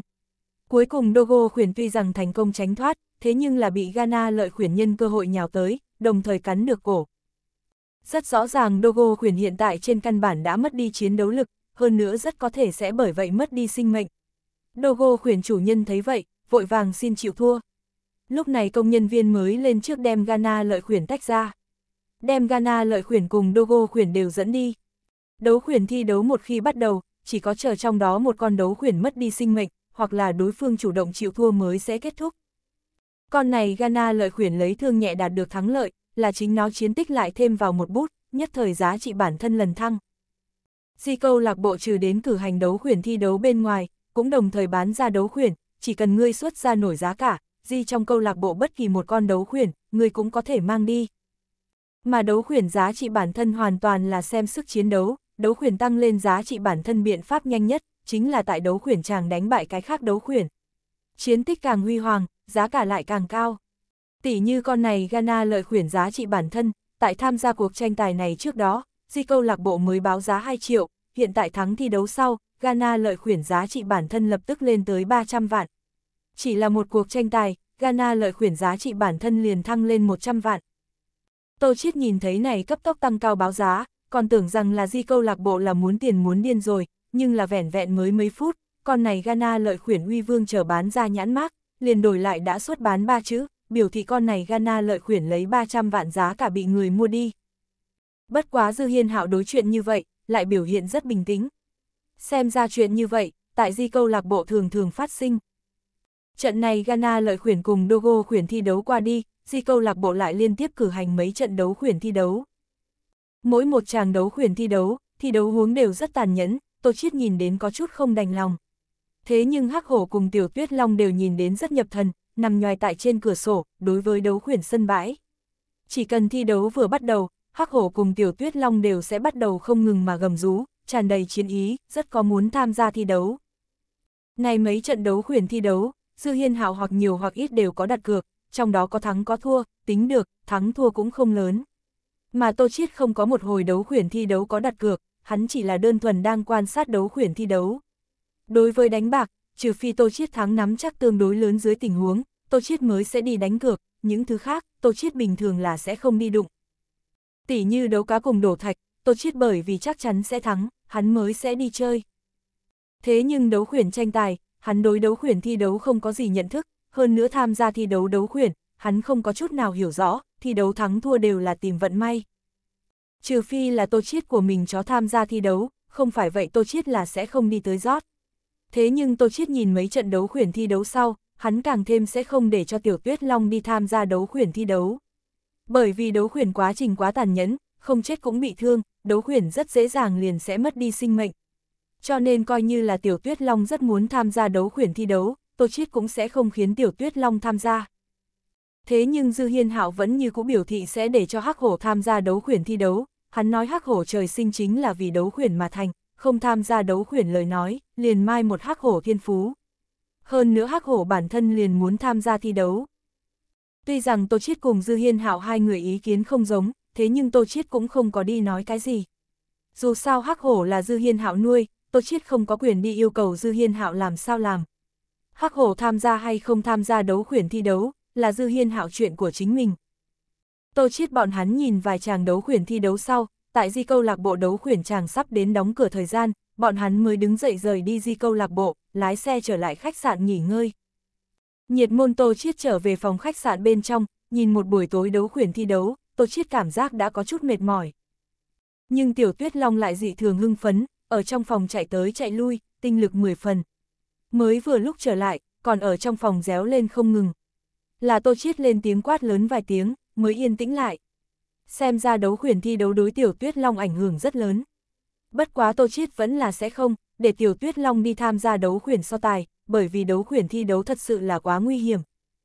Tiểu Tuyết Long một mực rằng con nửa đêm mới yên tĩnh lại, bất quá sáng sớm, Tiểu Tuyết Long liền nhảy sủng đi, một mực tại xô đẩy Tô Chiết. Bị Tiểu Tuyết Long làm thành như vậy, Tô Chiết cũng ngủ không yên ổn rồi, bất đắc dĩ, chỉ có thể rời giường. Tô Chiết đổ lướt nước cho Tiểu Tuyết Long uống, sau đó hắn mới đi phòng rửa tay rửa mặt. Chờ hắn lúc đi ra, sủng vật ẩm thủy khí trong nước, đã thiếu một nửa. Mà Tiểu Tuyết Long đã không ở sủng vật ẩm thủy khí bên cạnh rồi, mà là tại cửa vào nằm sấp.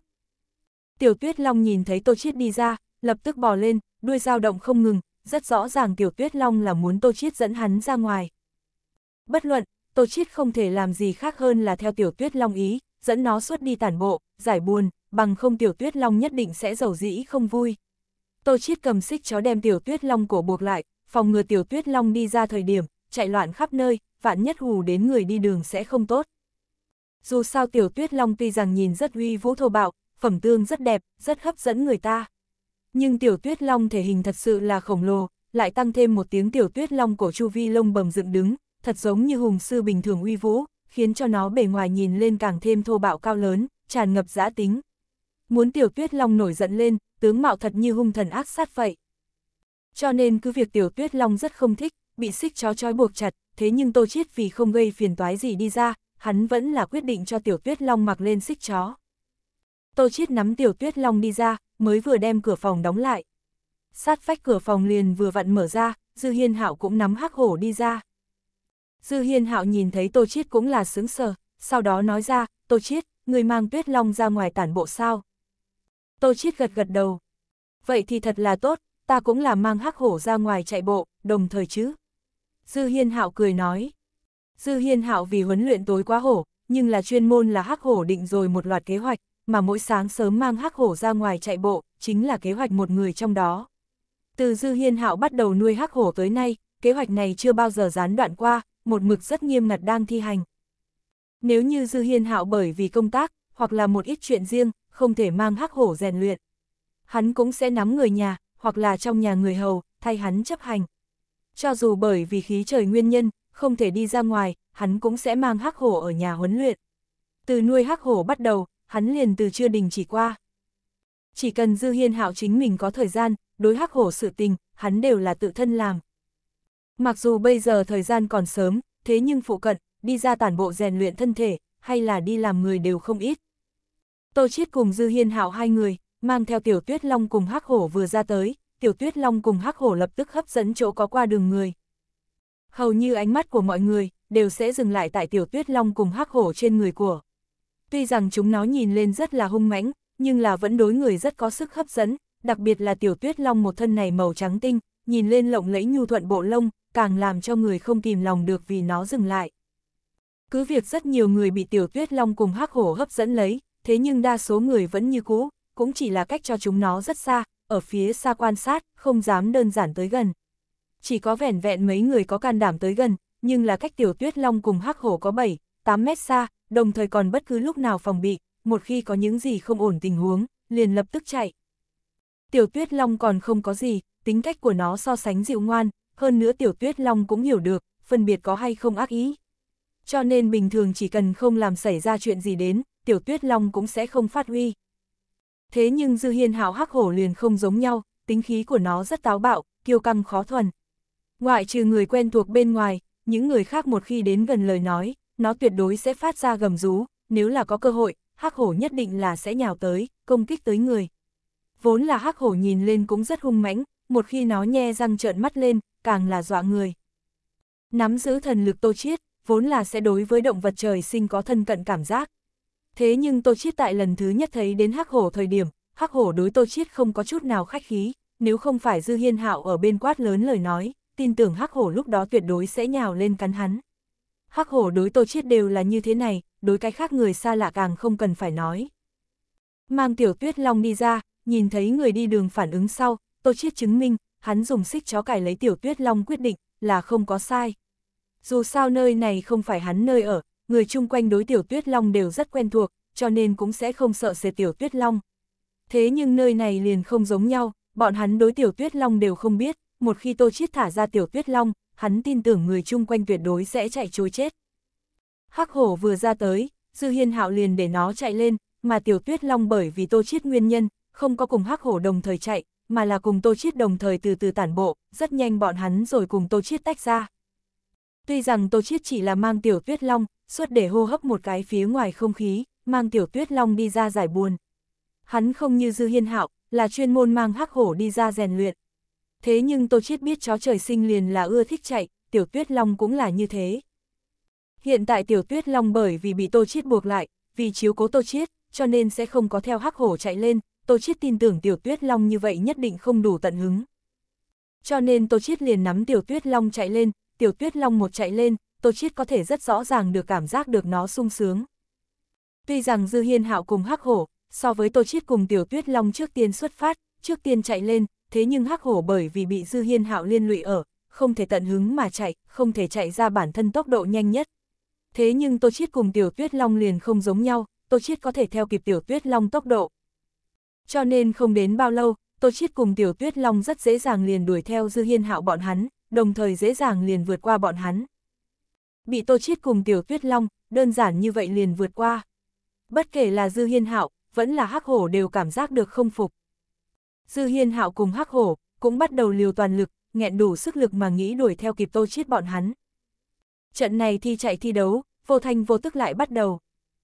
Rất nhanh Dư Hiên Hạo bọn hắn liền tuyệt vọng, bất luận bọn hắn chạy được nhanh hơn, thế nhưng cách Tô Chiết cùng Tiểu Tuyết Long khoảng cách vẫn như cũ càng ngày càng xa. Rất nhanh, Tô Chiết cùng Tiểu Tuyết Long thì đem bọn hắn vung không còn hình bóng, Dư Hiên Hạo lại cũng không nhìn thấy Tô Chiết hình bóng rồi. Dư Hiên Hạo không thể không nhụt chí, ngừng lại, liều mạng thở hổn hển. Vừa nãy Dư Hiên Hạo chỉ lo cùng Tô Chiết phân cao thấp, còn không có cảm giác gì. Hiện tại ngừng lại, mới cảm giác mình đã sắp mệt chết đi được. Cứ việc Dư Hiên Hạo cũng là thường thường rèn luyện người, thể chất đối với người bình thường tới nói đã rất tốt, thế nhưng hắn làm sao có khả năng, so được với tu luyện luyện thể thuật Tô Chiết. Cùng Tô Chiết so với, hắn căn bản là không có phần thắng sự tình. Không chỉ có là tiểu tuyết long chạy hang say rồi, liền Tô Chiết cũng càng chạy càng có động lực. Tại người ở thưa thất địa phương, một người một chó tốc độ càng lúc càng nhanh. Tô Chiết cùng tiểu tuyết long, trọn vẹn chạy hơn nửa giờ mới dừng lại, Tô Chiết ra mồ hôi cả người, mà tiểu tuyết long cũng bắt đầu thở dốc. Bọn hắn dĩ nhiên, bất chi bất giác liền chạy tới vùng ngoại ô đến rồi, Tô Chiết tại phụ cận đều không có nhìn thấy người. Càng đừng nói nhìn thấy Dư Hiên Hạo cùng Hắc Hổ rồi, Tô Chiết lúc này mới phản ứng được, hắn và Tiểu Tuyết Long đã đem Dư Hiên Hạo bọn hắn ném ra đến mặt sau đi, phân tán. Tô Chiết nhìn thấy ven đường có một tấm nhàn nhã ghế tựa, lập tức đi tới, ngồi xuống, cả người đều tựa lưng vào ghế ngồi, Tiểu Tuyết Long cũng đang nhàn nhã ghế tựa bên cạnh nằm sấp, xem ra Tô Chiết cùng Tiểu Tuyết Long đều mệt đến không nhẹ. Một luồng hơi gió nhẹ nhàng thổi qua, rất mát mẻ, thổi tới Tô Chiết trên mặt, khiến hắn cảm giác thật thoải mái, rất thả lòng. Khiến hắn không kìm lòng được nhắm mắt lại, tỉ mỉ cảm giác một cái cỗ mát mẻ gió nhẹ. Nhắm mắt lại Tô Chiết, đột nhiên cảm giác được có người đi tới nơi này, đồng thời cách bọn họ càng ngày càng gần, cuối cùng Tô Chiết cảm giác được người đến, tại bên cạnh bọn họ ngừng lại. Bất quá Tô Chiết ánh mắt vẫn như cũng nhắm, không có mở to. Đã qua một trận, Tô Chiết không khỏi có chút kỳ quái. Hắn biết người đến không hề rời đi, ngược lại cùng Tiểu Tuyết Long bắt đầu chơi. Vậy thì để Tô Chiết không rõ, Tiểu Tuyết Long tính cách tuy rằng dịu ngoan, thế nhưng đối người xa lạ rất có phòng bị tâm. Hơn nữa Tiểu Tuyết Long thời điểm vừa mới bắt đầu, đối phương tới gần nơi này, Tiểu Tuyết Long nếu không có cảnh báo, không có nhắc nhở Tô Chiết, chuyện này đối với tính cảnh giác rất mạnh Tiểu Tuyết Long là chưa từng có sự tình. Trừ phi là Tiểu Tuyết Long người rất quen thuộc, tỉ như là Tô Vũ Hinh, Bảo Bảo, An Hân, An Huyên, Tiểu Tuyết Long mới sẽ như vậy. Về phần những người khác, cho dù Tiểu Tuyết Long mệt mỏi nữa, cũng không khả năng sẽ như vậy. Huống chi lấy mới vừa lượng vận động tới nói, đối Tiểu Tuyết Long ảnh hưởng cũng sẽ không rất lớn. Nghĩ tới đây, Tô Chiết cũng không nhịn được nữa mở mắt, nhìn sang.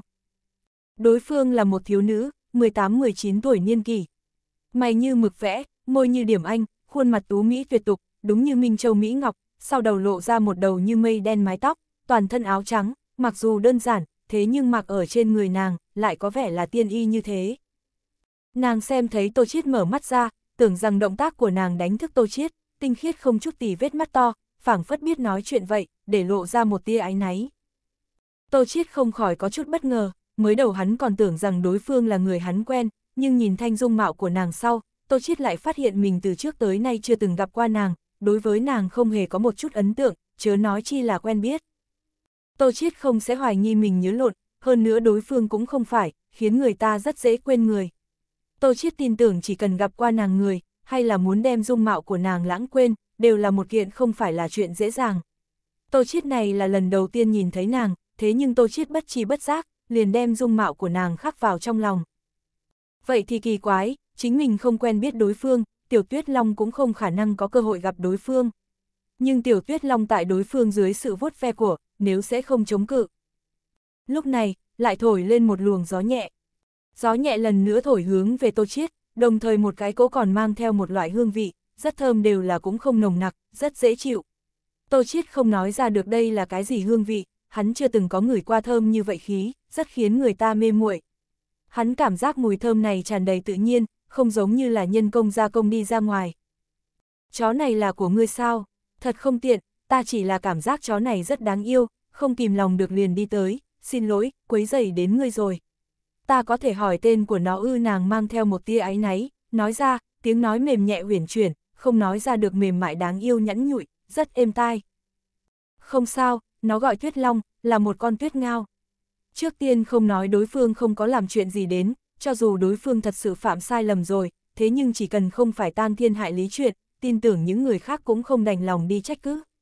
Tô Chiết cũng không biết tại sao, từ nhìn thấy của nàng lần đầu tiên, từ trong lòng liền sinh sôi suốt một loại phải bảo vệ nàng, không cho nàng bị thương tổn tâm tình đi ra.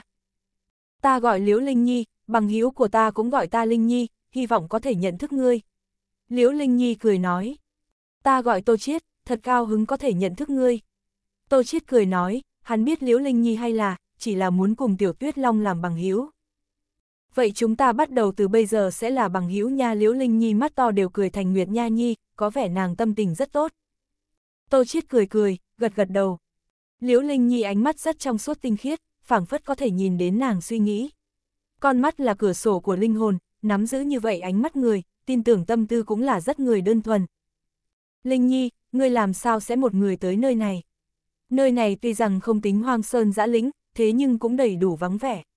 Tô Chiết cũng rất kỳ quái, Liễu Linh Nhi một người nữ sinh, làm sao sẽ một người tới nơi này?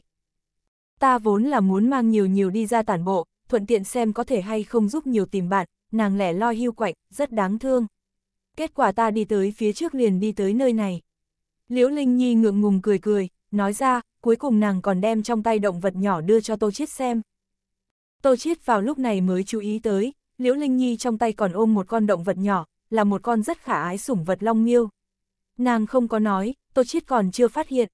Bất quá Tô Chiết có chút bó tay rồi, cho long miêu tìm đồng bọn, dĩ nhiên tìm tới nơi này, lẽ nào nàng muốn chính mình đi nắm bắt một con. Bất quá khi Tô Chiết nghĩ đến mình và Tiểu Tuyết Long, còn không phải mơ mơ hồ hồ mà chạy đến nơi đây. Nói đến cùng Liễu Linh Nhi không có không giống nhau. Nhà của ngươi ở nơi đó, ta đưa ngươi trở về đi thôi.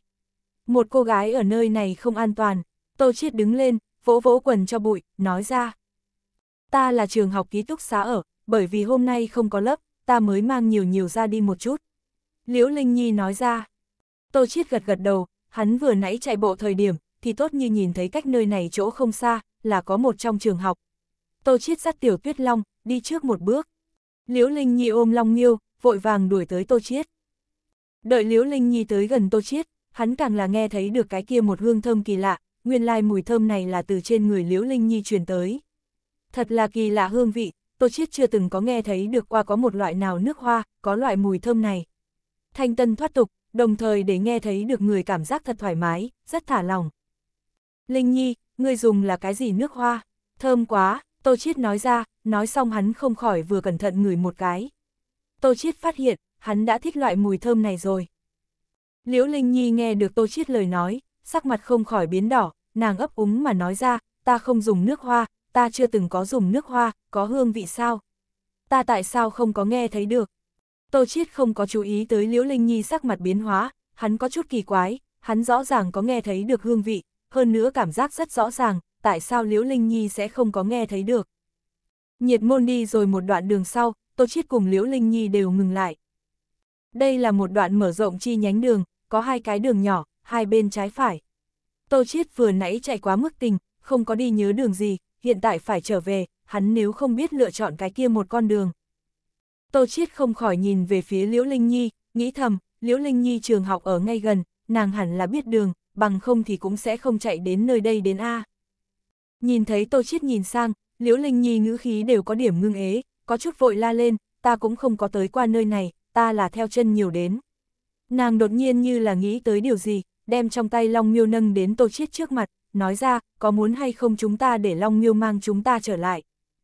Liễu Linh Nhi nói xong, liền thật sự đem Long Miêu để xuống đất, sau còn tại Long Miêu tai vừa nói một ít Long Miêu ngoan, mang tỷ tỷ trở lại, tỷ tỷ mua cho ngươi ăn ngon, các loại lời nói, hơn nữa Liễu Linh Nhi giọng rượu rất chăm chú thành khẩn, nhìn ra được, Liễu Linh Nhi không phải tại nhìn chuyện cười.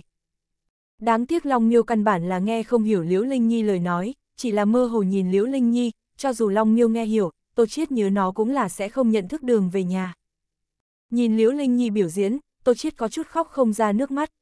Nghĩ thầm người cũng quá đơn thuần, đem hy vọng ký thác một con nhỏ Long Miêu trên người, thẳng thắn hy vọng Tiểu Tuyết Long còn đáng tin một ít. Tô Chiết đột nhiên nghĩ đến, có lẽ Tiểu Tuyết Long còn thật sự giúp được việc khó khăn. Dù sao cháu biết đường thật là nổi danh, hơn nữa Tiểu Tuyết Long còn thông minh như vậy, hẳn là có thể hy vọng được với. Thế là Tô Chiết liền ngồi trồm hốm xuống, tại Tiểu Tuyết Long tai vừa nói ra, Tuyết Long, hiện tại phải dựa vào ngươi, không phải vậy chúng ta liền muốn chịu đói rồi. Mặc dù nhỏ Tuyết Long cũng là lần đầu tiên đến, thế nhưng hiện tại chỉ có thể là lấy ngựa chết làm ngựa sống rồi. Cho dù đi nhầm, chẳng qua một lần nữa đi về tới, liền đánh bạc một cái đem. Tiểu Tuyết Long thật giống nghe hiểu Tô Chiết lời nói, đầu tiên là chạy đến bên trái đường nhỏ, cúi đầu, ngửi một cái dưới đất. Sau đó lại chạy đến bên phải đường nhỏ, đồng dạng là ngửi một cái dưới đất. Đột nhiên Tiểu Tuyết Long ngẩng đầu lên, đối với Tô Chiết gầm rú vài tiếng. Tô Chiết rõ ràng ý của nó, biết nó lựa chọn là bên phải đường nhỏ, thế là hắn để Liễu Linh Nhi đi theo hắn, đi hướng bên phải đường nhỏ. Liễu Linh Nhi ôm lấy Long Miêu, nói ra, còn Tiểu Tuyết Long lợi hại, nhiều liền không biết đường rồi, nàng thật là đần nha. Tô Chiết không khỏi có chút không nói gì, Liễu Linh Nhi vừa nói như vậy, bằng với đem bản thân nàng cùng Tô Chiết đồng thời đều mắng, dù sao Tô Chiết cùng Liễu Linh Nhi hai người cũng không nhận ra đường. Tô Chiết ca, người có biết hay không chung quanh đây có hay không như nhiều vậy động vật? Nàng lẻ loi hưu quạnh, thật đáng thương. Liễu Linh Nhi đột nhiên hỏi. Nhiều, không phải có người bồi tiếp sao, làm sao sẽ đáng thương? Tô Chiết nhìn nhiều một mắt, có chút buồn cười, Liễu Linh Nhi hiện tại không quan tâm chính mình tình cảnh, nếu còn tại bận tâm sủng vật. Nhưng là ta không thể một mực bồi tiếp nhiều, ta đi khi đi học, nhiều ở tại trong túc xá, sẽ rất nhàm chán, rất đáng thương. Liễu Linh Nhi nói xong, con mắt nếu bắt đầu đỏ lên.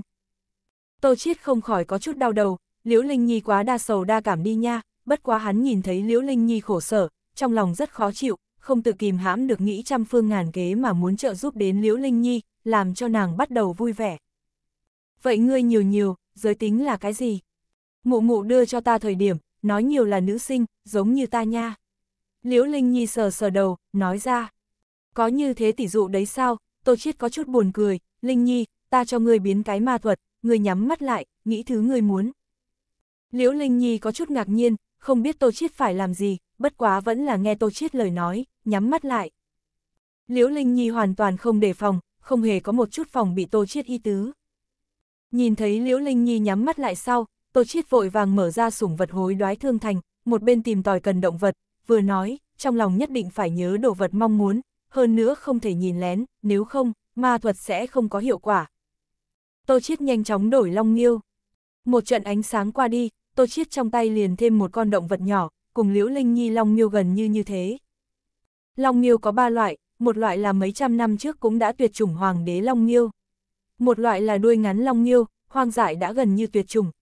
Còn có một loại đuôi dài long miêu, hoang dại đuôi dài long miêu cũng hầu như tuyệt tích rồi, hiện tại mua bán đều là nhân tạo sinh sôi nảy nở.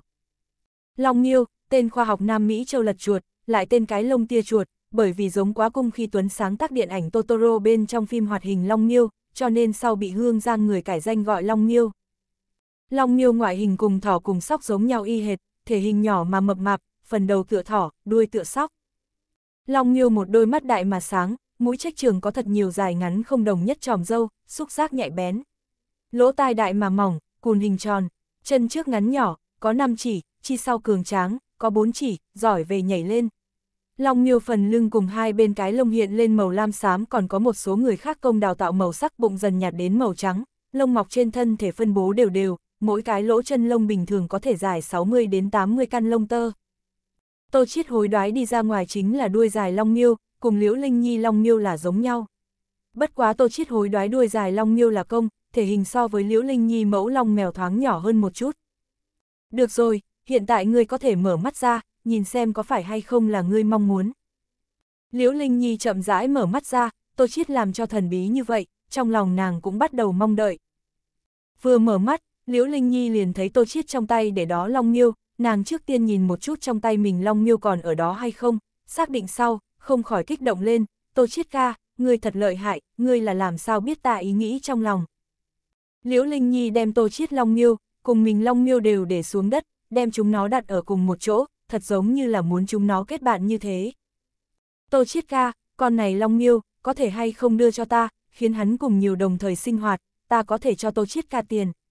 Liễu Linh Nhi vội vàng nói, nói xong lập tức vươn hướng túi áo, sau đó nàng mới muốn từ bản thân lúc ra cửa, quên mang tiền, lúc này nàng đều sốt ruột mà nhanh khóc lên, con mắt đã tràn ngập sương mù, cẩn thận từng ly từng tí nói ra, Tô Chiết ca, có thể hay không, chờ ta về ký túc xá lại lấy tiền, ta quên mang tiền đi ra. Liễu Linh Nhi này mơ hồ tính cách, Tô Chiết không khỏi đưa tay ra sờ sờ Liễu Linh Nhi đầu, nói ra, con này long miêu, là trong lòng ngươi chính mình nghĩ ra được, là ngươi tâm tưởng sự thành, có thể chuyện không liên quan đến ta, không cần cho ta tiền.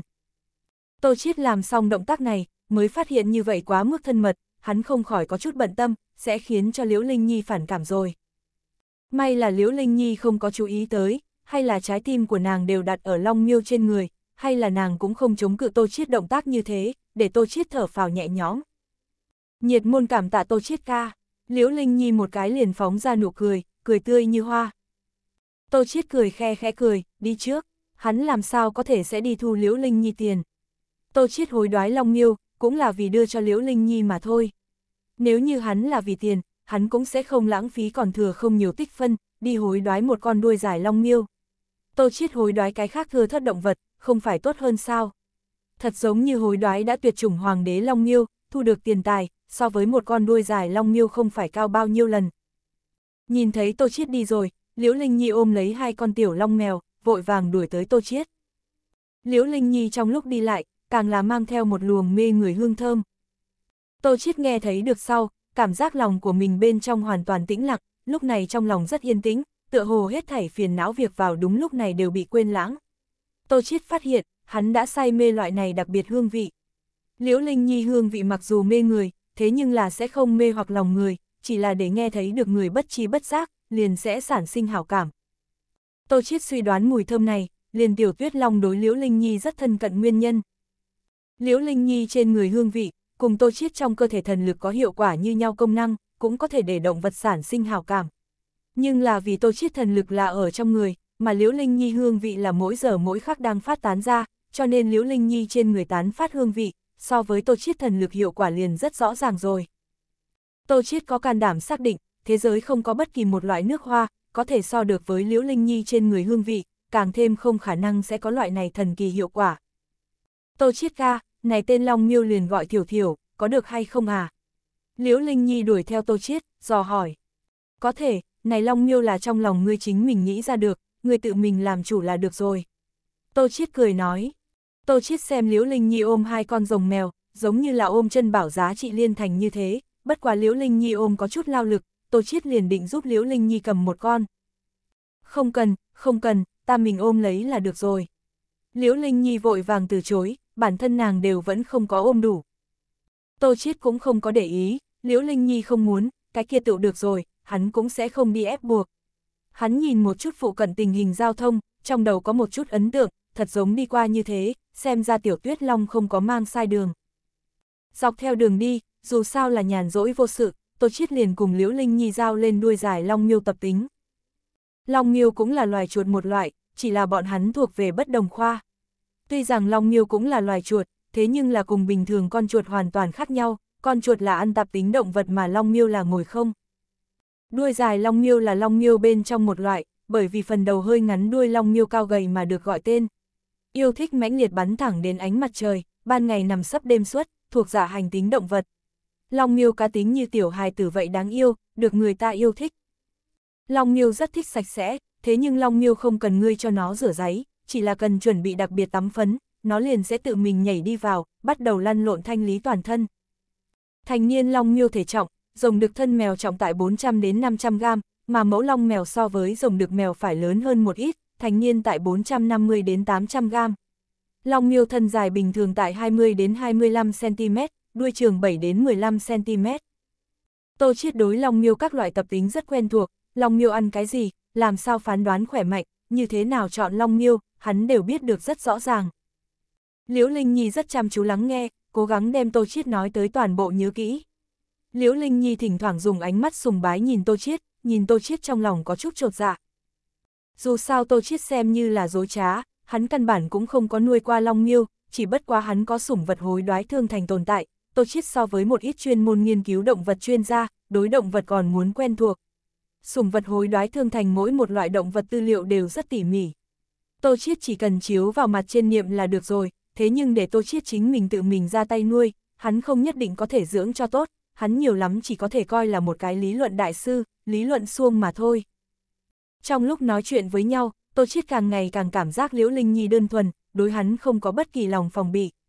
Trên căn bản Tô Chiết hỏi cái gì, Liễu Linh Nhi không chút nghĩ ngợi phải trả lời rồi, không có đi cân nhắc hậu quả gì. Hơn nữa rất dễ dàng tin tưởng người khác, Tô Chiết nói cái gì, nàng liền thư cái gì, sẽ không hoài nghi Tô Chiết đang gạt nàng. Tô Chiết bọn hắn tại Tiểu Tuyết Long dẫn dắt đi, bởi vì bọn họ tốc độ không nhanh nguyên nhân, bọn hắn đi rồi gần như thời gian nửa tiếng, mới nhìn đến Liễu Linh Nhi đại học. Tô Chiết đưa Liễu Linh Nhi đến cửa trường học, Liễu Linh Nhi lưu luyến không rời cùng Tô Chiết nói lời từ biệt mấy lần, còn ôm một hồi Tiểu Tuyết Long sau, mới đi vào trong trường học. Tuy rằng bọn hắn biết thời gian còn rất ngắn, thế nhưng rất rõ ràng Liễu Linh Nhi đã coi Tô Chiết là làm bằng hữu đối đãi. Hắn một mực chờ Liễu Linh Nhi đi vào một tòa lầu ký túc xá bên trong, không nhìn thấy Liễu Linh Nhi thân ảnh của rồi, Tô Chiết mới yên tâm rời đi. Bởi vì Tô Chiết đã lười phải tiếp tục đi bộ, liền ngăn cản một chiếc xe sau, mang theo Tiểu Tuyết Long trực tiếp đi tới khách sạn. Ngồi trên xe không đến bao lâu, Tô Chiết điện thoại di động hãy thu đến một cái tin nhắn. Hắn mở ra xem, nguyên lai like là Liễu Linh Nhi phát tới. Tô Chiết ca, chớ quên Linh Nhi người bạn này nha, ta cùng ít nhiều gì đều sẽ muốn Tô Chiết ca. Phần cuối còn thả một cái tựa khuôn mặt tươi cười ký hiệu. Tô Chiết xem xong tin nhắn sau, không khỏi hiểu ý cười cười, Liễu Linh Nhi hình tượng lại hiện lên ở trong đầu của hắn. Trên đường, Dư Hiên Hạo gọi điện thoại lại đây, bởi vì Tô Chiết cùng Tiểu Tuyết Long chuyến đi này, cứ như vậy lâu, Dư Hiên Hạo lo lắng Tô Chiết xảy ra chuyện gì, liền gọi điện thoại tới hỏi một chút. Xe một đường ngược lên chạy nhanh đến mức rất nhanh, không đến bao lâu là đến Tô Chiết ở khách sạn. Tô Chiết xuống xe trả tiền sau, mới phát hiện Dư Hiên Hạo tại cửa vào chờ hắn. Dư Hiên Hạo cũng nhìn thấy Tô Chiết, cười nói, người biến mất vô ảnh, ta vừa nãy đều suýt chút nữa báo cảnh sát. Nhất thời hứng khởi, liền chạy rất xa, sau đó mệt mỏi, nghỉ ngơi một hồi, cho nên mới phải lâu như vậy mới trở về. Mặc dù biết Dư Hiên Hạo đang nói đùa, bất quá Tô Chiết cũng có chút ngượng ngùng. Dù sao Dư Hiên Hạo lo lắng là thật sự, chính mình không có bản giao liền biến mất rồi lâu như vậy.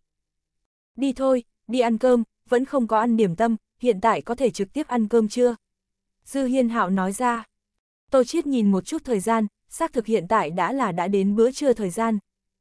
Bọn hắn trước tiên vì Tiểu Tuyết Long cùng Hắc Hổ chuẩn bị đồ ăn, sau đó bọn hắn mới đi phòng ăn ăn cơm.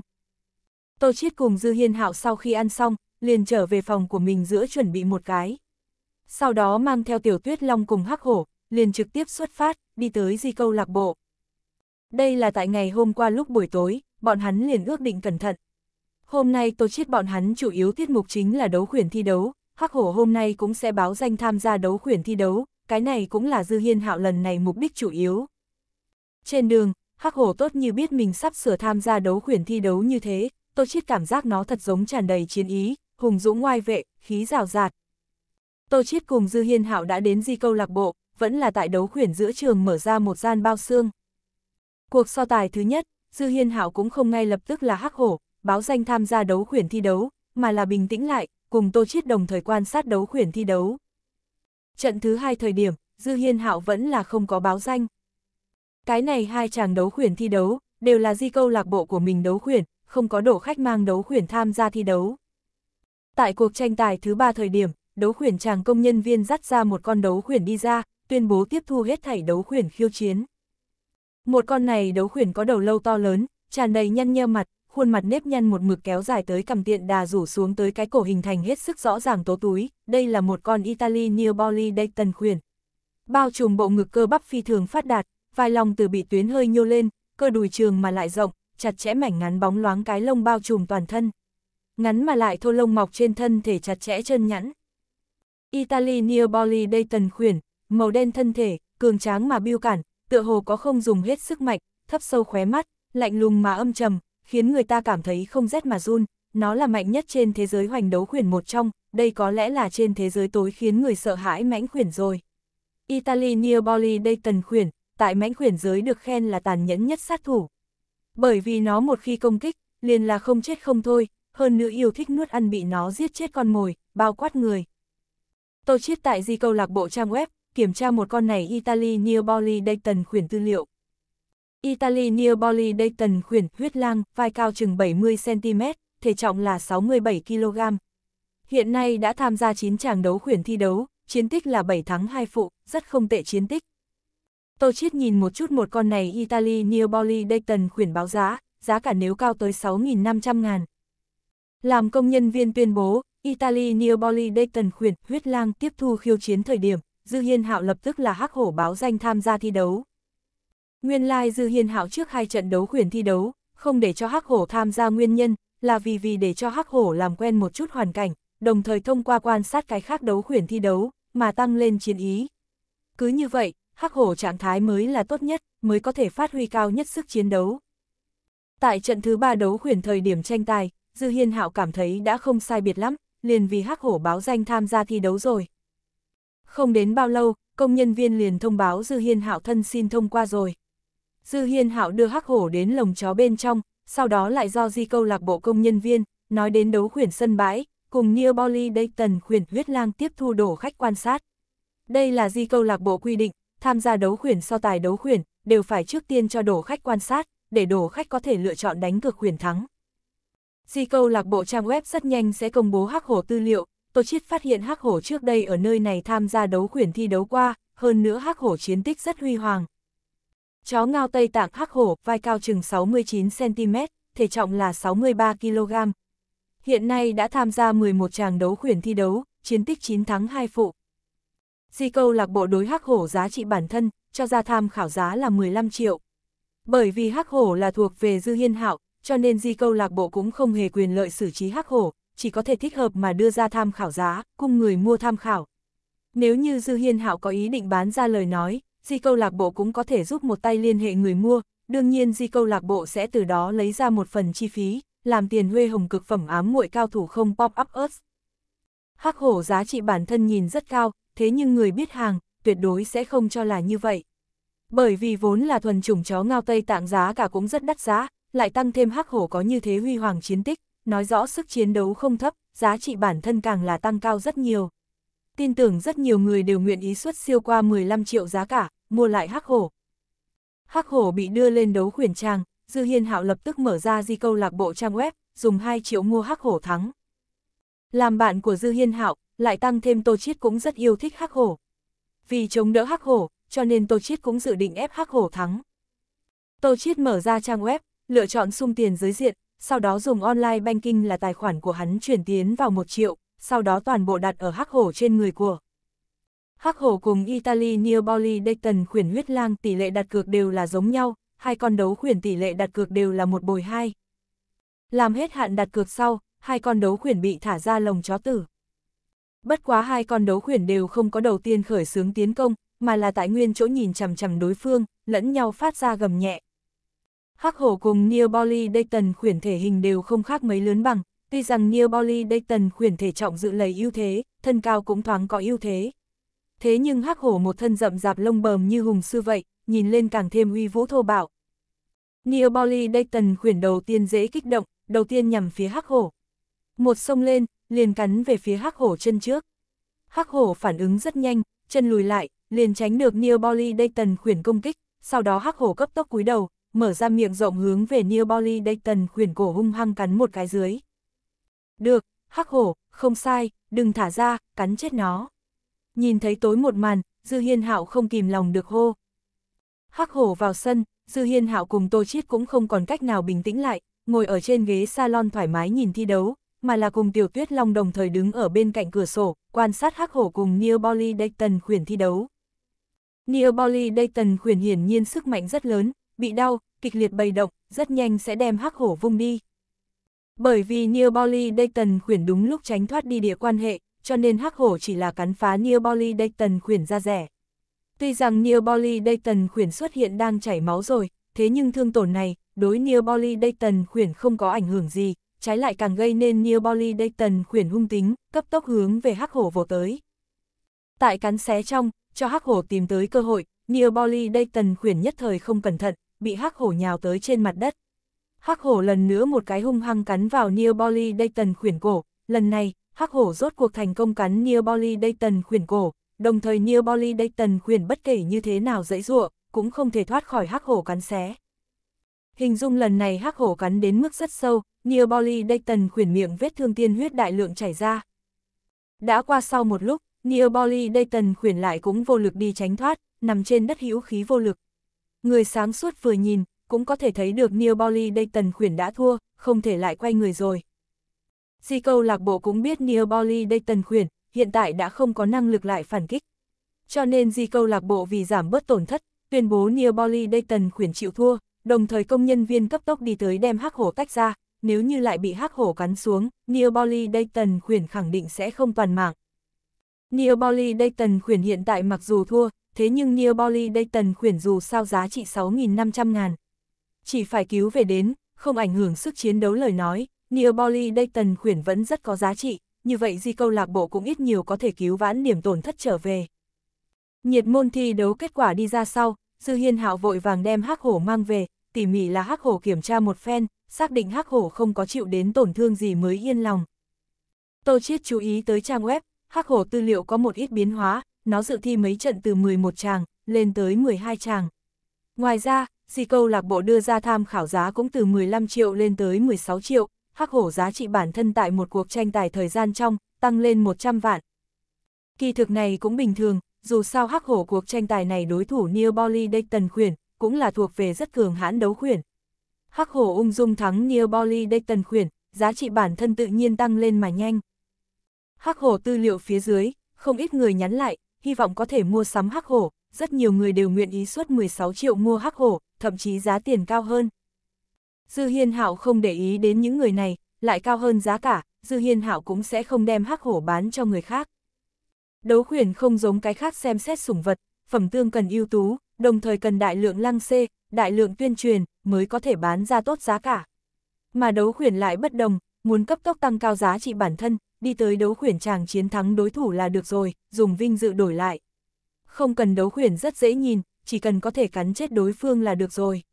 Trực tiếp, nhanh chóng, thế nhưng là rất tàn nhẫn. Hắc hổ trở về phòng khách, uống chút nước sau, thể lực khôi phục lại. Liền chạy tới tiểu tuyết long bên người, ngước đầu tại tiểu tuyết long bên người đi tới đi lui, giống như là đang lấy le như thế. Tiểu tuyết long chịu không được hắc hổ như vậy, đối với hắc hổ giống lên vài tiếng sau, liền chạy đến tô chiết bên người, dầu dĩ không vui mà nằm sấp. Dư hiên hạo nhìn thấy tiểu tuyết long bộ dáng này, cười nói, tô chiết, nếu không ngươi để tuyết long cũng tham gia thi đấu đi, người xem nó rõ ràng cho thấy muốn tham gia a hát. Tô chiết lắc đầu một cái, hắn là sẽ không để tiểu tuyết long tham gia, đấu khuyển thi đấu thực sự quá nguy hiểm. Dư hiên hạo cũng biết khuyên không được tô chiết, cho nên cũng không nói gì nữa, hứng thú không giống nhau, ý nghĩ cũng không đồng dạng. Cuộc kế tiếp thi đấu, Dư Hiên Hạo không để cho Hắc Hổ tiếp tục tham gia, hắn để Hắc Hổ nghỉ ngơi trước được, khôi phục tốt thể lực, lấy trạng thái tốt nhất tiếp tục đi tham gia thi đấu. Con này mông cổ ngao không sai, nhìn lên giã tính rất đủ, phần thắng rất lớn, Tô Chiết, người muốn hay không theo ta đồng thời ép điểm. Dư Hiên Hạo chỉ vào đấu khuyển sân bãi một con chó nói ra. Không được, chính ngươi chơi đi, ta xem so tài là được rồi. Tô Chiết lắc đầu một cái nói ra, vừa nãy hắn sở dĩ sẽ đánh cược, chẳng qua là vì ủng hộ một chút hắc hổ mà thôi. Hiện tại hắc hổ không có tham gia thi đấu, Tô Chiết đương nhiên sẽ không đặt tiền cuộc. Tô Chiết có chút không rõ vừa nãy hắc hổ vào sân thời điểm, Dư Hiên Hạo khẩn trương đến đòi mạng. Hiện tại hắc hổ an toàn kết quả, Dư Hiên Hạo nhưng có thể rất dễ dàng chuyện trò vui vẻ. Biểu lộ Dư Hiên Hạo đối hắc hổ rất quan tâm, đối hắc hổ sống chết rất hồi hộp. Vậy tại sao đấu khuyển thi đấu nguy hiểm như thế, vài phút đồng hồ sẽ mất mạng, Dư Hiên Hạo còn để Hắc Hổ tham gia đấu khuyển thi đấu, đồng thời Hắc Hổ còn tham gia thật nhiều lần. Lẽ nào đấu khuyển thật sự rất hấp dẫn người ta sao? Tô Chiết này liền có chút không rõ. Dư Hiên Hạo ánh mắt vẫn rất chuẩn, hắn xem trọng mông cổ ngao xác thực tại trận này đấu khuyển trong trận đấu, đạt được thắng lợi, hơn nữa còn là đem đối phương cho cắn chết. Cuộc kế tiếp thi đấu, tham gia thi đấu vẫn là một con này mông cổ ngao, chủ nhân của nó tại thắng được thi đấu sau, không để cho nó nghỉ ngơi, mà là khiến nó tiếp tục tham gia thi đấu. Dư Hiên Hạo xem Hắc Hổ đã nghỉ ngơi tốt rồi, trạng thái khôi phục lại, liền vì Hắc Hổ báo danh tham gia thi đấu. Rất nhanh Hắc Hổ lại lần nữa bị công nhân viên mang lên đấu khuyển tràng, cùng mông cổ ngao đối diện. Mông cổ ngao cũng là mông cổ mục dương khuyển, thân thể hùng tráng, hình chữ nhật, rắn chắc, chặt chẽ, cân xứng, sau thắt lưng bộ hơi cao hơn vai chảo, ôm chặt như quyền, chỉ giữa có cái lông. Bị lông dài, sáng sủa mà lại tính chất nhẵn nhụi. Cái lông sinh đáy ngọn nguồn nhung, nhưng tầng ngoài cái lông là lông cứng, thân gầy thân dài, thiện chạy nhanh, có thể bắt giữ hươu bào, trồn chó đợi động vật hoang dã. Một con này mông cổ ngao tại trang web tư liệu là, vai cao chừng 72cm, thể trọng 52kg. Hiện nay đã tham gia một cuộc tranh tài, chiến tích làm một thắng linh phụ.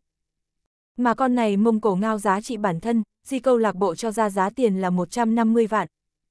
Tôi chiết đoán một con này mông cổ ngao hẳn là ngày thứ nhất, đến di câu lạc bộ tham gia đấu khuyển so tài.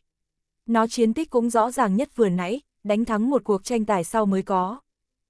Hơn nữa một con này mông cổ ngao hẳn không phải là trải qua chuyên môn huấn luyện đấu khuyển, nó vừa nãy chỉ là dựa vào bản năng cùng hung mãnh mới chiến thắng, không có cái khác đấu khuyển kỹ xảo. Hắc hổ lần nữa tham gia đấu khuyển thi đấu, Dư Hiên Hạo lần này cũng không ngoại lệ, đè ép 2 triệu mua hắc hổ thắng, Tô Chiết cũng là theo 1 triệu đi tới. Trận này đấu khuyển thi đấu, tỷ lệ đặt cược có chút cách xa rồi. Mông cổ ngao tỷ lệ đặt cược là một bồi 5, mà hắc hổ tỷ lệ đặt cược là một bồi 1.5, hai con đấu khuyển tỷ lệ đặt cược cách biệt có chút lớn rồi. Dù sao hắc hổ chiến tích đặt tại đó, hơn nữa từ mới vừa thi đấu xem, mông cổ ngao sức chiến đấu cũng biểu thị cũng không phải rất mạnh. Hết thảy hắc hổ cùng mông cổ ngao tỷ lệ đặt cược cách xa cũng là chuyện rất bình thường. Thi đấu vừa bắt đầu, công nhân viên vừa mở ra lồng sắt, mông cổ ngao liền không kịp chờ đợi hướng về hắc hổ xông tới, động tác dị thường hung mãnh. Hắc hổ cũng không thua vu mông cổ ngao, cũng là rít gào hướng về mông cổ ngao xông tới. Tiểu Tuyết Long nằm sấp trong cửa sổ nhìn Hắc Hổ thi đấu, tuy rằng vừa nãy Hắc Hổ tại Tiểu Tuyết Long trước mặt khoe khoang, nhưng Tiểu Tuyết Long cùng Hắc Hổ cảm tình vẫn rất tốt. Hắc Hổ lên cuộc tranh tài, Tiểu Tuyết Long vẫn là rất chú ý, Tiểu Tuyết Long tại cửa sổ bên không đứng ở đối với đấu khuyển chàng gầm rú, giống như là là Hắc Hổ trợ uy như thế. Mông cổ ngao tuy rằng tràn ngập giã tính, rất hung mãnh, thế nhưng đối thủ của nó lại là trải qua chuyên nghiệp huấn luyện, kinh nghiệm rất phong phú đấu khuyển, hơn nữa hắc hổ bất luận phía kia mặt đều sẽ không thua vu mông cổ ngao, bất kể là thể hình. Vẫn là sức mạnh, tốc độ, đều Brehemot cổ ngao cường. Cho nên kết quả vừa bắt đầu liền đã xác định rõ ràng rồi, hắc hổ rất nhanh sẽ tìm tới cơ hội, đem mông cổ ngao gắt gao cắn vào, để mông cổ ngao không cách nào phản kháng. Mông cổ ngao chủ nhân cũng là người thông minh, nhìn ra mông cổ ngao đã hiện ra thế yếu, không có cơ hội lại trở mình thời điểm, mông cổ ngao chủ nhân rất sớm liền xin chịu thua, không phải vậy tiếp tục nữa, sẽ chỉ làm mông cổ ngao thương càng ngày càng nặng, thậm chí sau một quãng thời gian lời nói, mông cổ ngao bởi vậy mất đi sinh mệnh cũng rất có thể. Ngoài ra, sẽ không có cái khác khả năng. Mông cổ ngao chủ nhân một chịu thua, công nhân viên lập tức đi tới đem hắc hổ tách ra, miễn cho mông cổ ngao mất đi sinh mệnh. Đồng thời công nhân viên tuyên bố, hắc hổ thu được cuộc tranh tài này thắng lợi. Hắc hổ lần nữa thắng được một cuộc tranh tài, vì nó chiến tích lần nữa thêm vào huy hoàng. Lần này thi đấu, Hắc Hổ thắng được rất dễ dàng, chỉ là chịu đến một ít vi bất túc đạo vết thương nhỏ. Kỳ thực mông cổ ngao chiến lực hay là rất không tệ, quái tự quái tại nó chủ nhân chỉ vì cái trước mắt, tại thắng được một cuộc tranh tài sau, vẫn không có khôi phục thể lực, đồng thời còn mang theo thương, liền lập tức tham gia cuộc kế tiếp.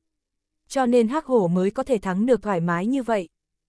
Dư Hiên Hạo mang Hắc Hổ về phòng khách, thì đang ở hắn là Hắc Hổ tỉ mỉ kiểm tra thương thế thời điểm. Ngoài phòng khách mặt vang lên tiếng gõ cửa, Dư Hiên Hạo bảo tiêu khi chiếm được ra hiệu sau, mới đi tới đem bao xương cửa phòng mở ra. Người đến càng là Tô Chiết người quen biết, chính là lần trước tại Ngọc Hinh đổ thạch quán muốn vũng hố Tô Chiết, kết quả bị Tô Chiết trái lại thắng đi 3.000 vạn trịnh viêm.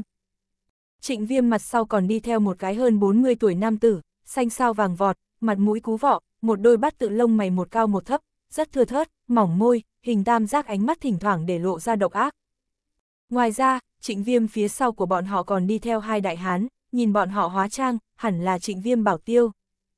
Dư huynh, người này cũng không đúng rồi, tới nơi này chơi, làm sao không cùng tôi lên tiếng chào hỏi, làm cho ta có thể hảo hảo chiêu đãi dư huynh, không phải vậy truyền đi, không phải để người chê cười ta bắt chuyện không chu toàn sao. Trịnh viêm vừa tiến đến liền thập phần nhiệt tình nói ra. Nếu không phải Tô Chiết nhìn thấy, Dư Hiên Hạo tại trịnh viêm bọn hắn đi vào bao xương một khắc đó, sắc mặt có chút khó coi lời nói, Tô Chiết còn tưởng rằng Dư Hiên Hạo cùng Trịnh Viêm quan hệ rất không tệ dáng vẻ, từ Dư Hiên Hạo sắc mặt xem, Trịnh Viêm cùng Dư Hiên Hạo rõ ràng trong lúc đó có quan hệ. Ta chỉ là tùy tiện tới chơi chơi, liền không dùng làm phiền ngươi rồi. Dư Hiên Hạo ngữ khí rất lạnh nhạt, mặc dù không có bảy cái gì sắc mặt, thế nhưng người sáng suốt cũng có thể thấy được hắn và Trịnh Viêm bất hòa. Vào lúc này Trịnh Viêm mới chú ý tới Tô Chiết tồn tại, nét cười của hắn chỉ một thoáng động lại, bất quá trong nháy mắt lại khôi phục như cũ, thật giống không có chuyện này như thế, Tô Tiên Sinh, người cũng ở nơi đây, vậy thật là xảo, tốt như lần trước qua đi, chúng ta đã có nửa tháng không gặp mặt đi nha. Trịnh Viêm đối Tô Chiết thật giống rất thuộc lạc như thế, đối với Tô Chiết lần trước thắng hắn 3.000 vạn, đồng thời khiến hắn rất không còn mặt mũi sự tình, hắn biểu hiện thật giống quên mất chuyện này, đã không để ý như thế. Tô Chiết cười cười, coi như đáp lại. Dư huynh, ngươi sẽ không cũng bởi vì chuyện lần trước sáng vô tâm đi. Trịnh Viêm tiếp tục nói. Trịnh Viêm, ngươi có ý gì? Lời này vừa nói ra, Dư Hiên hạo sắc mặt tức thì trở nên khó coi. Đừng nóng giận, ta chỉ là đùa giỡn. Ô, con này chó ngao Tây Tạng làm sao giống như vậy trước đó một con kia, không phải là huynh đệ đi. Trịnh Viêm chỉ vào nhìn chằm chằm hắc hổ, nói ra, vừa vặn ta hôm nay mời tới Trương Huynh, nếu không, trở lại so với một lần. Ngươi muốn làm sao so với? Dư Hiên Hạo nói ra, hắn chuyên môn đến di câu lạc bộ đấu khuyển, cũng là vì tìm kiếm cơ hội có thể sẽ cùng trịnh viêm đấu khuyển. Quy tắc cũ, chúng ta một người suốt một con chó. Cùng lần trước như thế, tiền đặt cược 10 triệu. Được, không thành vấn đề. Trương Huynh, hôm nay liền để của ngươi đấu khuyển cùng Dư Huynh hảo hảo nhiều lần rồi, Dư Huynh chó ngao Tây Tạng nhưng là rất nổi danh, đây chính là thuần chủng chó ngao Tây Tạng. Trịnh Viêm quay đầu hướng người đàn ông trung niên nói ra. Điều này có thể tính chó ngao Tây Tạng, tối đa là chỉ không sai giấu chó mà thôi. Trang Đắc liếc mắt nhìn hắc hổ rất là khinh thường nói, nếu như là sinh tử đấu lời nói, ta mới sẽ để cho ta chó ngao Tây Tạng cùng nó so với. Nghe nói như thế, Dư Hiên hạo sắc mặt càng là khó coi, hắn nắm chặt nắm đấm, liều mạng nhịn xuống mới không có phát hỏa, nói ra, được, liền sinh tử đấu. Vậy ta liền trước tiên đi chuẩn bị, trịnh viêm nói xong, liền mang theo người rời đi phòng khách. Trịnh viêm đi rồi, Dư Hiên Hạo ngồi trồm hốm xuống, sờ sờ hắc hổ đầu, nhẹ nhàng nói ra, hắc hổ, chờ một chút ngươi nhất định phải thắng, không thể thua, biết không? Sau Dư Hiên Hạo chủ động cùng Tô Chiết nói rồi hắn và Trịnh Viêm ở giữa quan hệ, vốn là Dư gia cùng Trịnh gia, hai nhà quan hệ chính là thuộc về mặt cùng lòng không hợp, thường thường minh tranh ám đấu, chỉ là còn còn nể mặt nhau mức độ. Mà Dư Hiên Hạo cùng Trịnh Viêm làm Dư gia cùng Trịnh gia, cực kỳ có đại biểu tính thế hệ tuổi trẻ. Hai người đều là kiệt xuất nhất có hy vọng nhất người nối nghiệp, càng là từ nhỏ đấu đến lớn, cái gì đều phải tranh giành cái cao thấp. Hơn nữa dứt bỏ dư ra cùng trịnh gia quan hệ, dư hiên hạo cũng đúng trịnh viêm làm người rất là không thích. Dùng tiếu lý tàng đao để hình dung trịnh viêm không thể tốt hơn rồi. Trước lúc này, dư hiên hạo ngoại trừ hắc hổ bên ngoài, còn có một con khác khuyển, là cùng hắc hổ đồng bào sinh huynh đệ, liền gọi hắc long. Dư hiên hạo cùng trịnh viêm trước đó so qua một lần đấu khuyển, kết quả của cuộc so tài là Dư Hiên Hạo thua, Hắc Long cũng bởi vậy mất mạng. Nếu như công bằng tranh tài, Hắc Long thua, Dư Hiên Hạo tuyệt đối sẽ không có hai lời, hắn sẽ nhận thua. Thế nhưng Trịnh Viêm lúc đó khiến cho một điểm quỷ kế mới thắng, thắng được cũng không vẻ vang. Cho nên Dư Hiên Hạo mới sẽ đối với chuyện này một mực sáng vô tâm, cùng Trịnh Viêm quan hệ càng thêm ác liệt. Dư Hiên Hạo tại Hắc Hổ mang lên đấu khuyển tràng trước đó, lần nữa tỉ mỉ là Hắc Hổ kiểm tra rồi một lần thân thể, xác định trước đó hắc hổ cùng mông cổ ngao thi đấu, sẽ không ảnh hưởng đến hắc hổ chia hoa hồng, mới yên tâm đem hắc hổ đưa lên đấu khuyển giữa trường, chuẩn bị thi đấu. Rất nhanh cùng hắc hổ so tài đấu khuyển cũng bị đưa ra rồi. Làm dư hiên hạo nhìn thấy hắc hổ đối thủ thời điểm, sắc mặt không khỏi biến đổi, bởi vì hắc hổ đối thủ nhìn lên thật sự là thật là đáng sợ. Vốn là hắc hổ thể hình, đã rất khổng lồ, thế nhưng hiện tại so với đối thủ của nó đến, liền thua chỉ kém em, Dư Hiên Hạo vội vàng mở ra trang web, kiểm tra hắc hổ đối thủ tin tức. Chó ngao Tây Tạng Quỷ Vương vai cao chừng 78cm, thể trọng 69kg, hiện nay không có tham gia qua thi đấu. Dư Hiên Hạo còn xem một con này tên gọi Quỷ Vương hiểu rõ chó ngao Tây Tạng chăn nuôi tên của người, Trang San Đắc. Tô Chiết chú ý tới làm Dư Hiên Hạo nhìn thấy cái tên này thời điểm, sắc mặt càng thêm khó coi. Dư Hiên Hạo là Tô Chiết giới thiệu Trang Đắc lai lịch, Trang Đắc nắm giữ Sam tỉnh nổi danh nhất chó ngao Tây Tạng nuôi trồng căn cứ, chuyên môn bồi dưỡng chó ngao Tây Tạng thành là chân chính đấu khuyển, mỗi một con từ hắn nuôi trồng căn cứ đi ra ngoài chó ngao Tây Tạng, đều là hung tàn nhất đấu khuyển, sức chiến đấu cực kỳ kinh người. Cơ bản đối đấu khuyển dù sao người quen thuộc, đều nghe nói qua Trang Đắc danh hào. Trang Đắc tại phạm vi danh tiếng thật không tốt, rất nhiều ham muốn đấu khuyển người đối Trang Đắc rất căm ghét, bởi vì Trang Đắc phẩm hạnh không tốt, hơn nữa hắn bồi dưỡng chó ngao Tây Tạng phương thức rất tàn nhẫn, hoàn toàn không đem đấu khuyển coi như sinh mệnh đối xử, đấu khuyển chỉ là hắn kiếm lời công cụ mà thôi. Trang Đắc đem vừa ra đời chó ngao Tây Tạng nuôi cùng nhau, chỉ dùng một con mẫu chó ngao Tây Tạng chăn nuôi tiểu chó ngao Tây Tạng. Thế nhưng Trang Đắc bình thường là 10 con nhỏ chó ngao Tây Tạng đồng thời chăn nuôi, cho nên mẫu chó ngao Tây Tạng sữa thường thường không đủ. Những này vừa ra đời không bao lâu chó ngao Tây Tạng tể, liền muốn học giành ăn, mà đoạt thua chó ngao Tây Tạng tể liền muốn chịu đói. Đồng thời vì chó ngao Tây Tạng tể từ nhỏ đã có hung tính, Trang Đắc còn thỉnh thoảng dùng các loại động vật tiên huyết tới đút chó ngao Tây Tạng tể, cứ như vậy chó ngao Tây Tạng tể liền so với phổ thông chó ngao Tây Tạng tính tình muốn hung mãnh rất nhiều. Đợi được những này chó ngao Tây Tạng tể bắt đầu răng dài răng, có thể ăn cái khác thức ăn thời điểm, Trang Đắc liền bắt đầu dùng máu rầm rề thịt tươi làm chó ngao Tây Tạng tể thực vật. Hơn nữa Trang Đắc vẫn là sẽ không chuẩn bị đầy đủ đồ ăn cho chó ngao Tây Tạng tể, này 10 chỉ chó ngao Tây Tạng tể vẫn là phải cùng đồng bạn giành ăn, đem hết toàn lực mới có hy vọng tiếp tục sinh tồn. Nhiệt môn này 10 chỉ chó ngao Tây Tạng tể, tại Trang Đắc mỗi ngày dùng thịt tươi cùng tiên huyết làm chủ thực, hơn nữa còn không bảo đảm có đầy đủ đồ ăn rơi xuống. Chó ngao Tây Tạng tể vì có thể cướp được đồ ăn, điền đầy bụng, dễ dàng tiếp tục sinh tồn đi xuống, này 10 chỉ chó ngao Tây Tạng tể là càng ngày càng hung mãnh. Đương nhiên Trang Đắc dùng phương thức như thế chăn nuôi dưới, này 10 chỉ chó ngao Tây Tạng tể so với cái khác phổ thông chó ngao Tây Tạng tể, muốn hung mãnh lợi hại hơn nhiều, thế nhưng những này chó ngao Tây Tạng tể tính tình cũng rất hung tàn táo bạo. Mới đầu chăn nuôi này 10 chỉ chó ngao Tây Tạng tể mẫu chó ngao Tây Tạng, tại đây chút chó ngao Tây Tạng tể trường tới trình độ nhất định thời điểm, Trang Đắc liền sẽ đem con này mẫu chó ngao Tây Tạng làm chó ngao Tây Tạng tể thực vật. Đương nhiên chó ngao Tây Tạng tể tính tình hung mãnh hơn nữa, thế nhưng dù sao còn nhỏ, không thể đánh thắng mẫu chó ngao Tây Tạng. Cho nên Trang Đắc sẽ đem mẫu chó ngao Tây Tạng đánh cho nửa chết nửa sống, sau đó ném đến chó ngao Tây Tạng tể trước mặt. Đồng thời Trang Đắc sẽ bắt đầu đình chỉ cung cấp thức ăn cho chó ngao Tây Tạng tể, buộc chó ngao Tây Tạng tể đi ăn mẫu chó ngao Tây Tạng thịt. Chó ngao Tây Tạng tể lúc trước đã bị Trang Đắc huấn luyện thành dã thú giống nhau, cực độ đói bụng thêm mê hoặc dưới, chó ngao Tây Tạng tể liền sẽ không nhịn được mà thử đi ăn mẫu chó ngao Tây Tạng thịt. Đến cuối cùng, này 10 chỉ chó ngao Tây Tạng tể thậm chí sẽ ra tay đánh nhau, chỉ là vì cướp được một khối mẫu chó ngao Tây Tạng thịt.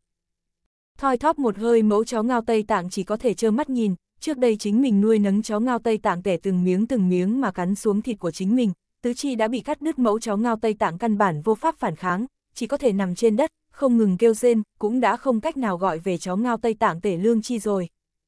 Chó ngao Tây Tạng tể ăn đã từng nuôi nấng qua của mình mẫu chó ngao Tây Tạng thịt, uống mẫu chó ngao Tây Tạng lưu huyết sau, những này vốn là giã tính liền 10 phần chó ngao Tây Tạng tể, càng trở nên hung tàn rồi. Cuối cùng, Trang Đắc là chó ngao Tây Tạng tể cung cấp đồ ăn mỗi trời dần dần giảm bớt, khiến cho này 10 con nhỏ chó ngao Tây Tạng tranh đấu. Tại sinh mạng UIHIO ta dưới, những này chó ngao Tây Tạng bắt đầu đối đồng thời sinh trưởng, cùng nhau lớn lên đồng bạn ra tay rồi. Trong tranh đấu chó ngao Tây Tạng, người yếu liền sẽ đào thải đi, mất đi sinh mệnh, cuối cùng làm vì cái khác chó ngao Tây Tạng thực vật. Mười chỉ chó ngao Tây Tạng trải qua qua một đoạn thời gian tự giết lẫn nhau sau, có thể sống sót đều là ưu tú nhất. Mà này lưu lại chó ngao Tây Tạng số lượng sẽ giảm nhiều, 10 chỉ chó ngao Tây Tạng thông thường chỉ biết còn lại 2 đến 3 con khoảng chừng, nhiều nhất không sẽ vượt qua 4 con, đồng thời này sống sót chó ngao Tây Tạng, nếu như thân thể đã tại trong tranh đấu lưu lại thương tích, sẽ ảnh hưởng đến sức chiến đấu, cũng sẽ bị lần nữa đào thải rơi mất. Trải qua trồng chất sàng lọc sau, thông qua khảo nghiệm chó ngao Tây Tạng mới là Trang Đắc mong muốn, mới sẽ bắt đầu tiếp thu chính thức huấn luyện, hơn nữa tại trong khi huấn luyện vẫn như cũ còn muốn cùng những thứ khác chó ngao Tây Tạng tranh cướp đồ ăn, cuối cùng còn sống, mới có thể trở thành là đấu khuyển.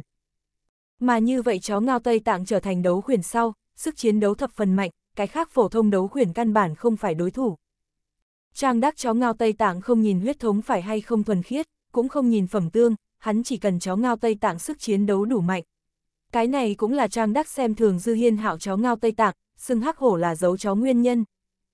Tuy rằng như vậy huấn luyện chó ngao Tây Tạng sức chiến đấu rất mạnh, thế nhưng huấn luyện thủ đoạn quá tàn nhẫn, quá máu tanh. Đại khái 50 con chó ngao Tây Tạng trong, chỉ có một con chó ngao Tây Tạng sẽ trở thành đấu khuyển, đi tới đấu khuyển chàng quyết đấu. Mà những thứ khác chó ngao Tây Tạng tại đây trình trong, liền sẽ bởi vì các loại nguyên nhân mà đánh mất tính mạng.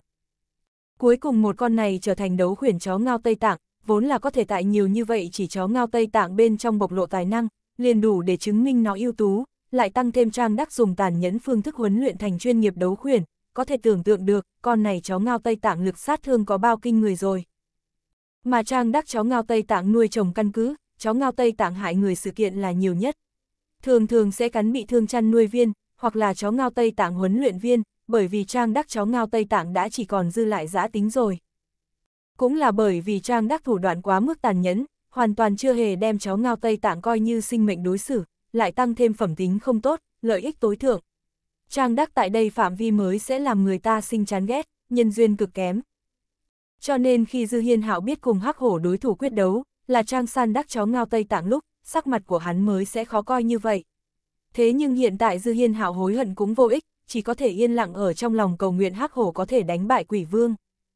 Trận đấu bắt đầu sau, hai con chó ngao Tây Tạng, hắc hổ cùng quỷ vương đều bị công nhân viên thả ra lồng sắt. Làm hắc hổ cùng quỷ vương tiếp cận, càng thêm có vẻ hai người thể hình cách xa. Quỷ vương màu lông là toàn thân đỏ màu nâu, bị cái lông phong phú, tứ chi tráng kiện, thể hình cực kỳ uy vũ hùng tráng, có cực mạnh đánh vào thị giác lực.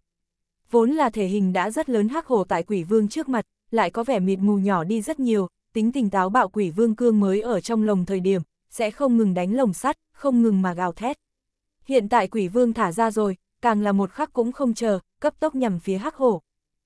Mà hắc hổ cũng không có bởi vì quỷ vương thể hình khổng lồ, mà kinh hãi lùi e sợ, vẫn là hung hãn không sợ chết mà xông lên, lựa chọn chính diện cùng quỷ vương đụng nhau. Tuy rằng quỷ vương tại di câu lạc bộ không có tham gia qua thi đấu, không có chiến tích. Nhưng nhìn quỷ vương trong lồng động tác, lồng sắt bị quỷ vương lấy được rung động trình độ đến xem, quỷ vương cái này khổng lồ thể hình, không phải là trông thì ngon mà không dùng được cái thủng rỗng, lực sát thương rõ ràng rất cao. Cứ việc hắc hồ chiến tích rất huy hoàng, nhưng là vẫn rất nhiều người xem trọng quỷ vương, tin tưởng quỷ vương sẽ thắng. Cho nên phần lớn đổ khách đều đặt cược tại quỷ vương lên, kéo xuống quỷ vương tỷ lệ đặt cược, chỉ có một bồi một.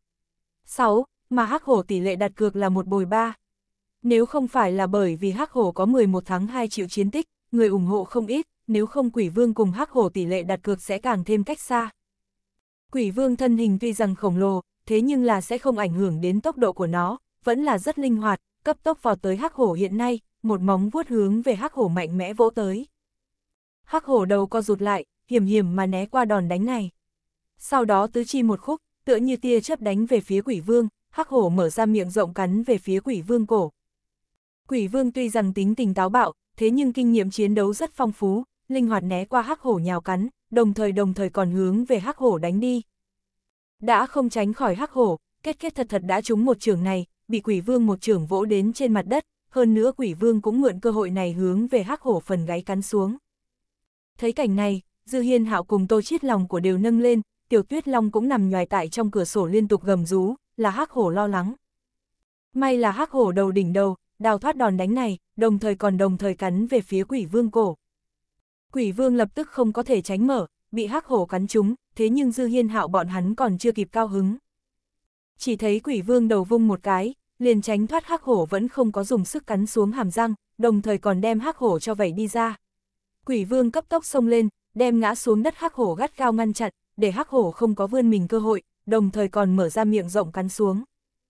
Quỷ vương cắn địa phương là hắc hổ bụng, là hắc hổ yếu ớt nhất địa phương, quỷ vương cắn đến mức rất sâu, hắc hổ tiên huyết lập tức tràn ra ngoài, huyết rất nhanh sẽ nhiễm đỏ dưới đất. Hắc hổ chịu đến đòn đánh này, không chỗ ở vươn mình dẫy ruộng, lại bị quỷ vương chặt chẽ nhào ở. Quỷ vương này hùng tráng thân thể phát huy ưu thế lớn nhất, bất luận hắc hổ như thế nào dẫy ruộng, đều không thể tránh thoát khỏi quỷ vương áp chế. Quỷ vương lại vừa ra lực, liền tàn nhẫn mà từ hắc hổ bụng cắn khối tiếp theo xuống. Sau đó quỷ vương miệng lần nữa một tấm, lần này quỷ vương cắn hắc hổ cổ. Hắc hổ liên tiếp bị trọng thương, bị đau, rốt cuộc không nhịn được gào một tiếng, đỏ thẫm máu tươi lần nữa ồ ồ chảy ra. Dư hiên hạo bọn hắn nhìn thấy tình cảnh này, cũng không nhịn được nữa, xông ra khỏi phòng, chạy hướng về đấu khuyển trên sân. Tại đấu khuyển tràng lối vào nơi, Dư Hiên Hạo cùng Tô Chiết bọn hắn, bị di câu lạc bộ công nhân viên ngăn cản, kiên quyết không để cho bọn họ đi vào đấu khuyển tràng. Trịnh Viêm, ta nhận thua, ta không thể so sánh, mau tránh ra cho ta. Dư Hiên Hạo la lớn. Này là trước kia ước định cẩn thận sống chết đấu, bây giờ còn chưa có phát ra thắng bại, còn chưa kết thúc. Trang Đắc ở phía sau xót xa bùi ngùi mà nói ra. Dư Hiên Hạo thấy đã không cách nào nói chuyện lũng rồi, lần nữa muốn vọt qua công nhân viên ngăn cản. Thủ đấu khuyển chàng lối vào nơi chỉ có hai cái công nhân viên, hiện tại trịnh viêm cũng không có thêm những người khác qua đến giúp đỡ, công nhân viên chỉ ngăn cản Dư Hiên Hạo cùng Bảo Tiêu, mà Tô Chiết không có ai phòng thủ. Thấy vậy, Tô Chiết nhanh chóng nhân cơ hội vọt tới lối vào, lại bị một đạo đã khóa lại cửa sắt ngăn cản. Muốn trịnh viêm bọn hắn giao ra cửa sắt chìa khóa, Tô Chiết biết là chuyện không thể nào. Hai tay hắn nắm lấy lối vào cửa sắt hàng rào, hắn một phát hận, dùng sức mà kéo cửa sắt. Mấy lần qua đi rồi, cửa sắt đóng cửa rốt cuộc không chịu nổi Tô Chiết khí lực, bị Tô Chiết kéo ra. Đồng thời Dư Hiên Hạo cùng hộ vệ của hắn, cũng giải khai công nhân viên ngăn cản, bọn hắn đồng thời vọt vào đấu khuyển tràng. Hắc hổ thật giống đã không có khí lực giấy ruộng nữa rồi, thật giống nghe được Dư Hiên Hạo thanh âm của. Nó quay đầu, nhìn về phía Dư Hiên Hạo đến phương hướng. Chỉ lại yên lặng nhìn Dư Hiên Hạo, cực độ bình tĩnh. Nó nhìn kỹ Dư Hiên Hạo ánh mắt chỉ có không bỏ, cũng không còn dĩ vãng hùng tâm bừng bừng ý chí chiến đấu rồi. Ánh mắt ngoại trừ không bỏ, còn có một chút hổ thẹn, tựa hồ là bởi vì chính mình chưa hoàn thành chủ nhân mục tiêu mà xấu hổ. Lúc này công nhân viên khi chiếm được ra hiệu sau, vội vàng dùng công cụ đem quỷ vương kéo ra, cũng vồ vào lồng sắt. Nếu không, hiện tại ai dám tới gần quỷ vương lời nói, nhất định sẽ chịu đến quỷ vương công kích. Tuy rằng trịnh viêm đã cùng Dư Hiên Hạo xích mích, thế nhưng giết chết Dư Hiên Hạo chó, còn không có gì. Nếu như Dư Hiên Hạo ở nơi này chịu đến tổn thương gì lời nói, Dư gia nhất định sẽ triệt để cùng trịnh gia làm lộn tung lên. Trịnh gia bây giờ còn không tới cùng Dư gia không nể mặt mũi thời điểm, vào lúc này làm lộn tung lên lời nói, cái nào một nhà đều không được được, chỉ biết lưỡng bại câu thương. Tuy rằng quỷ vương bị kéo ra, nhưng là vẫn quá muộn, hắc hổ bị thương quá nặng đi. Làm dư hiên hạo cùng tô chiết chạy tới nơi này thời điểm, hắc hổ đã nuốt cuối cùng một hơi, thân thể không hề động đậy mà nằm. Tô chiết thử vận chuyển thần lực cho hắc hổ, thế nhưng hắc hổ đã không hấp thu được, không có bất kỳ phản ứng, hắc hổ đã không thể cứu vãn rồi. Dư hiên hạo chỉ là ngồi trồm hốm xuống ôm chặt lấy hắc hổ, mặc cho hắc hổ chảy ra tiên huyết thấm ướt hắn quần áo, cũng không nói gì bất kỳ lời nói. Tiểu tuyết long đối với hắc hổ kêu vài tiếng, tựa hồ là đang kêu gọi nó, sau đó tiểu tuyết long dùng đầu đi nhú hắc hổ thân thể, hắc hổ vẫn không có bất kỳ phản ứng nào. Tiểu tuyết long không ngừng mà đối với hắc hổ kêu rên, hy vọng có thể tỉnh lại hắc hổ lúc này, Trang Đắc đi tới nơi này nói ra, thực sự là xin lỗi rồi, của ta quỷ vương không cẩn thận đem chó của ngươi cho cắn chết, thật sự là xin lỗi, ta trở lại nhất định cẩn thận mà giáo huấn xúc sinh này. Trang Đắc trong lời nói mặc dù là đang nói xin lỗi, nhưng là từ hắn giọng nói chuyện nhưng có thể nghe ra dương dương tự đắc, Trang Đắc chỉ là mèo khóc con chuột giả từ bi mà thôi. Cuối cùng Tiểu Tuyết Long thật giống đã minh bạch, đồng bọn của nó đã rời khỏi thế giới này, cũng không còn cách nào cùng với nó rồi. Tiểu Tuyết Long đột nhiên đối với nhốt tại lồng chó trong quỷ vương gầm rú, đồng thời đồng thời xông tới, Tiểu Tuyết Long biết quỷ vương chính là giết chết hắc hổ hung thủ, nó muốn vì hắc hổ báo thù. Quỷ vương xem Tiểu Tuyết Long dám đối với nó gầm rú, cho rằng Tiểu Tuyết Long đang gây hấn với nó, quỷ vương cũng đúng Tiểu Tuyết Long giống to, đồng thời liều mạng đánh lồng sắt, muốn lao ra.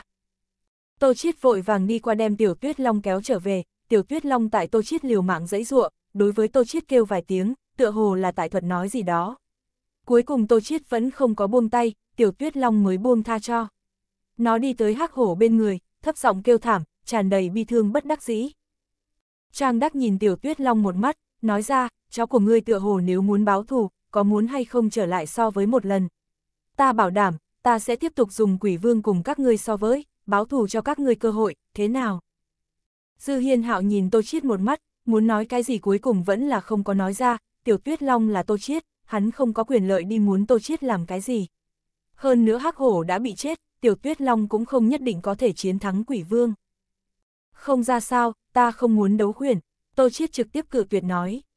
Nha, cái kia tự được rồi, người trở lại suy nghĩ thật kỹ, nghĩ kỹ, có thể trở lại. Trang Đắc nói ra, tựa hồ có chút tiếc nuối. Trịnh Viêm ở trong đáy lòng ám chỉ qua hắn, tận lực lại để cho Tô Chiết bọn hắn lại so nhiều một lần. Hơn nữa Dư Hiên Hạo cùng Trịnh Viêm đánh cuộc, Trang Đắc từ đó cũng nhận được không ít chỗ tốt, hiện tại hắn tự nhiên là hy vọng, Tô Chiết đáp ứng rơi xuống so với nhiều một lần. Dư Hiên Hạo đem đổ kim chuyển cho Trịnh Viêm sau, rồi cùng Tô Chiết rời khỏi di câu lạc bộ. Tô Chiết bọn hắn đầu tiên là đi sủng vật hỏa táng tràng, đem hắc hổ hỏa hóa thành cho, sẽ đem hắc hổ cho cốt cất vào cho cốt trong hộp, mới mang theo hũ cho cốt trở lại khách sạn. Tiểu tuyết long dọc theo đường đi không đánh hái, thật giống không có thần như thế. Trở về khách sạn căn phòng sau, càng là đi tới góc phòng bên trong nằm sấp, không đánh hái, mất đi bình thường sức sống. Bất luận Tô Chiết làm sao hô hoán tiểu tuyết long, nó cũng không có bao nhiêu đáp lại. Hơn nữa không ăn không uống, liền Tô Chiết chuyên môn đi sủng vật phòng ăn đặt trước một phần, tiểu tuyết long thích ăn nhất bò bít tết phần món ăn, nó cũng không đói bụng ăn. Tô Chiết phóng tới trước mặt nó, nó ngay cả xem không liếc mắt nhìn. Tiểu Tuyết Long, làm sao không ăn cơm a hát, này rất thơm, đến, ăn một miếng. Tô Chiết đem bò bít tết đẩy lên Tiểu Tuyết Long trước mặt, đầu của nó nói ra. Tiểu Tuyết Long ngẩng đầu lên, nhìn Tô Chiết, ánh mắt tràn đầy cầu xin. Không thể, ta sẽ không để cho ngươi đi tham gia, ta biết hắc hổ là bằng hữu tốt của ngươi, nhưng là quá nguy hiểm. Tô Chiết biết Tiểu Tuyết Long ý tứ, Tiểu Tuyết Long vẫn là nghĩ đến là hắc hổ báo thù.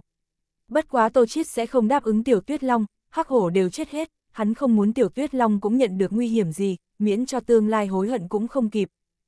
Tiểu Tuyết Long, người đem bò bít tết ăn, ta chờ một chút mang người ra ngoài chơi. Tô Chiết nói ra, nhưng là dĩ vãng nghe đến có thể ra ngoài chơi liền sẽ vô cùng hưng phấn Tiểu Tuyết Long, nhưng bây giờ không có bất kỳ phản ứng, không hề có một chút muốn đi ra ngoài ý tứ.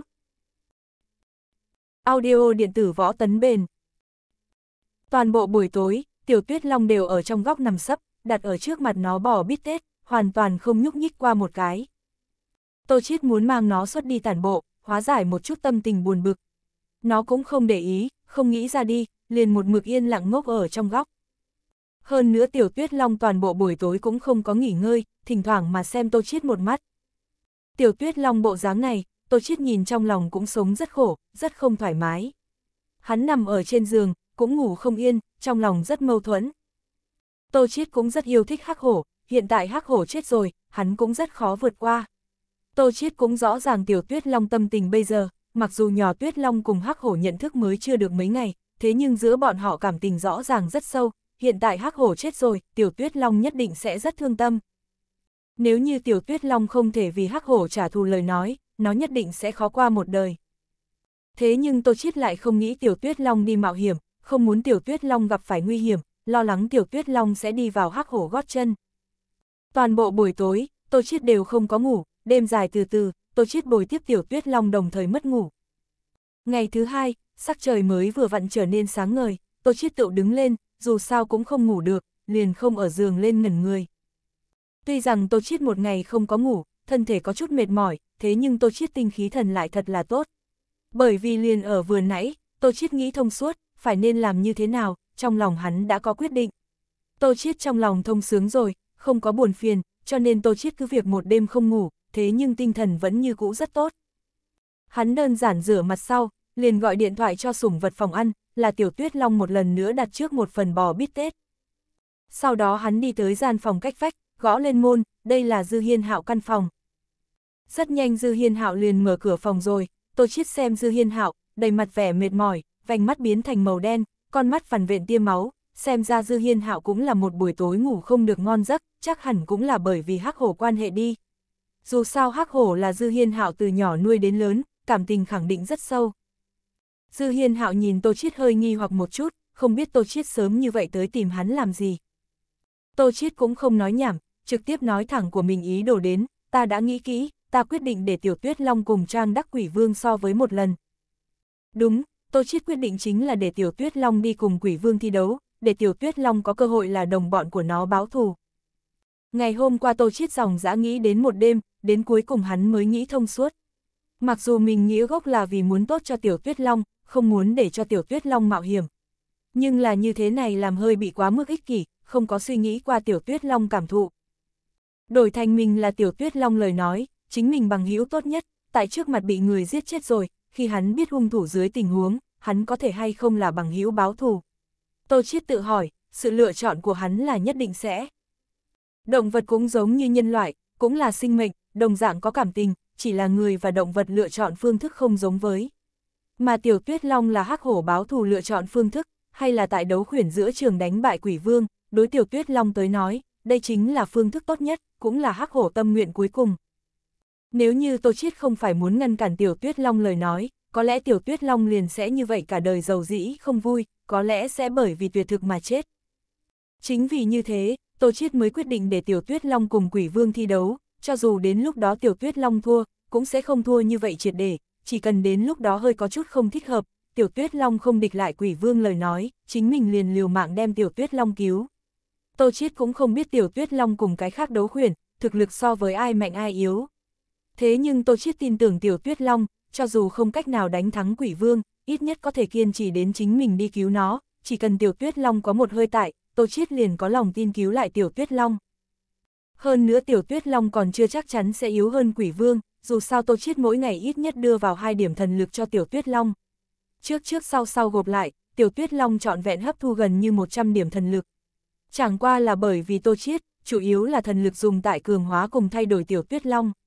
Nếu không, Tiểu Tuyết Long bây giờ thể hình khẳng định so với Quỷ Vương còn muốn khổng lồ hơn nhiều. Tô Chiết nói rõ ý đồ đến sau, Dư Hiên Hạo giật mình nhìn Tô Chiết, hắn không hiểu Tô Chiết làm sao đột nhiên có quyết định này, trước đó Tô Chiết không phải rất kiên nhất định sẽ không để cho Tiểu Tuyết Long tham gia đấu khuyển so tài sao. Làm sao hiện tại, Tô Chiết đột nhiên thay đổi chú ý. Không cần, ta biết ý tốt của ngươi rồi, thế nhưng không nên mạo hiểm nữa, hắc hổ đều chết hết, Tuyết Long không thể đánh thắng quỷ vương. Tuy rằng Dư Hiên Hạo mới đầu, cũng từng có để Tiểu Tuyết Long cùng quỷ vương thi đấu, là hắc hổ trả thù ý nghĩ.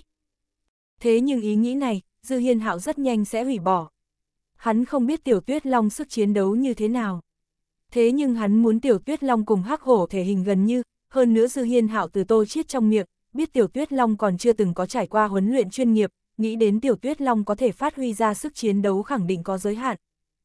Tiểu Tuyết Long sức chiến đấu nhiều nhất cùng hắc hổ gần